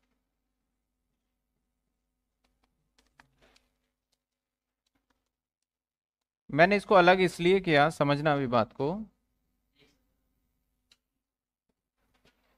चलिए, बच्चे कह रहे हैं, सर, हमें बिल्कुल समझ में नहीं आ रहा है क्या करवा रहे हो? नहीं करवा रहे चलिए। हम दोबारा आ जाते हैं इस क्वेश्चन को अच्छे से, जो मैंने सॉल्यूशन किया। इसको दो तरीके से हालाँकि किया जा सकता है, लेकिन जैसे मैंने किया, उसके हिसाब से मैं बात करूँगा। सपोज़ करो, मेरा एक ये एरिया है, ये पूरा एक एरिया है। इसके अंदर बात करें तो यूनिट आइडेंटिकल कर देते हैं हम। सर छ यूनिट है, ध्यान दीजिएगा। छ यूनिट है।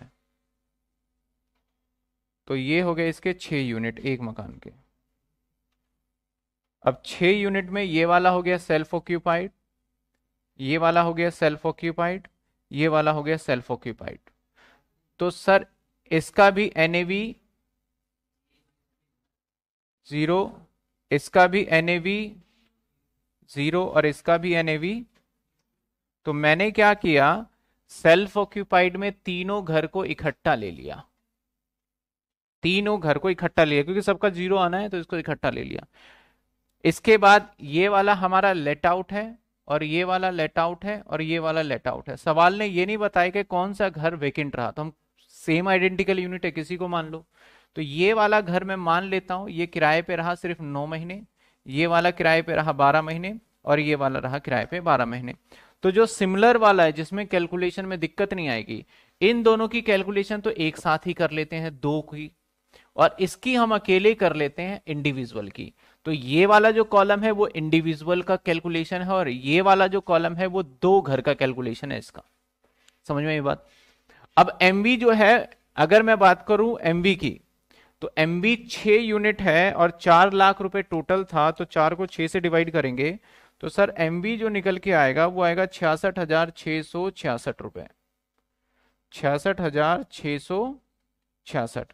और सर, ये छियासठ हज़ार छह सौ छियासठ रुपए की कहानी सब में चलेगी एम सब में चलेगी एम बी छियासठ हज़ार छह सौ छियासठ का। आपको यहाँ से सारी पिक्चर क्लियर हो जाएगी। अब बताइए सेल्फ ऑक्यूपाइड वाले का मैंने जब तीनों घर इकट्ठा लिया है तो ये तीनों एम को मैं जोड़ लू तभी तो लिखू यहाँ।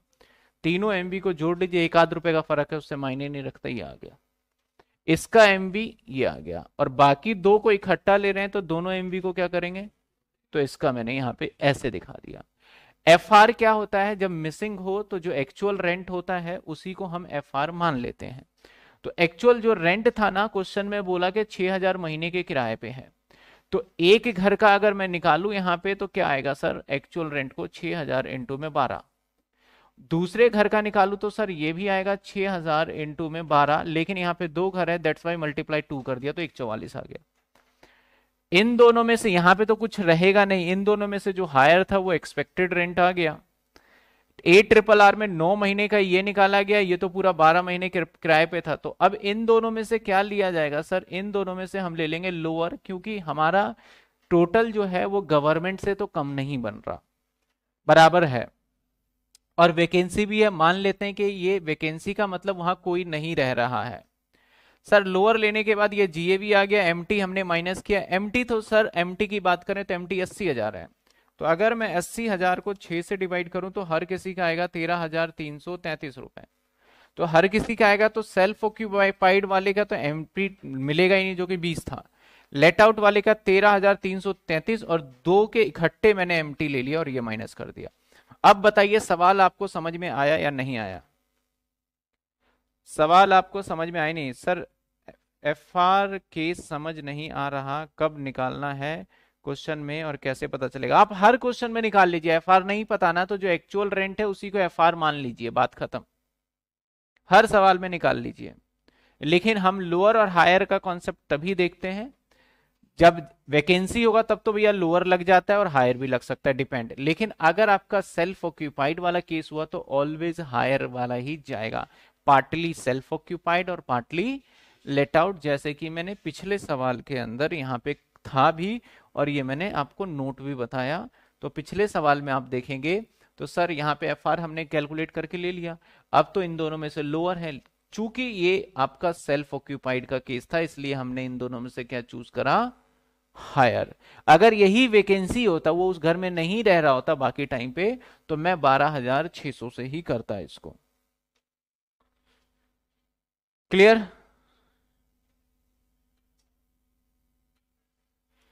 कहना है कि सर ई ER में लोअर क्यों लिया? क्योंकि आपका ई ER क्या होता है? एक्सपेक्टेड रेंट में लोअर क्यों लिया? क्योंकि आप सबसे पहले 12 महीने का कैलकुलेट नहीं करोगे क्या? 12 महीने का कैलकुलेट करोगे तो आपके हिसाब से बन रहा है बहत्तर। गवर्नमेंट के हिसाब से भी बहत्तर। आप झूठ तो नहीं बोल रहे गवर्नमेंट से तो क्या करते हैं? हम लोअर लेके कंप्लीट करते हैं इसको।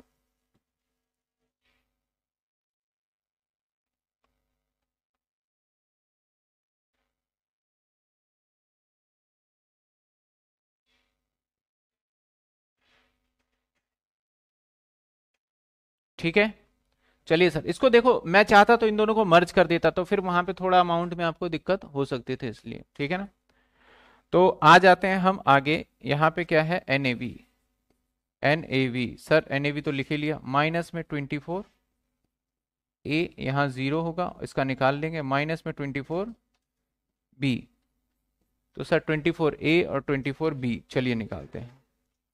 अगर हम बात करते हैं इसका कितना है? सात हज़ार? बारह हज़ार दो सौ। तो ये आ जाएगा हमारा चौबीस हज़ार चार सौ। है ना? अब ए, ये ऐसा कैसे हो रहा है? डबल ही है ना इसका तो ये।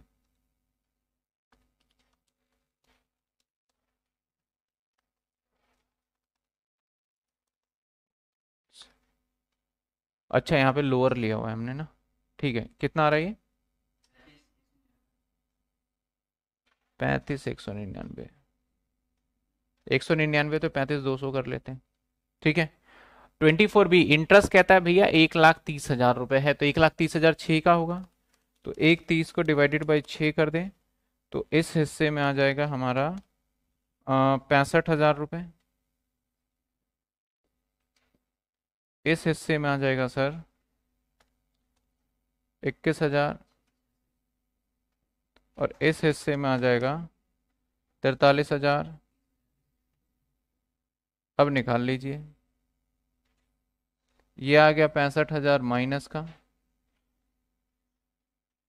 ये आ गया पैंसठ हज़ार माइनस का। इसकी बात कर लेते हैं।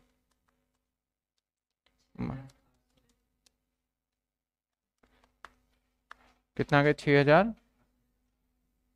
माइनस का प्लस का? प्लस का। और ये आ जाएगा।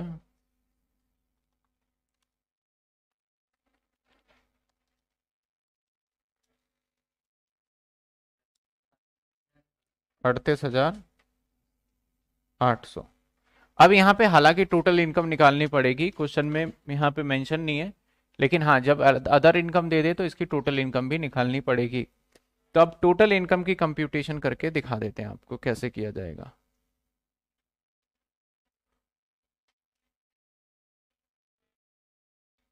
सर टोटल इनकम की कंप्यूटेशन इधर।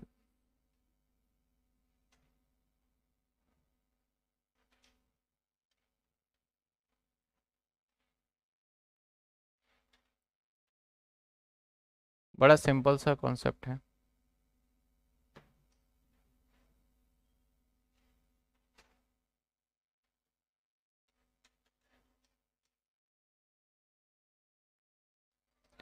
आप तीन पार्ट में बांट दोगे इसको। सर, तीन पार्ट में क्यों बांट दोगे?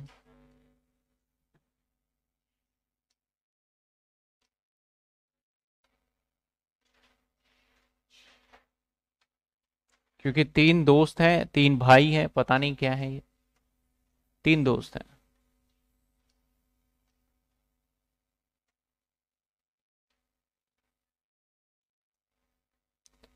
सबसे पहले तो हाउस प्रॉपर्टी की इनकम बांटते हैं इसमें। हाउस प्रॉपर्टी की इनकम एक्स वाई जेड तो सर हाउस प्रॉपर्टी की इनकम अगर मैं निकालूं आई एच पी तो सर माइनस पैंसठ हज़ार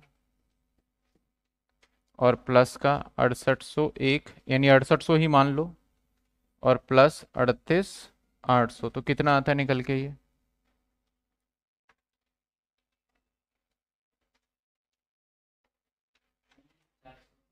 उन्नीस नेगेटिव या पॉजिटिव क्यों? अड़सठ सौ है ये।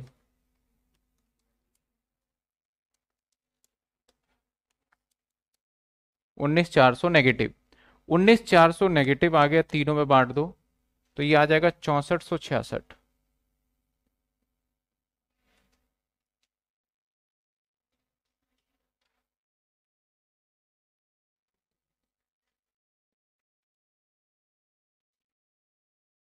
ये नेगेटिव आ गया हाउस प्रॉपर्टी से लॉस अब सर इसकी इनकम कहता है अदर टैक्सेबल इनकम तो अदर इनकम अब ये किस हेड से है बताया नहीं. तो नब्बे. एक lakh. One point two lakh. बस इसको जोड़ दीजिए, ये आ गया टोटल इनकम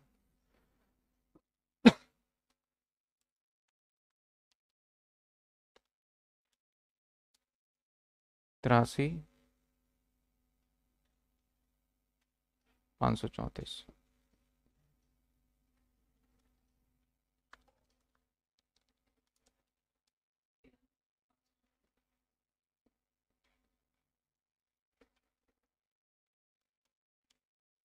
तिहत्तर? नहीं। तिरानवे तो हो गया। एक तेरह। ये इसकी इनकम आ गई। यहाँ तक करके दिखाना है आपको इस सवाल। हाँ वो आ, दो रुपये राउंड फिगर कर दिया। एक आध रुपए का फ़र्क हो सकता है वो मायने नहीं रखता आपका वो राउंड फिगर में ऊपर नीचे हो जाता है ठीक है ना? क्लियर है ये सवाल आपको?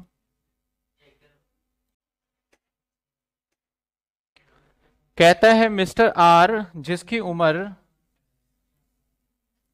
कहता है मिस्टर आर जिसकी उम्र 50 साल है ऑन अ टू हाउस दो घर है। The detail of two houses as follow municipal value fair rent standard rent actual rent ये सेल्फ ऑक्यूपाइड है तो इसका टेंशन खत्म, ये किराए पे है। वैकेंसी ये दो महीने तक खाली रहा भैया। म्यूनसिपल टैक्स पेड किया है, ठीक है। कहता है सी रेज अ लोन पंद्रह लाख रुपए का from State Bank of India at 15 percent और एक जून 2016 को लिया गया for construction of house number one इसके लिए लोन लिया गया। कंस्ट्रक्शन ऑफ़ हाउस कंप्लीटेड 20 में कंप्लीटेड हो गया। Date of repayment of loan अक्टूबर महीने में हमने रीपेमेंट भी कर दिया loan half of the municipal tax in respect of let out और जो म्यूनसिपल टैक्स है, आधा इसके लिए है लेट आउट के लिए तो आधा इसके लिए होगा। Second have a paid by the tenant कहता है half of municipal tax in respect of let out house और सेकेंड पॉइंट कहता है इसके अंदर have been paid by the tenant और उस भी म्यूनसिपल टैक्स को किसने पेड किया है? तो म्यूनसिपल टैक्स तो टेनेंट जब कभी भी पेड करता है तो क्या उसको माइनस करते हैं हम? नहीं अलाउड ही नहीं होता वो। During the previous year Mrs R अच्छा आर है ये। मिसेस आर का एम्प्लॉय एक्स लिमिटेड में काम करती है, जहाँ पे उसकी मंथली सैलरी है कितनी? पैंतालीस हज़ार रुपए और कंपनी बी दो हज़ार रुपए प्रोफेशनल टैक्स हर बिहाफ पे। तो यहाँ पे सैलरी का पोर्शन आ गया तो यहाँ पे स्टैंडर्ड डिडक्शन देके फिर बाकी हम काम कर देंगे यहाँ पे, क्योंकि बाकी डिटेल है नहीं। कंप्यूट द, ध्यान दीजिए टोटल इनकम क्या पूछा गया? Total income and tax liability Mrs R का for the assessment year 2022 assume she does not have any other income मान लीजिए कोई अदर इनकम नहीं है। तो चलिए सर, सवाल को कर लेते हैं।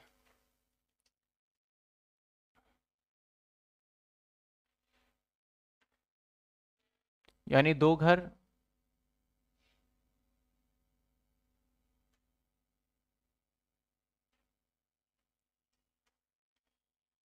तो दो कॉलम खींच लेंगे हम।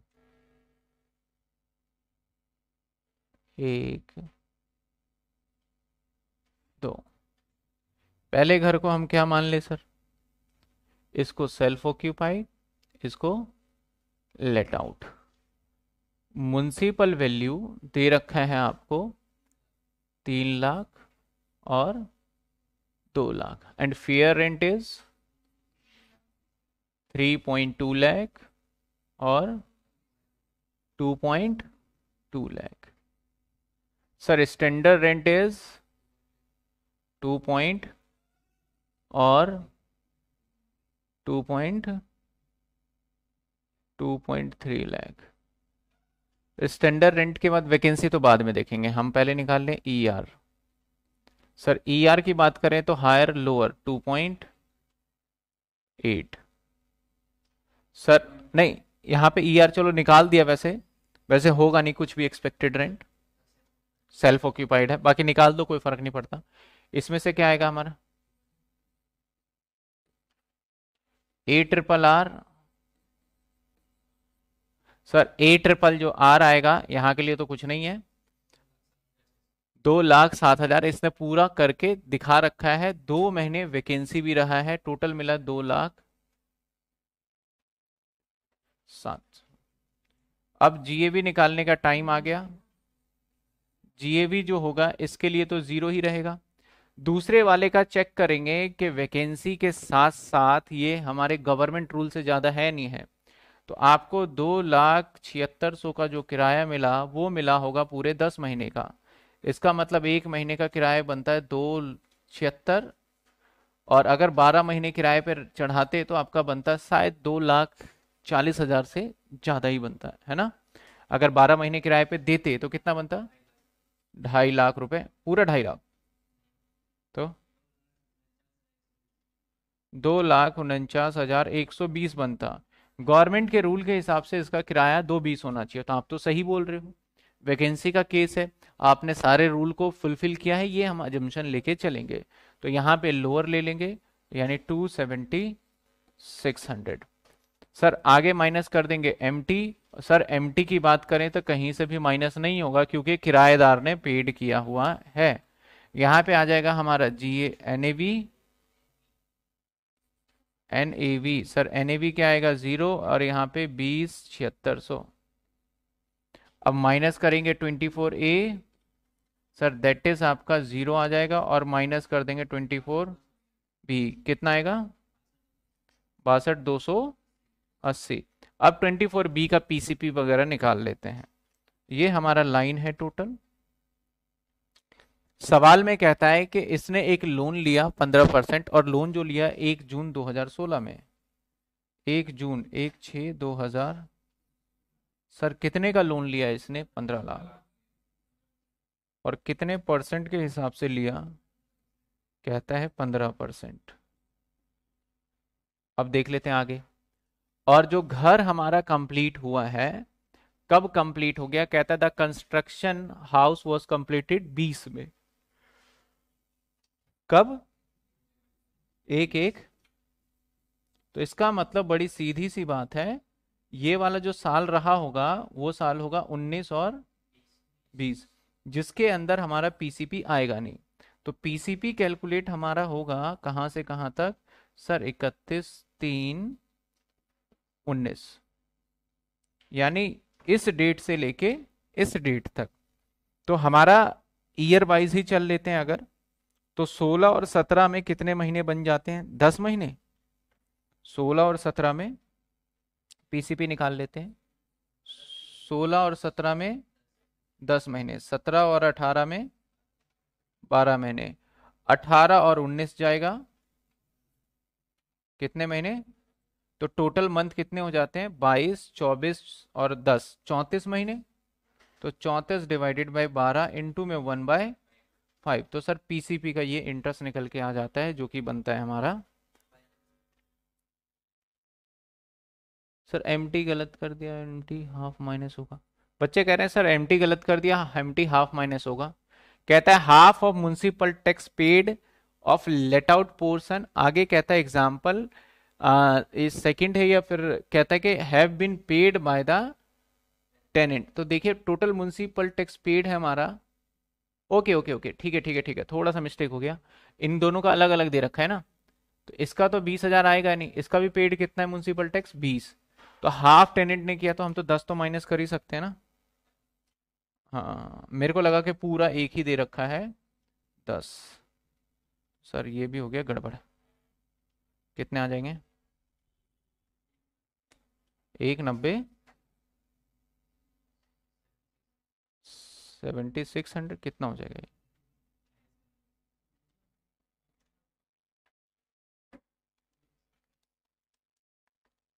चलिए अभी कर देते हैं। उनसठ। देख लेना एक बार कौन स्कैन कैलकुलेशन ठीक है? पीसीपी आ जाएगा। पीसीपी कितने आ गए थे? हाँ? बयालीस हज़ार पाँच सौ रुपए। अब क्या कहता है? ध्यान से देखिएगा।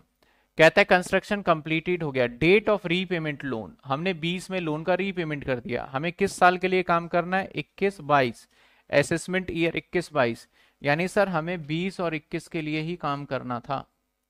और हमने 20 और 21 में ही लोन का रीपेमेंट भी करा है। हमने पेमेंट कब किया है? एक अक्टूबर 20 तो एक अक्टूबर 20 इसी में आएगा।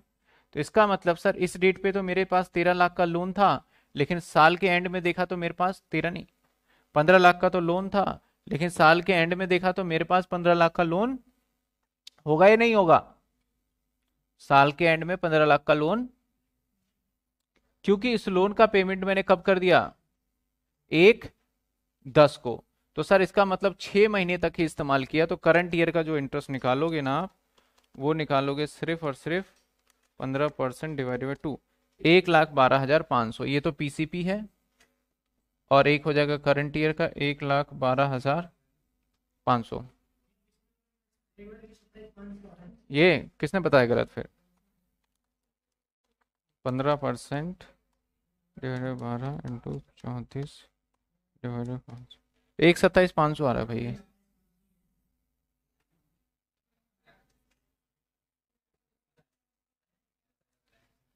चलिए ट्वेंटी फोर बी मैं दोनों को जोड़ के ही ले लेता हूँ। सर, ये दो चालीस। और किसके लिए लिया था इसने? घर पहले के लिए लोन था, दूसरे के लिए था? पहले के लिए था तो टोटल बन रहा है कितना? दो चालीस। लेकिन अलाउड कितना होगा? ये बन रहा है हमारा दो चालीस।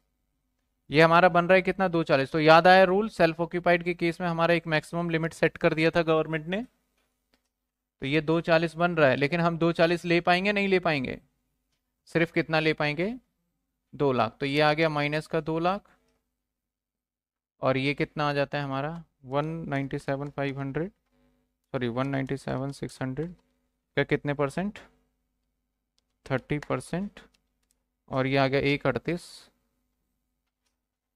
तीन सौ बीस।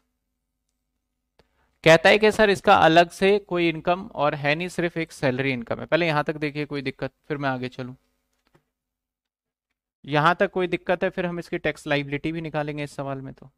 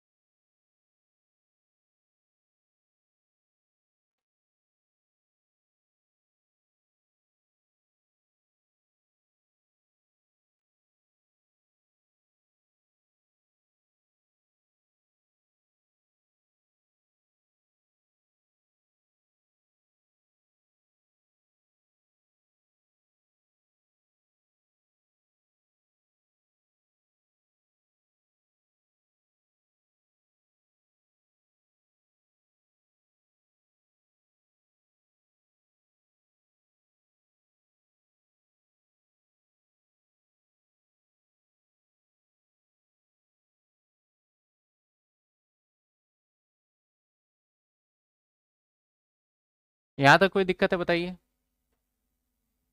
नहीं, यहाँ तक क्लियर है हर किसी को? अब देखिए, इसके अंदर आपको एक चीज़ है पॉइंट है कैच वाला पॉइंट जो मैंने पहले नहीं बताया, पहले पूरा क्वेश्चन हो गया। अब क्या करना है? सैलरी इनकम इसमें जोड़ना है, वो छोटा सा पार्ट है। इसमें कहता है, सर, ये जो रेंट है, अब सवाल में ये नहीं बता रहा कि ये रेंट दस महीने का है कि ये रेंट बारह महीने का है? समझ रहे हो बात? क्वेश्चन में तो नहीं बता रहा ना? तो मैंने क्या एजम्पन किया है? ये रेंट कितने महीने का है? दस महीने का। इसके लिए आपको नोट देना। अगर बोलता है एनुअल रेंट अच्छा अच्छा बोल रखा है। ध्यान नहीं दिया। क्या बोला इसने? एनुअल रेंट बोल रखा है सर तो इसका मतलब यहाँ पे जो ए ट्रिपल आए आएगा, बीस, छिहत्तर सौ, देखिए थोड़ा ध्यान से वही है ना। तो डिवाइडेड बाय बारह करो। डिवाइड बारह कर देते हैं पहले यहाँ डिवाइड बारह। हम्म, ये कट कर देते हैं। सत्रह? तो सर सत्रह तीन सौ इंटू में नौ कर देंगे ना? दस। सत्रह तीन सौ इंटू में दस। एक लाख तिहत्तर हज़ार।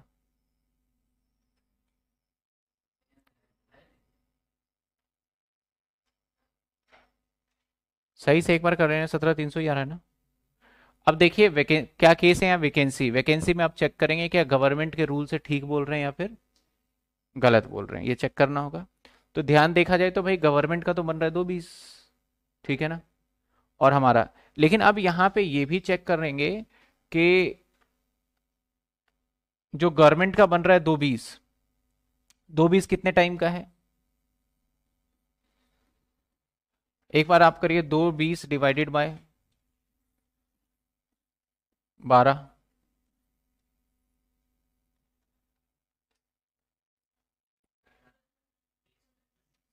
इंटू में तीन, दो।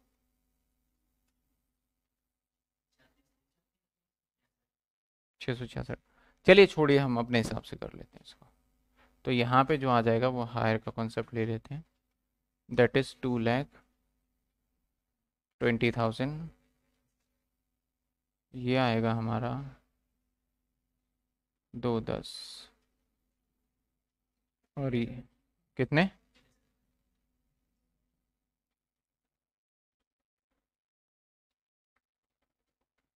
ये हम्म? ठीक है सर। चलिए आगे देखते हैं। अब निकालते हैं हम इसका total income sir total income निकालते हैं।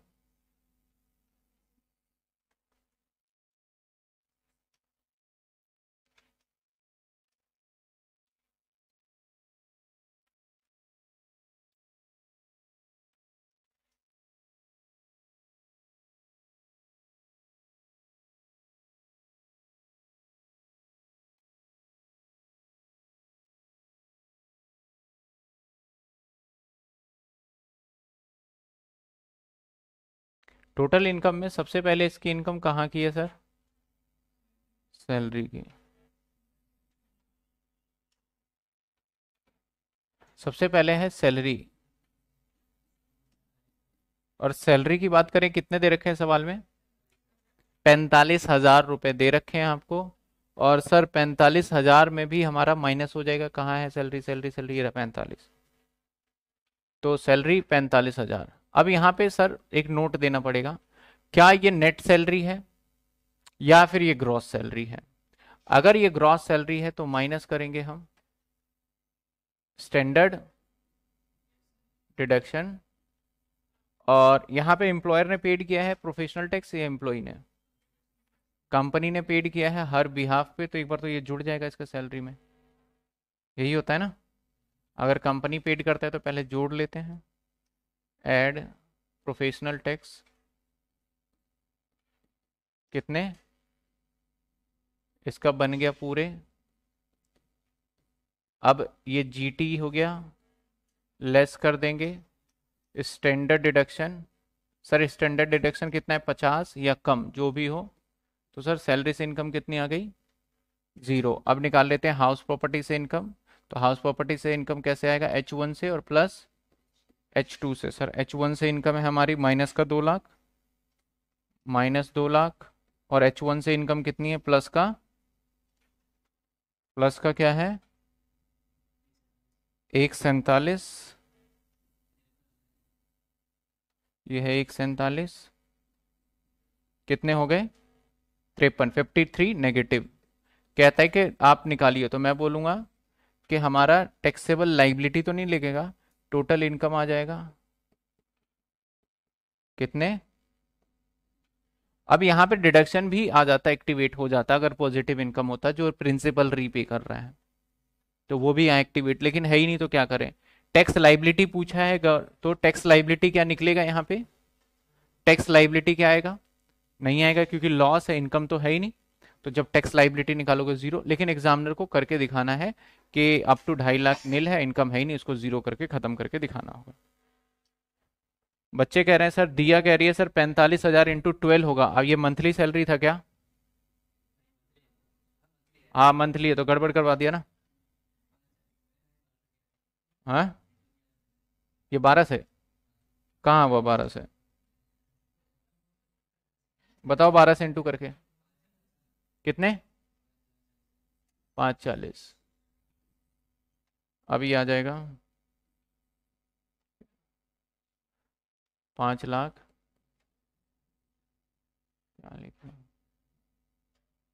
पाँच लाख बयालीस हज़ार। क्यों? अभी तो ऐड कर रहे हैं। अब इसके बाद स्टैंडर्ड डिडक्शन और माइनस कर देंगे प्रोफेशनल टैक्स दो हज़ार। कितने बचे? चार लाख नब्बे हज़ार। तिरपन हज़ार ये माइनस कर दो।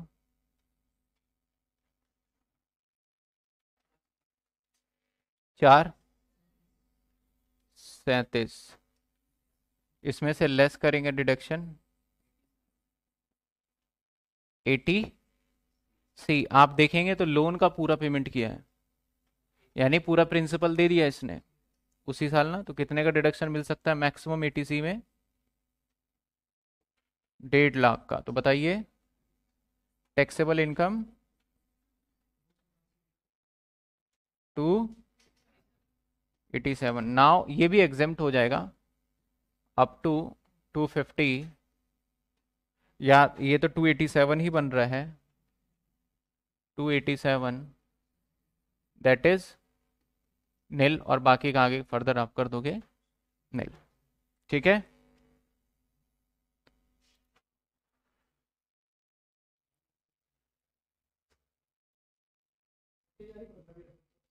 हाँ जी?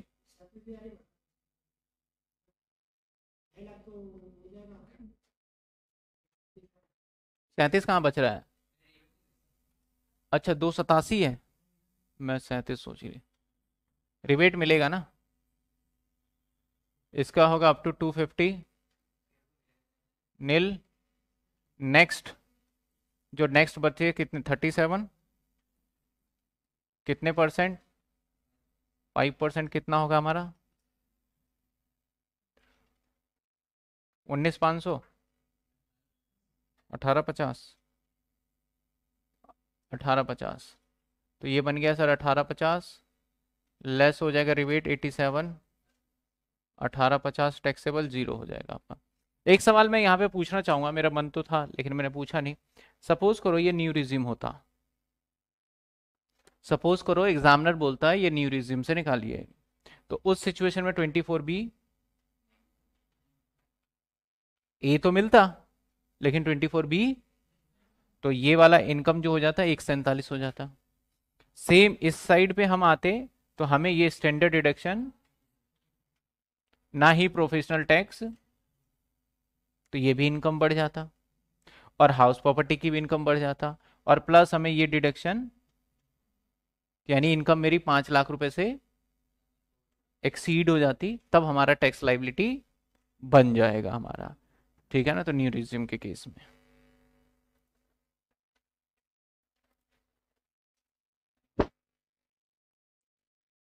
खुशी 87 भी बता दो। 87 मैंने पहली क्लासेस में करवाया हुआ है और मैंने कंपाइल वीडियो करके भी डाल दिया है। कहाँ डाला है आपके कोर्स में? मैं बता देता हूँ। न्यू रिज्यूम ओल्ड रिज्यूम का डाल दिया मैंने।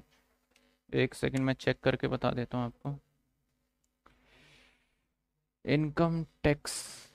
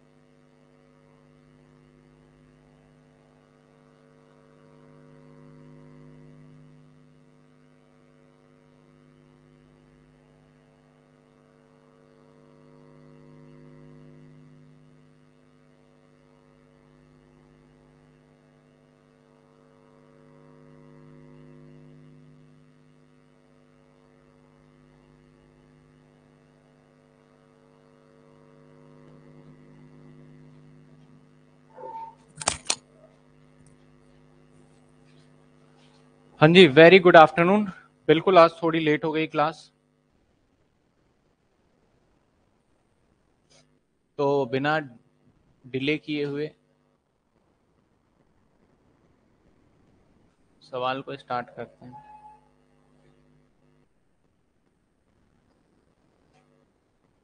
चलिए।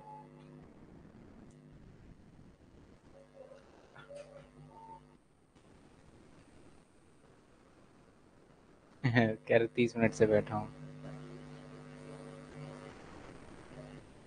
आपका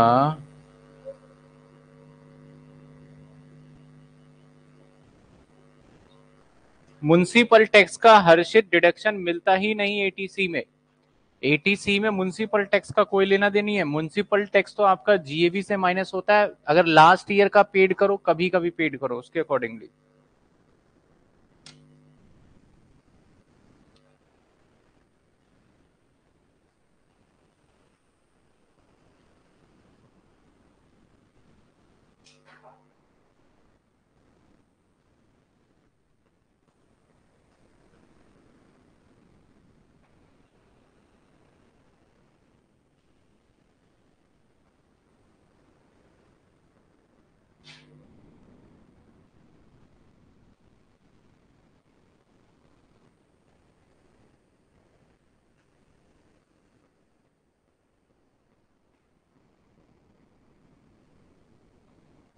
सवाल देखिए क्वेश्चन नंबर पाँच। पहले एक बार आप पढ़ लीजिए, सवाल नंबर पाँच आपके सामने बोर्ड पे हो जाएगा। चलो कर ही लेते हैं, पाँच मिनट लगने टोटल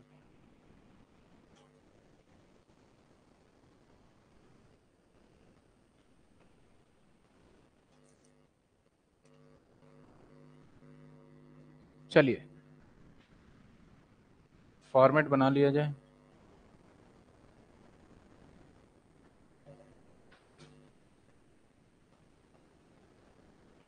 क्योंकि दरअसल आज काफ़ी काम था, सोचा था क्लास लू, ना लू। ले लेते हैं, दो क्वेश्चन भी हो तो कर तो लेंगे ही ना।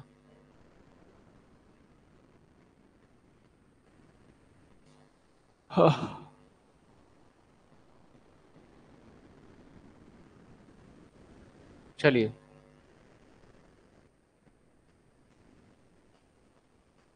सवाल पढ़ लेते हैं।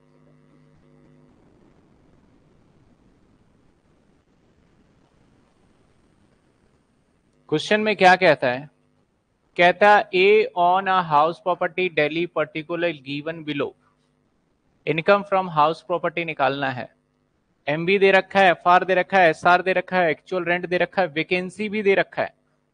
अब यहाँ पे इस क्वेश्चन में बड़ा बढ़िया करा, इन्होंने पूरे महीने एनुअल दे दिया करके।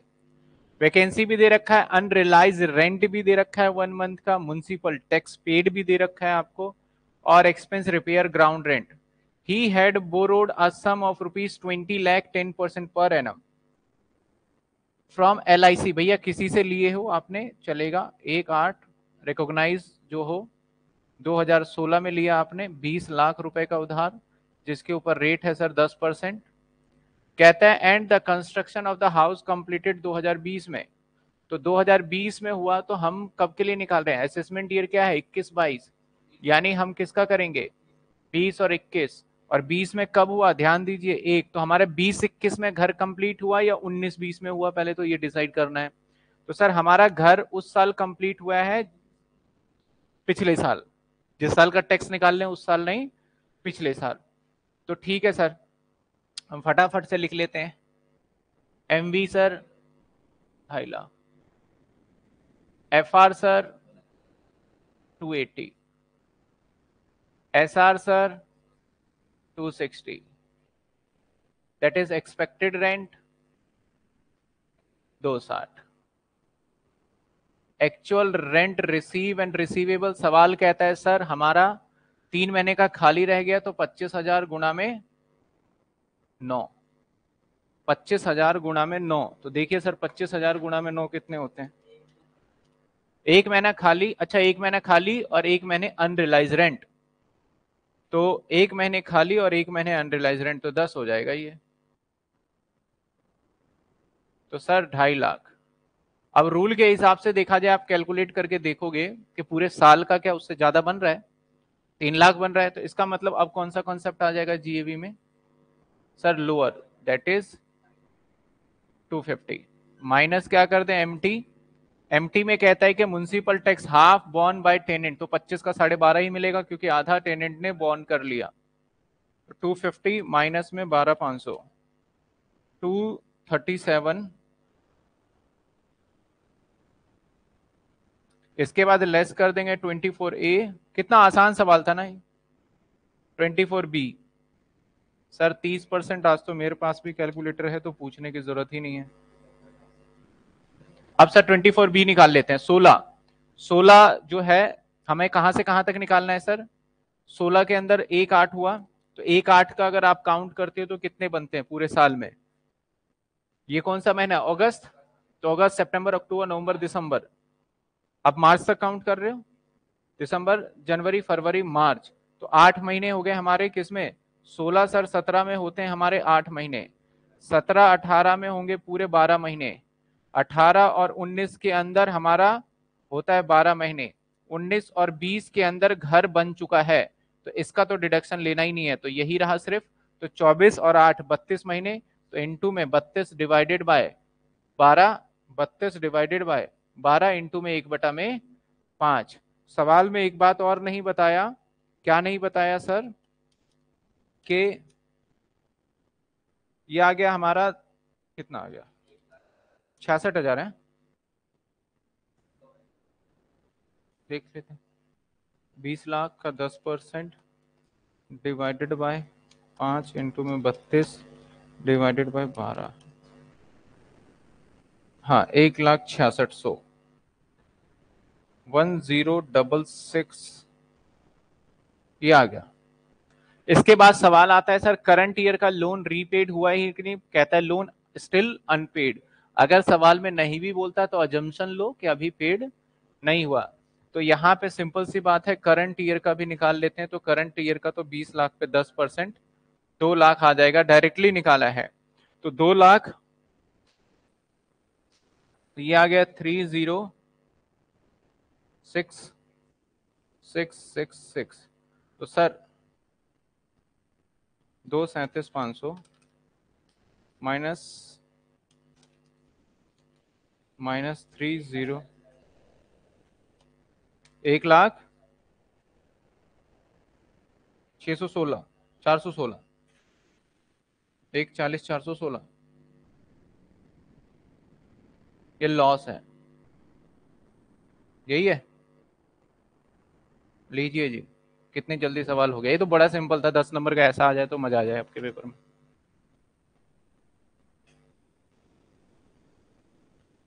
किसी बच्चे को कोई डाउट सर अगर कंस्ट्रक्शन तीस चार को कंप्लीट हुआ होता तो क्या करते हैं सर तो हम तीस चार को कंप्लीट होता तो यहाँ पे उन्नीस और बीस को भी कवर कर लेते हैं प्री कंस्ट्रक्शन पीरियड में। हाउस प्रॉपर्टी से जो थ्योरी आता था, वो थ्योरी मैं करवा चुका हूँ ऑलरेडी और कोई थ्योरी ऐसा आएगा नहीं हाउस प्रॉपर्टी में से, सिर्फ़ प्रैक्टिकल है, जो कि हम प्रैक्टिस सेशन है एक तरीके से। अगर आप सेल्फ भी करने बैठो तो एक आध पॉइंट में डाउट आ सकता है सॉल्यूशन गिवन है, आपको समझ में आ सकता है इसका।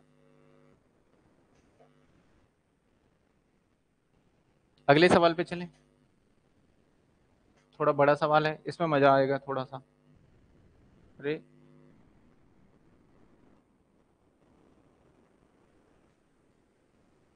चलिए सर।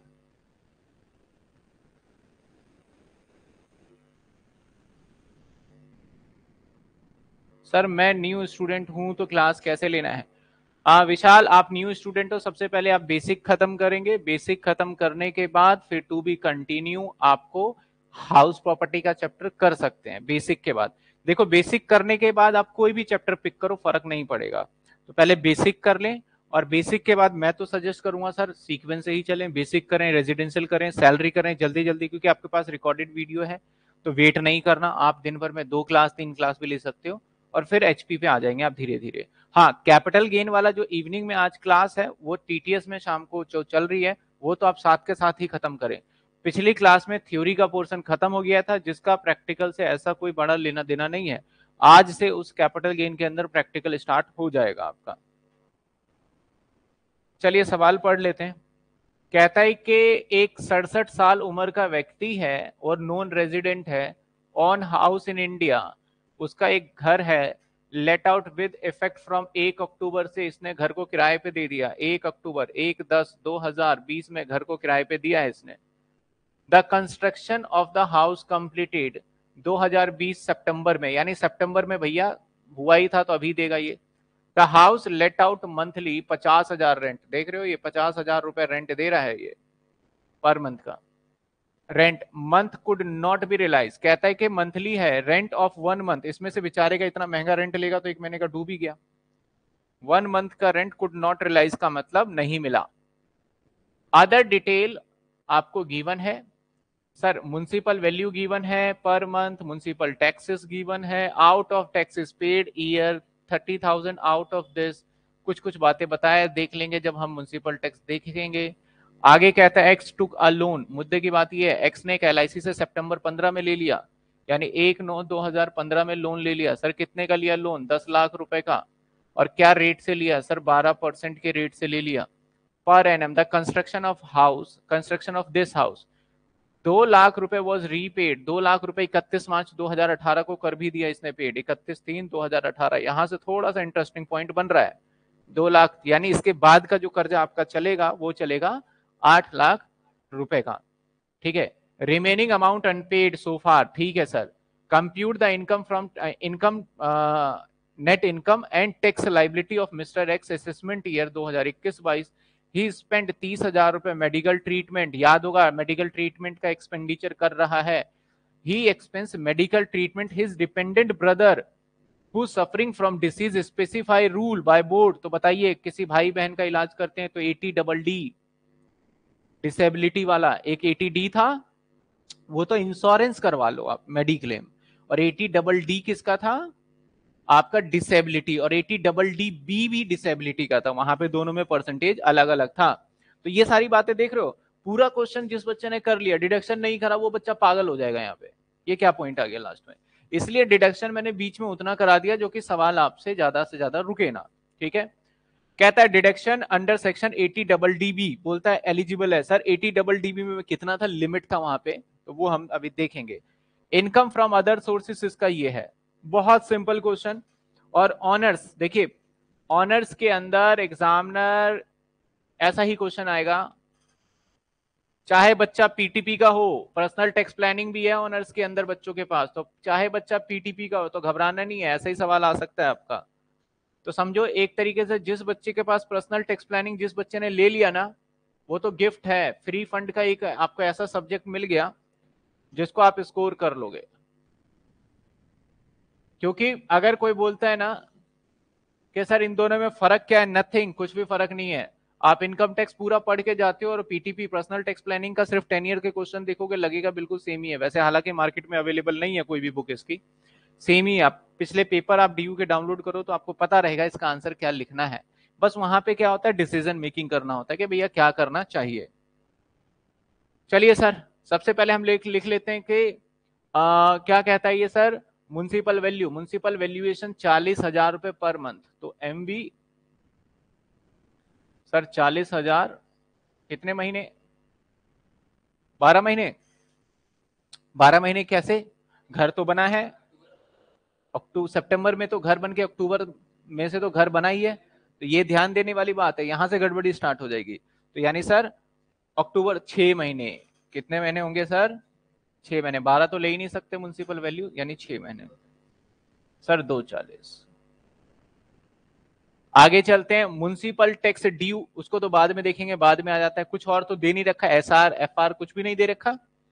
तो एफ़ आर लेना है तो लीजिए, नहीं तो फ़र्क नहीं पड़ता वैसे भी, मैं ले लेता हूँ एफ़ आर अजम्पन ले लेंगे अगर एफ़ आर तो सर एफ़ आर क्या बनेगा? पचास हज़ार गुणा में छह, यानी एफ़ आर बनेगा, कायदे से देखा जाए तो। तीन लाख, एक अजम्पन है, जो रेंट होता है, उसी के हिसाब से ले लेते हैं हम। हालाँकि नहीं लो तब भी फ़र्क नहीं पड़ता। सर ई e आ जाएगा, सर ई e आर क्या आएगा? रूल के हिसाब से तीन लाख। और एक ए ट्रिपल आर क्या आएगा, सर? हमने छह महीने किराए पे मकान दिया है, लेकिन उसमें से एक महीना जेनुअनली खाली था, हम ये मान के चल रहे हैं। तो पचास हज़ार गुणा में पाँच, हालाँकि कितने हो गए? दो। पचास। और एक्चुअल देखा जाए तो अब लोअर ही कॉन्सेप्ट आएगा जो कि जीए भी आ गया हमारा, दो पचास। किसी को कोई दिक्कत, कुछ बच्चों को दिक्कत हो सकता है, सर एफ़ आर कहाँ से आए इसे मिटा देते हैं। एफ़ आर का कोई रोल नहीं, आप कंपेयर जब भी करेंगे तो दो चालीस, दो पचास में से तो पचास ही आएगा। समझ गए बात आप? कोई दिक्कत नहीं। सर रेजिडेंशियल स्टेटस में क्लास फोर और फाइव की वीडियो नहीं, सिर्फ़ नोट्स है। मैं देख लूँगा आज पिंकी क्या है, नहीं है, आपने मुझे बता दिया तो मैं आज देख लूँगा कि क्या अवेलेबल है, अभी जाके चेक करा लेते हैं। थोड़ा सा ड्राइव के अंदर एक इशू भी आ गया है। ओ आपके एप्लीकेशन पे नहीं, कुछ थोड़ा सा अपडेट चल रहा था तो जहाँ मैं सारी वीडियोस रखता था वो चेक कर लूँगा। जी, अभी लास्ट में क्या कर देंगे? एग्जामिनर ने इसमें बहुत दिमाग लगाया अपना कि इस बच्चे को परेशान किया जाए। बोलता है कि आउट ऑफ़ विच कहता है म्यूनसिपल टैक्स ड्यू ड्यू कितना है? Out of which paid during the year तीस, जिसमें से तीस पेड कर दिया। Out of this thirty twenty is paid by the owner कहता है, इस तीस में से भी बीस, देखो चालीस था बाकी। चालीस में से भैया हम तो दे रहे हैं तीस। और इस तीस में से भी कहानी इसने घुमाई कि इस तीस में से भी बीस पेड बाय ऑनर और दस पेड बाय द तो सही है आप अगर बीस पेमेंट कर रहे हो तो आप एलिजिबल बीस के लिए हो। और बाकी के लिए नहीं हो तो कितना डिडक्शन मिलने वाला है? बीस जिसने बेसिक कंसेप्ट देखिए, पहले बेसिक कंसेप्ट में इसलिए वहाँ पे ज़्यादा टाइम लगा देता हूँ ताकि अभी दिक्कत ना हो। पता चल जाए भैया ऐसा है। अगर म्यूनसिपल टैक्स जिसने नहीं पढ़ा, सोचा यार म्यूनसिपल टैक्स से माइनस ही तो करना था, छोड़ दे तो फिर वो इस क्वेश्चन में क्या आएगा? फंस जाएगा आके। कि भैया तीस करें, चालीस करें, कितना घुमा दिया? तो लेकिन है बड़ी सीधी सादी सी बात। तो सर ये आ गया हमारा दो लाख, तीस हज़ार आपका आ जाता है एन ए वी मैं शॉर्ट एब्रिविएशन यूज़ कर रहे हैं, आप एग्ज़ाम में कर सकते हैं और नोट देना है आपने इन सभी चीज़ का, जिसका भी एब्रिविएशन यूज़ करेंगे। सर ट्वेंटी फोर ए और sir twenty four B twenty four A देखा जाए तीस परसेंट, बाद में निकाल लेंगे। ट्वेंटी फोर बी मेजर है। आप देख रहे हो, सवाल के अंदर एग्जामिनर के पास कुछ है ही नहीं। बस एक ही चीज़ है इंटरेस्ट पूछ लो। जिसको इंटरेस्ट आ गया, मैं बोलता हूँ, उसको एचपी आ गया। सिंपल सी बात है। तो अब इंटरेस्ट में देखा जाए तो घर इसने करंट ईयर में कंप्लीट किया तो करंट ईयर का पीसीपी तो होगा नहीं। तो करंट ईयर जो हमारा बन के निकल के आता है इस सवाल के अंदर, वो करंट ईयर कब निकल के आता है बन के हमें निकालना है 20 और 21 ठीक है? तो सर 20 और 21 के अंदर तो घर बन गया तो ये तो पीसीपी में नहीं जाएगा। इससे पहले आ जाते हैं हम 19 और 20 लोन लिया 15 में, इससे पहले आ जाते हैं 18 और 19 ये भी पीसीपी का पार्ट है, इससे पहले आ जाते हैं 17 और 18 ये भी पीसीपी का पार्ट है, ध्यान देते जाइए। या फिर मैं लाइन लेके कर दूँ, ऐसे समझ में आ रहा है। इससे पहले आ जाएगा हमारा 16 और 17 ये भी पीसीपी का पार्ट है। अच्छा। उल्टी गिनती में थोड़ी दिक्कत हो जाती है। सर, कहता है कि सितंबर 15 में करा तो ये सितंबर 15 नहीं है। ये सितंबर 15 नहीं है, यहाँ तो 31 मार्च 15 ही है, बोलता है सितंबर 15 में। तो सितंबर 15 की बात करें तो ये कहाँ से अच्छा गलत करा दिया। वही मैं देख रहा हूँ। ये क्या होगा? अठारह उन्नीस, सत्रह अठारह, अब क्या होगा? सोलह, सत्रह। अब होगा पंद्रह, सोलह। कुछ बच्चों को हो सकता है समहाउ दिखे ना, मैं ऊपर कर देता हूँ थोड़ा। तो देखिए, पंद्रह और सोलह में तो लोन लिया गया है। है ना? पंद्रह और सोलह। और पंद्रह और सोलह में कितने महीने के लिए लोन पे रहा ये? सितंबर में ले लिया था तो सितंबर, अक्टूबर, नवंबर, दिसंबर, जनवरी, फरवरी, मार्च। सात महीने हो रहे हैं। कितने महीने? सात महीने। महीने काउंट इसमें बारह इसमें बारह इसमें बारह इसमें बारह। ये तो हो गए लोन के महीने। अब लोन अमाउंट की बात कर लेते हैं हम। सर, कुछ दिनों तक इसने रीपेड कर दिया इकतीस तीन अठारह। यानी इकतीस तीन अठारह की बात करें तो यहाँ तो यहाँ से जो लोन है ना मेरा, वो लोन चलेगा आठ लाख रुपए का। और यहाँ से लोन रहेगा, पहले तो इन बातों को समझ लीजिए, मैं क्या बताना चाह रहा हूँ, क्योंकि स्टार्टिंग में लोन लिया, कोई रीपे नहीं किया, चलता गया चलता गया चलता गया। इकतीस मार्च 2018 में हमने पैसे दे दिए दो लाख रुपए। तो एक अप्रैल 2018 और 19 के अंदर देखा जाए तो हमारे ऊपर कर्जा अब दस नहीं रहा, आठ तो अब आठ। यानी पीसीपी जब निकालेंगे तो सर इसके ऊपर अलग इंटरेस्ट निकाला जाएगा और इसके ऊपर अलग निकाला जाएगा इसके ऊपर। तो हम उन सभी को, दोनों को, दोनों सेक्शन को जोड़ देंगे इंटरेस्ट निकाल के और फिर वन बाई क्या कर देंगे हम? फाइव कर देंगे। और करंट ईयर वाला तो पूरा का पूरा निकलेगा ही निकलेगा, जो कि करंट ईयर का होता है। इसके लिए तो हमें कोई भी पाँच से डिवाइड करने की ज़रूरत नहीं है। तो सर, हम पहले निकाल लेते हैं। दस दस दस। तीन बार है आपका तो दस लाख पे इनटू में, समझिएगा। दस लाख पे इनटू में कितने परसेंट था? बारह। बारह बटे में सौ।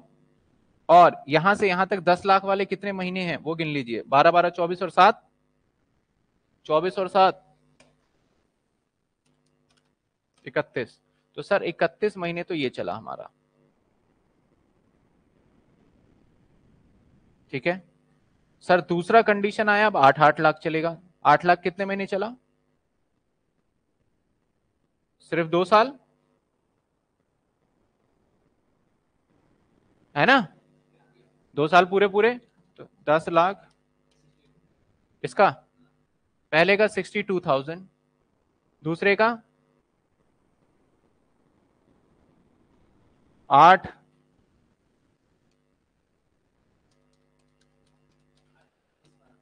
अड़तीस चार सौ। सर, इस सवाल को इधर ले जाया जाए, बच्चे बोल रहे हैं, कुछ दिख नहीं रहा चलिए, अब टोटल बन गया। एक लाख। पहले तो आप पीसीपी को समझ लीजिए, तभी तो मैं आगे बढ़ूँगा। करंट ईयर का तो कोई बड़ी बात नहीं है। पीसीपी समझिए, नवीन कहते हैं सॉरी नसरीम परवीन कहते हैं कि, सर एम टी फिर से बता दो एम टी नसरीम आपने अगर पहले क्लास ली होगी तो ये सवाल आता ही नहीं, फिर भी आपको जो डाउट है एक बार बताइए, मैं फिर दोबारा ले लेता हूँ। अभी यहाँ तक बताइए, कोई दिक्कत है तो।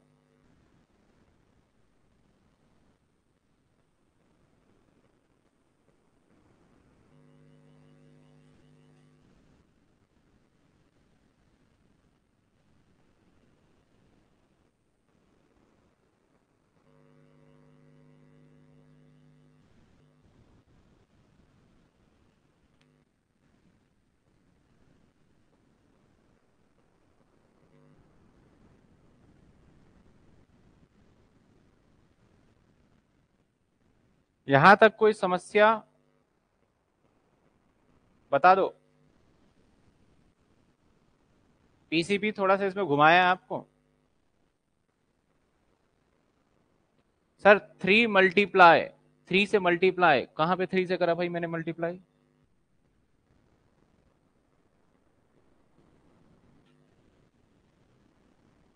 आप कहाँ की बात कर रहे हैं थ्री से मल्टीप्लाई हर्षित, कहाँ से बात कर रहे हैं आप?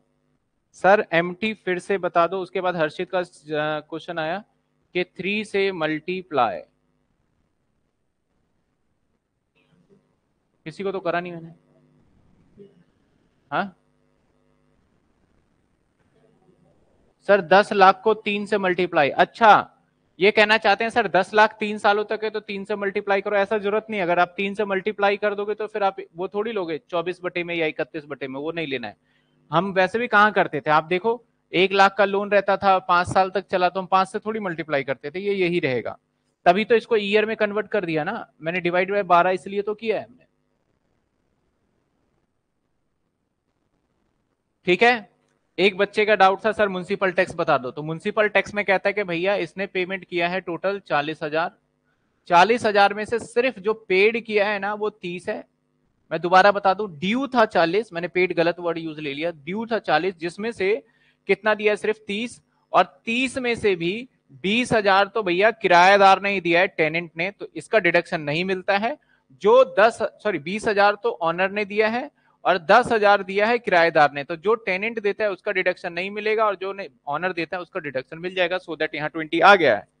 सर, ये पीसीपी यानी सर इंटरेस्ट ऑन बोरिंग की बात करें तो पीसीपी का आ गया हमारे पास one zero double four double zero अब करंट ईयर का भी तो होगा ना सर करंट ईयर आठ लाख का लोन था ना, आठ लाख का निकालो ना बारह परसेंट। छियानवे हज़ार तो टोटल कितने का डिडक्शन मिलने वाला है? अब फटाफट से बस कैलकुलेट करना है, सवाल का आंसर निकालना है, फिर टैक्स लाइबिलिटी निकाल लेंगे। तो सर पता एग्ज़ाम में इतना चलाक है ना?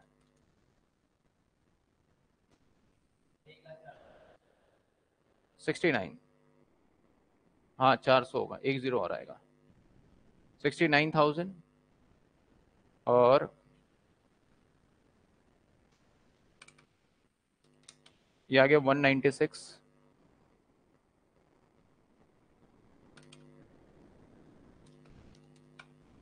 माइनस ये भी लो लॉस में आ गया। Loss from house property loss from house property ठीक है, अब आगे चलते हैं।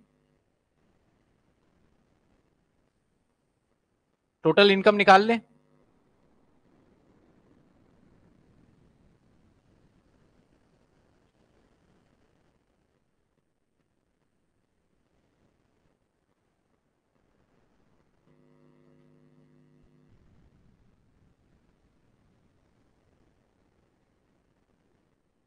Sir computation of total income देखिए टेन ईयर के अंदर ना मैंने फॉर्मेट का बहुत ध्यान रखा है। फॉर्मेट कैसे करना है? यहाँ पे मैं बहुत जल्दी जल्दी कर रहा हूँ, ऊपर नहीं लिख रहा। लेकिन एग्ज़ाम में अगर आपने सब कुछ किया और मेरी तरह ऊपर नहीं लिख के आए तो आपको नंबर नहीं मिलेंगे। तो उसके अंदर किन बातों के लिए नोट्स डालना है, वो मैंने स्पेशल डलवाया है। क्योंकि देखो क्लास है। क्लास के अंदर अगर मैं नोट बनाता रहूँ, फॉर्मेट बनाता रहूँ तो पता चला आधा घंटा तो इसी में चला गया, क्वेश्चन तो हुआ नहीं। क्वेश्चन आपने समझ लिया, फॉर्मेटिंग तो आपको क्या है? एक बार जो फ़र्स्ट क्लास में बताया था, वो आप आराम से देखोगे और आपका हो जाएगा। तो इस चीज़ का ध्यान रखना, फॉर्मेट वही रहेगा। मैंने किस किस चीज़ का नोट देना है, नहीं देना है, वो चीज़ आप जो नोट दे रखा है, उसका हमें देना ही देना है। किसका वर्किंग नोट करना है, नहीं करना यानी सर, मैंने सवाल जो पेपर में, टेन ईयर के अंदर जो सॉल्व किया है, हंड्रेड परसेंट एग्ज़ाम में जो लिखना है, उसी के अकॉर्डिंग। बहुत ज़्यादा भी नहीं लिखा और बहुत कम भी नहीं रखा। कुछ बच्चे सोचे कि टेन ईयर में तो दे रखा है एक्स्ट्रा, इसको छोड़ देते हैं, कैलकुलेशन तो मन में ही कर लेंगे ये। तो मार्क्स कटेंगे उसके, ध्यान रखिएगा। तो पूरा पूरा करना है आपने। तो सर, सबसे पहले income from house property, income from house property, जो कि इनकम तो नहीं था, लेकिन लॉस था तो लॉस ही लिख लेते हैं सर। ये हमारा लॉस है, और लॉस कितने का था सर? सर लॉस आया था हमारा पैंतीस हज़ार चार सौ। पैंतीस हज़ार चार सौ। प्लस कर देते हैं इनकम फ्रॉम अदर सोर्स उसने बोला था अदर सोर्स से है। सर, कितने का था? बड़ा मोटा अमाउंट था, पाँच चौबीस। पाँच लाख चौबीस हज़ार। तो हमें अलाउड है कि भैया, अगर इसको हम सॉल्व करेंगे तो ये माइनस में है। तो पैंतीस माइनस में पाँच चौबीस। तो सर, चार लाख अठासी हज़ार छ सौ है। अब ये आ गया हमारा ग्रॉस टोटल इनकम अब इसमें से माइनस करेंगे हम डिडक्शन सर डिडक्शन किसका? एटीसी का भी मिल सकता है प्रिंसिपल पेमेंट किया हो तो। तो क्या सर प्रिंसिपल पेमेंट किया है सवाल में? जी हाँ सर प्रिंसिपल पेमेंट किया है, लेकिन इस साल नहीं किया, पहले किया था। तो जब किया था, तब डिडक्शन ले लिया होगा बार बार थोड़ी ले लेंगे एक ही का।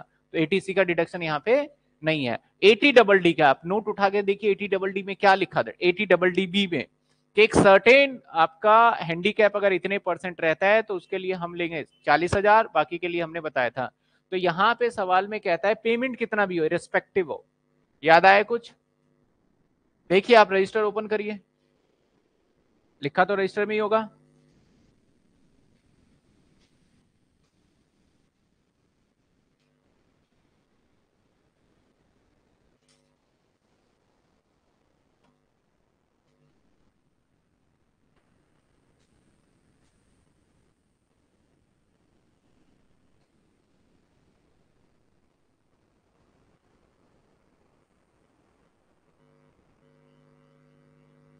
एक बच्चे का आंसर आ गया।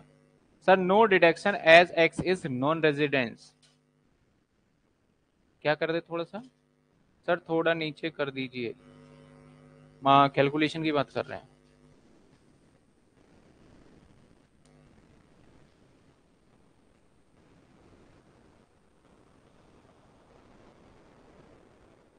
भाई, आप सभी टेन ईयर क्यों नहीं ले रहे?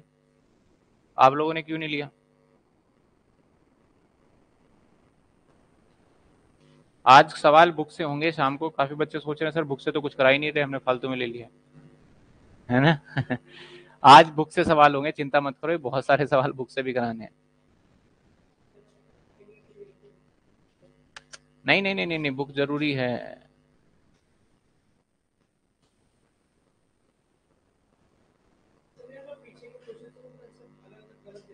नहीं नहीं नहीं, सब सही है। कमीशन ऐड होता है। हम्म। सर, जवाब आ गया बच्चों का। एटी डबल डी बी में। इसमें सिर्फ़ रेजिडेंट होना चाहिए, नॉन रेजिडेंट को अलाउड नहीं था, चालीस और एक लाख का था इसके अंदर लिमिट। तो क्या यहाँ पे डिडक्शन मिलेगा? मिलेगा या नहीं मिलेगा? बुक से सिर्फ़ अपेंडिक्स करना है। हाँ बुक से देखो, अपेंडिक्स प्रैक्टिस के लिए करो। और कई क्वेश्चंस भी हैं आपके बीच बीच में, जो कि मैं बार बार करवाता रहता हूँ। उसमें से कुछ सवाल देना स्टार्ट कर दूँगा। आज शाम को जितने भी क्वेश्चन होंगे ना, वो बुक से होंगे। तो बुक के क्वेश्चन मैं बोर्ड पे बताऊँगा। आपके आपके ग्रीस आहूजा बुक में भी होगा, वो आप मैच कर लोगे। ठीक है ना? बुक से अपेंडिक्स कर लिया तो सब कुछ टेन ईयर और अपेंडिक्स कर लिया तो आपका कुछ बचता नहीं है फिर। ठीक है ना? तो सर, यहाँ पे सवाल में नॉन रेजिडेंट था तो सवाल में देखो कितना ज़्यादा उसने क्या करा। आपको स्पेशली बताया कि एटी डबल डी बी है तो माइनस करो। एग्जामिनर क्या चाहता है कि बच्चे को हम सेक्शन भी बता दें। तो बच्चे ने देखा, अरे हाँ ये तो था, कुछ पढ़ा था, चलो फटाफट, तीस हज़ार।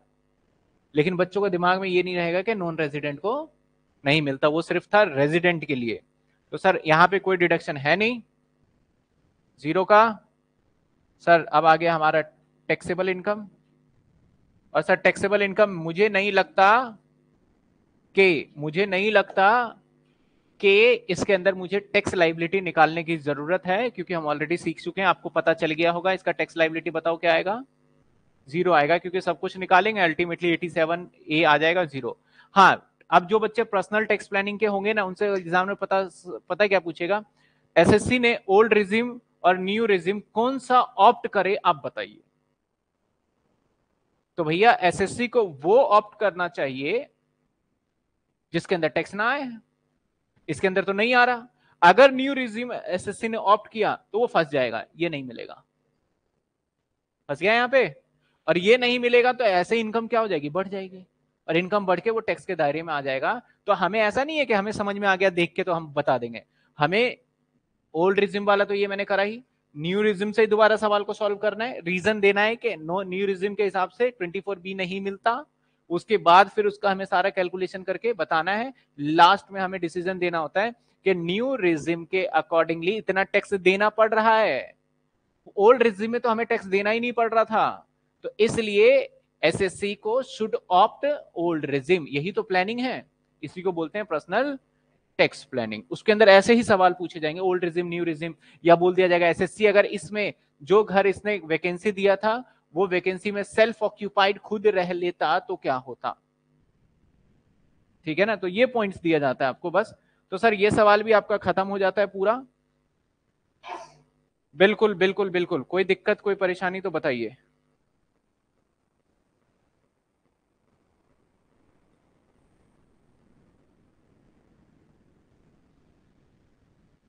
ठीक है?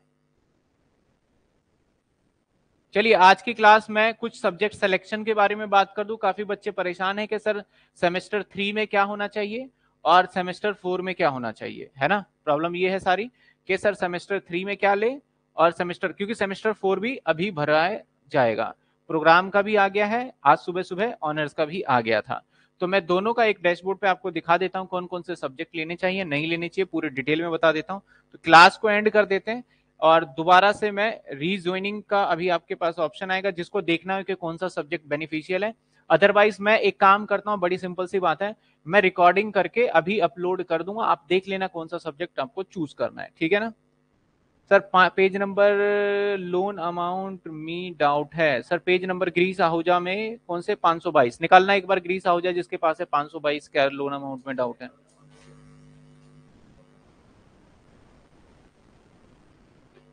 सर पर्सनल टैक्स प्लानिंग सोचा है। अच्छा। ऑनर्स हर्षित। ऑनर्स है प्रोग्राम है, बताओ एक बार। ग्रीस आहूजा की बुक आपके पास।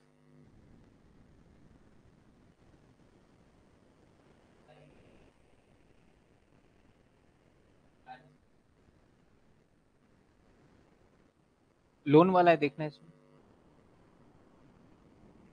ऑनर्स का ही है। क्वेश्चन नंबर बता दो, हर्षित।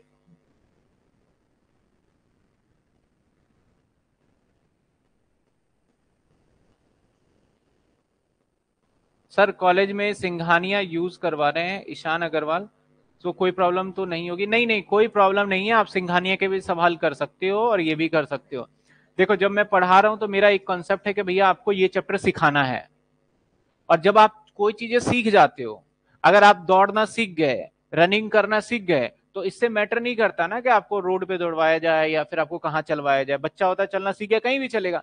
सेम मेरा मेन पर्पस है आपके लिए कि आपको चैप्टर सिखा देना। अब वट कोई सी भी बुक हो, चाहे सिंघानिया हो, चाहे ग्रीस आहूजा हो, चाहे अदर किसी भी स्टेट में बहुत सारे बच्चे होते हैं, कोई सा भी बुक है, आप सवाल उसको कर पाएँगे, बस सवाल यही है।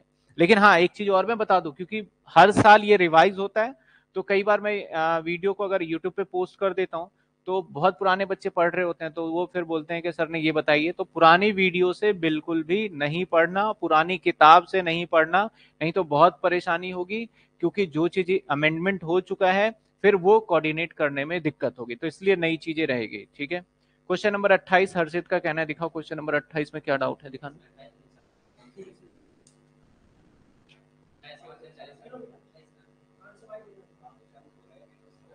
अरे, ऐसे कैसे हो गया ये?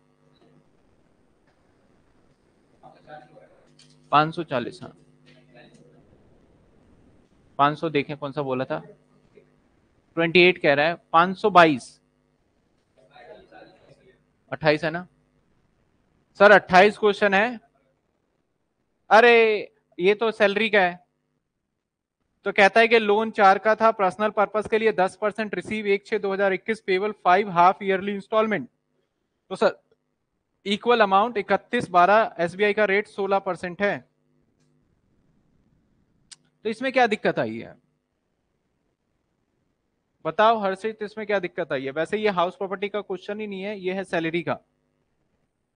और सवाल में कहता है, सर, यहाँ पे लोन लिया था चार लाख रुपए का पर्सनल पर्पस के लिए दस परसेंट का अमाउंट रिसीव्ड कर चुका है और एनएम के हिसाब से तो सर दो पर, और एसबीआई का रेट सोलह है तो छह परसेंट टैक्सेबल हो जाएगा।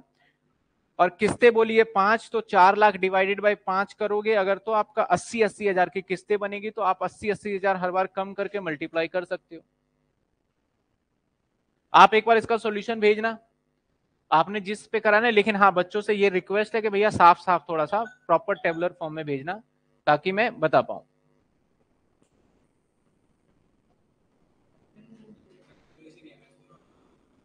नहीं है चॉइस नहीं वहाँ जाना पड़ेगा एक्टिव कराना पड़ेगा वो.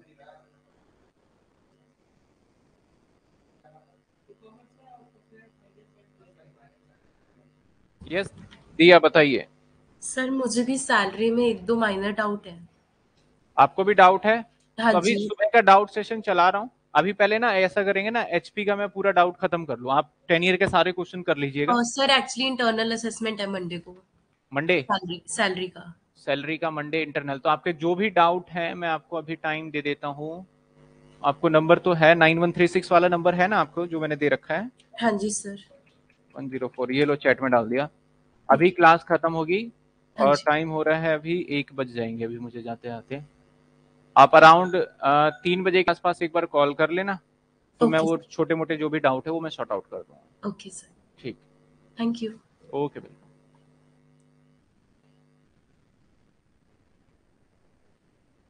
नसरीन परवीन यस बताइए।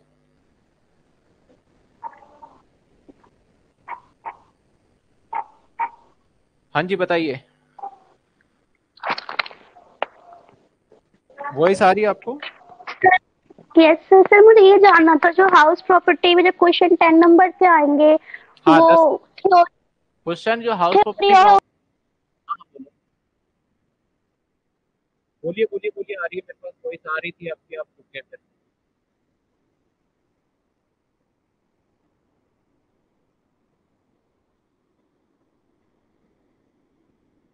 बोलिए, आप रुके थे। एक बार।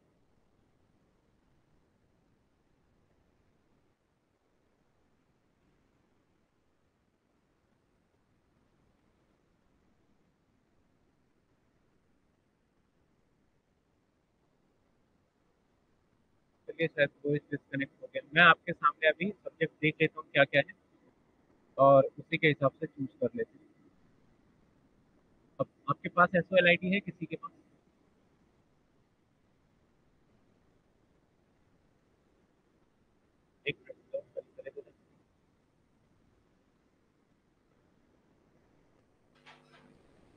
मैं एक बार आपको रिकॉर्डेड डाल दूँगा। अननेसेसरी आपका टाइम भी कंज्यूम होगा। तो मैं रिकॉर्डेड डाल दूँगा, ठीक है? अभी डाल दूँगा रिकॉर्डेड बस विद इन आपका आधे घंटे के अंदर मिल जाएगा, क्योंकि मुझे प्रोग्राम ऑनर्स दोनों करूँगा तो लंबी क्लासेस हो जाएगी तो फिर दिक्कत हो जाएगी। ऑनर्स वाले बच्चे फिर अननेसेसरी तो मैं आपको रिकॉर्डिंग डाल दूँगा। तो आज की क्लास अभी खत्म कर रहे हैं, बाकी एचपी के सारे डाउट जितने भी होंगे, कल निकाल लेना, कल भी टाइमिंग पे मैं क्लास लूँगा, जो टाइमिंग है इसे चेंज नहीं करेंगे, कल भी क्लास रखेंगे।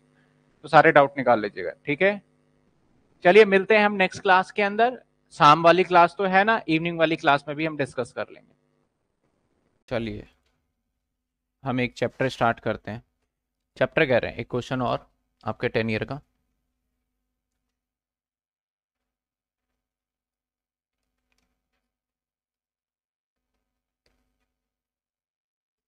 ये रहा आपके सामने क्वेश्चन मैं थोड़ा सा विजुअल करवा देता हूँ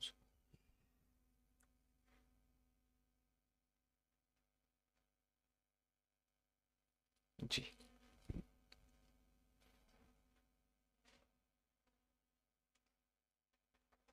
क्या कहता है क्वेश्चन देखते हैं। पहले क्वेश्चन पढ़ लेते हैं ना? कहता है X on two identical house sir दो घर बोल दिया ना तो बना लेना, फ़ायदे में रहेगा। हाउस प्रॉपर्टी समझ में आ रहा है ना आपको तो? सैलरी से तो इजी है।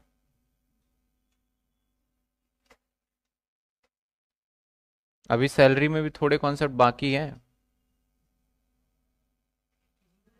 हाँ? हाँ ना, और भी है। एटीजी नहीं, और भी कॉन्सेप्ट रिट्रेचमेंट कंपनसेशन वगैरह। मैंने जितना आपके पेपर में आता है, वो तो पूरा करा दिया। उसके बाद एक्स्ट्रा एक्स्ट्रा टाइम पे करेंगे सारा। नहीं तो आपको डीयू ने ना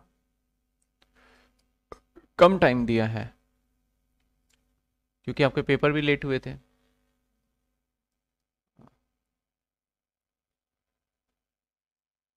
तो वैसे छः महीना प्रॉपर चाहिए बच्चों को इस सब्जेक्ट को करने के लिए ना?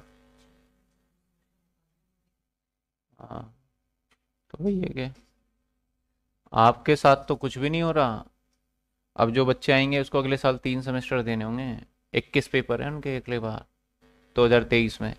सेमेस्टर वन है सेमेस्टर टू है सेमेस्टर थ्री है। चलिए एनीवेज करते हैं, ठीक है? एक्स के दो आइडेंटिकल हाउस है Y you are requested to compute his income under the head of house property to assessment year 2021 and detail of two house H one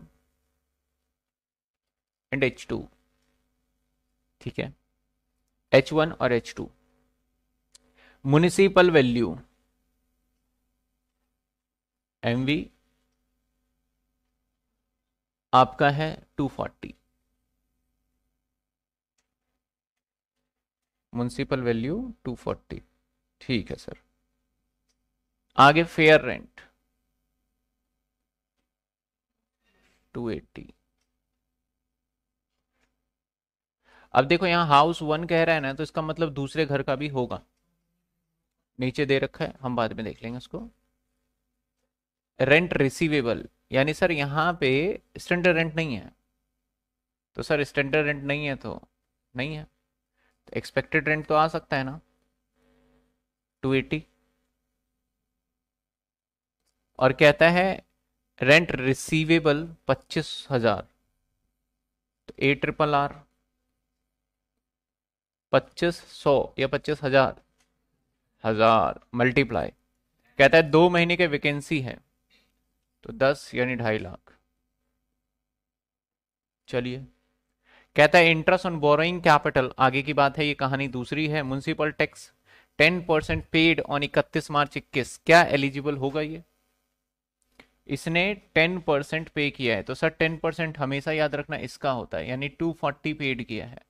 और इसने पेड कर दिया 31 मार्च 2021 हम काम कब के लिए कर रहे हैं? एक चार 2020 से लेके 31 तीन 2021 लॉ क्या कहता है? साल में जितना भी पेमेंट करोगे 31 मार्च तक या उससे पहले सारा ले सकते हो। तो मिल जाएगा deduction. Interest on borrowing loan, अब देखो कितना आसान क्वेश्चन है। बोल दिया इसने interest on borrowing capital. Capital कहता है, लोन ले रखा है इसने कितने? छह लाख का। रेज एक चार तेरह में और construction of the house. Construction was start एक चार बारह में बारह में स्टार्ट हुआ था एंड कंप्लीटेड अठारह में हो गया था। हाफ़ ऑफ़ लोन वो रीपेमेंट, रीपेड कर चुका है rate of interest twelve percent है। तो सर थोड़ा सा इंटरेस्ट वाले पॉइंट को मैं थोड़ा सा ऐसे कर देता हूँ। एच टू की डिटेल भर लेते हैं। एच टू कहाँ पे है? गुरुग्राम में है, जिसका municipal value 180 municipal taxes municipal value के बाद सेल्फ ऑक्यूपाइड है। ओके ये सेल्फ ऑक्यूपाइड है तो फेयर रेंट वेयर रेंट बाकी स्टैंडर्ड रेंट दे रखा है डेढ़ लाख। तो ये सारी चीज़ें हमारे लिए बेकार हो जाएगा।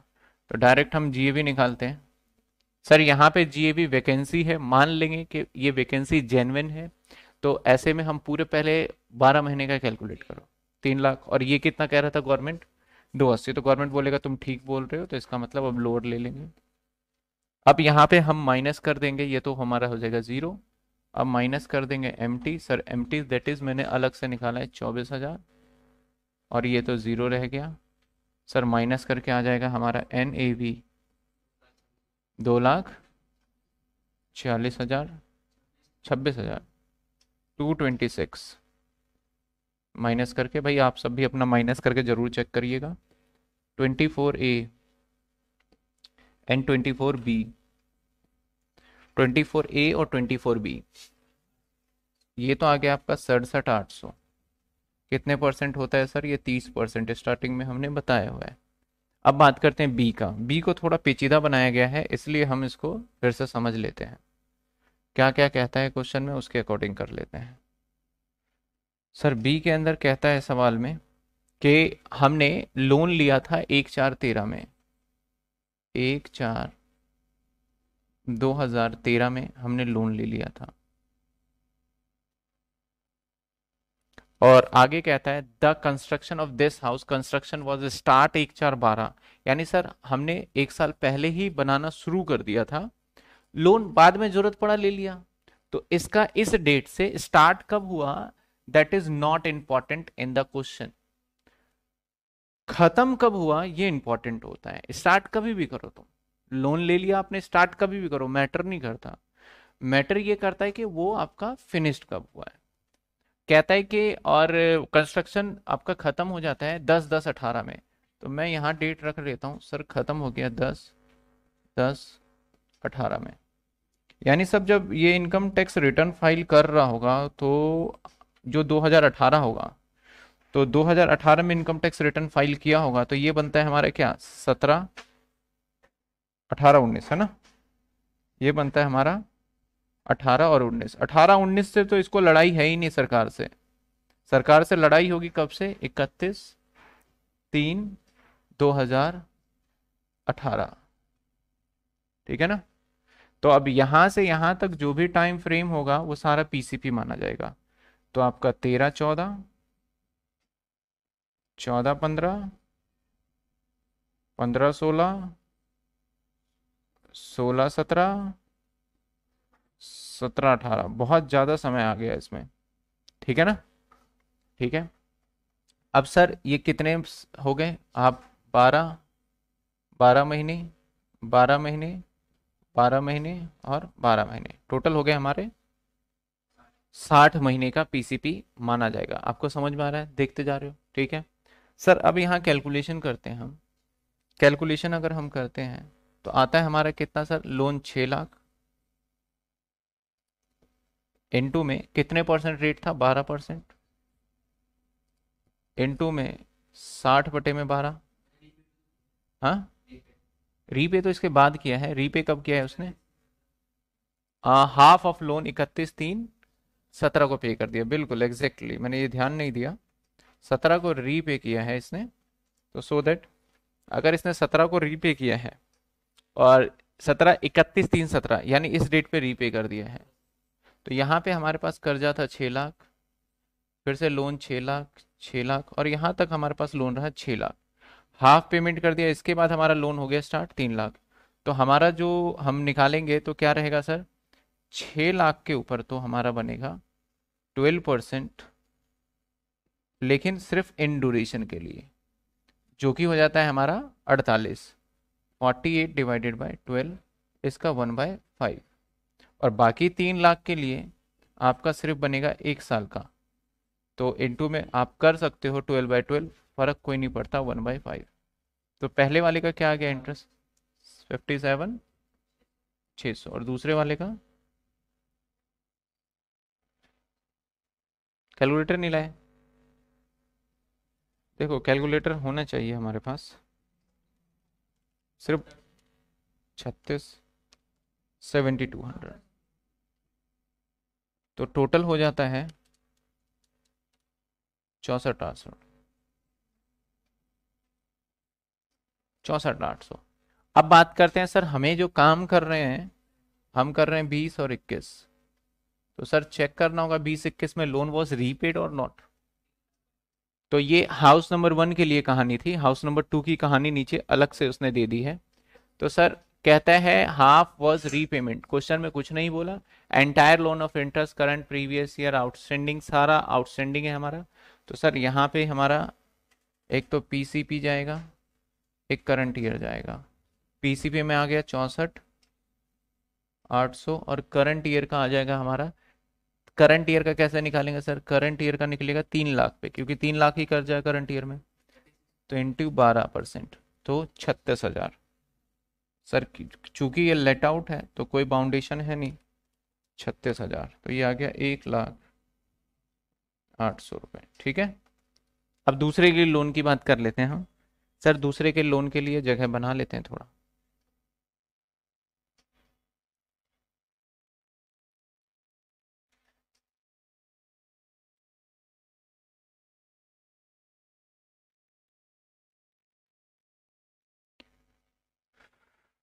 चलिए हो जाइए स्टार्ट चलिए हो गया।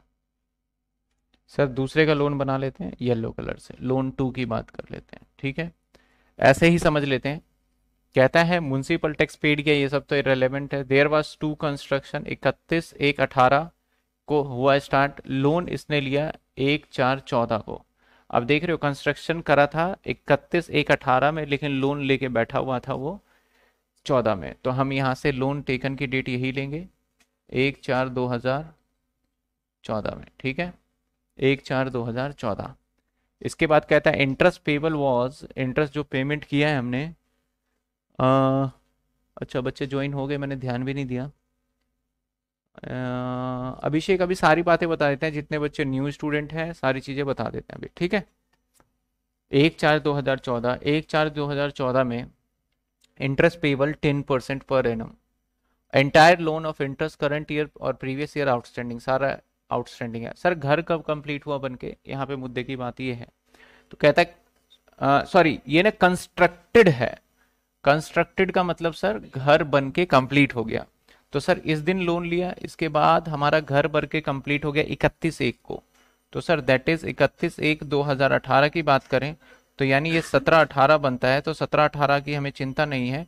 हमारा पीसीपी होगा इकतीस तीन दो हज़ार सत्रह से लेके। तो सर, यहाँ से यहाँ तक देखें तो चौदह पंद्रह पंद्रह सोलह और सोलह सत्रह। सर, छत्तीस महीने हो जाते हैं, बड़ी सीधी सी बात है।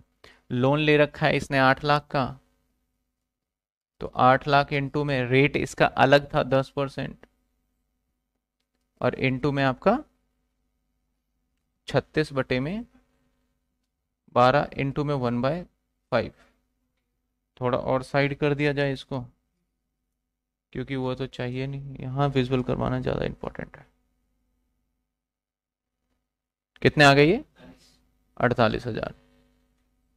और प्लस इसमें जोड़ देंगे करंट ईयर का that's it's eight lakh into में टेन परसेंट जो कि है अस्सी हज़ार। तो हम यहाँ पे अलग अलग दिखा दें तो एक लाख। तो सर, ये आ जाता है हमारा। हम्म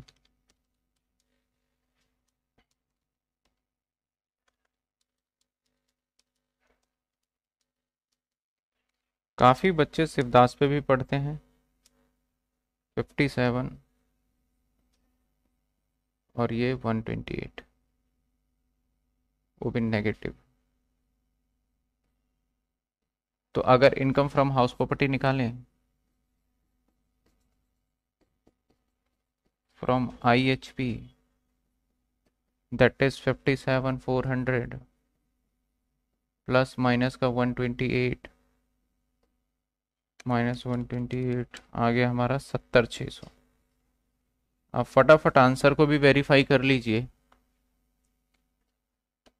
आंसर भी वेरीफाई कर लीजिए आप। है किसी के पास टेन ईयर ऑनर्स का बच्चा। ये ऑनर्स के टेन ईयर का सवाल है।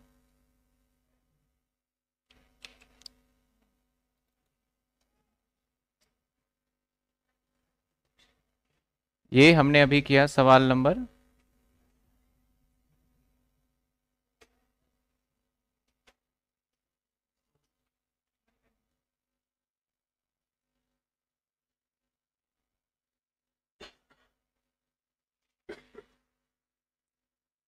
कौन सा सवाल है ये?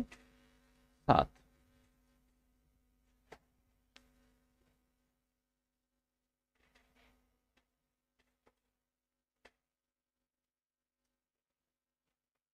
क्लियर है तो बताइए, सत्तर छह सौ का लॉस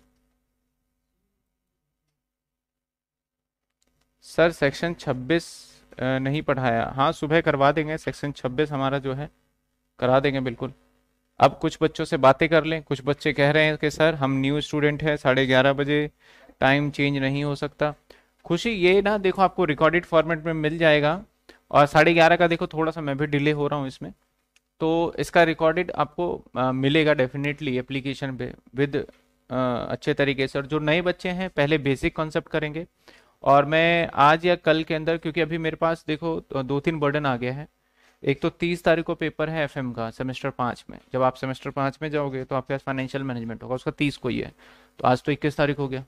नौ दिन बाद पेपर है उसका। तो उनका सिलेबस ऑलरेडी तो कंप्लीट हो गया है दस दिन पहले ही। लेकिन अब उनका सोच रहा हूँ मैं डेली टेस्ट सीरीज़ या रिविजन चार्ट उसमें भी टाइम जा रहा है। तो सुबह टाइम में निकाल के इसलिए रिकॉर्ड कर रहा हूँ। ये अपने लिए मैं एक तरीके से बैकअप बना रहा हूँ कि जितने बच्चों ने कोर्स लिया हुआ है उन सभी का सिलेबस टाइम पे कंप्लीट हो। आपके पास अगर टाइम अवेलेबल है इस बैच में आने के लिए तो मोस्ट वेलकम आप आ सकते हैं। लाइव सेशन होता ही आप क्वेरी भी पूछ सकते हैं।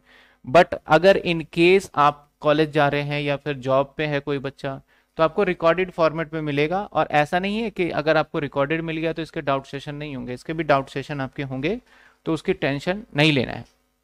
कुछ बच्चे शिवदास के एप्लीकेशन पे होते हैं तो उनको तो मैं सारे क्वेश्चंस ये वाले प्रोवाइड कर देता हूँ। तो उनको आ, तो कोई दिक्कत ही नहीं हो तो रिकॉर्डेड ही होती है वहाँ पे लाइव का ऑप्शन है ही नहीं। तो बस एक यही है सर सिलेबस मेरा टारगेट है पंद्रह तारीख तक ख़त्म कर देना क्योंकि एक तारीख एक या दो तारीख से जो है दो तीन तारीख जो भी बनता है नेक्स्ट मंथ का रेगुलर शाम को भी हो जाएगी सुबह भी लूँगा तो इजीली हम खत्म कर पाएँगे सिलेबस को। बस आप ये ध्यान रखना कि जो क्लासेस डाल रहा हूँ ना मैं डेली बेसिस पे, जो बच्चे स्टार्टिंग से कनेक्टेड हैं, वो तो भैया छोड़ना नहीं। कहीं आप सोचो एक हफ़्ते वेट कर लेते हैं। आप बेशक बीमार हो तो आप ट्यूशन तो नहीं आ रहे, आप वीडियो ज़रूर देखते रहिए और अपना होमवर्क और क्लास वर्क कंप्लीट करते रहिए। सिलेबस आपको पता नहीं चलेगा ज़्यादा हैम्पर नहीं होगा। लेकिन लास्ट में करेंगे तो बहुत दिक्कत हो जाएगी। मेरे ख्याल से सैलरी कितना बड़ा चैप्टर था, फिर कैपिटल गेन भी अभी चल रहा है हाउस प्रॉपर्टी भी। तो धीरे धीरे धीरे थोड़ा सा ना ये टफ होता जाता है। साढ़े ग्यारह का टाइम है, अभी साढ़े ग्यारह ही रखेंगे फ़िलहाल के लिए, क्योंकि उसके अकॉर्डिंग और मैं बता दूँ, कुछ दिनों तक लाइव सेशन नहीं होंगी आपकी लाइव सेशन 28 तारीख से लेके, यानी 28 से लेके आपका, आप मान के चलिए 28 के बाद 29 29 टीटीएस में शायद कितनी क्लासेस हो रही है? एक या दो क्लास आपकी छुट्टी रहने वाली है बीच में, लेकिन मैं उसके लिए रिकॉर्ड करूँगा लेक्चर आपका टाइम खराब नहीं होगा। सर सिलेबस मैंने बोला बारह तारीख तक कीर्ति ख़त्म हो जाएगा आपका सिलेबस नो डाउट और बारह सॉरी पंद्रह तारीख तक, पंद्रह तारीख तक मेरा टारगेट है, क्योंकि फिर मेरे ऊपर बहुत बड़ा बर्डन आ गया है। सेमेस्टर वन का भी सेमेस्टर वन के भी काफ़ी बच्चे हैं तो उनको भी अभी देखना है। तो मैं आप लोगों का सिलेबस भी ख़त्म करूँगा और टेस्ट भी। टेस्ट लेने का, अभी हमने एक इम्प्लीमेंट किया है टेस्ट लेने का। जैसे क्लास होता है ना क्लास के बाद आधे घंटे का टेस्ट रेगुलर बेसिस पे। रेगुलर बेसिस पे अभी मैं सेमेस्टर पाँच के साथ ले रहा हूँ। ऐसे आपके साथ भी टेस्ट लिया जाएगा आगे चल के। और जो बच्चे शिवदास पे होंगे, उनको यूट्यूब पे टेस्ट दिया, देना पड़ेगा। तो चलिए अगले क्वेश्चन पे चलते हैं। हम चलेंगे। तो एक और नए सवाल पे चलते हैं। आठ। पहले पढ़ लेते हैं। अगर आपको पढ़ने के बाद समझ में आता है तो कमेंट में लिख दीजिएगा यस सर ये हो जाएगा। तो हम अगले क्वेश्चन पे चले जाएँगे उसी के अकॉर्डिंग ठीक है? चलिए सर, क्वेश्चन में कहता है, are on a big house. बहुत बड़ा घर है, कोई बात नहीं sir. The house three independent identical unit. और सर, घर के तीन यूनिट हैं। यानी कहने का मतलब है सर, ये मेरे पास एक बहुत बड़ा घर है और घर के तीन हिस्से हैं। तो कैसे तीन हिस्से करा जाए? तो ये लो, ये हो गए तीन unit. Unit one, unit two, unit three. ठीक है सर। कहता है unit unit fifty percent floor area is let out for residential purpose monthly rent आपका सोलह हज़ार। कहता है यूनिट वन अब वन वन जो यूनिट है ना, जैसे, इसका भी कहता है कि पचास परसेंट हिस्सा, यानी इसको भी तोड़ दिया इसने। इसका पचास परसेंट एरिया जो है, उसको इसने लेट आउट कर दिया। समझ रहे हैं? इस वाले को लेट आउट कर दिया। यानी यूनिट वन का आधा वाला लेट आउट है, और उसका किराया इतना है, और sir this house however use by him for residence purpose कहता है कि this unit is however use by him for the residence purpose from January 2021 तो जनवरी से लेके मार्च तक इसी घर को, इसी पोर्शन की बात करता है, ये एसओबी हो जाता है कुछ समय के लिए। ठीक है sir a sum of one thousand could not be collected from the tenant और टेनेंट से उसे ये पैसा मिल भी नहीं रहा। कितने रुपए? हज़ार रुपए। तो यहीं पे हज़ार रुपए हमारा पे अनरिलाइज रेंट भी हो गया। अनरिलाइज रेंट यू आर लिख दिया मैंने। समझ रहे हो? दोबारा सवाल को पढ़ लेते हैं। घर है, घर का रेजिडेंशियल यूनिट है, हमारे तीन और उस यूनिट वन का fifty percent floor area is let out residential purpose on monthly sixteen thousand the this unit यही 50 परसेंट यूनिट जो था, हमने क्या कर लिया? रेजिडेंशियल पर्पज के लिए ले लिया और हज़ार मिले भी नहीं। चलो भैया, दोनों चीज़ें हैं यहाँ पे। यूनिट टू का 25 percent area could be use by him for the purpose of residence unit two के अंदर जस्ट 25 परसेंट एरिया ये तो एसओ हो गया सर ये 50 मत मान लेना. ये एसओ है सेल्फ ऑक्यूपाइड ठीक है ना? ये एरिया सेल्फ ऑक्यूपाइड कह देता है use for the purpose of residence unit three का 25 percent is use by him for the purpose of business sir unit three का 25 परसेंट एरिया ये बिज़नेस के लिए हो रहा है। तो आपको याद होना चाहिए हाउस प्रॉपर्टी के डेफिनेशन सेक्शन 22 में कहा गया है कि अगर आप अपने घर को अपने बिज़नेस के पर्पस के लिए यूज़ करेंगे तो वो हाउस प्रॉपर्टी के अंदर टैक्सेबल ही नहीं होगा, वो पीजीबीबी का पार्ट बन जाता है। हाँ आपका घर कोई और किराए पे लेके वहाँ बिज़नेस करे तो वो तो हमारा हाउस प्रॉपर्टी का टैक्सेबल माना जाएगा। तो सर, यहाँ तक बात करें यूनिट थ्री तक हो गए हैं। Other particular of the area जो other particular of the area है particular of the houses area municipal value आपका दे रखा है म्यूनसिपल टैक्स दे रखा है रिपेयर दे रखा है ग्राउंड रेंट दे रखा है लैंड रेवेन्यू इंश्योरेंस जो किसी काम का है नहीं interest on the borrowed capital municipal tax आपका गिवन है सर इंटरेस्ट आपका borrowed capital for payment interest on borrowed borrowed for payment of municipal tax हमने म्यूनसिपल टैक्स पे करने के लिए, देखिए क्वेश्चन कैसे घुमाया? भैया आप म्यूनसिपल टैक्स पे करते हैं तो आपकी मर्ज़ी है कहीं से भी करिए। इसने कहा कि भैया, हमने म्यूनसिपल टैक्स पे करने के लिए, हमने क्या करा है? एक लोन लिया है। लॉ कहता है आप या तो घर को बनाने के लिए लीजिए, या घर को रिपेयर करने के लीजिए। आप घर के टैक्सीज को पे करने के लिए लोन लेंगे तो उसका अलाउड लॉ में मेंशन नहीं है। ठीक है ना? इसके बारे में लॉ में कहा नहीं गया। Income of R business R का एक बिज़नेस इनकम भी यहाँ से आता है. Without debiting the house rent and other आपका आइडेंटिकल एक्सपेंस एडमिनिस्ट्रेबल डेप्रीशिएशन यहाँ पे डेप्रीशिएशन सोलह सौ रुपए है. और कहता है one fourth portion of the house use for the business ठीक है sir. Determine the taxable income of R assessment year तो इस सवाल के अंदर आप देखेंगे तो बड़ी सारी चीज़ें बोली गई है. बच्चे कह रहे हैं, वीडियो लैग हो रही है अभी. ठीक कर देते हैं रिफ्रेश करके. पहले तो आप सवाल देख लीजिए इसमें काफ़ी सारे पॉइंट्स बोले गए हैं। ये area 50 percent area 25 percent area अब इस आइडेंटिकल यूनिट को तीन भाग में जो बांटा गया मैं थोड़ा सा क्लियर कर दूँगा इसको सो so दैट आपको थोड़ा सा आ, मतलब पॉइंट क्लियर हो जाए। पहले यहाँ तक देख लीजिए। सर 50 परसेंट फ़र्स्ट पूरा यूनिट है। बिल्कुल बिल्कुल मैं वही चीज़ आपको समझाना चाह रहा हूँ। तो अब देखिए अब सवाल में कंफ्यूजन कहाँ आती है? मैं दोनों चीज़ें लेके चलता हूँ। अब सवाल में कंफ्यूजन आती है, सर, इनके बारे में कुछ नहीं बताया जो आप लेके चल रहे हो? है ना? इसके बारे में कुछ नहीं बताया। तो इसका मतलब सर, सवाल में जो है, कहता है unit one fifty percent of the floor area अब यहाँ पे एक वर्ड मेरे से पढ़ने में थोड़ा सा मिस्टेक हो गया फ्लोर एरिया फ्लोर का मतलब हो गया, sir that is a floor area पूरा. तो इसका यूनिट वन जो है ना, वो आधा है। ये है यूनिट वन ठीक है ना? और जो अदर है, वो 25 25 है। यानी ये कहानी बनी होगी, क्योंकि बाकी के बारे में नहीं बताया। सर, ये वाला लेट आउट हो गया। यानी जो कहानी है ना, मैं सिंपल सी बात करूँ तो यहाँ पे ये लाइन नहीं है। करेक्ट अब समझ में आया आपको? यानी ये पूरा एरिया ही है। और म्यूनसिपल वैल्यू सब एरिया के बेसिस पे क्या होगा? डिवाइड हो जाएगा। चलिए, सवाल को एक बार थोड़ा सा तो स्टार्ट करें सो so दैट हमें पता चले कि करना क्या है एक्चुअल में। वैसे तो पता ही है कितने पार्ट में बांटना है, तीन पार्ट में।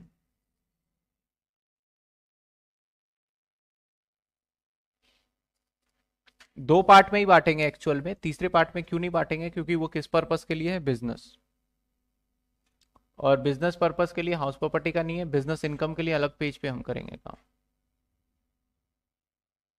कुछ बच्चे कंफ्यूज हो रहे होंगे। मैं दोबारा क्वेश्चन पढ़ देता हूँ एक बार। क्वेश्चन में जो मैं एरिया को लेके चल रहा था, कह रहा था unit one fifty percent of the floor area मुझे लगा कि तीन यूनिट है, उस यूनिट का फिफ्टी परसेंट पार्ट कह रहा है। लेकिन आगे देखा तो बाकी रिमेनिंग यूनिट की कोई बात नहीं कर रहा तो इसका मतलब सर, ये यूनिट वन ही पचास परसेंट है। ठीक है ना? सर, सिंपल सी बात है। यहाँ पे यूनिट वन और यूनिट टू लिख लेते हैं। Unit one, unit two. सबसे पहले हम मार्क कर लेते हैं। यहाँ पे कहता है म्यूनसिपल वैल्यू 384 म्यूनसिपल वैल्यू 384 तो 50 परसेंट एरिया ये होगा। और ये वाला एरिया कितना होगा? 25 सर 384 का 50 परसेंट निकाल लेते हैं। बाकी का एरिया बिज़नेस में चला जाएगा ना? 384 192 और सर, दूसरा एरिया? अब दूसरा एरिया जो था 25 परसेंट, उसने क्या कहा? यूनिट टू सेल्फ ऑक्यूपाइड था, ये पूरा का पूरा। तो इसका वैसे लो नहीं, तब भी चलेगा और ये वाला एरिया लेट आउट है। तो सर, इसका अगर देखा जाए तो 96 आ जाएगा। बस कैलकुलेशन कर रहे हैं हम। म्यूनसिपल वैल्यू के बाद, अब आगे चेक करते हैं, सर क्वेश्चन में और कुछ है क्या? बस म्यूनसिपल वैल्यू के बाद म्यूनसिपल टैक्स पेड कहता है, बत्तीस हज़ार रिपेयर कहता है, और उसके बाद रेंट कहता है लैंड रेवेन्यू पेड कहता है इंश्योरेंस कहता है। और तो कुछ नहीं कह रहा है यहाँ पे। तो सर म्यूनसिपल वैल्यू यही बन जाएगा हमारा जाके finally GAV that is 190 two और 96 ठीक है? अब यहाँ पे हम नहीं जी ए भी थोड़ी बनेगा। अभी ये ट्रिपल आर भी लेंगे ना। यही बन जाएगा जाके triple actual rent receive and receivable sir actual rent receive and receivable कहता है सोलह हज़ार रुपए किराए पे दिया और जिसमें से हज़ार मिले नहीं। चलो भाई साहब। और हमने जनवरी से लेके मार्च तीन महीने किराए पे रखा। सोलह हज़ार किराए के हिसाब से देखा जाए तो सोलह हज़ार इंटू में नौ होंगे। और इसमें से माइनस कर देंगे हम एक हज़ार रुपए।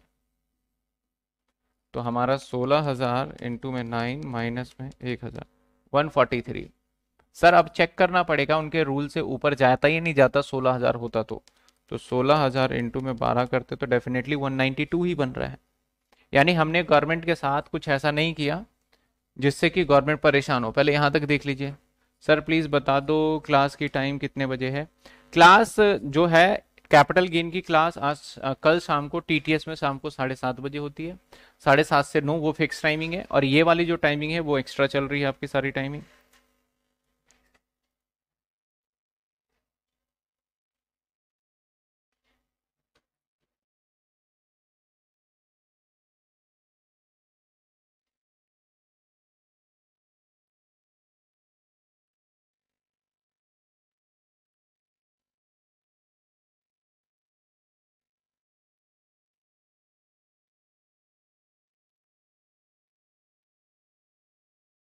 पहले यहाँ तक देखिए कोई डाउट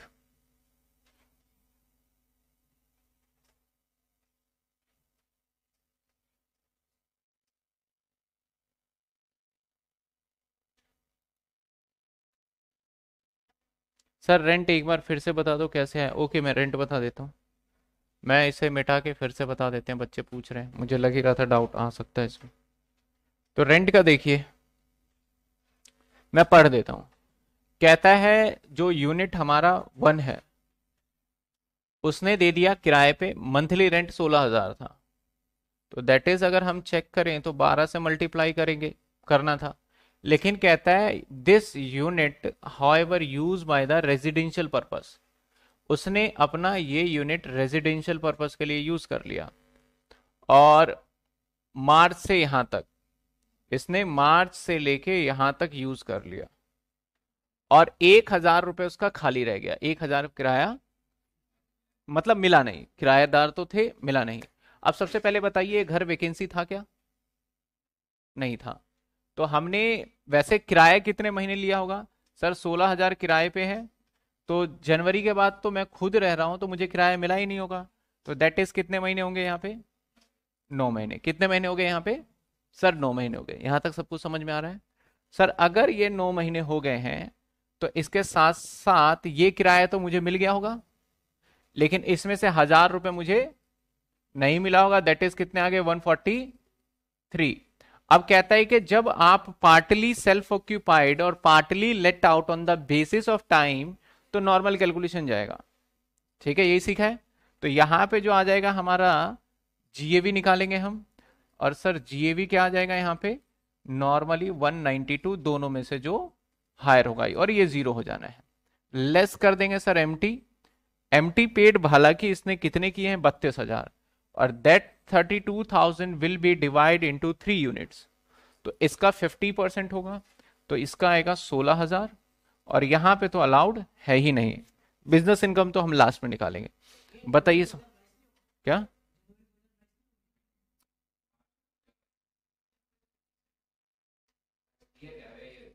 ईयर असेसमेंट ईयर इक्कीस बाईस है।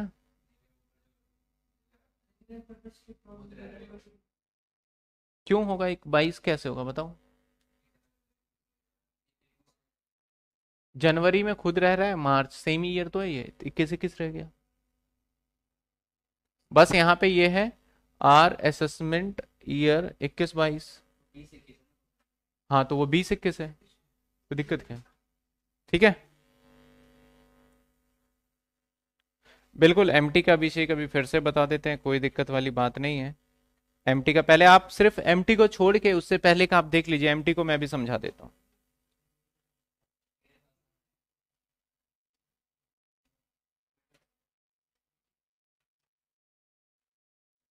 एमटी को छोड़ के बाकी देख लीजिए, अभी समझा देते हैं फिर।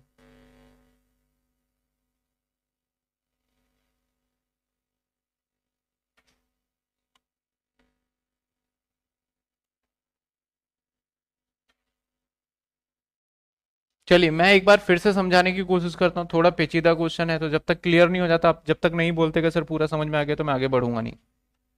ये रहा मेरा एक एरिया इसको भी मिटा देते हैं, चलिए आपके लिए। और मैं इस क्वेश्चन की पहले पूरी समरी बनाऊँगा, तब जाके आपको अच्छे से क्लियर होगा। ये मेरा पूरा एक एरिया है। इस एरिया के तीन टुकड़े हैं। पहला टुकड़ा है इस एरिया का पचास परसेंट, जिसको हमने लेट आउट किया है। जिसको हमने लेट आउट किया है, इसके बाद इस बचे हुए के दो टुकड़े कर दिए इन्होंने। एक 25 परसेंट एरिया और एक 25 परसेंट एरिया ये वाला एरिया सेल्फ ऑक्यूपाइड है और ये वाला एरिया बिज़नेस में ले लिया, अपने बिज़नेस में। तो सर लेट आउट तो एक ही एरिया है ये वाला। इस एरिया की बात करें हम तो एक चार से लेके इकतीस बारह तक, एक चार से लेके इकतीस बारह तक वो लेट आउट रहता है सोलह हज़ार के महीने की किराए पे, यानी सर नौ महीने तक। बाकी के तीन महीने जो बच गए, एक एक से लेके इकतीस मार्च तक वो एसओ कर लेता है ये। तो सर जो हमें इस वाले एरिया से किराया वसूला होगा, हमने ये वाला वसूल लिया होगा, इस किराए में से भी एक हज़ार रुपए मेरे पैसे मर गए। मर गए का मतलब मेरे पैसे मिले नहीं। तो हज़ार माइनस कर दिया, इसका मतलब मुझे टोटल रिसीव हुआ फोर्टी थ्री। अब जीएबी आपका ये आ गया। अब म्यूनसिपल टैक्स सभी एरिया में डिवाइड होगा इक्वली म्यूनसिपल टैक्स कहता है, सर, बत्तीस हज़ार का पेमेंट हुआ है। तो यहाँ का एरिया का बनेगा सोलह, इस एरिया का बनेगा आठ, और इस एरिया का बनेगा दैट इज़ एम है ना? ये क्या है हमारा? एम तो सर, अगर ये एमटी हमारा पूरा बनता है तो इसलिए हमने यहाँ के लिए एमटी कितना ले लिया? सोलह हज़ार रुपए। पहले आप बताइए म्यूनसिपल टैक्स तक समझ में आया नहीं आया? सर जीएबी 143 अच्छा जीएबी कह रहे हैं कि सर 143 है, रमन का कहना है।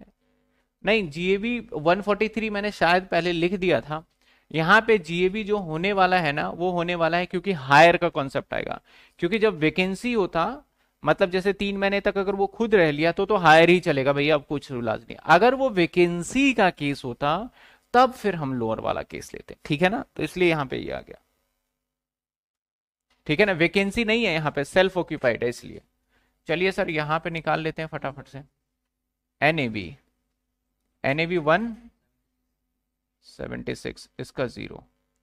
माइनस में एम टी एम टी तो हो गया। Minus twenty four twenty four A, तीस percent, fifty two, eight hundred, ठीक है? सर, इंटरेस्ट का डिडक्शन इसको नहीं मिलेगा। सर, क्यों नहीं मिलेगा इंटरेस्ट का डिडक्शन? सर, बिकॉज़ ऑफ़ इसने लोन लेके पेमेंट किया है, घर नहीं बनाया। इसने कुछ और काम किया लोन लेके तो उस इंटरेस्ट का डिडक्शन नहीं मिलेगा। तो कितने बच गए हमारे यहाँ पे? टे, टैक्सेबल एचपी कितना आ गया? बताइए। ये लो कैलकुलेटर लो मुझे बताते जाना कितने? एक लाख? एक तेईस दो सौ। अब लगता है अगली बार से ना फ़ीस में ही कैलकुलेटर का जोड़ लूँगा मैं बच्चों का। तो लेके आएँगे। ये आ गया एक तेईस दो सौ एच पी। अब इसने टोटल इनकम पूछा है। सर, यहाँ पे बिज़नेस इनकम भी है। यहाँ पे बिज़नेस इनकम भी है, इस बात को ध्यान रखना है।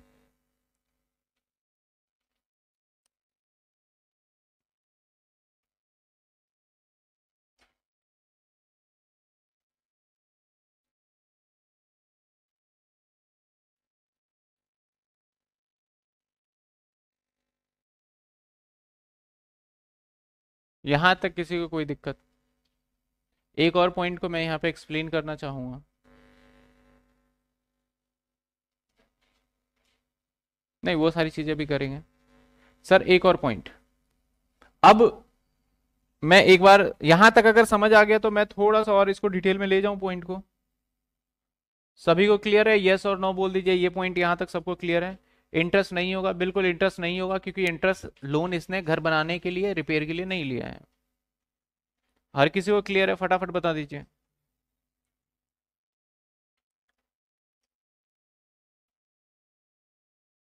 चलिए, अब सवाल आता है कि सर, ये जो हमने यहाँ माइनस किया है,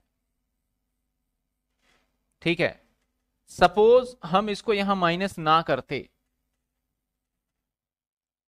यानी हम इसको माइनस ना करते तो हमारा ये आता 140 और तब भी सीक्वेंस यही चल रहा होता।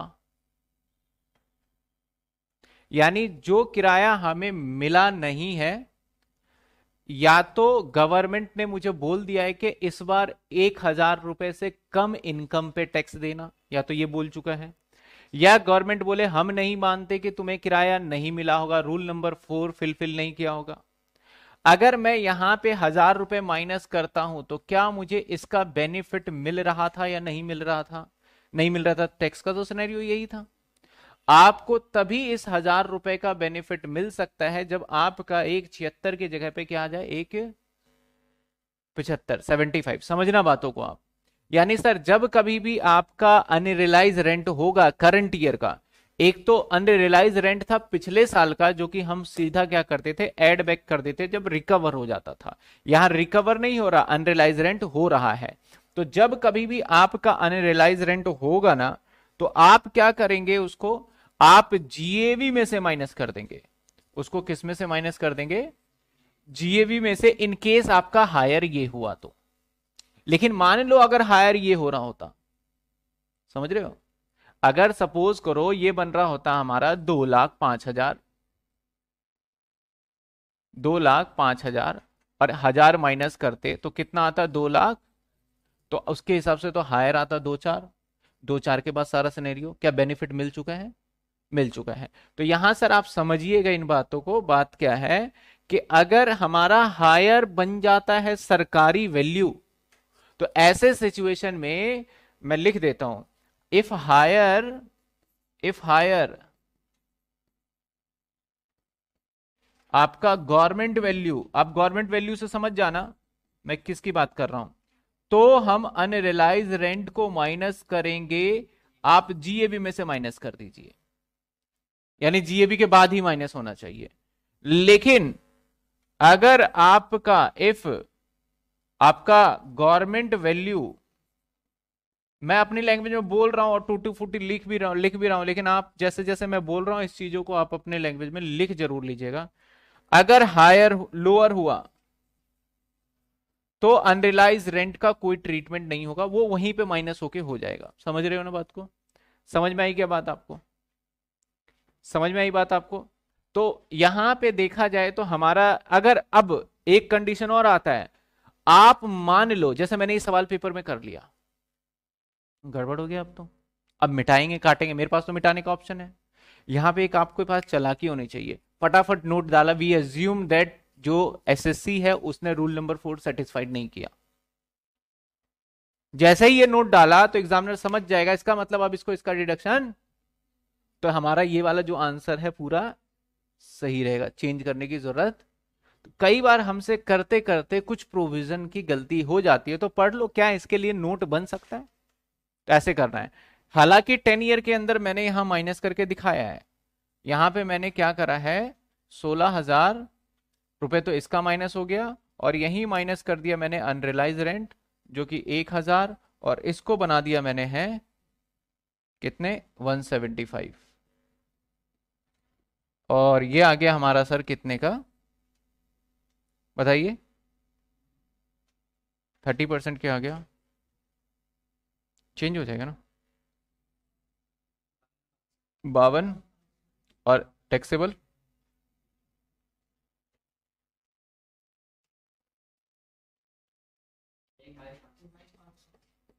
ये हो गया एचपी की इनकम अब हमारा बिज़नेस की इनकम की बात भी करना है। तो बिज़नेस की इनकम की बात के लिए मुझे यही जगह बना के फटाफट करके दिखाना होगा आप लोगों को। क्योंकि अगर मैं दूसरे पेज पे गया तो फिर मेरे लिए थोड़ी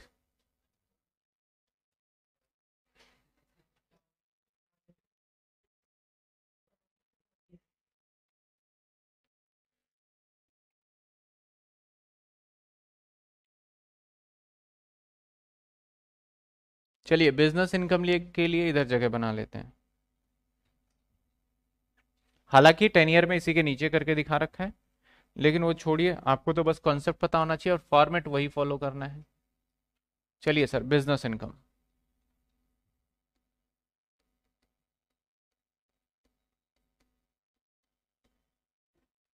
business income थोड़ा थिकनेस बढ़ा लेते हैं। हम बिज़नेस इनकम की बात करें तो बिज़नेस इनकम में सवाल में क्या कहता है सर बिज़नेस इनकम के अंदर? सवाल में कहता है, सर जो बिज़नेस इनकम है, चार लाख इकसठ हज़ार दो सौ। Business income four sixty one two hundred लेकिन इस बिज़नेस के लिए जो भी खर्चे होंगे, सब माइनस होंगे। मान लो आपने एक दस रुपए का आलू बारह रुपए में बेचा तो जो किराया होगा, वो भी तो माइनस करोगे उसमें से। तभी तो नेट प्रॉफिट निकाल पाओगे। आपने ये वाला यूनिट जो था रेंट पे ले रखा था। इसके लिए आप रेंट पेमेंट कर रहे होगे। इसके लिए आपने बहुत सारी चीज़ों का पेमेंट किया होगा तो वो सारे चीज़ें आपके बिज़नेस के लिए क्या माना जाएगा? एज अ एक्सपेंस और वो सब चीज़ों को मैं बिज़नेस में से क्या कर दूँगा?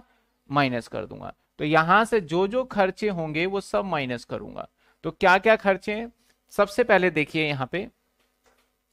आपका है म्यूनसिपल टैक्स तो एमटी भी आपने पेमेंट तो किया है तो आठ हज़ार यहाँ से माइनस करो, सर। अलाउड है ये। उसके बाद सर म्यूनसिपल टैक्स के बाद क्या कहता है ये?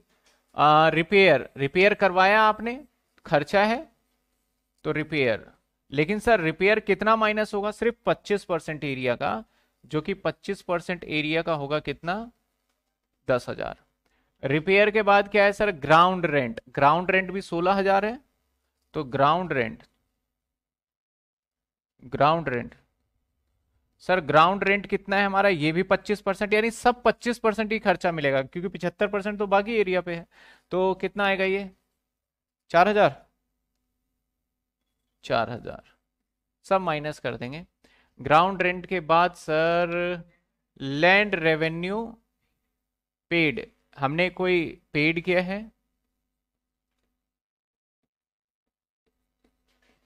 रेवेन्यू को एक्सपेंस पेड कर दिया। कितने का पेड किया?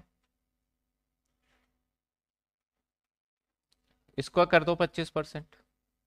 कितने आ रहे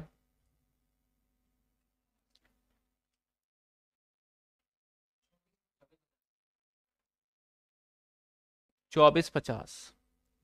सर, इसके बाद और क्या पेमेंट किया है? इंश्योरेंस प्रीमियम सोलह हज़ार। तो ये भी माइनस होगा। सर, सोलह हज़ार का, हर किसी का पच्चीस परसेंट अब मैं करके दिखा देता हूँ कंफ्यूजन ना रहे, जे। कितना आएगा? चार हज़ार। अब आगे कहता है, ये आ गया, कहता है interest on borrowing payment of municipal tax अभी इसको देख लेते हैं। पहले यहाँ तक देखिए, कोई दिक्कत है। और कहता है आर बिज़नेस इनकम दे दिया without debit the rent other आपका identical expenditure including the administrable depreciation of सोलह सौ रुपए on the one fourth portion of the house तो सर डेप्रिसिएशन भी माइनस हो जाएगा। कहता है, इस एरिया के लिए 1600 का डेप्रिसिएशन है। तो सर नेट प्रॉफिट कैसे निकालते हो आप? हमेशा नेट प्रॉफिट में से क्या डेप्रिसिएशन माइनस करते हो, नहीं करते? बताइए। तो इसलिए हमने क्या करा यहाँ पे? माइनस कर दिया है। यहाँ तक बताइए, कोई दिक्कत? यहाँ तक कोई दिक्कत है क्या? समझ में आ रहा है? आगे कहता है, सर, इसने ना इंटरेस्ट भी पेड किया है। तो सर, जब इंटरेस्ट पेड करेंगे that is a business expense तो बिज़नेस एक्सपेंस है तो यहाँ से इंटरेस्ट भी माइनस हो जाएगा आपका। 24 ए जो बी है ना, वो कहता है कि आपका इंटरेस्ट हाउस प्रॉपर्टी में से तब माइनस करने दिया जाएगा जब आपने घर बनाने या रिपेयर के लिए है। बिज़नेस कहता है कि आपका कोई भी ब्याज हो, अगर बिज़नेस को चलाने के लिए हो रहा है किसी भी टाइप का तो आप माइनस करिए अपने खर्चा मान के। तो जो खर्चा मानेंगे तो कितना इंटरेस्ट दिया था हमने? तो चौदह हज़ार का। ट्वेंटी फाइव परसेंट कितने आएँगे? पैंतीस सौ। ठीक है? अब टोटल कर दीजिए, इसमें से सबको माइनस कर दीजिए दैट इज़ बिज़नेस इनकम चार। तो ये हो गया बिज़नेस इनकम क्वेश्चन में क्या पूछता है? Determine the taxable income tax liability note तो टैक्सेबल इनकम क्या होगा? टैक्सेबल इनकम के लिए एक और फॉर्मेट यहाँ बना लेते हैं। Sir taxable income income from H P एक बाईस और income from P G B P चार सत्ताईस छ सौ, सर टोटल कर दीजिए। पाँच पचास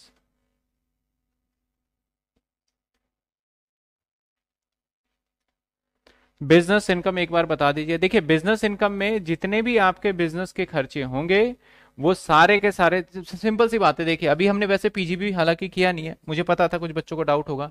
देखिए पीजीबी भी पढ़ेंगे ना तो बिज़नेस के हम प्रॉफिट इनकम निकालना सीखेंगे। जैसे आपकी मान लेते हैं सेल्स है।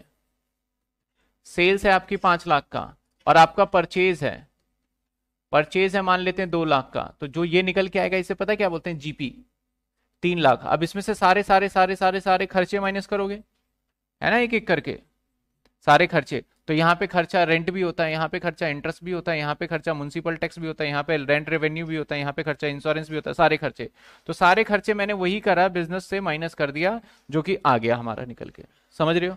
तो जो, अब जो इनकम आया, इसके ऊपर हमें टैक्स देना पड़ता है, जो कि हम पीजीबीपी में तो पढ़ेंगे तो वही चीज़ें यहाँ पे मैंने करके दिखा दिया आपको कि हमने पहले, सबसे पहले बिज़नेस का इनकम ले लिया। एक तरीके से कह लो ये जीपी है, क्योंकि सवाल खुद ही कहता है कि विदाउट डेबिटिंग हाउस रेंट और other identical expenditure including administrable depreciation मतलब अभी इसमें से माइनस नहीं हुआ है। तो हमने इसको माइनस करके पहले करेक्ट किया और उसके बाद हमने इसको निकाल लिया बताइए सवाल में कोई दिक्कत? क्लियर है आपको खुशबू?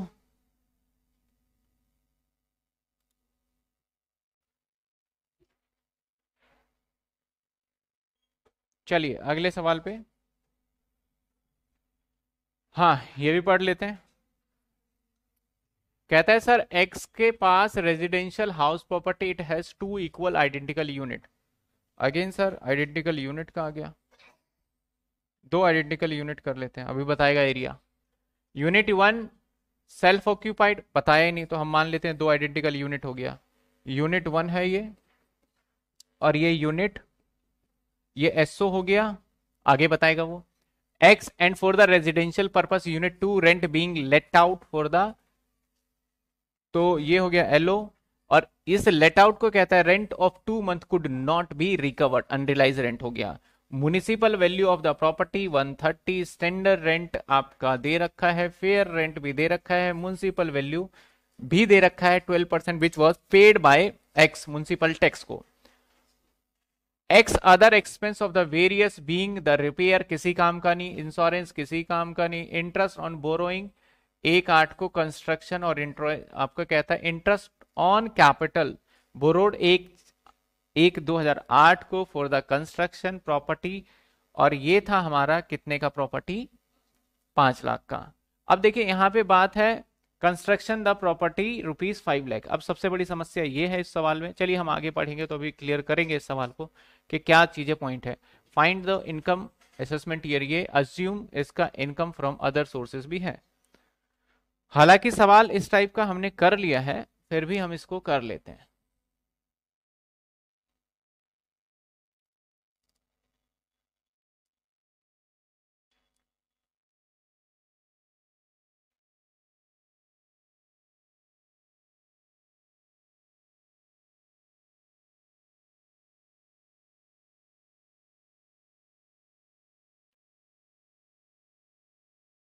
चलिए।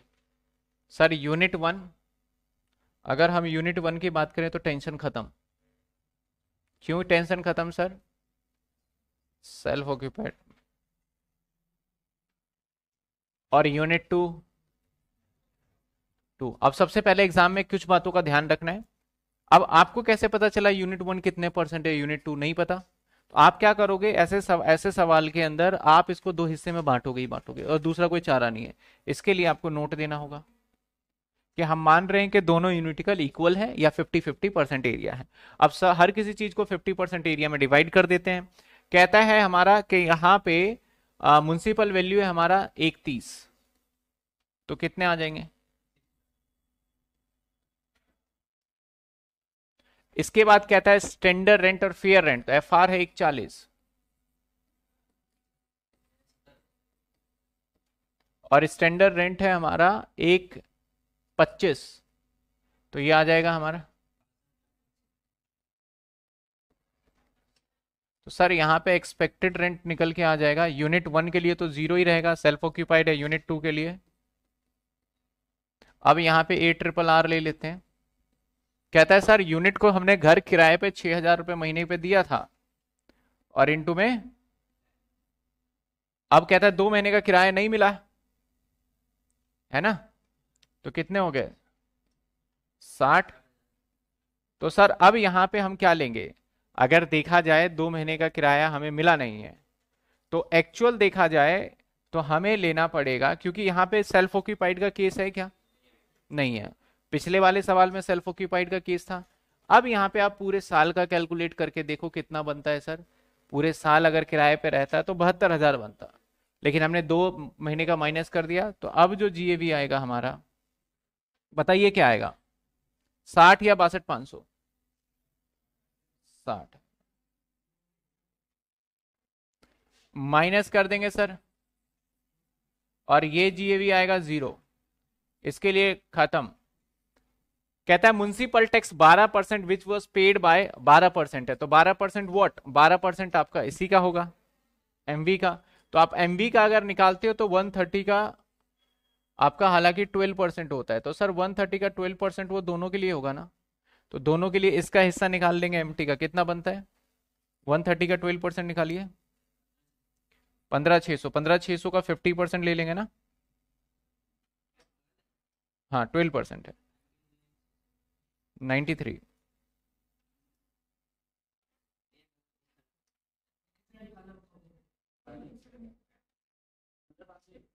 पंद्रह हज़ार पाँच सौ। और हाफ़ एरिया का बांट दो इसको टू में। तो टू में जब इसको बांटेंगे तो कितना? पंद्रह? छः सौ है। कितनी बार गलत हो गया ये? अब इसको हाफ़ में बांटो।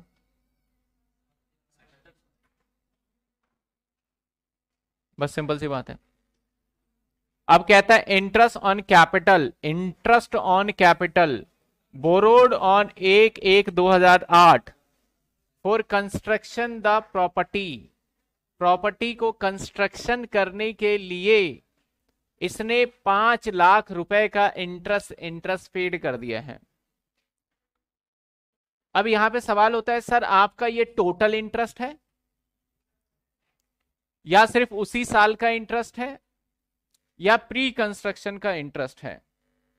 या फिर प्री कंस्ट्रक्शन का इंटरेस्ट है? पहले यहाँ तक देखिए, समझ में आया?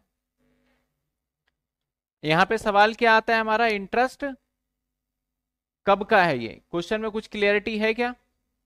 नहीं है? तो आपको यहाँ पे क्या देना पड़ेगा, सर? नोट देना पड़ेगा। यहाँ पे अजम्पशन और नोट नोट क्या देना पड़ेगा, सर? यहाँ पे सिंपल सी बात है नोट देंगे कि ये हमारा इसी साल का इंटरेस्ट है। किस साल का है?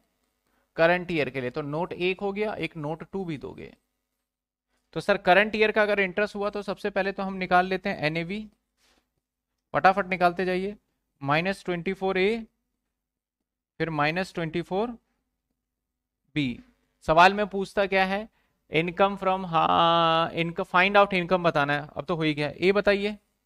और यहाँ पे आ जाएगा, क्योंकि सेल्फ ऑक्यूपाइड तो आधा आधा बांटेंगे तो ढाई लाख। और दूसरे का बताइए। क्या? इसका बताओ ना। बावन। अब इसका थर्टी परसेंट। पंद्रह। अब देखिए, ट्वेंटी फोर बी मिलेगा। ये सेल्फ ऑक्यूपाइड है, ये लेट आउट है। दोनों के हिस्से में आधा आधा चला जाएगा ढाई ढाई लाख लेकिन आपको पता है, याद है सेल्फ ऑक्यूपाइड के केस में लिमिट रिस्ट्रिक्टेड था। कितना था? तो यहाँ पे हम दो लाख ही लेंगे, क्योंकि ढाई लेना था, लेकिन हम ले नहीं सकते तो कितना लेंगे? तो यहाँ पे कितना लेंगे? यहाँ पे कोई लिमिट ही नहीं है तो यहाँ पूरे ले लेंगे ढाई लाख। तो यहाँ पे दो लाख माइनस का आ जाएगा? और यहाँ देखिए कितना माइनस आता है।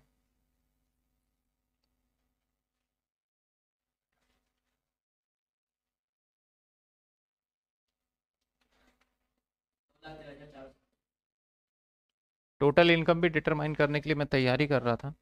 दो लाख चार सौ साठ।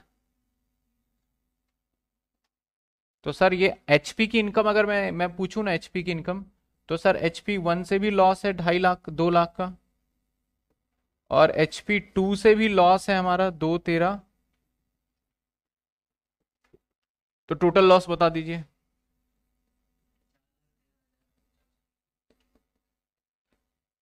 ये लॉस आ गया ना loss from HP loss from HP कितने? चार लाख? चार सौ साठ. ये लॉस है. अब अदर सोर्स से इनकम है.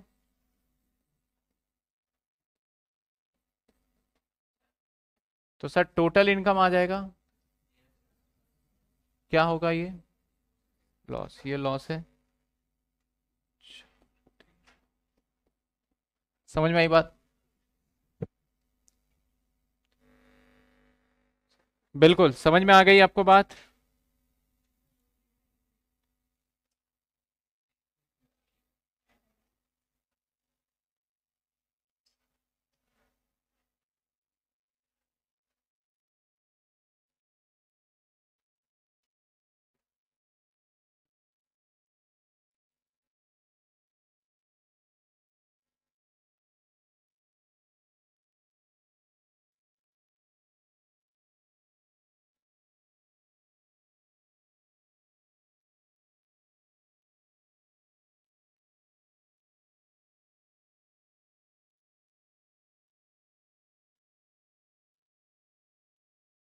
यहाँ पे हमने अजम्पन वगैरह सब कुछ समझ में आ रहा है? क्या जो हमारा यहाँ पे वैकेंसी था अनरिकवर्ड रेंट था, हमने क्या माना? गवर्नमेंट ने इसको अप्रूव्ड कर दिया है? यही माना है। अगर हम ये मान लें कि गवर्नमेंट ने अप्रूव्ड नहीं किया है तो क्या होगा आंसर में बदलाव? अगर गवर्नमेंट अप्रूव्ड नहीं करेगा तो हमें यहाँ पे इन दोनों में से क्या लेना पड़ जाएगा? हायर लेना पड़ेगा तो उसके हिसाब से हो जाएगा। तो इसके दो आंसर यहाँ पे बन सकते हैं। एक तो जहाँ पे हमने अजम्पन लिया कि हमारा अनरिलाइज रेंट गवर्नमेंट ने अप्रूव्ड कर दिया है, तब तो हम लोअर लेके चलेंगे। अगर गवर्नमेंट डिनाई कर दे बोले भैया, हम नहीं मानते अनरिलाइज रेंट तुम्हें किराया मिला होगा। हमारा तो हिसाब से बासठ हज़ार पाँच सौ बनता है, और तुम्हारे हिसाब से बनता है कितना? साठ हज़ार तुम गिन रहे तो हम तो बासठ पाँच सौ आपसे क्या लेंगे टैक्स लेंगे। तो उस केस में आपके, जैसे कि सवाल में मैंने कहीं करा हुआ भी है कि बासठ पाँच सौ से भी आपका सारा सॉल्यूशन किया जा सकता है तो थोड़ा डिफर आएगा।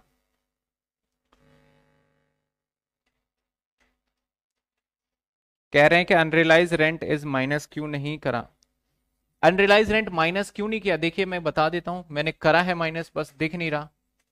नॉर्मली हमारा किराए पे मकान था, छह हज़ार इंटू में बारह, और इसमें से दो महीने का किराया नहीं मिला दैट इज़ हमारा बारह हज़ार। तो आप जब आप इसको सॉल्व करेंगे तो आपका साठ ही आएगा, देखिए।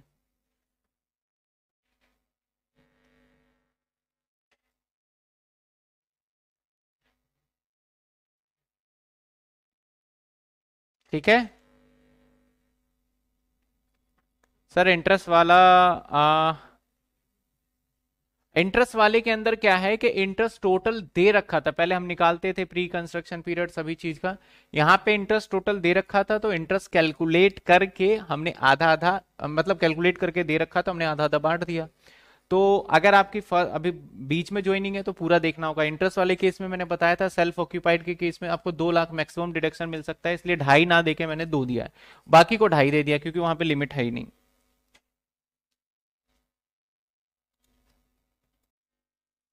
चलिए क्वेश्चन देखते हैं।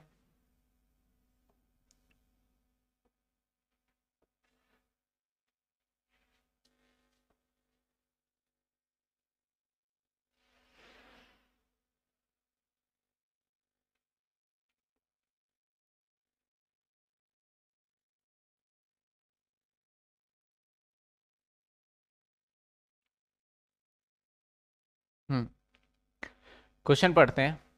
क्या कहता है?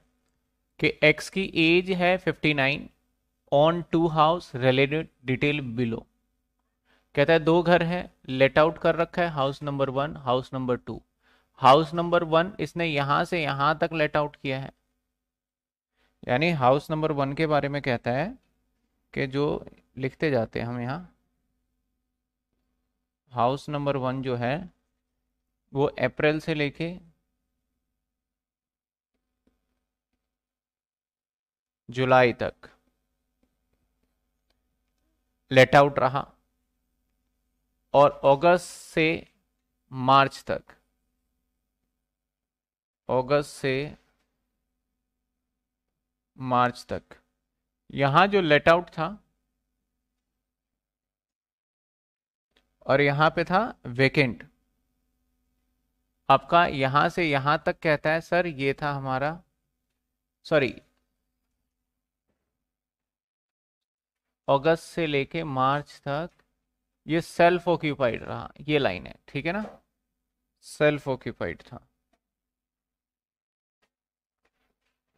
एग्ज़ाम में आया हुआ क्वेश्चन है 2016 में। आगे कहता है, दूसरे वाले घर की कहानी।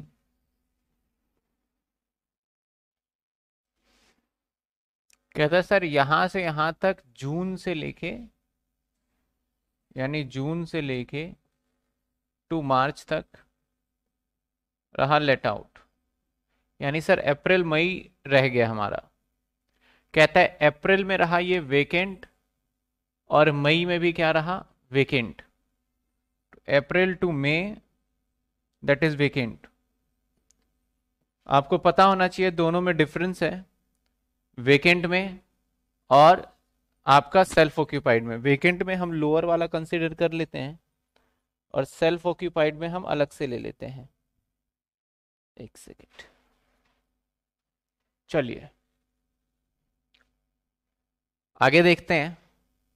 म्यूनसिपल वैल्यूएशन दे रखा है दोनों का फेयर रेंट दे रखा है स्टैंडर्ड रेंट दे रखा है रेंट लेट आउट तो कहता है लेट आउट पीरियड के लिए, जो यहाँ से यहाँ लेट आउट था तो सर दस हज़ार रुपये महीने किराए पे था और ये वाला चौदह हज़ार रुपये महीने के किराए पे था। कहता है कंप्लीशन कंस्ट्रक्शन 2018 में कंप्लीट हुआ, ये 19 में हुआ। Municipal tax but not paid अभी तक पेड ही नहीं किया तो हमारे लिए इरेलीवेंट इन्फॉर्मेशन है। और ये वाला पेड कह रहा है तो ये इन्फॉर्मेशन है। एक्स ने बोरो किए पाँच लाख रुपए ten percent construction of house number one घर एक बनाने के लिए अप्रैल सत्रह में तो पीसीपी निकाल लेंगे। आगे कहता है compute the net income tax liability कहता है his net income and tax liability for the assessment year इक्कीस बाईस. Assuming that income from business business से इसी पैसे कमा रहा है, ये ऑल्सो डिपॉजिट एक लाख रुपए पब्लिक प्रोविडेंट फंड तो सर, एक लाख रुपए पब्लिक प्रोविडेंट फंड का मतलब एटीसी एक्टिवेट हो गया यहाँ पे. मेड अ डोनेशन दस हज़ार रुपए to prime minister relief fund eighty G में. तो सर, ये एटीजी में, वैसे ही बोल दिया अंडर सेक्शन एटीजी में. तो सवाल करते हैं सवाल बहुत आसान हो जाता है ये। दो घर हैं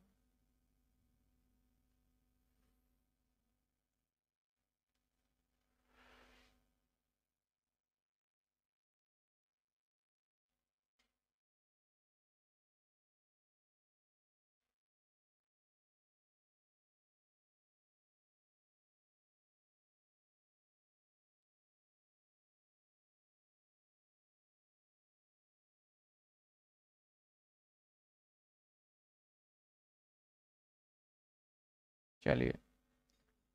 H one and H two सबसे पहले एम वी एम वी देखे तो अस्सी हज़ार और एक बीस।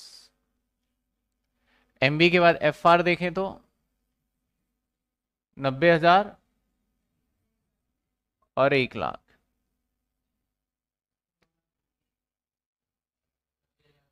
अच्छा ये नौ लाख हो गया हाँ।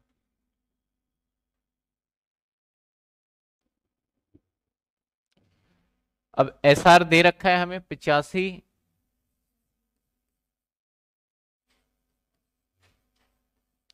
और आपका है चौदह, एक तीस। अब सर ई आर निकाल लेते हैं एक्सपेक्टेड रेंट नब्बे और लोअर एटी फाइव यहाँ पे एक बीस और लोअर, एक बीस। Sir actual rent receive and receivable यहाँ पे आप ध्यान दो तो घर यहाँ से यहाँ April to July let out था। अगस्त, सितंबर अगस्त, सितंबर, अक्टूबर, नवंबर, दिसंबर, जनवरी। अच्छा बच्चे कह रहे हैं क्वेश्चन नहीं दिख रहा, अभी दिखा देते हैं। ये लीजिए। क्वेश्चन नहीं दिख रहा तो अब दिख क्या होगा। तो कह रहे हैं कि अप्रैल से जुलाई, यानी अप्रैल, मई, जून, जुलाई, चार महीने किराए पे रहा। तो सर, चार महीने किसके हिसाब से सर? दस हज़ार तो यहाँ पे आ जाएगा हमारा चालीस हज़ार। अगले पॉइंट पे देखते हैं।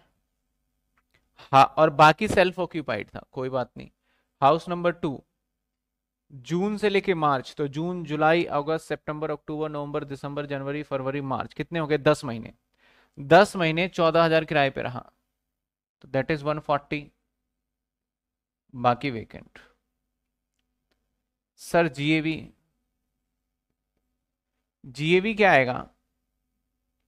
हम चेक करेंगे इन दोनों में से, क्योंकि सेल्फ ऑक्यूपाइड था तो इन दोनों में से हायर दैट इज़ 85 और इन दोनों में से किराएदार खुद ही कह रहा है, हमारा ज़्यादा है तो that is 140 minus municipal tax sir यहाँ म्यूनसिपल टैक्स नहीं होगा क्योंकि ड्यू था बट नॉट पेड लेकिन दूसरे में पेड किया है छ हज़ार।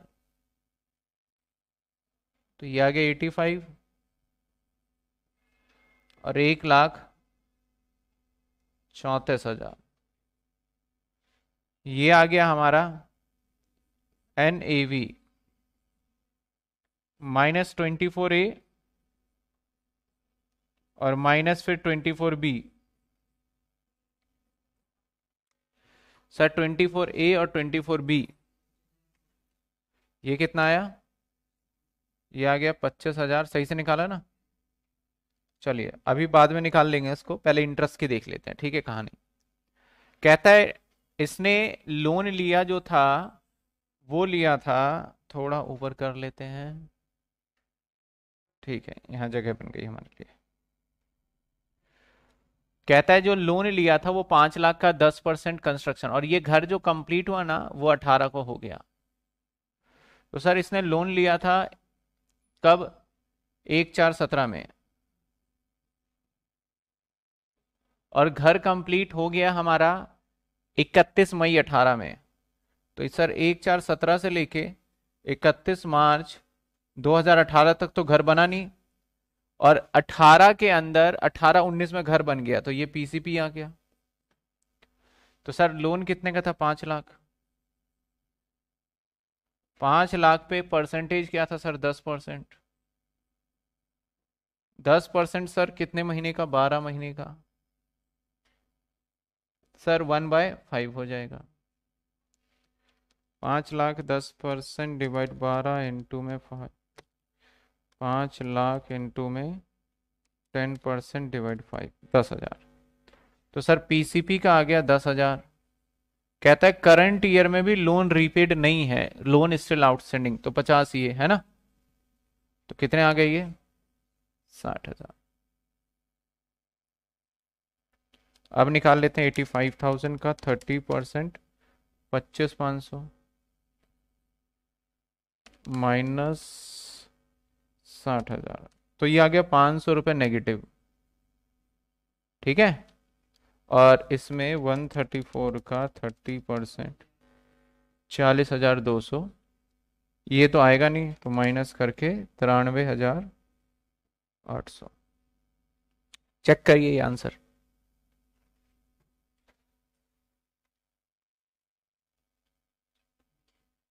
Hmm?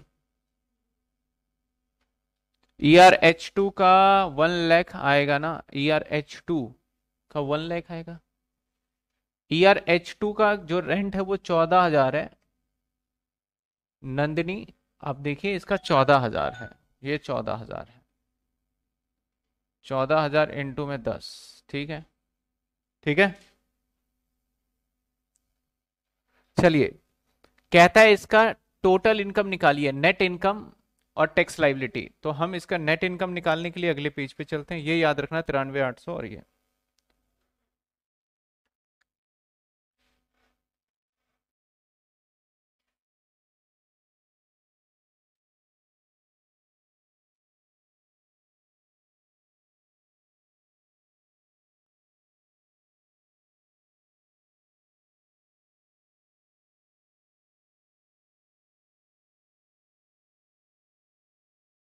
चलिए, ऊपर लिखना है।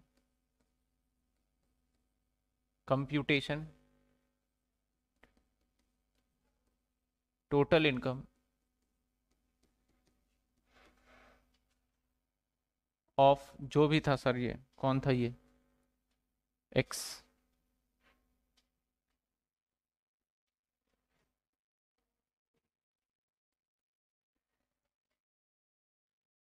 हम्म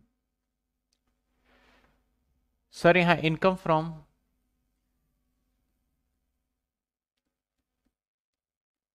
हाउस प्रॉपर्टी जिसमें से एच वन से 500 का लॉस और एच टू से क्या है? तिरानवे, आठ सौ का प्रॉफिट अब इनकम फ्रॉम बिज़नेस क्या था हमारा दूसरा इनकम आपका कहता है इनकम फ्रॉम बिज़नेस ठीक है। इनकम फ्रॉम बिज़नेस छ लाख चालीस हज़ार। ये आ जाएगा तिरानवे हज़ार। सर ग्रॉस टोटल इनकम आ गया।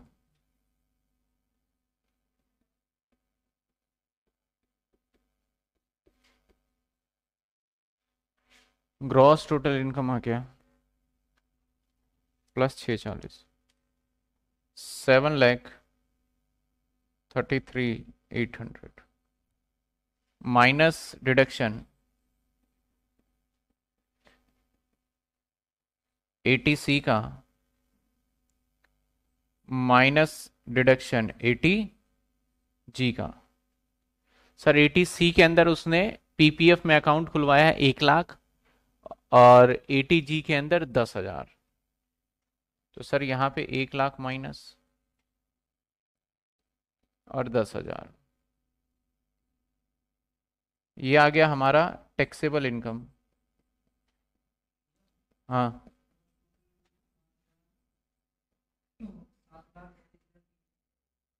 अच्छा।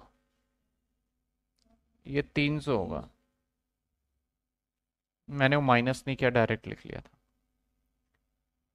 तो सात तैतीस तीन सौ, माइनस एक लाख, माइनस दस हज़ार। कितना आ गया taxable income six two. Check कर लीजिए आप। ठीक है? अब हम निकालेंगे टैक्स लाइबिलिटी टैक्स लाइबिलिटी में up to 250 nil. Next 250 at the rate 5 percent that is बारह हज़ार अब पाँच लाख का हिसाब हो गया। बाकी कितने बचे, सर? बाकी बच गया ये छह लाख तेईस हज़ार है ना? तो बच गए एक लाख तेईस हज़ार, जो नेक्स्ट होगा। वन ट्वेंटी थ्री सॉरी एक तेईस तीन सौ ना? इसके ऊपर एट द रेट एक तेईस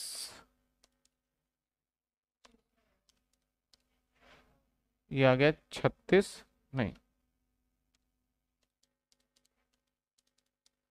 चौबीस छ सौ। सर, ये टोटल आ जाएगा।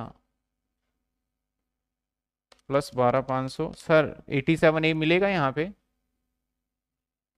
Eighty seven A eighty seven A की कंडीशन क्या है? कि अगर आपकी इनकम पाँच लाख रुपए तक है तो मिलेगा। तो यहाँ एटी सेवन ए नहीं होगा। सीधा प्लस कर देंगे four percent cess higher education cess charge तो फोर परसेंट आ गया यहाँ पे।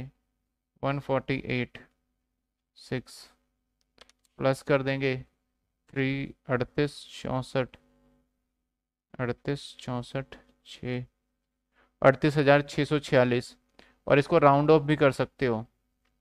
राउंड ऑफ़ करोगे तो अड़तीस छः सौ चालीस का टैक्स दे दो, या अड़तीस छः सौ पचास का टैक्स दे दो। यानी ये राउंड ऑफ़ टेन के मल्टीपल में होता है। ठीक है? तो ये सवाल था हमारा। एक एग्ज़ाम में आया है वो क्वेश्चन चलिए डन चलिए।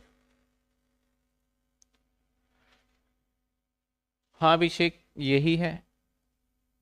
पूरा कर लेते हैं इसको। कहता है, mister K K on a house municipal value दे रखा है। 60 percent portion let out monthly rent and remaining 40 percent portion occupied by him for on residence. तो सर, दो घर हो जाएँगे।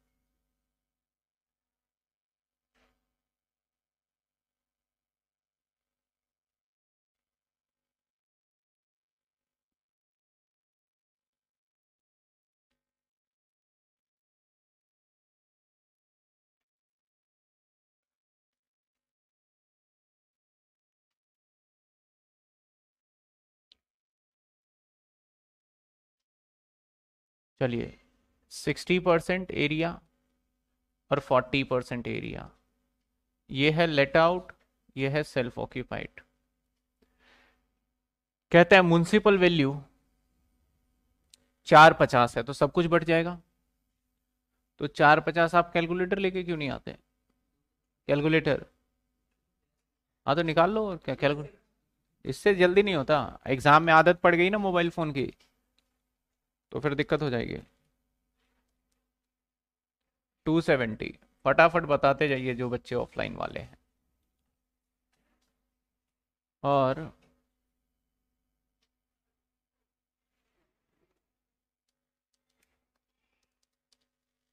वन एटी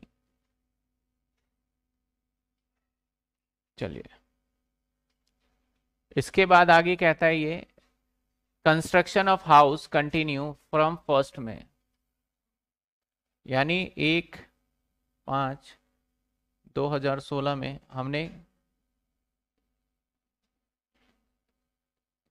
कंस्ट्रक्शन हमने स्टार्ट कर दिया। ऑन जुलाई 17 ही रेज अ हाउसिंग लोन अभी लोन ले लिया इसने। एक जुलाई में लिया लोन 2017 में, यानी नेक्स्ट ईयर एक हाउसिंग लोन लिया चार लाख रुपए का। और at the rate ten percent के हिसाब से लिया। चालीस लाख है, एक ज़ीरो और बढ़ा देते हैं। From the State Bank of India he was completed December 19 और ये घर दिसंबर 19 इकतीस बारह 2019 में घर कंप्लीट हो गया सर बन के।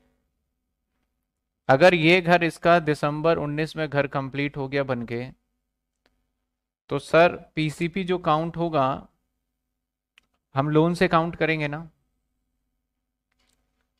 तो लोन हमारा घर स्टार्ट कब हुआ बनना मैटर नहीं करता। मैटर ये करता है कि लोन कब लिया गया। तो हमारे लिए लोन लिया गया सत्रह अठारह। और बारह में बना अठारह उन्नीस। और उन्नीस बीस का जो सेशन था, उसमें तो घर कंप्लीट ही हो गया तो वो उसमें तो इंटरेस्ट अवेल कर चुके हैं तो वो होगा ही नहीं। तो सत्रह अठारह में देखेंगे तो जुलाई, अगस्त, सितंबर, अक्टूबर, नवंबर, दिसंबर, जनवरी, फरवरी, मार्च, पूरे नौ महीने और इसमें बारह महीने तो नौ और बारह कितने हो गए, सर? नौ और बारह हो गए, सर, इक्कीस महीने। पीसीपी कहता था house was completed December he incurred और उसने क्या इनकर्ड किया? Following expense in respect of during the year पचास हज़ार paid by way of municipal tax including पाँच हज़ार इन रिस्पेक्ट ऑफ़ अठारह। सर, पचास का पे किया, लेकिन पाँच हज़ार पुराने भी पे किए। रिपेयर कोई काम नहीं ग्राउंड रेंट कोई काम नहीं फायर इंश्योरेंस कोई काम नहीं। Compute his chargeable house property income during loan amount is outstanding sir loan amount outstanding है। तो हम पीसीपी का हम पहले इंटरेस्ट निकाल लें। पीसीपी का इंटरेस्ट होगा चार लाख, चालीस लाख, टेन परसेंट दस बटे सौ गुणा में। इक्कीस बटे बारह इंटू में वन बाय फाइव। तो टेन परसेंट डिवाइड बाय बारह इंटू इक्कीस।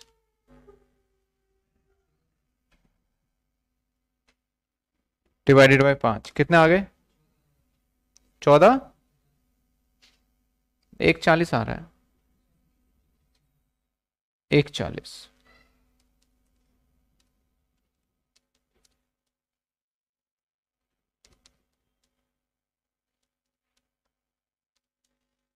यस एक चालीस।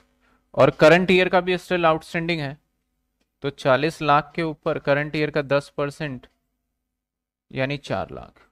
तो पाँच लाख चालीस हज़ार का ब्याज है। और ये पूरे घर के लिए है, सर। चलिए, सर। और कुछ दे नहीं रखा तो फेयर रेंट भी नहीं पता, कुछ भी नहीं पता, और जो लेट आउट किया है इसने, वो छब्बीस हज़ार रुपये महीने के लिए किया है। तो सर, कुछ नहीं पता यहाँ पे। फेयर रेंट हटाइए। स्टैंडर्ड रेंट भी नहीं पता, सीधा एक्सपेक्टेड रेंट सर, इसके हिसाब से टू सेवेंटी होना चाहिए। और ये तो क्या ही लेट सेल्फ ऑक्यूपाइड है। ए ट्रिपल आर कितना है वो लिख लेते हैं सर कहता है छब्बीस हज़ार तो छब्बीस हज़ार इंटू में बारह तीन बारह G A B sir G A B तीन बारह और एक अस्सी लेस म्यूनसिपल टैक्स बताइए म्यूनसिपल टैक्स कितना पेड किया पचास हज़ार तो पचास हज़ार दो कैटेगरी में चला जाएगा पचास हज़ार का सिक्सटी परसेंट तीस हज़ार। इसमें तो जाएगा नहीं हटाइए इसे। तीन बारह माइनस तीस हज़ार टू एटी टू ये ज़ीरो रहेगा।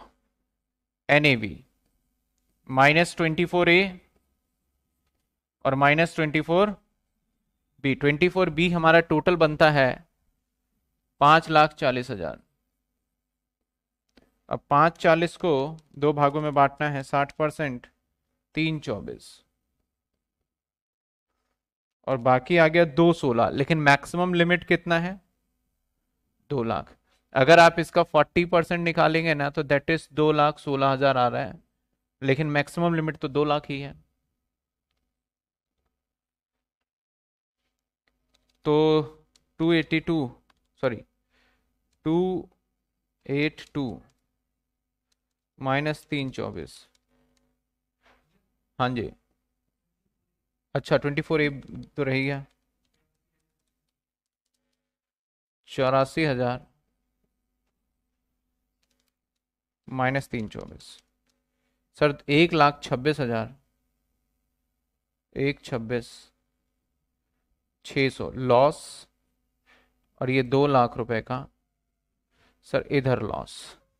अगर आप आईएचपी पूछेंगे तो ये सर लॉस है।